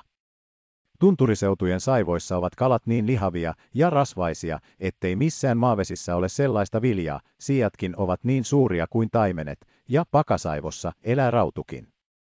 Entisaikaan oli joka lappalaisella oma saivonsa, josta hän kävi kalaa pyytämässä, ja saivon rannalla seisoi useinkin palvoskivi. Niin oli Prokseilla pikkusaivo asuntopaikkansa kohdalla Pöyrisjoen itäpuolella, Pöyrisjärven mustasaivo ja palosaivo palvoskivineen olivat taas Pöyrisjärven lappalaisten omia. Proksin saivo oli niin haltiakas, ettei se antanut kaloja kelle tahansa. Oli vain yksi mies, joka siitä osasi ottaa viljan. Pakasaivo taas oli suikkien oma, ja sitä sanottiinkin suikkilaisten helvetiksi. Sitten on Lapissa vielä saivojärviäkin, suuriakin tunturien piirittämiä järviä, joiden vesi on niin kirkasta, että pohja näkyy monen sylen syvyydestä. Nekin saavat suuren kirkkautensa maanalaisista hetteistä ja pohjakaltioista, joista saivovesi kohoaa. Saivojärvet ovatkin usein kaksipohjaisia. Itse järvi on jo kymmenien sylien syvyinen, eikä alhaisen pimentopohjan syvyyttä ole kukaan kuolevainen voinut mitata.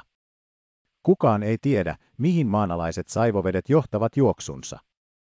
Tällaisia kirkkaita salaperäisiä saivojärviä on Lapin tunturimaissa paljon.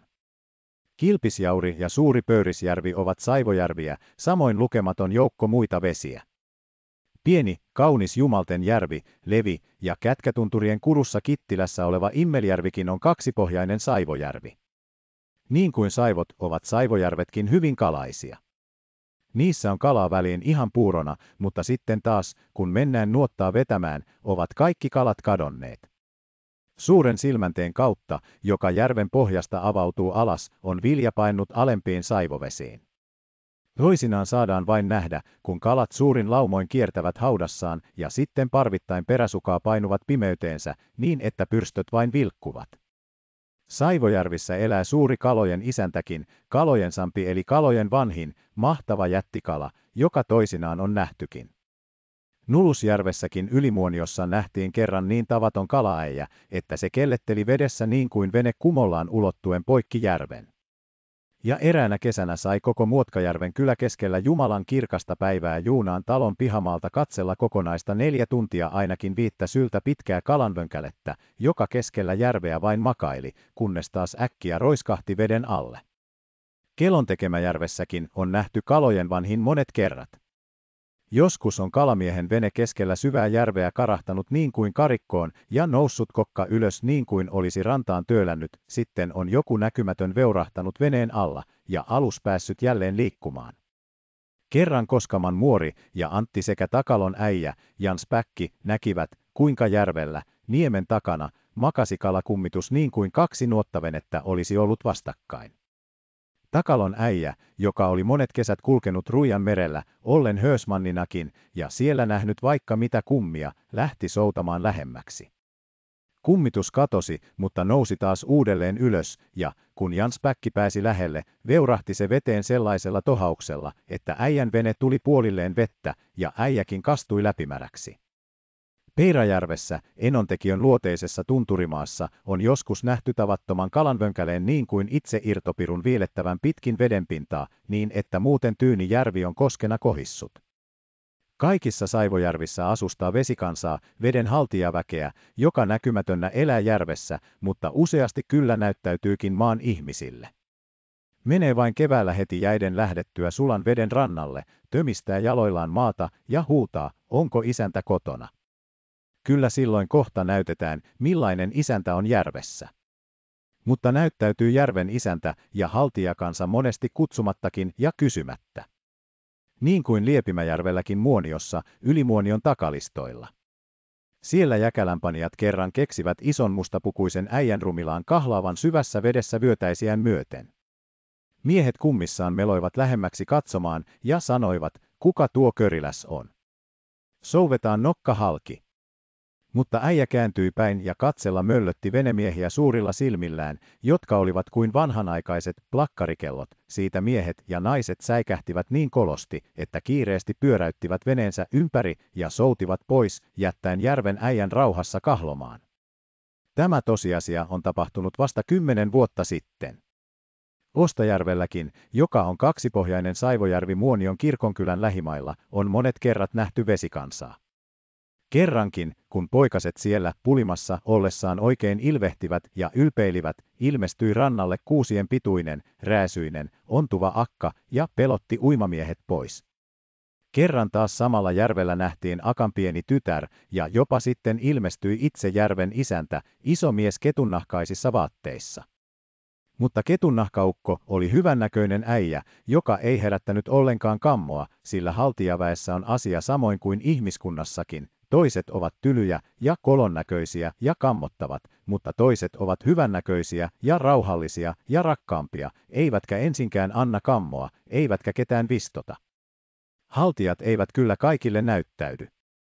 Tavallinen jokapäiväinen ihminen, joka mistään välittämättä vain olla vällöttää, ei näe niitä koskaan. Mutta rupeapa vain Saivojärvellä ilvehtimään ja ylpeilemään, niin saa pian kostonsa. Ostajärvellä saivat kalamiehet kerran reivillä kahta vaille 80 haukea samalla kertaa. Siitä ylpistyivät miehet, menivät taas, heittivät reivinsä ja röyhkeilivät. Nyt me otammekin koko koranuksesta kaikki kalat. Mutta eivät saaneet kalansukuakaan, ei yhtä päätä. Eivät uskaltaneet muonion miehet tehdä sentään sillä tavalla kuin Kittilässä Karhulan murripekka, joka muorineen oli kalaa pyytämässä Ahvenjärvestä Paanosenjoen latvoilta. Kun järvi ei antanut mitään, vaikka he kävivät palvoskiveänsäkin puhuttelemassa, suuttuivat he, kapusivat korkealle rantatörmälle ja rupesivat vierittämään kiviä järveen. Suuren lohkareen jo laskivat pahdalta kierimään ja mielissään katselivat, kun se poukkoili pensaasta toiseen. Mutta silloin nousi järvestä lappalaisää ja polvilleen veden pinnalle ja avossa sylin odotteli ja siirrälteli aina sitä mukaan kuin kivi kiepsahteli syrjään. Kun kivi putosi alas, otti äijä sen syliinsä ja laski sievästi veteen. Kauhuissaan pakenivat kalamiehet pois koko järveltä. Mutta niille kalamiehille, jotka pyhittävät ja siunaavat veden, eivät koskaan kolonnäköiset vedenhaltijat näyttäydy eivätkä tee mitään poikkipuolista. Heille esiintyy haltija vain ystävällisenä ja hyvännäköisenä.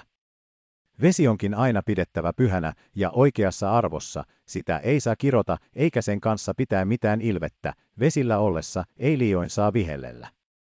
Tuulta kyllä saa vesillä liikkuessaan loitsia ja viheltää, jos tietää itsensä taitavaksi veneenhoitajaksi. Silloin saattaa sanoa. Tuuli, nouse tuulemahan. Maailmanranta, riehumahan. Merenmusti, söh ja sitten viheltää, niin kyllä haltija nostaa vihurin. Toisissa Saivojärvissä on niin arat haltijat, etteivät ne kärsi puhetta eivätkä minkään korttoelävän nimeä. Sellainen arka vesi on vuontisaivo enontekijöllä, Lätäsenon päällä, Saimatunturin juurella, jossa on koko joukko muitakin saivoja. Vuontisaivolla, kun ollaan nuottaa vetämässä, ei saa puhua mitään, ei mainita korttoa eikä mitään saastaista elukkaa, ei petoeläintä eikä kissaakaan.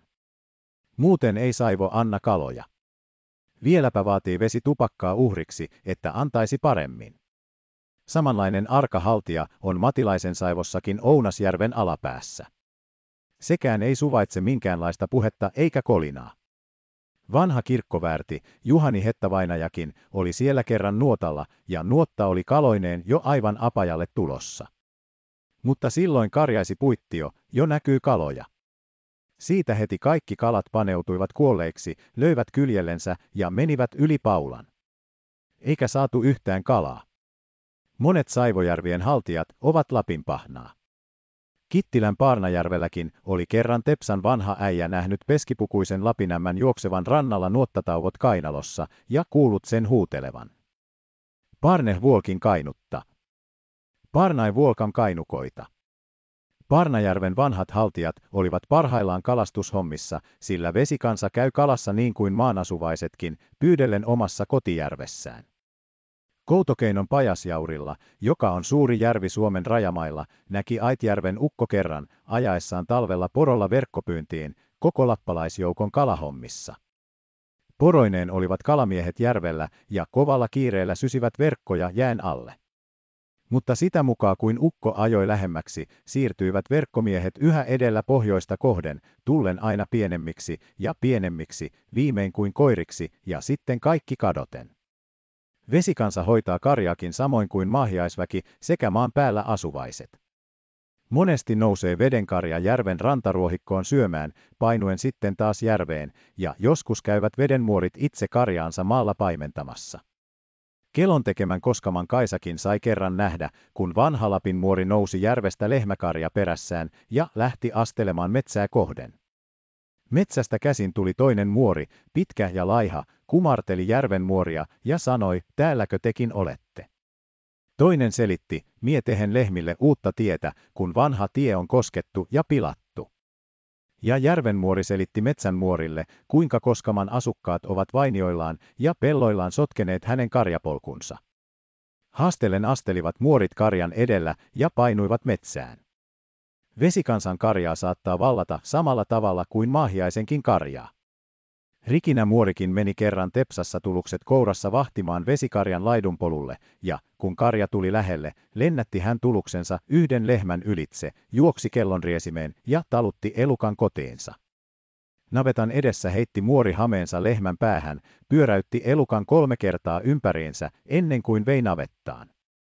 Ja sitten lehmä kyllä pysyi talossa, lypsi paljon ja teki vasikoita. Rikinämuori jätti talonsa ja karjansa Kaija tyttärelleen, ja Kaijan poika, Jussa äijä, sai sen jälkeen periämaat ja karjat, sitten tuli perilliseksi Jussan poika, Lassi, joka kuoli viisi, kuusi vuotta takaperin. Talossa on vieläkin samaa vedenlehmän sukua, mustankirjavaa rotua, sellaista lyhytjalkaista, lyhytraatoista, pyöreää lajia. Samaa mainiota vesirotua on sieltä sitten saatu muuallekin. Jussa äijä antoi kumminlahjana nuorukaisvasikan Alatepsan Jussalle, joka oli Koskaman muorin veljenpoika, ja Alatepsasta taas Koskaman muori hankki alun komean vedenlehmän lähtöiseen karjaansa. Ihmeellisiä vesiä ovat myöskin Lapin kaltiot, pienet kuohuvat hetteet ja lähteet tunturien ja tievojen juurilla. Niissäkin on kirkas ja hohtava saivovesi, elävä vesi, joka iänkaiken kuin aina uudesta syntyneenä iloisesti palpahtelee maanalaisista pimennoista ylös kirkkaaseen päivään, kohahdellen kuin ikuisesti nuori veri ihmissydämessä. Maanalaisista elämänlähteistä nouseekin saivovesi puhdistuneena tunturin juuriseen pikkukaltioon ja imee siellä itseensä maan salaisia väkeviä voimia, niin että kaltioiden saivovesi on kaikkia muita maanvesiä merkillisempää ja voimallisempaa. Lapin erämaita kiertävä ja erämaissa asustava kansa, alituisesti luonnon kanssa kosketuksissa ollen, onkin oppinut ymmärtämään kuohuvien kaltioittensa ihmeellisen voiman ja käyttämään sitä hyväkseen. Lapissa on paljon kuohuvia kaltioita, joissa tunturien alta hersyvät vedet kumpuavat ilmoille. Mutta vain harvat ovat tulleet huomatuiksi ja saaneet merkkilähteen maineen lukemattomien muiden saivovesien jäädessä erämaihinsa vain omiksi iloikseen pulppuilemaan. Sellaisia ihmelähteitä on Santsin lähde Enontekijön peltovuoman lähimailla neljänneksen matkan kylästä pohjoiseen. Kaltio on koko seutulaisten parannuspaikka, Bethesda, johon paikkakunnan sairaita saatellaan saamaan parannustaan. Varsinkin kaikenlaisiin tarttumuksiin, rupiin ja vammoihin sekä maasta että vedestä hinkautuneisiin rohtumiin on lähteen vedessä parantava voima. Pitää vain pistäytyä kolme kertaa kaltiossa, peseytyä siinä ja joka kerta kyykistyä umpisukkeloon. Mutta ilmaiseksi ei saivoveden haltijoilta saa pyytää veden voimaa, vaan lopuksi on heitettävä lähteeseen joku rahalantti, nappi taikka muu pikku esine uhriksi ja korvaukseksi sekä sanottava. Veen uhri. Ja sairaan terveys. Siitä vasta antaa kaltion vesi parantavan voimansa. Maitoruvessa käytetään lasta lähteessä, piirrellään neulalla ja neula heitetään veteen ja sanotaan. Menköön neulan matkassa tauti sinne. Lakson Mikko, paikkakunnan paras parantelija ja vammojen sekä maan pyörryttäjä, oli aikoinaan kuin Santsin ylilääkäri. Hän käytti aina potilaansa kaltiolla, kolmesti ne siellä valoi ja painoi sukellukseen, niin etteivät hiuksetkaan näkyneet, ja heitti heidän puolestaan uhrit veteen. Samanlainen parantava uhrikaltio on myöskin Poikkijärven eli Mojotien kaltio, kaunis, kolmi, nelimetrinen maansilmä Ounastunturin juurella, Ounasjärven etelärannalla, vastapäätä Hetan kirkonkylä. Sinne hettalaiset saattelevat tarttumatautisiaan, pesevät ja käyttävät upposalla ja heittävät maksuksi neulan sekä uskovat, että neulanen lähteessä pistelee tautia, jolloin sen pakostakin on poistuttava sairaasta. Kuttaisen kylällä, joka on korkealla Muonionjoen päällä Palojoen suusta pari penikulmaa ylöskäsin, on Kurkionniskan lähellä, joen pohjoisrannalla, niin ikään oma Betestan lammikkonsa, Rovannenän alustakaltio. Lähdettä sanotaan myös noitakaltioksi ja on se kymmenkunta metriä leveä, kirkas, ruostevesinen hete korkean, jokea kohden juoksevan hiekkatievan päättymillä. Keskellä kaltiota on sammaltunut pikkusaari, johon rannalta vie porraspuu. Sitä myöten astuvat tietäjät potilaineen saarelle parantamistyötänsä toimittamaan. Kuttaisen noitakaltio on huomattu hyvin terveelliseksi, jo vanhat ihmiset ovat tutkineet sen lääkekaltioksi, kun siitä vielä ojakin virtaa länttä kohden. Lähteellä käyvät suomalaiset, Ruotsin kuttaisen kylä, lappalaiset ja kaikki lähimailla asuvaiset. Sinne saatellaan silmäkipeitä, vamman saaneita, rokko- ja rupitautisia, pitaalisia ja kaikkia, joita ahdistaa mikä tahansa ulkonainen tuska. Kaltiossa sairas pestään, upotetaan hänet siihen, painellaan sammalilla ja luetaan parannussanoja. Lopuksi heitetään veteen rahaa taikka muuta rauvan puolta, sillä jos ei sitä tee, eivät luvut eivätkä välikappaleet auta mitään. Mutta jos kaikki toimitetaan niin kuin asia vaatii, lähtee kaltiosta varma apu. Iskon Fiinakin kuttaisesta, joka oli pureskellut putkentyveä ja saanut siitä maan tartunnan suuhunsa, niin että löi lopulta koko naamankin rupeen, meni noita kaltiolle, pesi ja pyyhki sammalilla kasvonsa ja ruumiinsa sekä antoi kaltionhaltijalle uhrin. Hetipä myös rupesi maantartunta pyörtämään ja tuskat loppuivat. Samoilla tunturimailla, Ruotsin puolella, Kaaressuvannon kirkonkylän vierellä, on seutukunnan kuulu hilkukaltio, kuohuva lähde, jonka pohjasta alituisesti kylmä vesi kumpua. Tämä hete on etupäässä silmätautisten parannuspaikka. Sen viileällä vedellä on tunturien savuisten kotien kansa jo vanhastaan käynyt kipeitä, vettä valuvia silmiään huuhtelemassa, ja yhtä ahkerasti hilkulla vieläkin käydään. Muuankin Lapinäjä pystytti kotansa kaltion äärelle, asusti siinä koko kesän, käyden joka päivä parannuspesulla ja antaen uhrinsa veden isännälle. Samanlainen parannuskaltio on Luspavaaralla Nunastunturin nenällä, yläpuolella kaunista Kelottijärveä, Kelottijärven talon tienoilla. Siitäkin etsitään apua maan aiheuttamille raville, ja kolme kertaa pitää siinäkin käydä umpisukkelossa ja sitten heittää uhrit sijaan. Yhä vieläkin korkeammalla tunturimaissa, jo Könkämäen on päällä, vielä Vittangista pohjoiseen, on Suppimuotkan kaltio.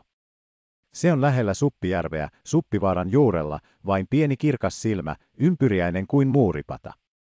Tämä aution puuttoman erämaan kirkas saivosilmä on havaittu erinomaiseksi parannuskaltioksi. Lähteen pohjaan, jonka hiekkakin on kirkasta kuin kristalli, on pudotettu valkea kivipaikan merkiksi, ja kaltion äärellä on kivipaasia kuin vartavastisina istuimina.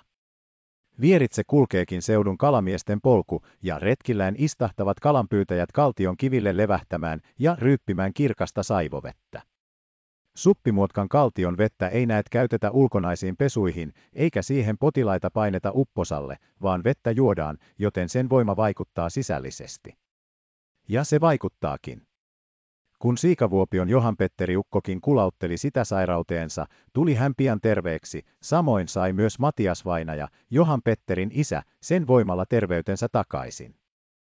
Kaltion vesi onkin niin parantavaa ja niin terveellistä, että kaikista viisaimmankin tohtorin kuulema häätyy tunnustaa se mahdottoman voimalliseksi.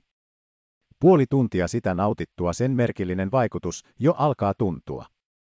Maasta saa tämäkin vesi ihmeellisen voimansa ja väkevyytensä sekä puhtaan kirkkautensa, sillä maasta löytyvät kaikki väkevätkin aineet ja välikappaleet sekä merkilliset voimat, mitä näin luonnosta on saatavana.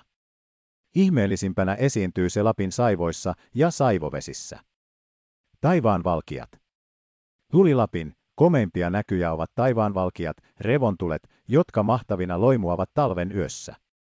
Nekin ovat Lapin suuria kummia, pohjan talvisen taivaan ihmeitä, joista etäinen etelä ei tiedä juuri mitään, saaden vain joskus nähdä pohjan äärillä himmeähkön valokaaren kuin kaukaisen valkianvaaran kajastuksen, vain heikon aavistuksen se kuitenkin antaa heille pohjan perän suuresta roihusta.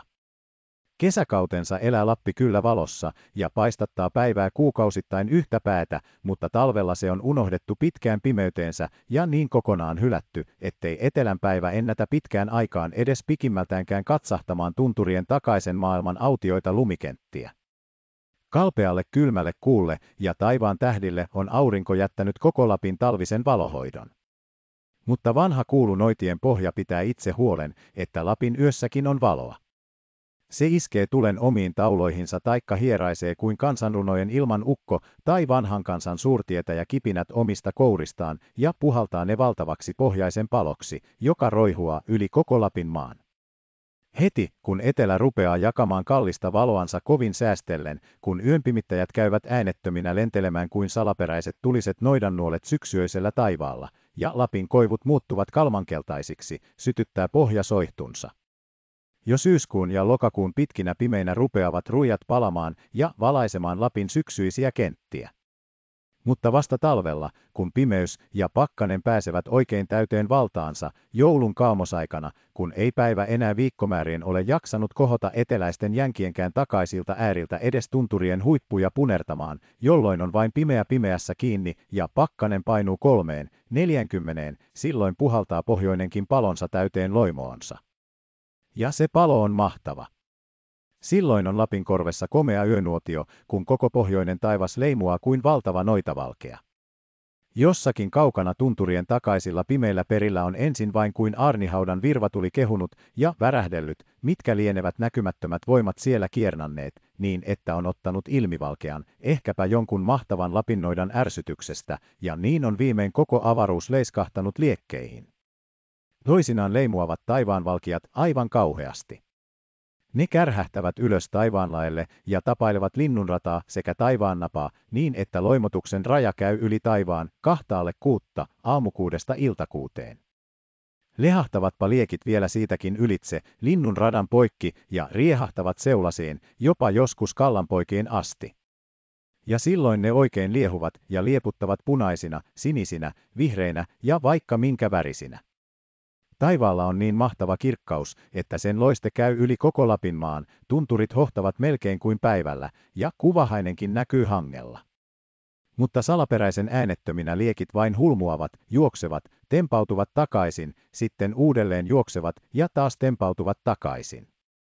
Mutta sitten, kuin olisi joku tulenlumooja noita ollut siellä kiernaamassa ja lopettanut leikkinsä, loimot vähitellen kuin väsähtäneinä vaipuvat, painuvat pohjoiselle ja raukeavat.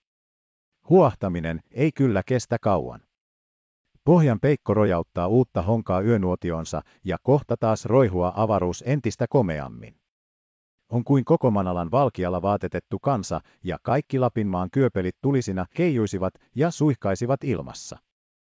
Mutta aivan eteläiselle taivaalle eivät liekit saata suihkata, sillä siellä on liian lämmin pakkasen maan palolle. Ne leimuavat vain omalla kylmällä puolellaan ja torailevat pakkasen kanssa. Niin valtava on taivaanvalkioiden voima, että ne saattavat masentaa kovimmankin pakkasen.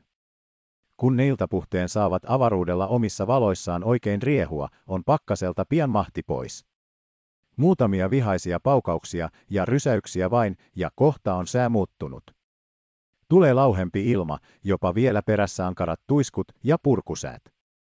Sen tietää kyllä vanha tunturien valtajakin, joka pohjoisen loimutessa joikailee. Taivaanvalkiat valaisevat maailman. Ja silloin valkenee ilma. Kohta kovat tuiskut tulevat. Ja pitää neuvonsa korjata. Tuiskun jaloista pois. Ja pyytää itsekin, jos on matkalla. Hopusti pois. Kun yön aikana. Oikein on valoisa. Mutta ei aina sentään pohjoisen palo jaksa nousta niin suureen loimoon, että saisi aikaan säänmuutoksen. Toisinaan taivaanvalkiat jurovat vain tunturien takana taikka kumottavat pohjoisen äärillä suurena valokaarena. Silloin pakkanen hyvillään hihkaisee, lisää voimaansa ja puristaa niin, ettei tahdo henki kulkea. Mutta kun pakkanen on oikein ylpistynyt ja rehentelee koko Lapinmaan isäntänä, leiskahtaakin yhtäkkiä koko pohjoinen taivas ilmiliekkeihin. Ja kohta on isännältä otettu valta pois. Monet tunturiäjät ja erämaan ukot ovat tutkineet ihmeellisten taivaanvalkioiden lähtöä ja syntyperää ja tulleet siihen käsitykseen, että ne saavat alkunsa Ruijanmerestä. Maileen mennyt päivä, kun paistaa meuraavaan suolaiseen mereen, ja siellä Jumalan ilmassa suuret jäävuoret heittelehtivät ja välkehtivät, ja vahtopäiset aallot räiskyvät jäävuoria ja korkeita rantapahtoja vasten, niin siitä heittyy hohde, kuvastus ja liehuminen taivaallekin, sitä komeampi, mitä kovemmin jäämeri läikkyy. Ja samalla tavalla kuin lainehtii ja läikkyy Ruijanmeri, aaltoilee ja päilyy sitten taivaan avaruuskin. Mutta taivaan valkiat eivät kuitenkaan ole Ruijanmeren meuruamista eikä sen kuvastelua, vaikka se siltä näyttääkin. Kyllä vanhimmat ja viiseimmat tunturimaiden äijät sen tietävät, ja tietävät senkin, että ne eivät ole tavallisia tulenliekkejäkään, vaan suuria salaperäisiä paloja, joita näkymättömät voimat pimeässä pohjassa synnyttävät. Ne salaiset voimat ja niiden henget liehuvat itse liekeissäkin. Senkin ovat tunturimaiden asukkaat monet kerrat tulleet kokemaan.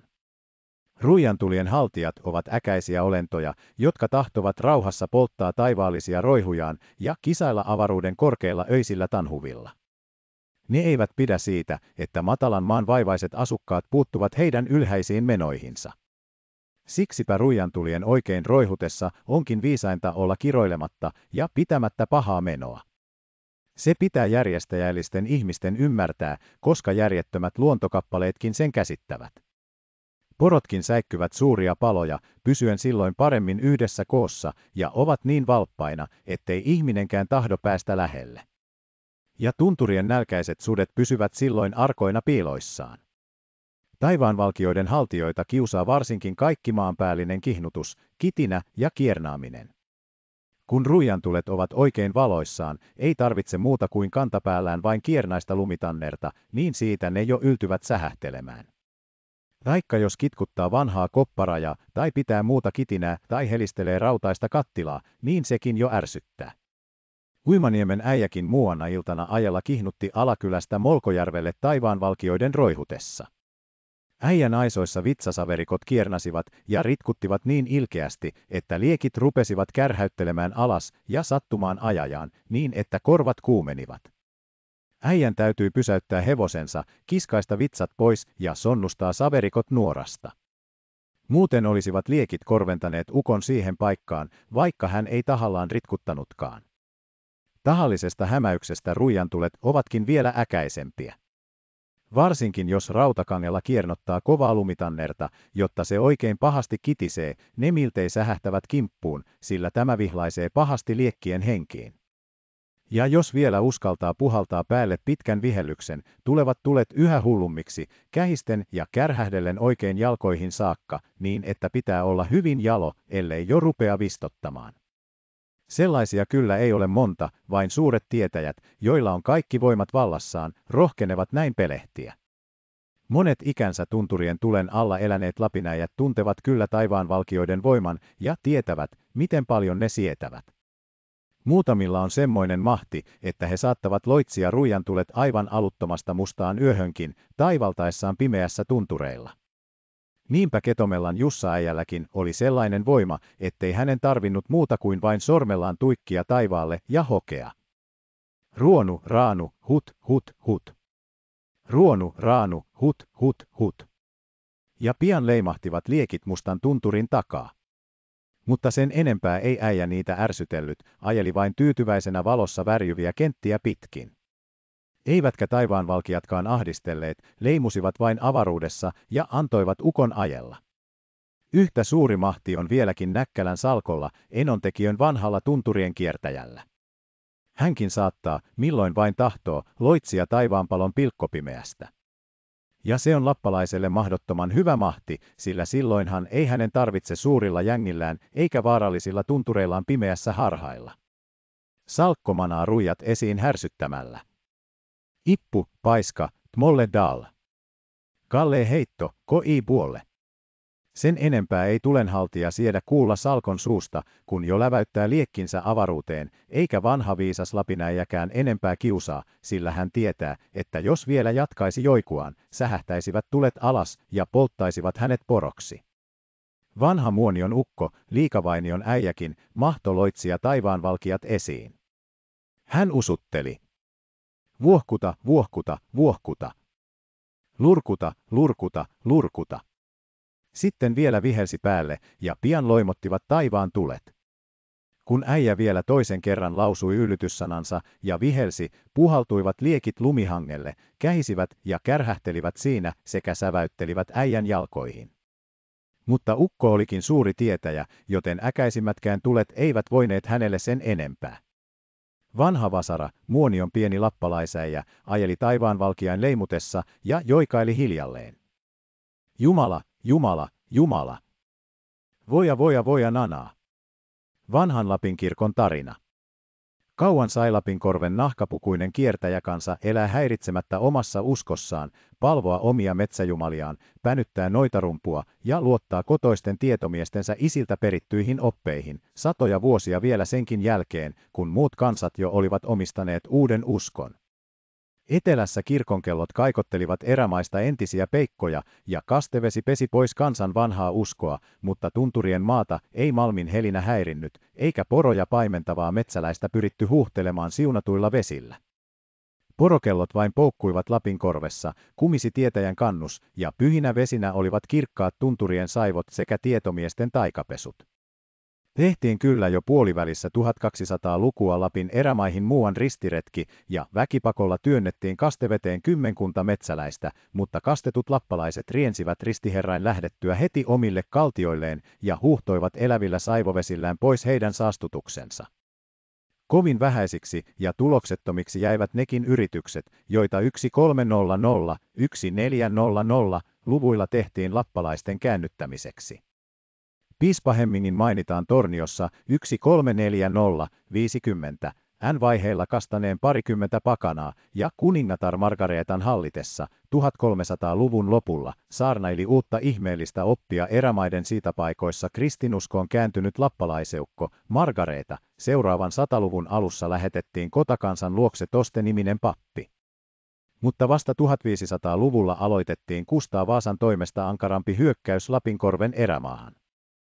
Lähetti kuningas silloin muutamia pappeja sekä luostareista karkotettuja munkkeja saarnaamaan peskipukuiselle kansalle pelastusta, hävittämään heidän pyhiä paikkojaan ja kastamaan metsäjumalien palvojia uuden opin tunnustajiksi. Näiltä ajoilta alkuisin on Enontekijön Lapin ensimmäinen kirkko, Rounalan kirkko, joka jo 1500-luvun puolivälissä rakennettiin Rounalan jutamakunnan alueelle, mikä siihen aikaan käsitti nykyisen Ruotsin Lapin, pohjoisimman osan, lisäksi vielä Koutokeinon sekä Enontekijön aina Muonion seutuja myöten. Jylhässä erämaassa sai kaukaisen Lapin ensimmäinen kirkko paikkansa, jopa aivan villitunturissa, jossa vielä siihen aikaan stallot, maahiaiset ja saivojen kansa sekä lappalaisseidat hallitsivat. Korkealla Könkämäen on päällä, vain kolmisen penikulmaa Kilpisjärvestä alaskäsin, Ruotsin puolella väylää, on nykyään Vittangin talo. Talosta neljä, viisi kilometriä länteen, suurien tunturien ja paljakkain, Kirkkovaaran, Sapihoivin ja Toolisoivin lomassa, Veivijärven, Kirkkojärven ja Sudijoen seutuvilla on vieläkin aukea tasainen siljo, joka lienee jo ikivanhoista ajoista ollut lappalaisten talvisena kokous- ja markkinakenttänä sekä pyhänä palvontapaikkana. Tänne kohotettiin erämaan esikoistemppeli. Vanhojen muistelusten mukaan rakensi sen kolme uuteen uskoon kääntynyttä lappalaisveljestä. Penikulmien päästä, tunturien takaa, Norjanmeren rannalta, vedättivät veljekset hirsiä puuttomaan tunturiseutuun ja tekaisivat temppelin Lapinkoivikkoon, pienen kirkkojärven länsirannalle, korkean, tunturimaisen kirkkovaaran eteläiselle laidalle. Ei ollut erin suuri eikä komea tämä Lapin veljesten laatima tunturikirkko, ollen vain harmaa, neliskulmainen, 12 kyynärää pitkä ja yhdeksän leveä rakennus. Pari pientä ikkunaa oli, ja sisässä joitakuita penkkejä, sekä alttari ja saarnatuoli. Eikä ollut kovin mahtava kellokaan, mikä sitten alkoi kirkolla helkyttää erämaalle uutta aikaa, oli pahan vain kahdeksan naulan painoinen vaskikulkunen, kuin suuri aisakello. Mutta vaikka sen heikko ääni ei kantanutkaan kauas tunturien taakse, vierivät viestit siitä sekä uudesta merkillisestä lantalaisten Jumalan palvospirtistä sitä kauemmaksi. Kotakansasta oli hirsihuone kuin palatsi verrattuna heidän metsäjumaliensa asentosioihin, ja porokellon helinään tottuneelle kiveliön miehelle soi ristinjumalan suuri kulkunen kuin tuomiokello. Loppua ja tuomiota se paukuttikin heidän vanhoille jumalilleen. Kirkolle, vanhaan kokouspaikkaansa, kerääntyi kansa edelleenkin suurin joukoin, ja silloin sinne saapui etelästä pappikin julistamaan uutta oppia ja valamaan vedellä niitä, jotka tahtoivat luopua isiensä uskosta. Saapui sinne vanhaan tapaansa myöskin etelän kauppasaksoja vaihtamaan rihkamaansa Lapin ukkojen tavaroihin. Niin muodostui Rounalan kirkolle suuri Lapin markkinapaikka, johon riensi väkeä sekä etelästä että pohjoisesta. Ilmestyypä markkinapaikalle kuninkaan veronkantajakin vaatimaan lappalaisilta veronahkoja, tuli tuomarikin apumiehineen tunturikansan riitoja käsittelemään. Kirkon lähelle kohosi pian kauppiaiden pikkupirttejä sekä tupanen, jossa pappi saattoi saarnamatkallaan majailla. Oli tänne etelän matkamiehillä taipaleet kuljettavina, monien tunturien yli he saivat ajella, ja olla vaarassa jos toisessakin. Pitkänä jonona juoksevan rostojaurin ohitse kummaenoon asti ulottuvan rostotunturinkin kalmuskursuun vierähti kerran Rounalan matkalla tuomarin tulkki, ja päätönnä löydettiin mies kursun pohjalta. Markkina-aikoina oli kirkkokentällä Tunturilaaksossa elämää ja menoa. Mutta sitten taas jäivät kirkko ja tyhjät markkinatuvat pitkäksi aikaa ypöksinään tunturien turviin. Vain silloin tällöin joku erämaita kiertävä lappalainen juti suurine porokarjoineen ohitse. Arastellen ja äänetönnä kiersi erämaan mies aution pyhätön, sillä kirkon jumala oli pelottava olento, joka saattoi kostaa vielä ankarammin kuin tunturien jumalat, jos sen ohitse kulkimeluten ja kelloja kilistellen. Saatiin pikkukirkon hoiviin pieni hautausmaakin, nelikulmainen, 12 s 15 metrinen kenttä, sen siunattuun multaan laskettiin erämaaseurakunnan vainajat viimeistä tuomiota vartomaan. Vain nahkoihin taikkalouteisiin kääräistyinä tai puukoperoon huolettuina kuopattiin sinne monet metsän lapset. Ensimmäisenä kerrotaan pyhään kenttään kätketyn kirkon rakentajaveljeksistä ensimmäisen peruskiven laskija, ja niin pääsi rakennusmies esikoisena lepäämään oman pyhäkkönsä hoiviin. Mutta kovin kaukana ja syrjäisessä erämaassa oli Rounalan kirkko ja markkinapaikka niiden lappalaisten ja lantalaisten mielestä, jotka asustelivat Jutama-alueen läntisillä ja pohjoisilla laitamilla, Suontavuomassa, Hetassa, Muonion seutuvilla, Peltojärvellä, Koutokeinossa, Aviovaarassa ja Tenon varsilla. Niinpä aikojen vieriessä tulikin kysymys uuden kirkon rakentamisesta jonnekin alemmaksi ja keskemmälle seutukuntaa. Suontavuomalaiset Palojoen juoksulla rupesivat jo omalle kokoontumispaikalleen, pienelle markkinajärvelle, pystyttämään temppeliä. Mutta siihen taas eivät toiset tyytyneet. Tehtiin silloin vanha taika, heitettiin kaakelissa, Rounalan kirkon tienoilla, hirsi Könkämäen on kuljetettavaksi.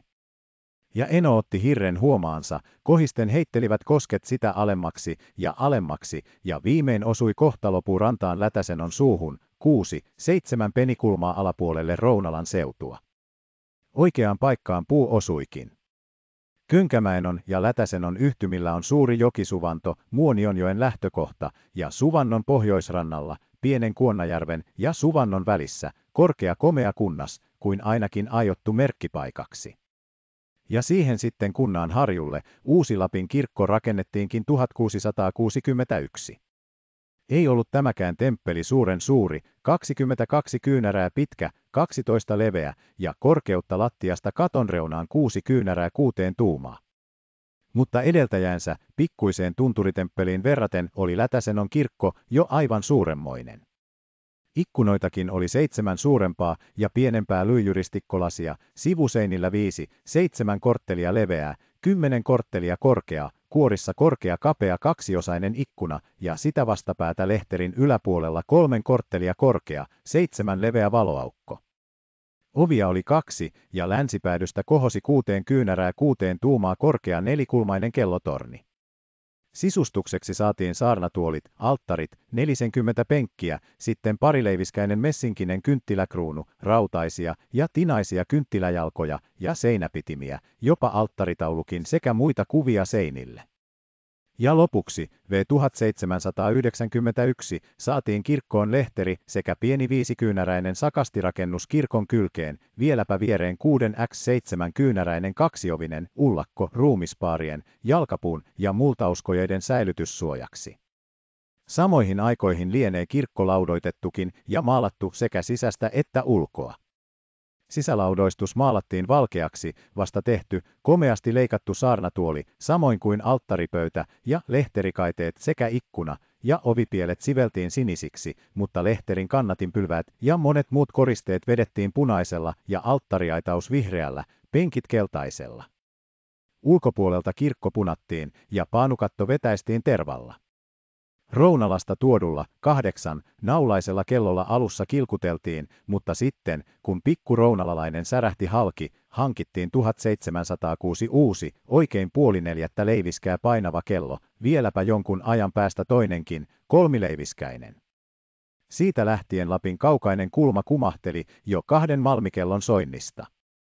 Kummastellen kuunteli tunturikansa suurien kellojen komeaa kumahtelua, ja ihmeissään se astui ristinjumalan koreaväriseen pirttiin. Kirkon suojeen laitettiin täälläkin vainajainpelto. Hirsistä salvetun, toista metriä korkean, laudoilla harjatun aitauksen sisään suljettiin sekä kirkko että hautausmaa, 35 x 40 metrinen kenttä. Ja niin kohosi temppeli kunnallaan kuin mikäkin entisaikainen puuvallituksilla ympäröity korpilinna.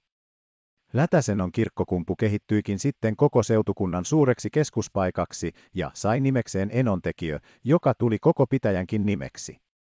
Etelämpänä Ruotsin Lapin, tunturimaissa olevaan Jukkasjärven emäseurakuntaan, joka sai kirkkonsa 1680, kuului Enontekijö alussa kappelina, kunnes 1747 pääsi itsenäiseksi seurakunnaksi. Rakennettiin tänne erämaahan pappilakin. Lätäsenon ja Könkämäenon väliselle niemekkeelle, markkinasuvannon länsirannalle, jyrkälle sorvaisen törmälle, vastapäätä Ruotsin puolella olevaa sotanientä. Mutta kun suuri tulva kerran ahdisteli papin asuntoa, siirrettiin se kirkkokummun laitamalle, satasen metriä kirkosta länteen. Komea oli papintalo sen aikaiseksi tunturipappilaksi, vaikkakin vain harmaa hirsirakennus ja huoneet mataloita, 2,10-2,20 m korkeita, pieni, ikkunaisia. Portaat olivat etelää kohden ja pitkästä kapeasta eteisestä päästiin suoraan isoon saliin. Vasemmalla oli keittiö nurkkakamareineen, oikealla papin pieni virkahuone, jonka kalkkilaastilla silatut seinät ja katto olivat noesta mustuneet, sekä vielä pienempi makuukomero. Päivätöntä pohjaista kohden avautuivat ikkunat, vain keittiön sekä virkahuoneen ainoa ikkuna katsoivat päivään päin. Täällä äärettömien korpien helmoissa erämaan kansan sielunpaimenet elivät ja saarnasivat. Täällä Olaus Sirma, Enontekijön ensimmäinen kappalainen, lappalaissyntyinen ja Uppsalassa oppinsa saanut pappi, kävi vuosina 1675-1719 ankaraa taistelua heimolaistensa vanhaa uskoa vastaan, samoihin aikoihin kuin Gabriel Tuderus, toinen tuima hengen mies, sorti ja tuhosi Kemin Lapin, vanhoja pyhättöjä.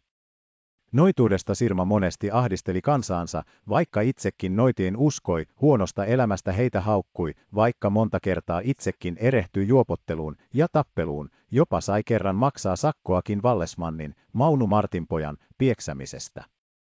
Ankarana her, vuolevina, jäikin Sirma elämään kansan muisteluksissa.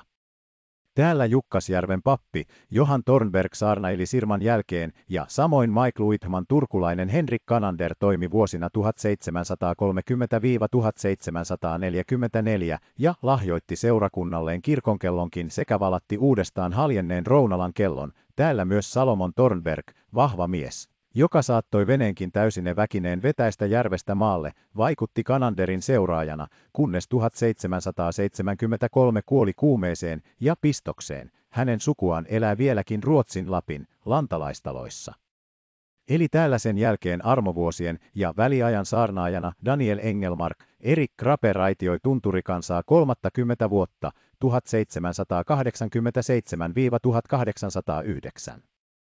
Kansanmuistelusten her, Erkki, oli toimekas järjestyksen mies, korjautti ja maalautti satavuotisen rappeutuneen kirkon, parannutti vanhan pappilankin, piti huolta kansanopetuksesta ja antoi ankaria määräyksiä vainajain hautaamisesta sekä kansan kirkossa käynnistä.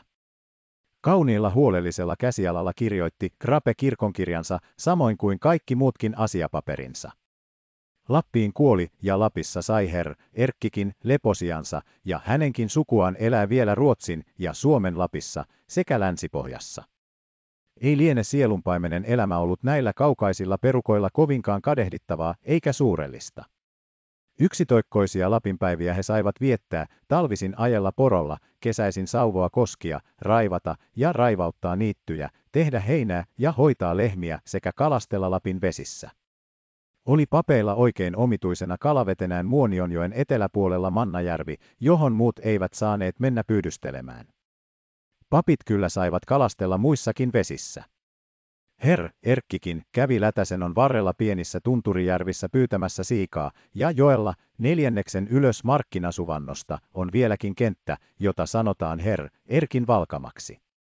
Kalaa ja poronlihaa olikin papeilla yltäkyllin, mutta pellonviljaa saivat lappalaiset noutaa sielunpaimenelleen torniosta asti, joko talvella jutaa pororaidoillaan tai kesällä sauvoa 40 penikulmin ylös tornion ja muonionjokien äkäisiä koskia. Mutta her, Vuolevin, palkkajyville kävi keväällä 1677 hullusti. Ne oli talletettu Köngäsen pruukin patruunan momman aittaan, kun suurtulva tempasikin aitan matkaansa, niin kuin keksi laulaa. Puodin mommalta pudisti. Siirman jyvät siirsi pois. Sinne Siirman jyvät jouduit. Kahden puolen karungia. Alituisessa yksinäisyydessä saatiin erämaan pappilassa kestää niin ilon kuin murheenkin päivät.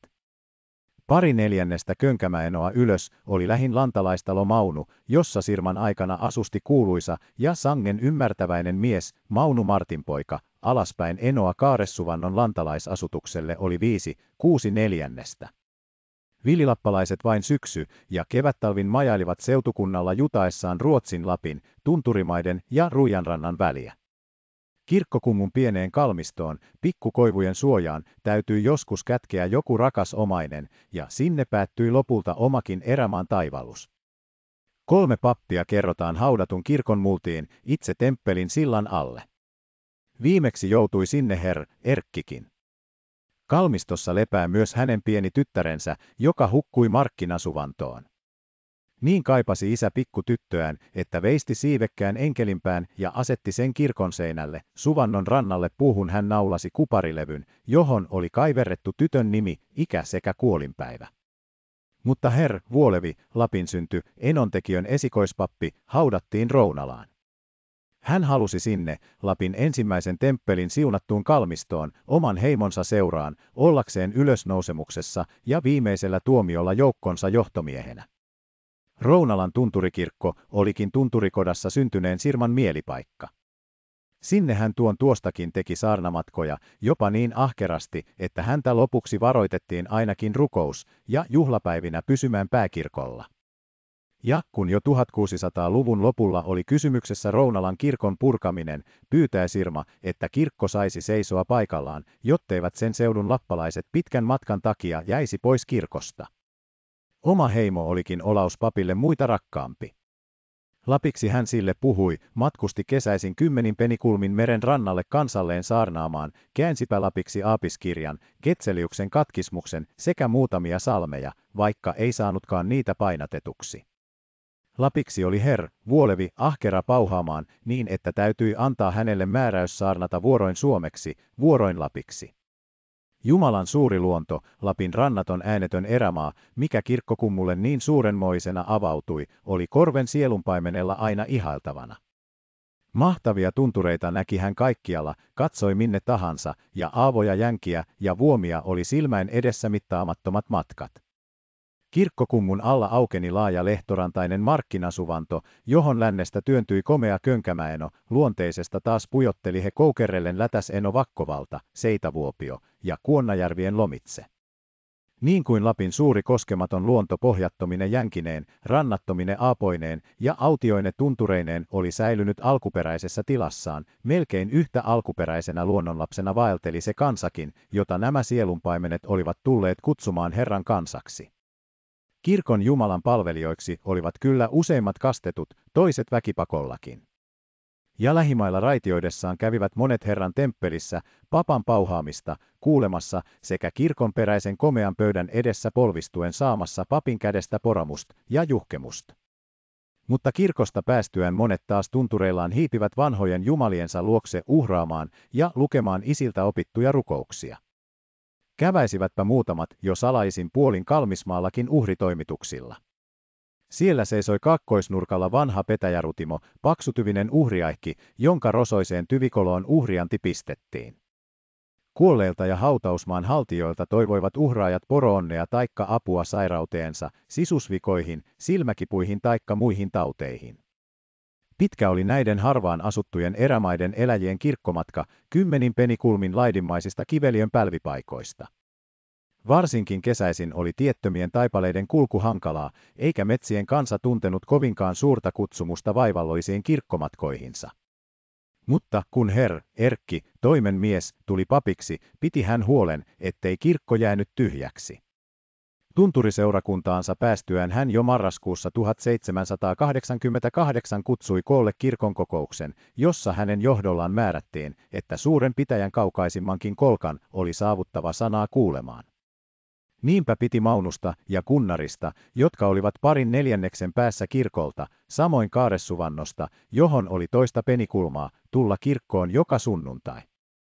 Inivuomasta, parin penikulman päästä ja Kuttaisesta, kolmen penikulman matkalta, piti joutua joka toinen pyhä, ellei sattunut olemaan kelirikon aika.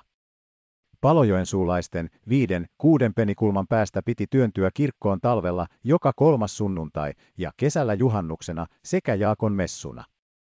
Kaikkein syrjäisimmät perukat, hetta ja peltovuoma määrättiin taivaltamaan 10, 14 penikulmainen erämaansa kuusi kertaa vuodessa, neljänä suurena katumus- ja rukouspäivänä sekä jouluna ja pääsiäisenä. Ja tähän oli kansan tyydyttävä, painuttava kirkkomatkalle ainakin jonkun hengen joka talosta määräyksen mukaan. Palojoensuun Henrik Olsson baas vain pani vastaan ja valitteli kesämatkojen vaivalloisuutta kovin koskisessa Muonionjoessa ja sanoi, että talvella hän kyllä rukattaa vaikka useammastakin.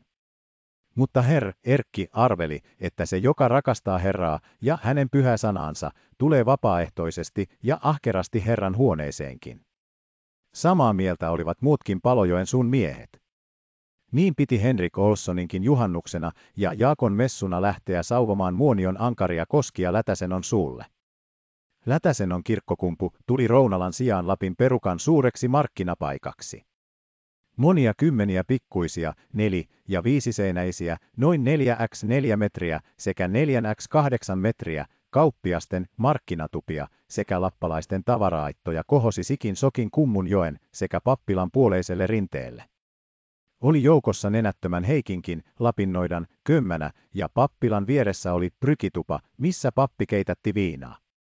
Tuomarin kummulla, pappilan ja kirkon välillä oli tuomarintupa sekä siitä hiukan pohjoiseen, Kuonnajärven rannalla, nimismiehen asunto. Koko kumpu oli kuin pieni hökkelikaupunki keskellä Lapin erämaata.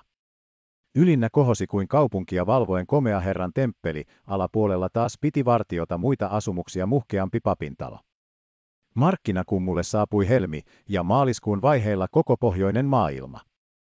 Sinne nousivat Tornion kauppasaksat satoine tavarakuormineen, sinne Karjalan kupetsit riensivät Lapin komeita turkiksia ostamaan, ja pitkinä raitoina, huutaen ja porokelloja kilkatellen, juti sinne loistavapukuinen Lappi ruijanrantoja myöten, ahkiot täynnään Lapin tavaraa, poronlihaa, nahkoja ja turkiksia.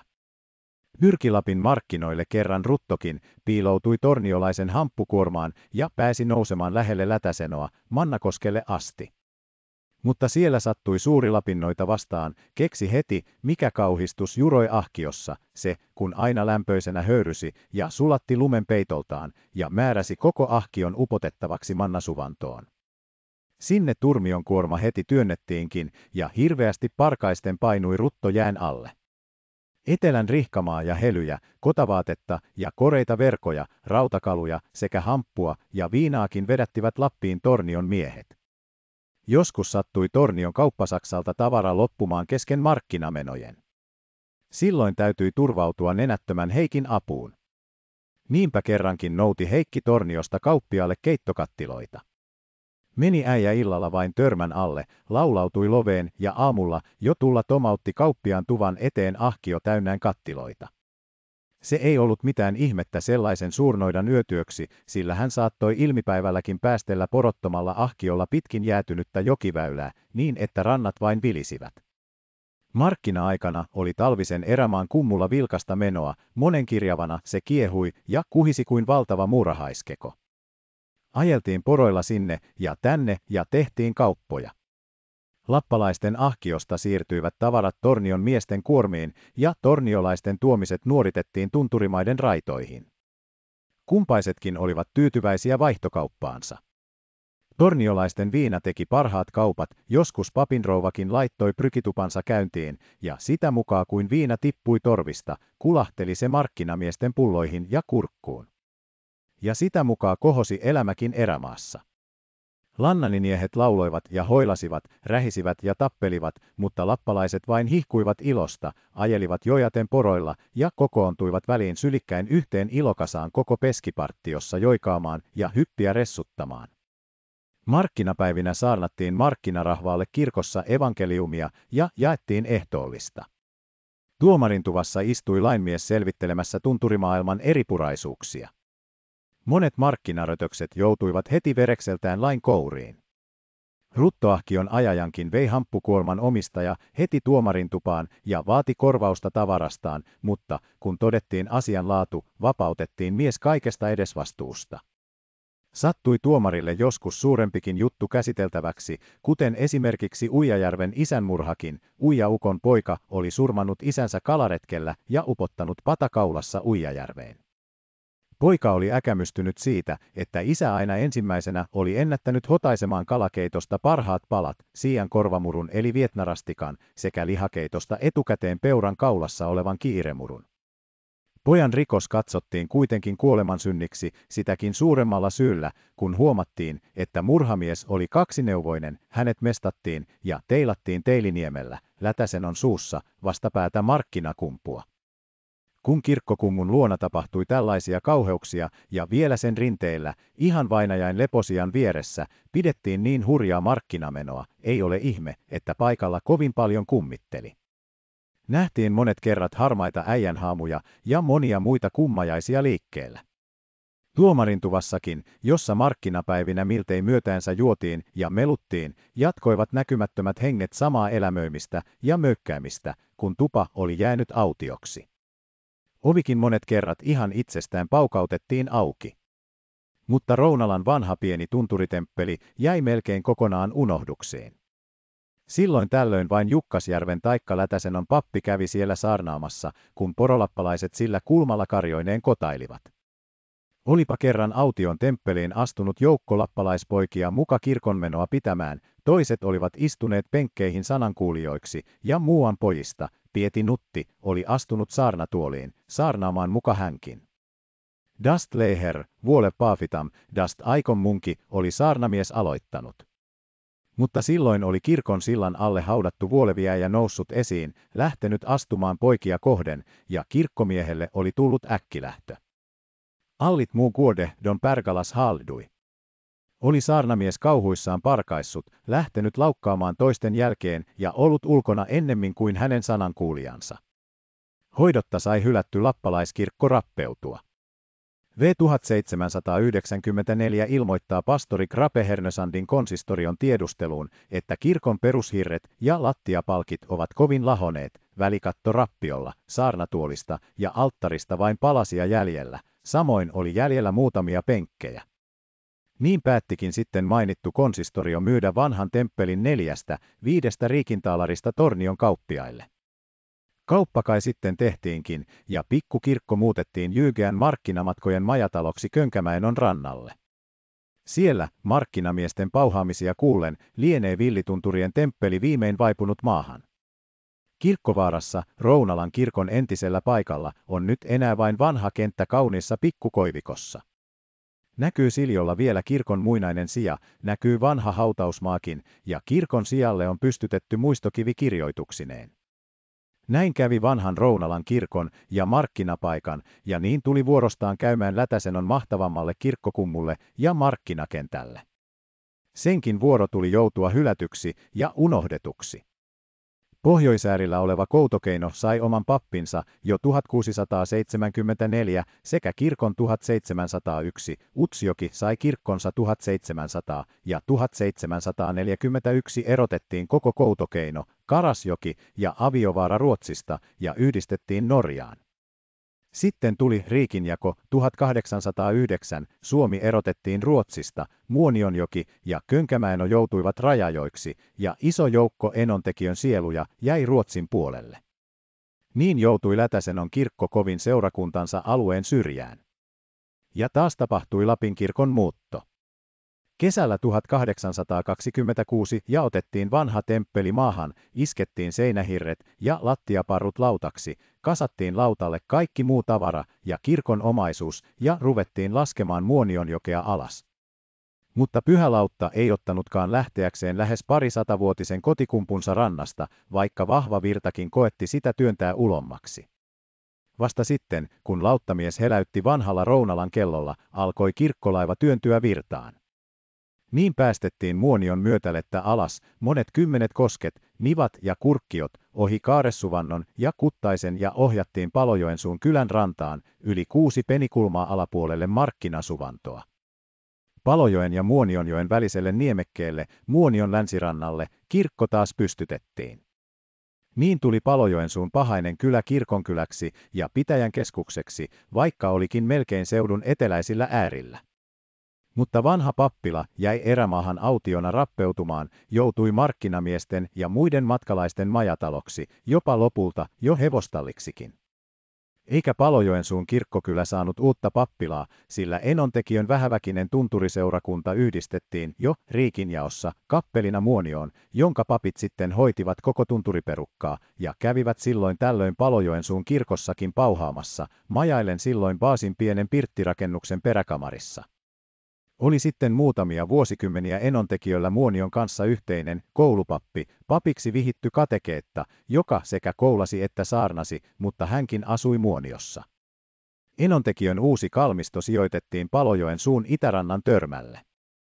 Mutta ei kauankaan saanut olla Palojoen suun kylä, niin väylän varrella kuin olikin, kirkonkylänä, eikä tunturimaista tuotu vanha temppeli Jumalan sanan julistushuoneena.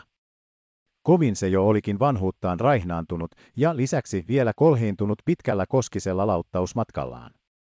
Niinpä jo VN 1838 kalustotarkastuksessa huomattiin, että kirkko oli kovin korjauksen tarpeessa, lattia vaati laittamista, katot paikkaamista ja tervausta, ulkolaudoitus oli huono, kellotornin luukut olivat pudonneet taikka rempottivat vitsasaranoissa, ovista ja ikkunoista puuttui ulkopuolisia kehyslautoja, ikkunoita oli rikki, sisäpuolinen. Maalaus oli rapistunut, tuntilasi epäkunnossa, kynttiläkruunusta oli kahdeksan, S-haara poikki, sakastissa ei ollut viinikellaria eikä uunia, ullakko oli aivan rappiolla, ruumispaarit huonot, vain jalkapuu oli käytettävässä kunnossa. Kelpasi kirkko kuitenkin vielä pari, 30 vuotta erämaan kansalle, mutta sitten sekin vuorostaan tuli hylätyksi, kun Hetan kylään Ounasjärven pohjoisrannalle 1864 rakennettiin Enontekiön nykyinen kirkko. Viimeisen saarnan piti kirkossa B.F. Kajanus, joka asusti viimeiset vuotensa Hetan kirkolla Pekkalassa, kuollen siellä 1868, hänet haudattiin Palojoen suun kalmistoon. Hänen saarnansa tuli parisatavuotisen tunturitemppelin jäähyväissaarnaksi.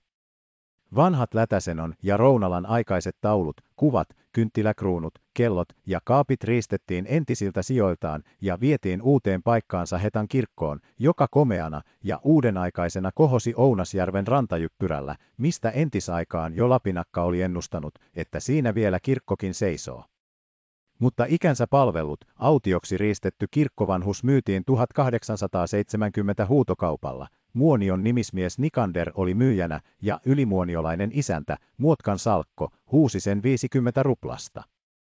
Sitten sekä myyjä että ostaja yhtiössä kukistivat temppelin, raastaen sen maahan kivijalkaa myöten ja rötistäen suureksi lautaksi seinät, katot ja lattiat, ikkunat, ovet, penkit, saarnatuolit, alttarit ja lehterit, vanhat numerotaulutkin ja kaikki koristeleikkaukset sekä koristellut patsaat, sakastit ja ullakot. Ja taas toistamiseen sai kovia kokenut kirkko lähteä pitkälle vesimatkalle yhä alaspäin pitkin vuolasta muoniota, surulliselle viimeretkelleen. Lautan hirsistä ei näet enää rakennettu pyhää temppeliä, saarnatuolia ei enää pystytetty papin pauhaamispaikaksi, eikä penkkejä asetettu sanankuulijain istuinsijoiksi. Ylimuonion rannassa jakoivat saarnamiehet saaliinsa ja käyttivät tavarat talonsa tarpeisiin. Seinähirsistä, kattolaudoista ja lattiaparsista rakennettiin heinälatoja ja muita ulkohuoneita, joiden oviksi käytettiin kirkon ja sakastin ovia, alttarin, lehterin ja penkkien maalatut aitauslaudat laitettiin aittoihin viljalaarien seiniksi ja saarnatuolin pystytti nimismies Nikander puutarhansa porttipylvääksi. Mutta monet koristelaudat ja pylväät, numerotaulut, multakaarat ja sen semmoiset, joita ei voitu mihinkään käyttää, heitettiin talon romukasaan. Sakasti ja ullakko pystytettiin semmosinaan niitylle ja ovat vieläkin siellä sakasti ja ullakkolatoina. Se oli Lapin erämaiden kirkon surullinen loppu. Mutta vanhan pyhätön raastaminen ja rikkominen ei mennyt mainioittaan, sillä temppeli kukistettiin vasten kirkonväen ja haltioiden tahtoa ja saatettiin vielä toistamiseen vedenväen kanssa kosketukseen. Siksipä jo alas laskettaessa Nikanderin kirkkolautta yritti Akamellan ikivanhan hautausmaan kohdalla väkisin painua kalmiston kosteeseen, kirkon jäännöksissä piilevä väki veti sitä sinne siunatun mullan ja kalmanväen seuraan, ja samoin taas puolestaan Akamellan äijät sitä kiskoivat luokseen.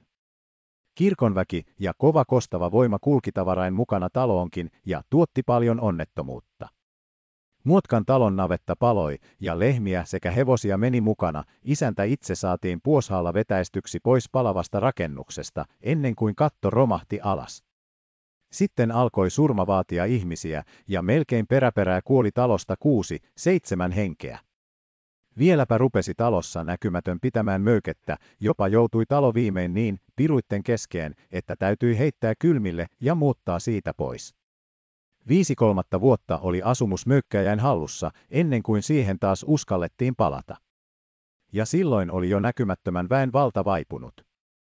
Vaipunut on vanhan väen voima entiseltä Lätäsenon kirkkokummultakin, jossa ennen myös paljon näkymättömät voimat liikkuivat. Tyhjänä ja autiona on nyt Lätäsenon muinainen markkina ja kirkkopaikka. Monilukuiset markkinatuvat, aitat ja tuomarintuvat ovat jo aikoja hävinneet. Sijat enää vain tuntuvat. Mutta vanhalle Lapin kansan kalmismaalle, jonka entisestä hirsiaitauksesta samoin kuin kirkon sijastakin vielä näkyy jäännöksiä, on kymmenien hautakuoppien ympärille kohonnut pieni komea koivikko. Seisoo siellä kaakkoisnurkalla vielä vanha uhripetäjäkin, ryhmyinen aihki, kuin harmaa tunturia ja nuoren väen vartijana. Aikin uhrikoloon vieläkin vanhaan tapaan tunturin kiertäjät vievät antimiansa. Kummun laidalla kyhjöttää Enontekiön vanha pappila, surullisen näköinen, ränsistynyt rakennus, josta jo koko länsipuoli on raastettu maahan. Vain yksi suoja, entinen papin virkakamari, on enää asuttavassa kunnossa.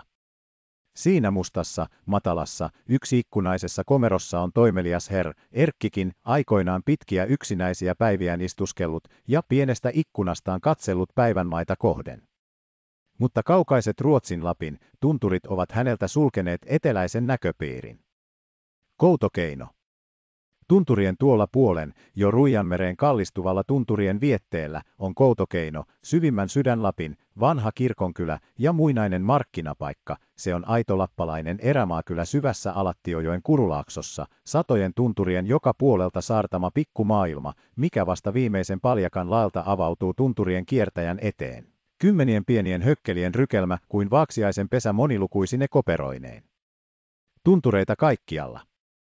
Jo heti alattion rannat nousevat jyrkiksi hiekkatievoiksi ja marastoiksi, sitten etempänä kohoavat lukemat omiksi tuntureiksi ja paljakoiksi, joita suuret jängät ja vuomat tai jyrkät autsit erottavat toisistaan, tai on niiden välillä määrätön lukuvesiä, suljettuja pikkusaivoja sekä suuria kirkasvetisiä saivojärviä. Jäämeren mailta siintävät kehämäiset lumikattoiset ruijantunturit ja päivän puolella kumottavat laakeaharjaiset vedenjakajaselänteet, joiden pohjoisilta juurilta hersyvät vedet alattio vie Ruijanmereen. Metsätöntä lakeutta on koko koutokeinon tunturimaailma. Petäjäkin on jäänyt jo maanselän tunturien päiväpuolelle ja kuusi sitäkin kauemmaksi. Vain koivu on uskaltanut asettua lappalaisen toveriksi, mutta matalana käyränä turrikkana kuin lapinäjä se kipuaa tunturin rinteitä, vain notkelmissa, ja vesien varsilla suoristaen valkean vartensa ja nostaen vihannan latvansa korkeammalle. 7. 18 penikulmaa on täältä Ruijanrannalle Possokoppaan, Alattioon, välillä vain Autsin nelitaloinen kylä sekä Maasin vanha kirkkopaikka ja kymmenkunta talopahaista. Suomen puolelle, Hettaan, on yli kymmenen penikulmaa kierrätellen muutamien Lapintalojen kautta. Eikä ole minkäänlaisia kesäteitä, lappalaisten pahoja palkaita vain silloin tällöin, ja taas keinottomia jänkiä ja tuntureita. Mutta talvella vie vahva tikoitettu porotie Hetasta Koutokeinon kautta Alattioon, mikä on vanha lannan puolen kulkusuunta Rujanmerelle. Sillä jo muinaisiina aikoina Lapin tunturien eteläpuolella asuvat kansat kulkivat näitä maita tuolle puolen tuntureita sekä Ruijanmeren rannoille. Näitä väyliä lienevät jo esihistoriallisina aikoina Pohjanlahden ja Tornionlaakson ja Tulintarhain rakennusmestarit matkanneet Ruijanrannoillekin latomaan merkillisiä kivikiekeröitään. Näitä maita pirkkalaiset veronnylkijätkin samoilivat perimmäiseen Lappiin asti, ja näitä keinoja kulkivat entisaikoina pirkkalaisten jälkimiehet, Tornion kauppasaksat joilla oli yksinoikeutettuna markkinakenttänään koko laaja Tornion Lappi, vanhasta Rounalasta ja Jukkasjärvestä Utsjokeen saakka. Näitä laajoja erämaita tunturien porolappalainen jo vanhoista ajoista asti oli tottunut jutamaan syksyin ja keväin edestakaisin eteläisten tunturien ja outaseutujen sekä jäämeren rannan väliä, kunnes 1852 pantiin toimeen rajasulku, niin etteivät Norjan lappalaiset enää voineet jutaa Suomen puolelle eivätkä Suomen lappalaisetkaan Norjan rannoille. Ja näitä maita nousi sitten lantalaisasutus Tunturijärville ja painui jäämeren lappalaismaille. Tunturien päivän puolen alkulahtöä onkin kaikki tunturien takainen kansa, päivän puolen mailla on Lapin sukukin viettänyt lapsuutensa, vaikka se sitten melkein kokonaan onkin sortunut yöpuolen erämaihin. Niin on Koutokeinonkin kansa, sekä Lappi että Lannan suku, järjestäen Suomen puolen pahnaa, Hetasta, Kittilästä, Muoniosta, jopa aina Torniosta ja Kemistäkin saatua alkujuurta. Lapin tunturimaa on muokannut kaikki sekä lantalaiset että lappalaiset samankaltaisiksi erämaan eläjiksi, se on vatkannut yhteen sekä Lapin että lannan pahnan, sekoittanut molemmat veret, niin etteipä saata äkikseltä sanoa, mikä on Lappia mikä lannan juurta. Koko kylässä ei ole kuin kaksi lappalaista, joko on äkti lappalaisia. Lannan miehen jälkeläisistä on tullut täysiä tunturien kiertäjiä, kotalappalaisia, ja lappalaisesta kietkamesta on kasvanut hirsimökkien asukkaita, sarvikarjan ja perunapellon hoitajia. Tunturien porokarja on pukenut kaikki samanlaisiin nahkoihin, ja vanha saamekieli on koko tunturimaan kielenä. Lappia on puku, lappia kieli, lappia kaikki elämäntavatkin, oli sitten alkulähtö mitä pahnaa tahansa. Jo koutokeinolaisten huutonimetkin viittaavat Suomeen. Niin on keminimisiä lappeja koko suku aina Karasjokea myöten, toisilla kotina koko tunturimaa, joilla kuilla pikkuinen hirsimökki. Tämän suvun tyvipuoli on Kemissä. Sieltä aikoinaan muuan poika ja tyttö pääsivät vihavenäläisten käsistä karkuun ja pakenivat pohjoisiin tunturimaihin sekä joutuivat viimein koutokeinon papille, Tornensikselle, palvelijoiksi. Aikuisiksi tultuaan menivät kemiläiset keskenään naimisiin ja siitä lähti Kemin sukutuntureita kiertämään. Toinen etelänlähtöinen Lapin joukko on suuri Tornion suku eli Tornensis, joka pohjautuu Torniosta ja on perimmiltään oikein papillista pahnaa. Anders Tornensis, Koutokeinon kolmas pappi, vaikutti tunturien takaisessa Lapissa 35 vuotta, kunnes sinne kuolikin 1705 ja haudattiin kirkon lattian alle. Ja tämän sielunpaimenen jälkeläisistä sukeutui poroja paimentava Lapin suku, joka vieläkin kiertelee Koutokeinon ja Hetan erämaita. Toiset tornensikset taas elävät taloissa ja talojen emäntinä, niin kuin Oskalon ja Alatalon muorit ja Birit Mikkelsdotter Tornensis. Kittilän lähtöä ovat puljut, jotka Enontekijön Vuontisjärven kautta vähitellen joutuivat tunturien takaisiksi poropaimeniksi, ja Muoniosta on matkannut Nilimaa. Mutta Enontekijöstä, tunturien eteläpuolisilta kaiteilta, on saapunut Koutokeinon perusväki. Niinpä on hettojen monimiehinen joukko saanut lähtönsä Enontekijön hetasta ja hajonnut ympäri erämaita kotakansaksi taikka asettunut kirkonkyläkentälle pirttien asukkaiksi. Kirkolla onkin hettaa taikkahetan sukua miltei joka kömmänässä. Sitten on koko sukuspeinejä sekä kotalappalaisina että taloneläjinä, jopa joku kauppamiehenäkin, sitten Eiraa, Siiriä, Pääriä, Kauppia, Sieppiä, Penttaa ja Ponkua, Ristiä, Varsia, Makkaa, Orpusta, Suoroa ja Marakattia, joista useimmat elävät ienkaiken savuisen kodan asukkaina erämaassa. Rikas Näkkäläkin on Enontekijön miehiä, samoin kuin talossa asustava Palojärvi. Entisaikaan ei Koutokeinon kirkolla ollut hirsitaloja ensinkään, joita kuita lappalaisten turvekotia vain sekä kauppiasten markkinatupia. Mutta sitten rakennettiin papille talo ja siitä saivat kotaeläjätkin oppia. Kemin Mikkeli ensimmäisenä juti hirret hetasta, metsätön koutokeino saa ajaa kaikki rakennuspuunsa aina kymmenen penikulman päästä yli tunturien ja kyhäsi mökin. Saivat sitten vähitellen muutkin pikkuhirsitupia, hetat, tornensikset, jopa joku maailmaa kiertävä porolappalainenkin teki pöksän, jossa saattoi markkinoilla ollessaan asustella. Kymmenittäin onkin jo kohonnut joen kahta puolta rantatievojen juurelle mökkejä kaiken näköisiä, enimmäkseen pieniä harmaita turvekattoisia tupia, vain joku parempi rakennus ja maalitalo joukossa, pappila, nimismiehen asunto, Eriksenin, hutelli, Speinin talo, Vuollon Heikki ja Vuollon Isko. Seitsemän, kahdeksan kotalappalaisen pirttiä seisoo joukossa sekä kymmenlukukin heidän pieniä tavaraittojaan, useasti pitkässä rivissä pitkin rantaa. Ja kylän laidassa, korkealla koivikkokummulla, kohoa pieni punainen kirkko kalmistoineen, sekä alhaalla jokisuvannon laakealla rannalla komea, internaatti, kansakoulu, missä tunturikansan lapsia, pehmeä saamekieltä haastavia nahkapukuisia pikkupentuja pakotetaan soukkaamaan kovaa ruijankieltä, sekä heidän joikauksen nunnutukseen tottuneita äänielimiään yrittelemään. Ja vei elsker dette landet. Saattavat lapinlapset sitä kyllä laulaakin ja oppia jotakuinkin sen pykeet ja venytykset, vaikkeivat käsitäkään koko ja V.I. Elskeristä sen enempää. Mutta omaa suurta tunturimaatansa he rakastavat ilman internaatin opetuksiakin, he rakastavat jylhää erämaata, jossa heillä on koti ja kotipiha kaikkialla, mihin vain mustan kotansa pystyttävät. Siellä liikkuu ja lainehtii heidän valtava elonsa, siellä piilevät vielä heidän muinaiset jumalansa ja kirkkaat pyhät saivonsa, ja joka tunturi, tieva ja marasto, jänkä, järvi ja autsi on heille jo lapsuudesta tuttu, samoin kuin sadat tunturitarinatkin sekä tarinain pyhittämät merkkipaikat. Enin osa Koutokeinon kansasta asuukin enimmän osan elämästään erämaissa, vain talven suurina kirkkopyhinä kokoontuen vanhaan yhteiseen keskukseensa, Koutokeinon kirkkolaaksoon. Silloin on erämaan kirkolla Lappi liikkeellä.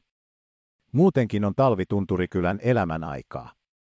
Koko Länsi-Lappi jutaa silloin Alattion laaksoa edestakaisin, milloin ajetaan Alattion markkinoille, milloin taas mennään sieltä elintarpeita hakemaan.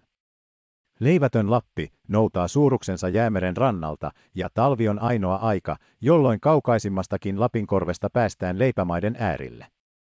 Kesällä tuleentuu lappalaisen tunturielo, talvella leikkaa hän elonsa ja vaihtaa sillä ruijanrannalta leipämaiden viljaa kesän varoiksikin. Mutta kesällä on koutokeino vain syrjäinen yksinäinen tunturikylä, johon harvoin kukaan vieras kulkija pohjaksuu. Aivan hiljaista on elämä kylän kentällä, samaa tuttua väkeä nähdään siinä vain liikkuvan, samat lapset tajovan ja samat ukot ja akat ovat kyökyttämässä, 90-vuotias Jussan Jussakin kinnipeskeissään ja vanha joikuseppä, Maaretan Mikko, mökkinsä vieressä. Ilman vain omia aikojaan paistatellaan pitkää parikuukautista kesäpäivää. Porolappi asuu tunturissa, vain talonomistajat ja maanviljelijät elävät kömmänöissään, hoitavat pikkuisia putaatti tilkkujaan, kalastelevat joessa ja tunturijärvissä sekä tekevät heinää muutamille lehmilleen ja lampailleen. Vanhat noitamuorit hiiviskelevät salapuolisin kirkon alapuolella joen töyräässä olevalle Jabmemielalle, muinaiselle hautausmaalle, ja etsivät sieltä vierennän paljastamia ruumiinluita ja pääkaloja, joista kopistelevat multia pulloonsa. Sillä koutokeinossa on vielä muoreja, jotka keräävät kalmanmultia talteensa ja saavat siten kalmanväen avustamaan tavaran ja maallisen hyvyyden kokoamisessa. Mutta voimakas kalmanväki ei saa tyydytystään pelkästä tavarain haalimisesta, vaan se tarvitsee aika ajoin suurempiakin tehtäviä, vaatii jonkun ihmisen kidutettavakseen.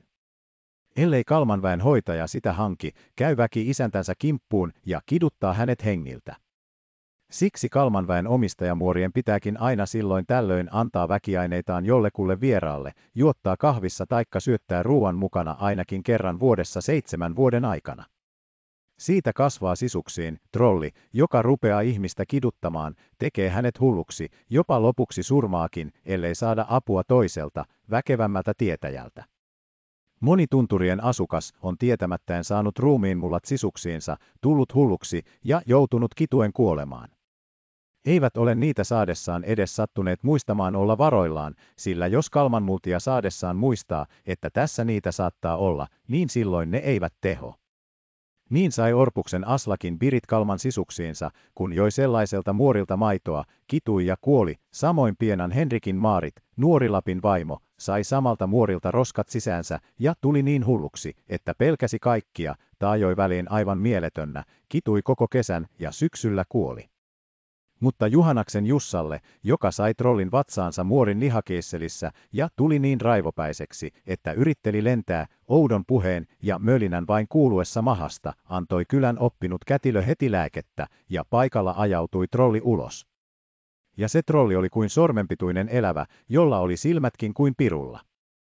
Kaikkein kamalimmin kävi Oulan iskolle, joka muorien oppeja kokeillen meni Kalmatievalle ja otti multia pulloonsa mutta pullon sai joku ilkiö varastaa, ennen kuin hän ehti siitä vielä kenellekään antaa. Silloin Kalman väki kävi iskon kimppuun ja ahdisti häntä niin, että ukko hulluna työntyi ulos, sivakoi läpi marastopensaikkojen tunturiin, riisti kaikki vaatteet päältään, heitteli ne yksitellen tiepuoleen ja viimein alastonna lasketti alas jängälle ja paleltui sinne. Mutta Kalman väki ei vielä siihen tyytynyt, vaan ajautui iskon lapseen ja pani sen niin kovaan tuskaan, ettei se muuta kuin keturoi vain ja parkui myötäänsä. Haettiin Mavukan Aslak, suuri tietäjä, ja kun hän vähän aikaa siveli lasta, niin se heti asettui. Mutta silloin iskon koira, joka sattui olemaan lähellä, kiljahti kuin olisi puukolla söhäisty, törmäsi ulvoen ulos ja lähti kamalasti ulisten laukkaamaan etelään päin, mutta pyöräytti pian mutkan, kapaisi saman tien takaisin, painui pimeään pohjoiseen ja sinne hävisi. Vanha usko onkin täällä Sydänlapissa säilynyt kauimmin. Ei ole monta vuosikymmentä kulunut siitä, kun koutokeinossa vielä eli vanhojen jumalien palvojia ja suurten palvoselojen hoitajia, korranpietit ja mahtin aslakat. Saattaa vielä nytkin joku lapina ja tuntureita samoillessaan astua salaiseen paikkaansa vanhan jumalansa juureen.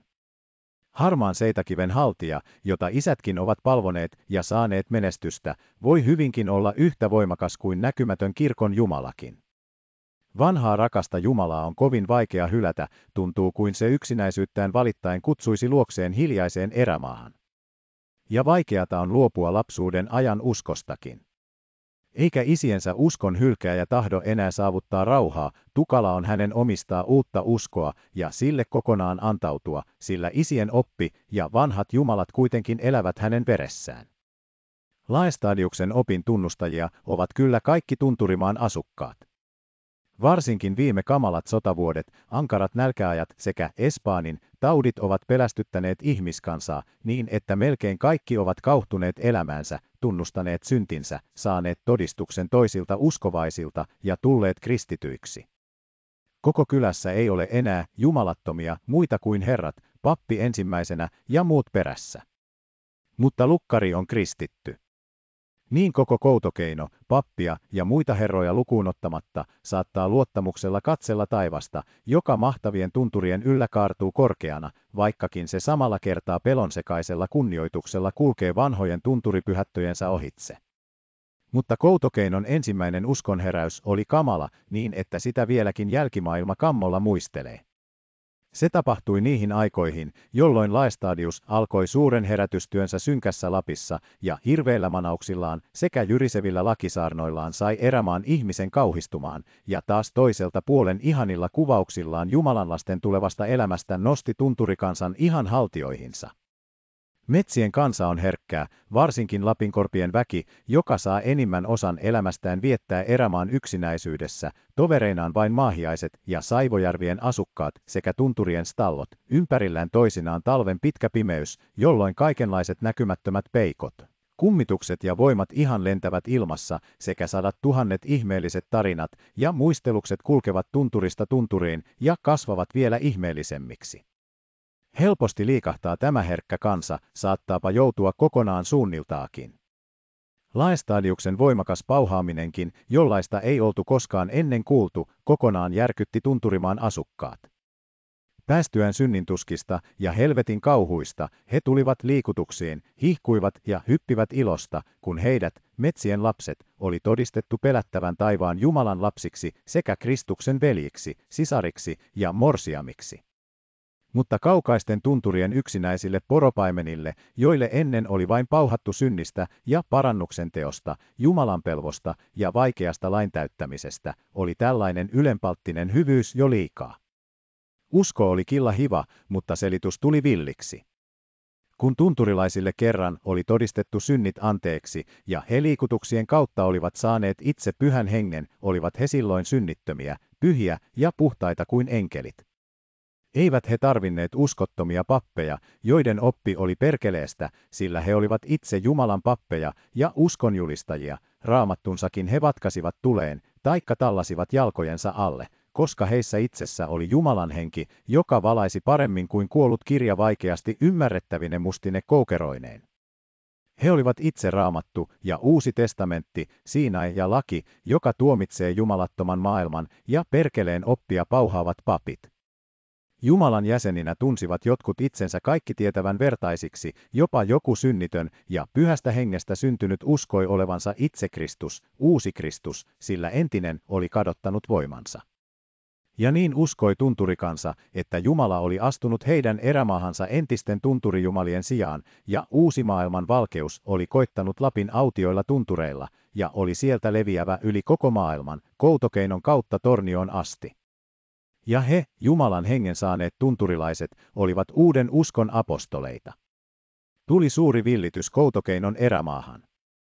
Villiuskolaisia koetettiin saada järkeensä, mutta siitä he vain yltyivät, jopa rupesivat tekemään väkivaltaakin. Silloin joitakuita kiihkoilijoita vangittiin, ja siitä kiihtyivät tunturilaiset vielä enemmän. Rauhallinen erämaan kansa oli todellakin villiintynyt väkeväksi voimaksi. Niin kuin suurta metsäjärveä patoavaan hiekkatievaan kaivettu pikkupuro yhtäkkiä paisuu suureksi väyläksi, jonka kautta ennen tyyni järvi pauhaten murtautuu ja upottaa allensa kaikki, niin mielettömän uskoonsa haltioituneet tunturilaisetkin kuohahtivat.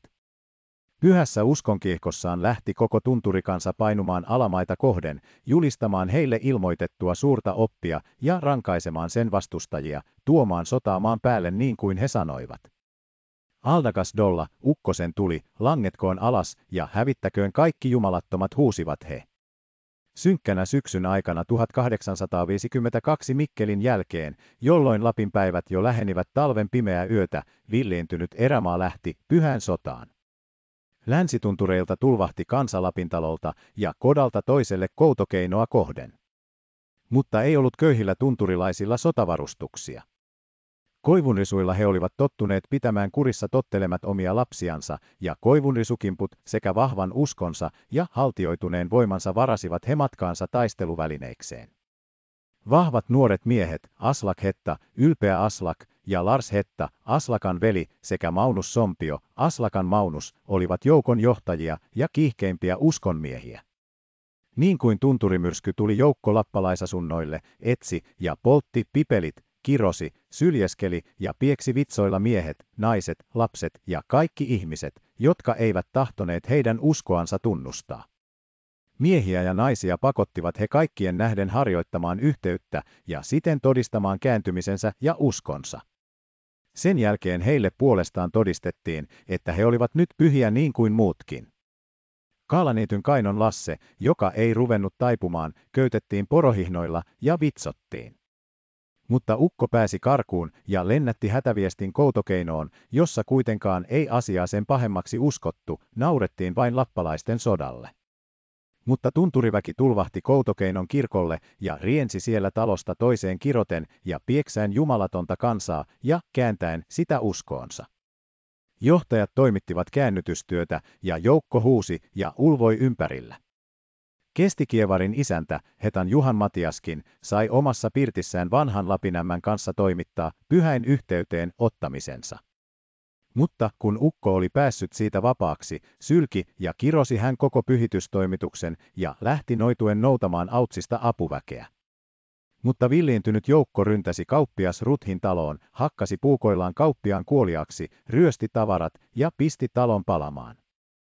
Sitten syöksyi lauma nimismies Buhtin kimppuun ja surmasi hänetkin. Sen jälkeen rynnättiin pappilaan käännyttämään helvetin apostolia Voslevia, joka oli musta kuin saatana. Uskonvimmassaan lapinakat ajoivat vitsomalla paholaisia pois pappilan naisväestä ja renkipojista, ja miehet rääkkäsivät pappia, ollen jo vähällä hänet tappaakin. Mutta silloin tuli Autsista apua. Pyhitystään kiroileva kestikievari toi vimmastuneena sieltä joukon raavaita miehiä, jotka kanget ja soikarat sojossa syöksyivät villiläisten kimppuun. Samaan joukkoon yhtyivät kyläläisetkin sekä kylään kaupparetkellään pysähtyneet kolarilaiset, Filpan ja Pääkkölän isännät ja Matin Jussa. Ja silloin vasta alkoi sota. Pappilan takana kentällä, kirkkotievan juurella, tuli ankara yhteenotto.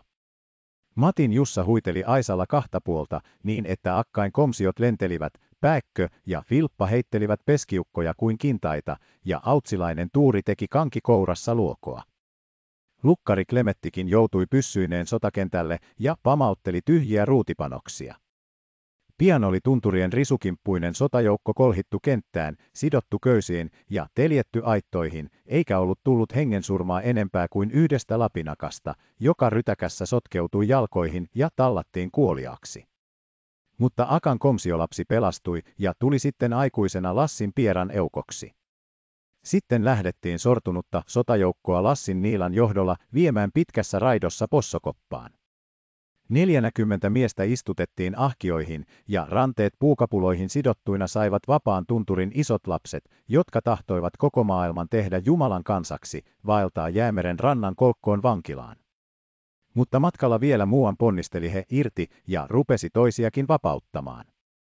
Ajomies ehti kuitenkin hätään, iski häneltä leukapielen poikki, ja mies kuoli sitten Alattion vankilassa. Surullinen oli näiden uskontaistelijan kohtalo, monet joutuivat eliniäkseen vankeuteen, toisten päästessä vähemmällä. Mutta joukon johtajat, viisi miestä, tuomittiin kuolemaan. Kolme heistä sitten armahdettiin elinkautisiksi, mutta Aslak Hetta ja Maunus Sompio mestattiin Alattiossa lokakuussa 1854. He eivät ensinkään katuneet tekoansa, vaan uskoivat ja väittivät edelleenkin, että heitä oli itse Jumala johdattanut taisteluun jumalatonta maailmaa vastaan. Ylpeä Aslak varsinkin oli kovana ja uskoi, ettei Peevelin kirves pysty häneen, jossa oli Jumalan henki. Niin uskoi Maunuskin. Mutta kun Maunus näki, kuinka Aslakan pää vierähti alas ja kieli vielä lipisi suussa, pelästyi hän niin, että oli jo aivan kuin kuollut, kun hänen vuoronsa tuli. Mutta muuan johtomiehistä ja kuolemaan tuomituista nuori Lars Hetta joutui vankilassa ollessaan hyväpäisenä miehenä professori Friisin kielimestariksi, kun tämä käänsi uutta testamenttia lapiksi ja myöhemmin koko lappalaisraamatun kielimestariksi.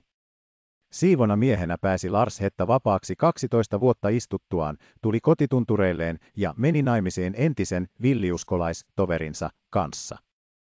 Heidän jälkeläisiään elää vielä Koutokeinon tuntureilla. Tällainen oli Koutokeinon tunturimaissa tapahtunut uskonherätys. Viestit siitä vierähtivät yli Lapin ja koko maan. Kamalia asioita kerrottiin tunturien villuskolaisista, Koutokeinon lakiheräyksestä ja lappalaisten kurikkasodasta. Jopa aina Kittilässä ja Kolarissa asti pelättiin, että villiuskon levittäjät sotajoukkoineen ryntäävät surmaretkelleen alamaihin. Koko Koutokeino sai pelottavan maineen. Samoin Laestadiuksen opin saarnamiehiä alkuaikoina kovin pelättiin, ja villiläisinä heidät karkoitettiin monta kertaa pois koko kylästä. Akamella ja kurjenpolvi. Lapinkorpi antoi kansalleen turvan ja toimeentulon ja soi viimeisenkin turvapaikan sitten kun korvenkiertäjän päivät päättyivät. Pitkin Lapin erämaita näkee vieläkin monissa paikoin korven vanhimpain leposijoja, manalais, saajoja, jänkien keskellä. Manalais- taikka ruumissaaria järvissä, haltiatievoja, järvien taikka jokien ja jänkien rannoilla. Niiden harjuilla on pitkäkkäitä, maahan painuneita kuoppia, monesti useampiakin vierekkäin, ja niitä sanotaan Lapin haudoiksi, joskus stallojen haudoiksi, Lapinkorven ensimmäisten raivaajain, jylhien stallopeikkojen leposijoiksi. Sanotaan näitä kalmakenttiä useasti myös ristimättömän kansan kalmistoiksi, sillä näitä hautoja ei ole ristillä siunattu, eikä näistä viimeisellä tuomiolla nousta ihmisenpojan eteen. Nämä leposijat on siunattu Lapintietäjien sanoilla, niihin on saatettu vainajat kaikki varustukset matkassaan, ja niistä he ovat nousseet ennen menneitten isiensä seuraan pyhällevuorelle, pyhiin tievoihin, tai ovat päässeet saivokansan joukkoon. Siellä elää muinainen tunturikansa edelleenkin ja, niin kuin ennen maan päällä ollessaan, hoitelee porokarjaansa, metsästää ja käy kalassa. Mutta elämä on vain paljoa onnellisempaa, sillä metsät ja vedet ovat viljaa täynnä, porot suuria ja komeita. Hyhiltä asunnoiltaan saattaa edesmennyt Lappi vieläkin lähteä liikkumaan muinaisille kotipaikoilleen Lapin korpiin. Monta kertaa on suurissa erämaissa kuultu, yönuotiolla makaavat erämiehet ja poropaimenet ovat kuulleet, kun vanha Lappi on ollut liikkeellä.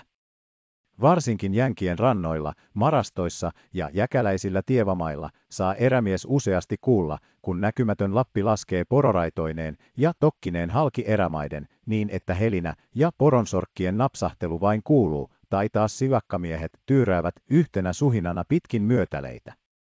Arkoja erämiehiä tämä entiskansan meno kyllä kammottaa, mutta kun heittäytyy siunaten yönuotiolle taikka asettaa sijansa jängän keskelle saajoon, niin saa olla vanhalta väeltä rauhassa. Mutta sitten, kun tunturikansa oli valettu kastevesillä, piti sen vainajatkin saatella siunattuihin multiin.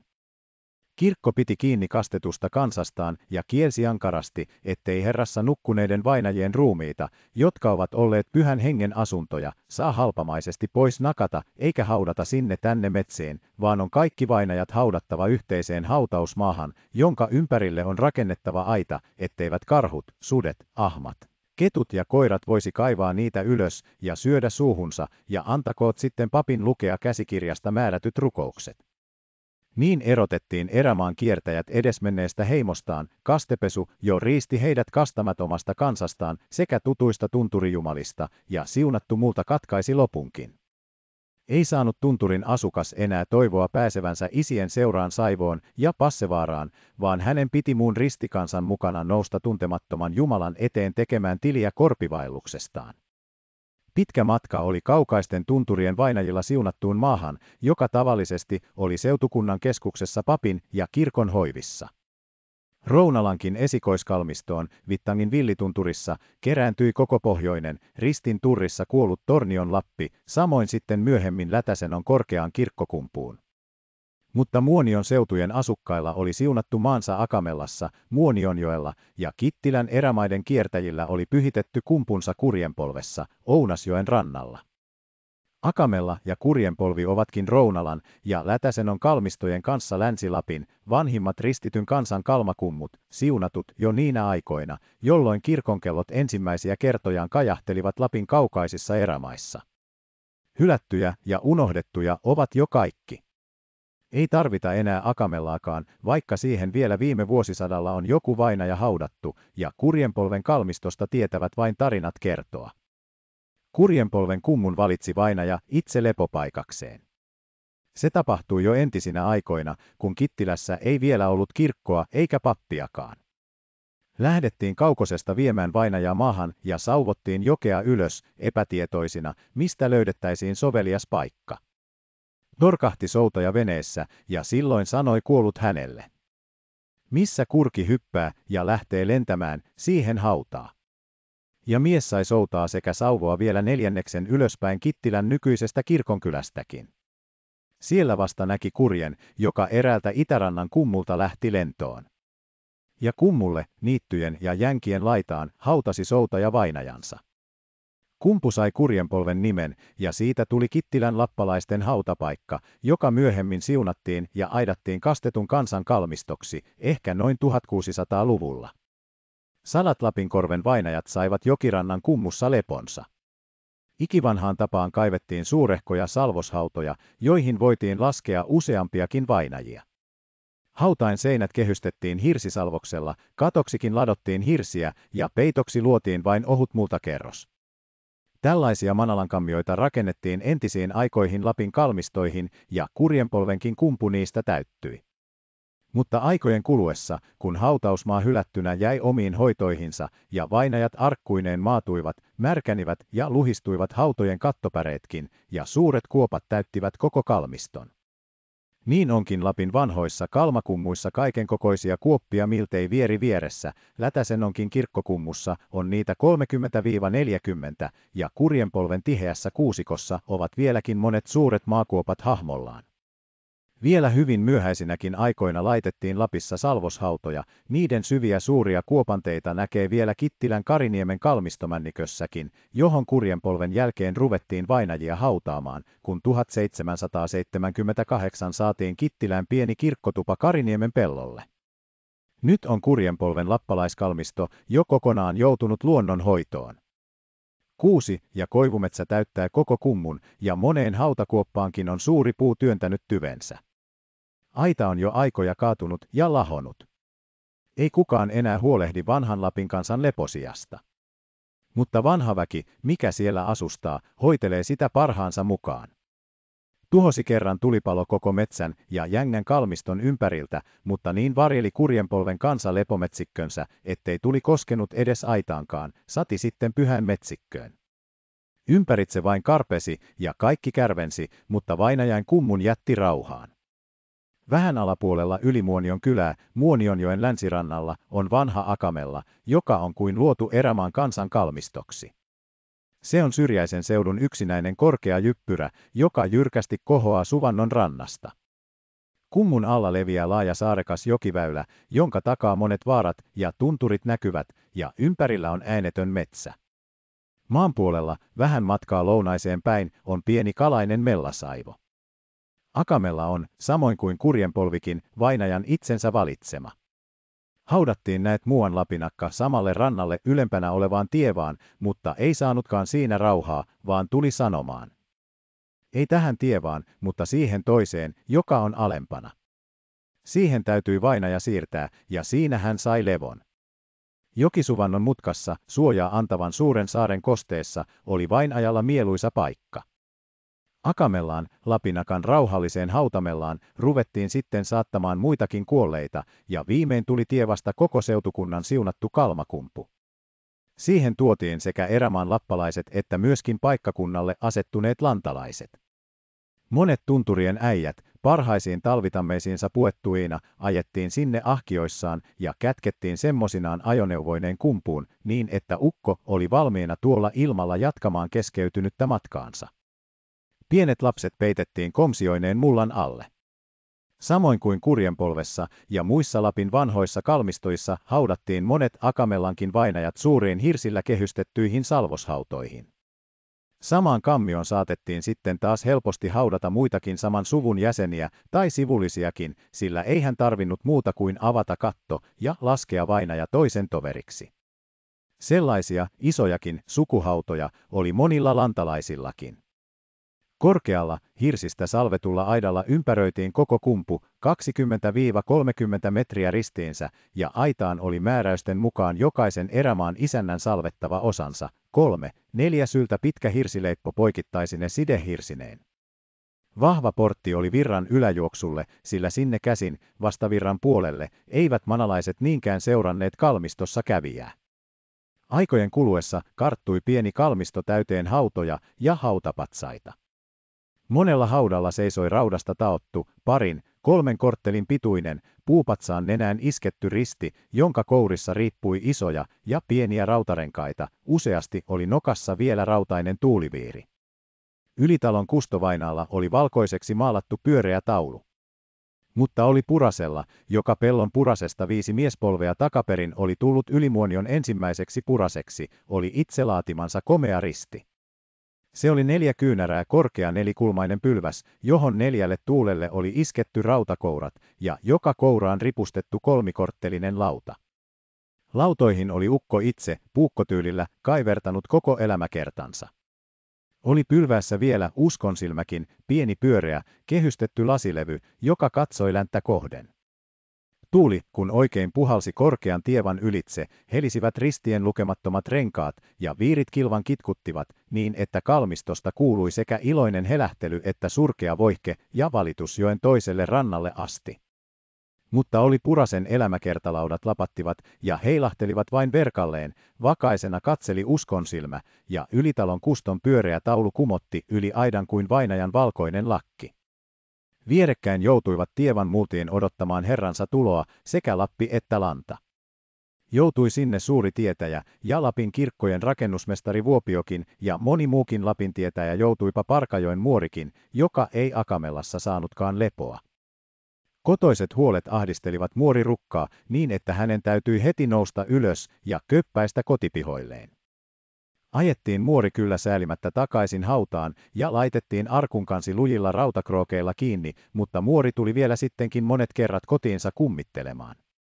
Vasta, kun muuan raaka äijä meni ja manaten pyöräytti arkun vainajineen kumoon, ei muori parka päässyt enää pois haudastaan. Parkajoen muori ei kyllä ollut ainoa Akamellan asukas, jolle ei hauta suonut lepoa.